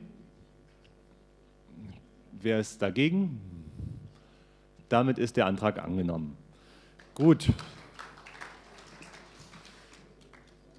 Es ist nicht lange her, da war ein GO-Antrag angekündigt. Äh, Jetzt ist die Frage, ob der gestellt wird. Der Ralf stellt einen GO-Antrag. Ja, der gleiche von eben, Änderung der Tagesordnung, dass wir die sonstigen Anträge zu den Wahlen betreffen vorziehen. Und ich würde bitten um Zustimmung, damit wir am Ende hier noch mit einem guten Gefühl nach Hause gehen können. Danke. Eine Gegenrede dazu? Äh, Das sind ja insgesamt sind es ja sehr, sehr viele Anträge, die auch, also das Ganze ist ja einmal für, äh, für die Landtagswahl und einmal für die Bundestagswahl. Es ist ja auch relativ wortgleich, was beides angeht, und es sind sehr, sehr viele Anträge. Äh, Ich persönlich finde das eigentlich, habe an, an keinem dieser Anträgen was auszusetzen und ich kann mir auch nicht vorstellen, dass wenn irgendjemand sämtliche Anträge zum Landtag unterstützt, dass der nicht auch sämtliche Anträge zur Bundestagswahl unterstützt. Deswegen wollte ich fragen, das sind ja auch sonstige Anträge, ob wir die in irgendeiner Form als Block abstimmen können. Okay, das war eine sehr konstruktive Gegenrede. Ähm, wir, ähm, es ist halt die Frage, wir, wir stimmen jetzt zunächst einmal über den Antrag an, ob wir die beiden Antragsblöcke behandeln wollen. Das ist der GO-Antrag. Ähm, wer. Ja? Weshalb ich das als Gegenrede gestellt habe, ist natürlich, weil, wenn wir diese ganzen Anträge jetzt einzeln behandeln, also das fließt mit in diese Entscheidung mit dem Vorziehen ein, Okay. finde ich. Weil wenn wir diese ganzen Anträge einzeln abstimmen, haben wir bei jedem einzelnen Antrag wieder äh, Gegenrede, haben wieder Fragen und so weiter und so fort. Und deswegen ist das meine Gegenrede gewesen. Ja, aber wenn es halt, wir machen ja Meinungsbilder nach jedem Antrag, wenn es keinen Redebedarf gibt, geht es relativ schnell auch, denke ich. Gut, dann äh, würde ich jetzt zur Abstimmung über den GEO-Antrag kommen. Wer ist dafür, die sonstigen Anträge jetzt zu behandeln? Wer ist dagegen? Genau, die roten Karten sind da. Ähm, das ist eine Mehrheit. Der Antrag ist angenommen. Wir machen weiter beim sonstigen Antrag 01, Teilnahme an der kommenden Bundestagswahl. Ich bitte den Ralf, den vorzustellen. Ja, der Volker hat es ja eigentlich schon gesagt, wollen wir an der Bundestagswahl teilnehmen? Das ist ja einfach. Darüber machen wir jetzt ein Meinungsbild. Wer würde dem Antrag zustimmen wollen? Wer würde es nicht äh, wollen? Das ist eine Mehrheit, die dem Antrag zustimmen würde. Gibt es einen Aussprachebedarf? Ja. Ähm, da steht drin, wir beschließen, an der äh, Bundestagswahl teilzunehmen. Ähm, ich, wenn da steht, wir möchten an der Bundestagswahl teilnehmen, würde ich dem zustimmen. Aber äh, der Beschluss darüber, ob wir an der Bundestagswahl teilnehmen, tut tatsächlich die Wahlprüfungskommission wahrscheinlich durchführen, äh, die unsere Wahlanträge ähm, äh, behandelt. Ich kenne die genauen rechtlichen Grundlagen nicht, aber wir entscheiden doch jetzt nicht, ob wir daran teilnehmen. Also das Nein, es kann auch sein, dass wir aus formalen Gründen abgelehnt werden. Also wir können, wir können, wir können, wir können beschließen, dass wir diesen Prozess eingehen. Also ich sehe halt einfach eine gewisse textliche Schwäche dabei. Das ist das, was ich sagen wollte. Weitere Redebeiträge bitte?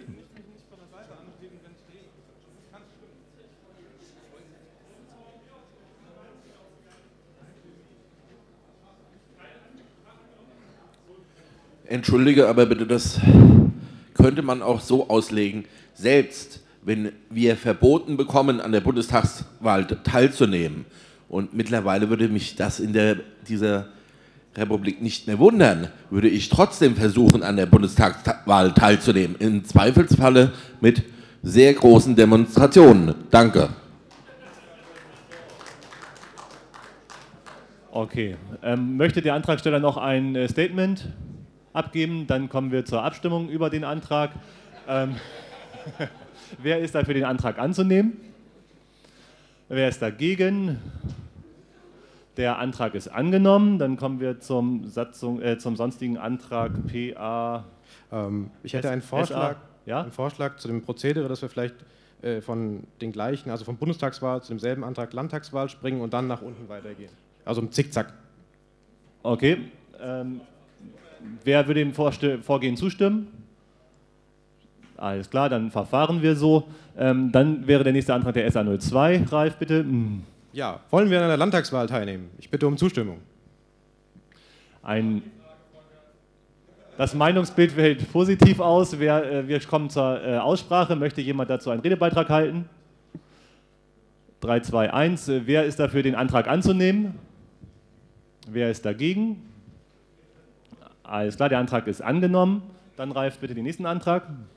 Ja, der SA01A, offizielle Kandidatenseite, weil es gibt zwar schon mehrere Seiten im Wiki, wo sich Leute eingetragen haben, dass sie für verschiedene Dinge kandidieren wollen. Wenn wir eine offizielle Seite einrichten, wo man seine Kandidatur erklären kann und auch der Landesvorstand später nach diesem Landesparteitag die Mitglieder auffordert, sich dazu erklären, dann haben wir einfach eine transparente Übersicht, wer wofür was kandidieren möchte. Und ich möchte da einfach, dass wir den Startschuss geben. Jetzt geht es los, weil wir haben ja beschlossen, dass wir teilnehmen und das ist, unterstützt das einfach noch im Paket. Danke.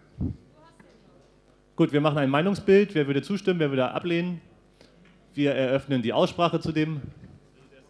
Positiv aus äh, das Meinungsbild. Wir eröffnen die Aussprache. Bitte um Redebeiträge. Da der Landesparteitag ja, der das beschließt und äh, der in irgendwie einer halben Stunde zu Ende ist, das er nicht mehr machen kann, frage ich dich mal, wer soll das machen? Das darf ich jetzt als Freiwilligmeldung nehmen, dann stimmen wir das Ding ab. Alles klar. Ähm, wir, es gibt keine weiteren Wortmeldungen. Wir kommen zur Abstimmung. Wer würde dem Antrag zustimmen? Wer lehnt den Antrag ab? Der Antrag ist angenommen. Ralf, bitte stell den nächsten Antrag vor, den SA02a, bitte. Das gleiche in Orange, nur für die Landtagswahl. Wir machen ein Meinungsbild. Wer würde den annehmen? Das fällt positiv aus. Wortbeiträge bitte. Wer soll es machen? Also neben vielen Mails schreiben kann ich auch sehr gut Copy-Paste. Ich mache das. Gibt es weitere Wortbeiträge? Es gibt keine weiteren Wortbeiträge. Wir kommen zur Abstimmung. Wer ist dafür, den Antrag anzunehmen? Blaue Karte, rote Karte bei Ablehnung. Der Antrag ist angenommen. Dann bitte der SA02 von Ralf. SA01b. Äh, genau, das, da geht es darum, wir haben festgelegt für die Bundestagswahl ähm, die Aufstellungsversammlung im Januar zu machen und dieser Antrag äh, sagt, dass wir das in das Q1 öffnen, das Zeitfenster, um einfach ein bisschen besser organisieren und planen zu können. Und da, das würde uns einfach helfen aufgrund der Situation, äh, Fasching und so weiter und so fort. Und ja, ich würde uns danken, wenn wir da nicht wie in Niedersachsen das fünfmal machen müssen oder mehr, sondern halt einfach, dass wir es in Hessen einfach einmal ordentlich tun und fertig. Danke. So, rote Karten, blaue Karten hoch zur Meinungsbild, zum Meinungsbild. Das Meinungsbild fällt positiv aus. Gibt es Wortbeiträge? Ja, Marc, bitte. Ja, wenn ich mich nicht irre, war in Gernsheim das so ähm, verabschiedet worden, dass die Landtagswahlaufstellung vor der Bundestagswahlaufstellung sein soll. Das sollte dann vielleicht in den ähm, Anträgen irgendwie beibehalten werden. Das, das, steht in beiden Anträgen auch so drin. Der für die Landtagswahl hat nämlich drin, dass er nach der Bundestagswahl sein soll, obwohl er im Q1 ist. Das ist, steht drin im dem entsprechenden Landtagsantrag. Äh, Gut, gibt, Gibt es weitere Wortbeiträge? Ich sehe das nicht der Fall. Wir kommen zur Abstimmung. Wer ist dafür, den Antrag anzunehmen? Blaue Karte, rote Karte bei Ablehnung. Der Antrag ist angenommen. Ralf, bitte stell den Antrag SA02b vor. Ja, der SA20b ist dasselbe auch wieder für die Landtagswahl und die Kritik, die der Markt gesagt hat, ist ja eben integriert. Der letzte Satz heißt, aber möglichst nah am Februar, aber nach der Bundestagswahl, Aufstellungsversammlung. Fertig. Gut, zum Meinungsbild. Äh, wer ist, könnte dem Antrag zustimmen? Das fällt positiv aus. Gibt es Wortbeiträge? Es gibt keine Wortbeiträge dazu. Wir kommen zur Abstimmung. Wer möchte den Antrag annehmen? Wer möchte ablehnen mit der roten Karte? Der Antrag ist angenommen. Ralf, bitte stell den Antrag 20, äh, SA 1021, so sag mal, wie der heißt. Es tut mir leid, dass ich hier schon wieder hier stehe. Ähm, nachdem wir das Ortsfenster jetzt beschlossen haben, geht es um, äh, nachdem wir das Zeitfenster beschlossen haben mit dem Q1, geht es um ein Ortsfenster, was aber auch nur ein bisschen die Priorität der äh, Ausschreibungen, die wir machen müssen, um das zu veranstalten, äh, dass wir das von der Mitte Hessens, was sich in Mücke, Vogelsberg, wo sind die Vogelsberger? Dort befindet, ja, ähm, dass wir, weil der Landtag und auch der Bundestag jeweils repräsentieren ganz Hessen, also wäre es auch schön eigentlich, wenn wir in der Mitte Hessens unsere Aufstellungsversammlung machen. Hängt natürlich davon ab, dass die Kritik von Andrea an der Stelle immer kommt. Wenn es keiner dort tut, müssen wir halt weiter weggehen und deswegen ist einfach nur die Prioritätenliste, das entsprechend zu gucken, dass wir möglichst nah an der Mitte sind. Wenn dort sich keiner findet, gehen wir halt weiter weg und ja, das ist einfach nur der Fokus darauf und ich würde auch bitten, dem zuzustimmen. Danke für die Vorstellung. Wir kommen zu einem Meinungsbild. Wer möchte, würde dem Antrag zustimmen? Blaue Karte, rote Karte bei Ablehnung. Das fällt positiv aus. Ich eröffne die Aussprache. Ich würde dich bitten, den durch einen Satz zu konkretisieren. Was möchtest du nehmen, ÖPNV oder Straße? Weil ähm, hier nach Frankenberg brauche ich zum Beispiel mit dem ÖPNV vier Stunden, mit dem Auto zwei Stunden und so ist das überall anders auch. Dazu würde ich entgegnen, wer nach Wiesbaden möchte oder nach Berlin, dem ist kein Weg zu weit. Danke.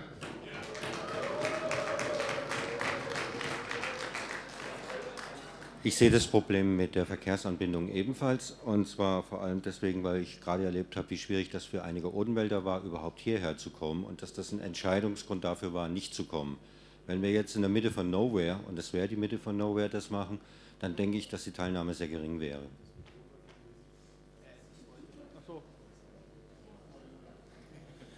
Wenn den Leuten kein Weg zu weit ist, ähm, dann könnten wir auch das Rhein-Main-Gebiet nehmen. Mir geht es um die Infrastruktur, die wir zum Beispiel hier vor Ort haben. Die Netzanbindung ist miserabel. Ähm, wir haben ein Problem, überhaupt einen Stream zum Laufen zu bekommen. Es gibt im Rhein-Main-Gebiet und in Südhessen nun mal jede Menge Hallen. Es wäre auch möglich, nach Kassel zu gehen und es gibt eine bessere ausgebaute Infrastruktur einfach. Also ich finde, es muss überhaupt nicht sein, dass wir dieses Ortsfenster festlegen. Wir können gucken, dass wir nach Mittelhessen gehen, aber das jetzt hier als LPT-Beschluss zu machen, finde ich nicht okay. Ich muss dem Ralf, Entschuldigung, ich muss dem Ralf recht geben, wer nach Wiesbaden oder Berlin will, dem ist kein Weg zu weit, aber allerdings sind auf einer Aufstellungsversammlung die, die nach Berlin oder Wiesbaden wollen, eigentlich in der, in der Minderheit und die Mehrheit ist die Basis, die die Leute wählen muss. Und äh, also ist das kein Kriterium zu sagen, mach ruhig einen weiten Weg, wenn du dahin willst. Nein, die Basis muss mich wählen und die muss dahin kommen, die muss ordentlich dahin kommen. Also würde ich schon einen ordentlich erreichbaren Bahnhof in der Nähe nehmen oder eine Autobahn in der Nähe, äh, dass möglichst viele Leute zur Aufstellungsversammlung kommen können und die Kandidaten auf eine möglichst breite Basis gestellt werden. Ja, bei dem Antrag geht es ja auch nur um eine Priorisierung und entsprechende Infrastrukturgeschichten, sei es Streaming oder auch eben Bahnhof, gute Erreichbarkeit, Parkplätze sind einfach dann Teil der Ausschreibung, dass diese, jeder Standort, der sich bewirbt, eben diese Qualitätsmerkmale aufweist. Und dann können wir immer noch schauen, dass es möglichst in der Nähe von Hessen, der Mitte von Hessen ist ja, und fertig. Ich würde, gerne, ich würde gerne zu bedenken geben, dass es im Januar bzw. Februar ist. Äh, wer mit dem Auto kommen möchte, dem ist wahrscheinlich Frankfurt, die, der, die Gegend um Frankfurt, viel lieber als die Gegend in Oberhessen, so schön die da auch sein mag. Im Übrigen könnte man natürlich auch einen Schwerpunkt der Mitglieder festlegen. Der ist sicherlich nicht in Vogelsberg, sondern der ist wahrscheinlich auch eher in der Nähe von Frankfurt. Danke.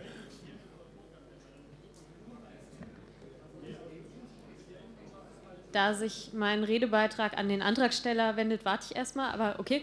Ähm, also mich würde es freuen, wenn du den Antrag so umformulieren könntest, dass äh, also nicht aufgrund der Nähe zum Mittelpunkt Hessen Mücke Vogelsberg zu priorisieren, sondern äh, der Erreichbarkeit des Austragungsortes eine hohe Priorität einzuräumen. Dann kann der Vorstand die Erreichbarkeit mit mehreren Verkehrsmitteln in die Entscheidung mit einbeziehen, aber ist jetzt nicht an, also weil das mit den Witterungsbedingungen, denke ich, ein Argument ist, Anbindung mit ÖPNV ein Argument ist, das könnte dann alles berücksichtigt werden und die geografische Lage natürlich auch. So, ich gebe einmal zur Info, das war der siebte Redebeitrag. Wir schließen die Redeliste jetzt. Äh, wer noch was sagen möchte, bitte sich jetzt anstellen. Und dann geht es weiter.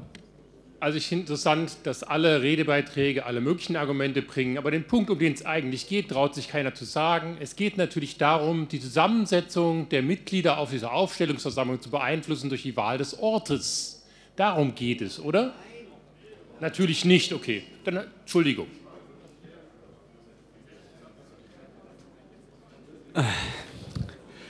Also ich komme aus dem Facepalmieren hier nicht mehr raus. Ja? Für diesen ganzen Antragsblock. Früher haben wir dann einfach teilgenommen an Wahlen, ja? ohne dass da ein Beschluss dafür notwendig war. Da wurden Wiki-Seiten eingerichtet für die Kandidaten, ohne dass das beschlossen werden muss. Ja? Jetzt wird schon der, der Ort priorisiert. Wie wäre es denn, wenn einfach die Angebote eingeholt werden, und dann, wir haben doch inzwischen das schöne Mittel, dann entscheidet das nicht nur der Vorstand, sondern geht das nach Auflistung aller Angebote mit allen drum und drum, geht das über ein virtuelles Meinungsbild an alle Mitglieder.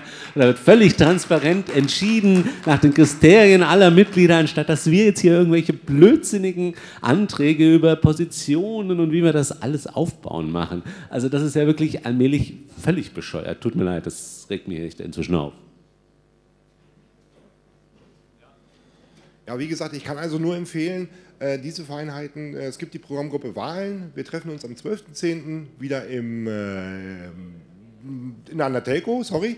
Wer da noch Interesse hat, da mitzuarbeiten, jederzeit gerne. Da sprechen wir diese Feinheiten durch und wollen das als Ergebnis dann natürlich auch entsprechend präsentieren. Alles klar. Ja, warum wir das beschließen? Natürlich sind wir eine basisdemokratische Partei. Bei uns entscheiden die Mitglieder. Fertig. Und natürlich äh, Schatzmeisterei wenn wir an einer Wahl teilnehmen, folgen da weitere finanzrelevanten Beschlüsse und die können sich alle auf diesen Landesparteitagsbeschlüsse einfach beziehen, weil wir eben gesagt haben, wir wollen daran teilnehmen. Das heißt, Folgeanträge sind für den Vorstand relativ einfach daran andockbar und ja, auch wir müssen uns natürlich an formelle Regeln halten, die wir vielleicht in den ersten Jahren, die wir nicht, äh, nicht eingehalten haben. Ja, aber deswegen es spricht ja nicht dagegen, sie wurden mit breiter Mehrheit angenommen. Also ich sehe da nicht, dass die also Anträge schwachsinnig sind, sondern dass wir hier darüber diskutieren, weil wir sind immer noch das höchste Organ in Hessen, auch wenn es bei der Beteiligung etwas mangelt. Gut. Ich habe jetzt äh, erstmal einen GO-Antrag, der gerade eingereicht worden ist, äh, der auch eine gewisse Dringlichkeit hat. Da drin geht es um die Verlängerung des Landesparteitags bis 19 Uhr heute. Ähm, den äh, würde ich zur ähm, Abstimmung bringen. Möchte jemand eine Gegenrede halten? Erst die Abstimmung? Ähm, der Sascha Brandorf äh, mit zehn Unterschriften. Ähm, okay, wir, machen, wir bleiben in dem Tagesort der, äh, Tagesordnungspunkt äh, mit der Abstimmung über den Antrag über den Ort des, der Aufstellungsversammlung. Ähm, Ralf, du hattest jetzt gesagt, du möchtest den Antrag so stellen. Ja, ich würde ihn so lassen, weil nämlich auch in dem Antrag drinsteht, sofern Kosten und das Angebot stimmen und das Angebot obliegt immer noch dem Landesvorstand, die Ausschreibung entsprechend an, auszuschreiben, wo eben die ganzen Infrastrukturgeschichten und so weiter drin aufgelistet sind und fertig. Danke. Gut, dann kommen wir zur Abstimmung. Wer würde dem Antrag zustimmen? Wer, äh, blaue Karte, wer lehnt ihn ab? Rote Karte? Das der Antrag ist angenommen. Dann äh, würden wir jetzt zu dem GO-Antrag auf die Verlängerung des äh, Landesparteitags bis 19 Uhr kommen. Da ähm, ist der Antrag halt, dass wir bis 19 Uhr weitermachen. Es ist jetzt 10 vor 6. Ähm, wer ist dafür? Äh, nee, wer möchte eine Gegenrede halten?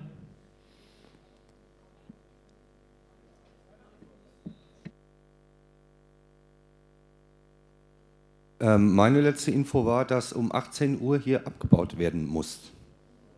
Das hat Nicole gesagt. Nee, das ist. Bitte? Ah, dann ziehe ich meinen Einwand zurück.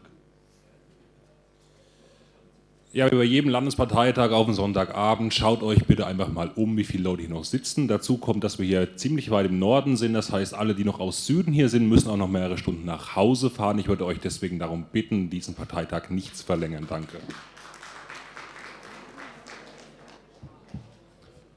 Gut, ähm, wir kommen dann zur Abstimmung. Wer ist dafür die, für die Verlängerung bis 19 Uhr?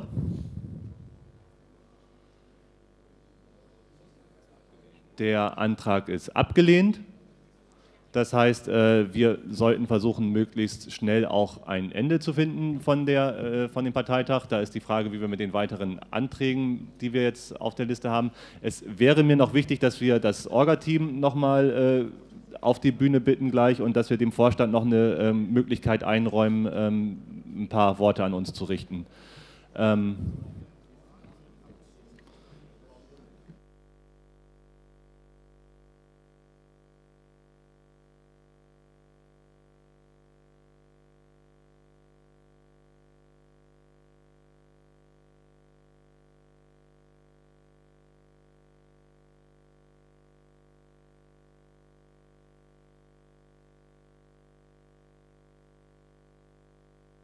Wir machen weiter mit dem sonstigen Antrag SA 02c.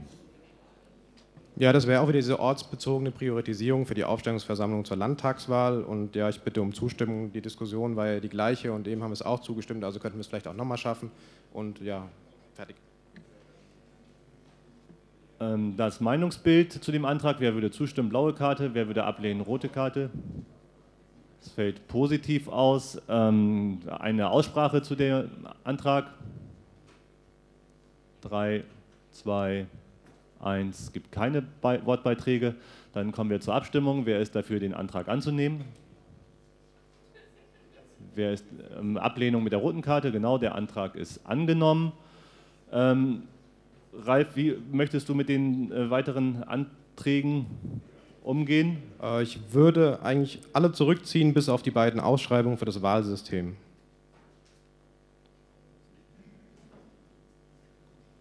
Okay.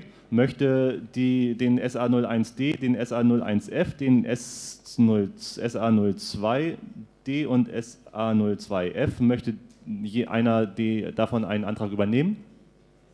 Das ist nicht der Fall, dann sind die zurückgezogen. Ähm, dann kommen wir zum SA01E. Ja, da geht es darum, wir haben noch kein Wahlsystem für die Aufstellungsversammlung und es geht auch darum, dass wir das eben ausschreiben, dass eben auch jeder, der sich Gedanken machen zu möchte, da sich daran beteiligen kann und am Ende wir darüber entscheiden, am nächsten Landesparteitag, der in Butzbach ist, welches Wahlsystem wir präferieren, um das dann für die Aufstellungsversammlung anzuwenden. Aber auch eben, dass es wieder transparent passiert und nicht irgendwer es irgendwo macht, sondern dass wir alle dieselbe Chance haben, uns da einzubringen. Wir kommen zu einem Meinungsbild. Wer würde dem Antrag zustimmen? Ablehnung mit der roten Karte. Der, das Meinungsbild fällt positiv aus. Äh, Wortbeiträge zu dem Antrag? Ja, ich habe eine Frage an den Antragsteller. Ähm, das Wahlsystem muss so oder so auf dem nächsten Parteitag beschlossen werden, oder? Das heißt, die äh, Transparenz wäre auch gegeben, wenn es über die Mailingliste diskutiert wird. Ja, der Fokus liegt ja an der Ausschreibung, dass eben jedes Mitglied darüber informiert wird, dass es eben passieren soll.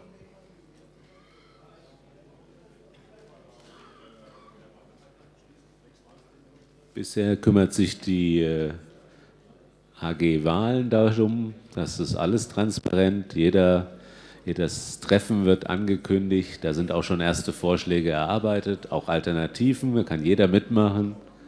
Weiß auch nicht, ob wir dafür einen Beschluss brauchen.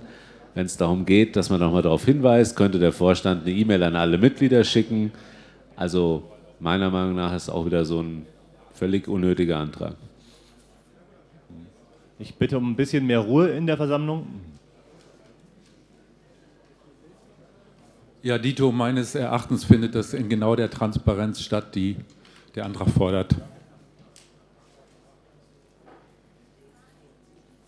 Ja, es gab eben noch die Kritik, dass der nächste Landesparteitag diese eventuell nicht bescheiden kann, sondern dass die Aufstellungsversammlung es machen muss. Das heißt, ich würde diesen Zusatz streichen, dass es der Landesparteitag beschließt, sondern nur darum es geht, dass wir hier beschließen, dass es transparent ausgeschrieben wird. Okay, weitere Wortbeiträge sehe ich nicht. Ähm, dann kommen wir zur Abstimmung. Du möchtest den äh, so ändern? Genau, einfach den Nebensatz, der hinten steht, um dies beim nächsten Landesparteitag beschließen zu können, dass das gestrichen wird. Das ist einfach nur, der Landesparteitag möge beschließen, die Ausschreibung eines Wahlsystems für die Bundestagswahl, Aufstellungsversammlung zu beschließen. Moment, jetzt ist, Entschuldigung, jetzt ist es auch auf dem Beamer. Ja, einfach hinter dem Komma das Um und der letzte Satz, dass der gestrichen wird. Okay, der Form halber äh, jetzt nochmal die Möglichkeit, Redebeiträge dazu zu halten. Das möchte keiner. 3, 2, 1. Dann kommen wir zur Abstimmung über den Antrag. Wer ist dafür, dass wir das, äh, den Antrag so beschließen? Die blaue Karte mit der roten Karte dagegen. Der Antrag ist angenommen. Dann nochmal die Version für SA02. Ja, genau das Gleiche, auch mit der Änderung, dass es mit dem Landesparteitag draußen ist, nur dass wir die transparente Aufstellungsversammlung einberufen. Und danke, dann bin ich auch fertig. Wir machen dazu ein Meinungsbild. Das fällt positiv aus. Ähm, Wortbeiträge dazu sehe ich keine. Wir kommen zur Abstimmung. Wer ist dafür, den Antrag anzunehmen? Wer ist dagegen mit der roten Karte? Der Antrag ist angenommen. Gut, dann gehen wir aus der, ähm, kommen wir dazu, ähm, dass wir aus der Tagesordnung aussteigen. Es ist kurz vor Ende des äh, Landesparteitags. Ich würde das Orga-Team gerne nochmal auf die Bühne bitten. Die, und den Vorstand, genau. Also alle neu. Und ich möchte gerne an den Jan übergeben, der möchte das nämlich auch machen. Nee, ich muss es formal machen. Nein, hm? Auch in diesen Klamotten. So. Und äh, auch wenn wir jetzt ans Ende kommen, mal mit dem Einpacken noch eine Runde warten. Auch wenn wir jetzt ans Ende kommen, das heißt nicht, dass äh, in Waldeck-Frankenberg in 20 Minuten die Grenzen äh, zugeschlossen werden und ihr nicht mehr rauskommt. Ihr kommt auch noch in zwei Stunden hier raus, weil nämlich die Orga muss den ganzen Scheiß, den wir hier aufgebaut haben, nämlich auch noch abbauen. Und wir sind jetzt noch so knapp 80 Leute. Und wenn da 80 Leute mit anfassen, dann sind wir nämlich eine Stunde durch. Und wenn das nur die fünf Hanseln machen, die es immer machen, dann brauchen die nämlich vier Stunden. Also seid mal für die, die es sonst immer machen, helft denen ein bisschen und auch dem Orga-Team helft denen ein bisschen und die freuen sich dann nämlich auch. So, dann bitte ich mal den Vorstand auf die Bühne.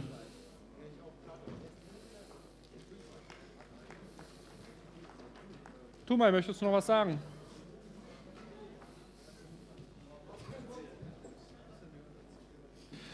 Ja, also ich würde gerne, ich hoffe, es ist in Ordnung, im Namen des Vorstands ähm, des Neugewählten ähm, uns bei den von euch ausgesprochenen Vertrauen ganz herzlich nochmal bedanken. Wir können das natürlich alles nicht alleine schaffen, sondern wir brauchen euch genauso. Wir können das nur gemeinsam hinkriegen. Ihr habt jetzt eine ganze Reihe an Beschlüssen gefasst und die gilt es jetzt auch in die Praxis umzusetzen bzw. auch zu kommunizieren.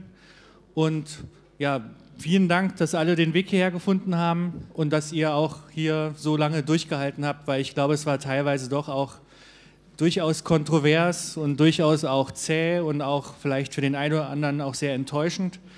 Aber vielleicht mit ein bisschen Abstand zu dem Wochenende lichten sich vielleicht dann wieder die Enttäuschung und äh, wir können alle wieder mit neuer Kraft oder Tatkraft zusammen am gleichen äh, Strick oder Seil ziehen und äh, können, Strang, danke. ähm, so. nee, äh, auf jeden Fall, dass wir gemeinsam hier Hessen rocken und ähm, ja, lasst uns die Gesellschaft verändern, lasst uns Politik machen und zwar auf Piratenart und nicht so, wie wir es bisher kennengelernt haben. Dankeschön. Gut, äh, Orga möchte noch was sagen? Ja, bevor ihr jetzt alle wegrennt, wir wollen hier noch eine kleine Wohltätigkeitsaktion für den Landesverband initiieren. Wir haben hier diese wunderschönen LPT Rescue Kits. Der Inhalt ist geheim, ja, das müsst ihr dann auspacken. Wir verteilen die Dinge auch erst, wenn alle versteigert sind, ja, und würden jetzt anfragen, wie viel ihr für das erste LPT Rescue Pack ausgebt. Also So. das erste Gebot liegt bei einem Euro. 5 Euro. 10 10, ich Euro, höre 10. 10 Euro höre ich da vorne von der Kia. Wer bietet mehr? Wie, wer bietet mehr? 10 Euro sind geboten. Komm, das ist ein super Rescue Kit. Das gibt es einmalig aus Frankenberg. Ihr werdet so schnell keinen Frankenberger Rescue Kit. Er möchte 25 Euro bieten. Er möchte 15, 15 Euro? Er möchte 20 Euro bieten. 20. Er möchte 15 Euro Okay. bieten. Wer bietet mehr? Kommt auf. Ja. 20 sind geboten. 25. 30 Euro von Kia. Wer bietet mehr? Wie, wer bietet mehr? Kommt. 30 Euro für das Rescue Kit. Das ist eine Überraschung. Ihr könnt es auspacken und seid über 35 Euro hier vom Protter. Wer bietet mehr? Wer bietet mehr? Kommt. Ihr könnt es auspacken und seid überrascht, was drin ist. Das gibt so schnell nicht wieder.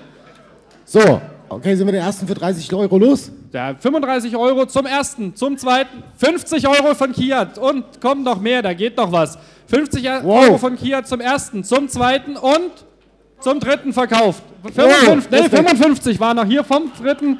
55 Euro für einen Protter. Wer bietet mehr, wer bietet mehr, kommt 55 Euro für dieses einmalige Rescue Kit. Ihr habt doch noch mal ein bisschen was einstecken. Also 55 Euro zum ersten, zum zweiten und zum dritten verkauft. Super. Gibt es da noch was gleich? Du musst dann bitte bei unserem Schatzmeister bezahlen. So, äh, willkommen. Wir kommen jetzt zum nächsten, also das, sofort. Ähm, wollt ihr das noch versteigern? Es, es geht, kleine Sekunde, jetzt haben wir erst noch was anderes wichtig. Wir müssen erst noch mal ganz kurz an die Orga danken. In erster Linie an die Eva, die sich um die Kinderbetreuung gekümmert hat. Die Ni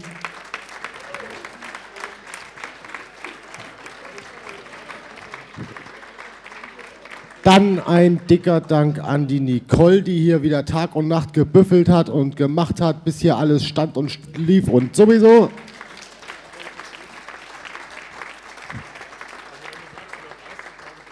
Dann ein dickes Dankeschön an unseren Dönermann. Jetzt aber bitte, Döner macht schöner. Okay, Gy Gyrosmann. Dann nicht zu vergessen an den Sepp für Streaming.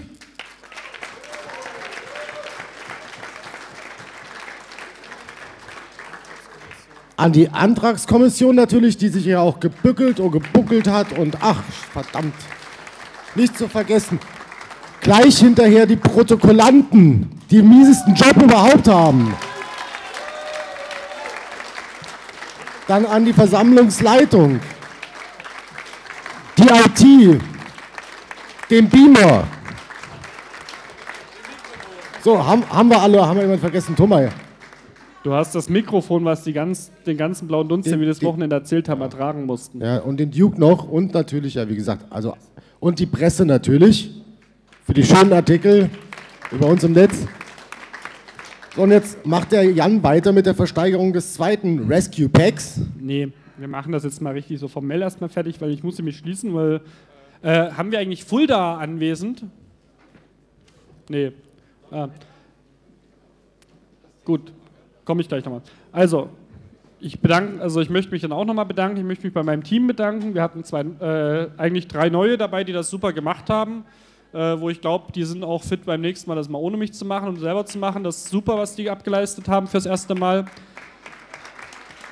Ich möchte, ich möchte mich beim Ernst als Wahlhelf äh, Wahlleiter bedanken.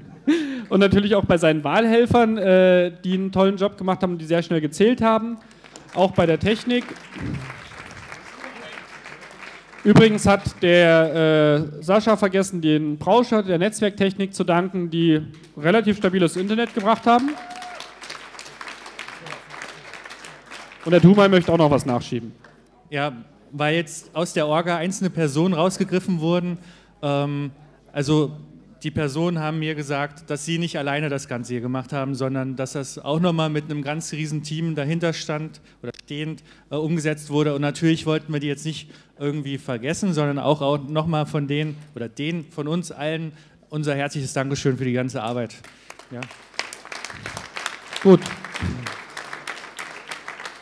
Und damit wir jetzt zum Abschluss kommen, möchte ich den Landesparteitag 2012.2 hiermit schließen.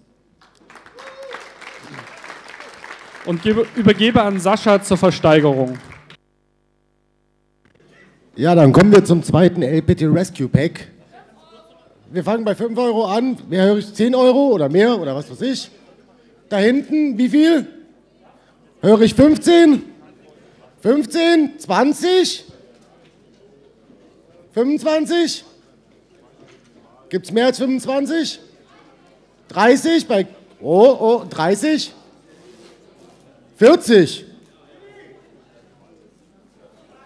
35? Okay, 35 zum ersten, zum zweiten und zum dritten. Okay, hol dir deinen Rescue Pack App.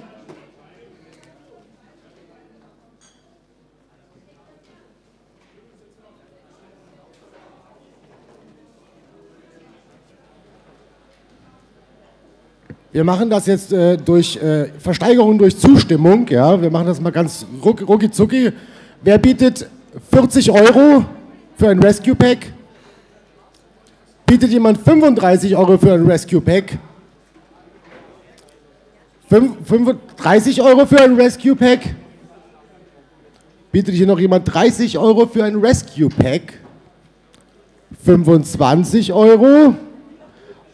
Weiter gehe ich nicht mehr runter. 25, dann 25 Euro hier ein Rescue Pack holen, zwei Rescue Packs für jeweils 25 Euro. Wer nimmt noch ein Rescue Pack für 25 Euro? Drei Rescue Packs für 25 Euro? Sehe ich ein Rescue Pack für 20 Euro?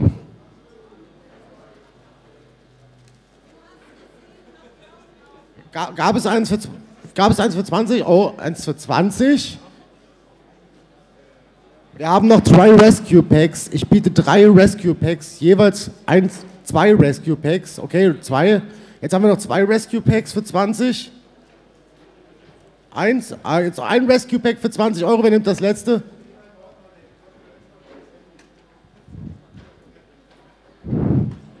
Letztes Rescue Pack für 20 Euro. Ich signiere es persönlich, wenn das was hilft. Wer? Oh, oh. Jürgen, Jürgen will das original signierte letzte Rescue Pack für 20 Euro. Alles klar.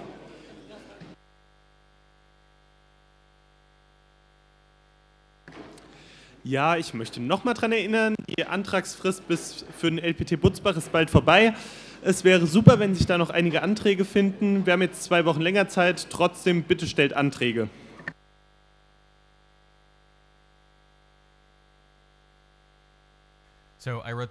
Hier, so knausrig wie ihr seid, verkaufen wir beim nächsten Parteitag einfach die Redezeit, dann sind wir einen halben Tag fertig.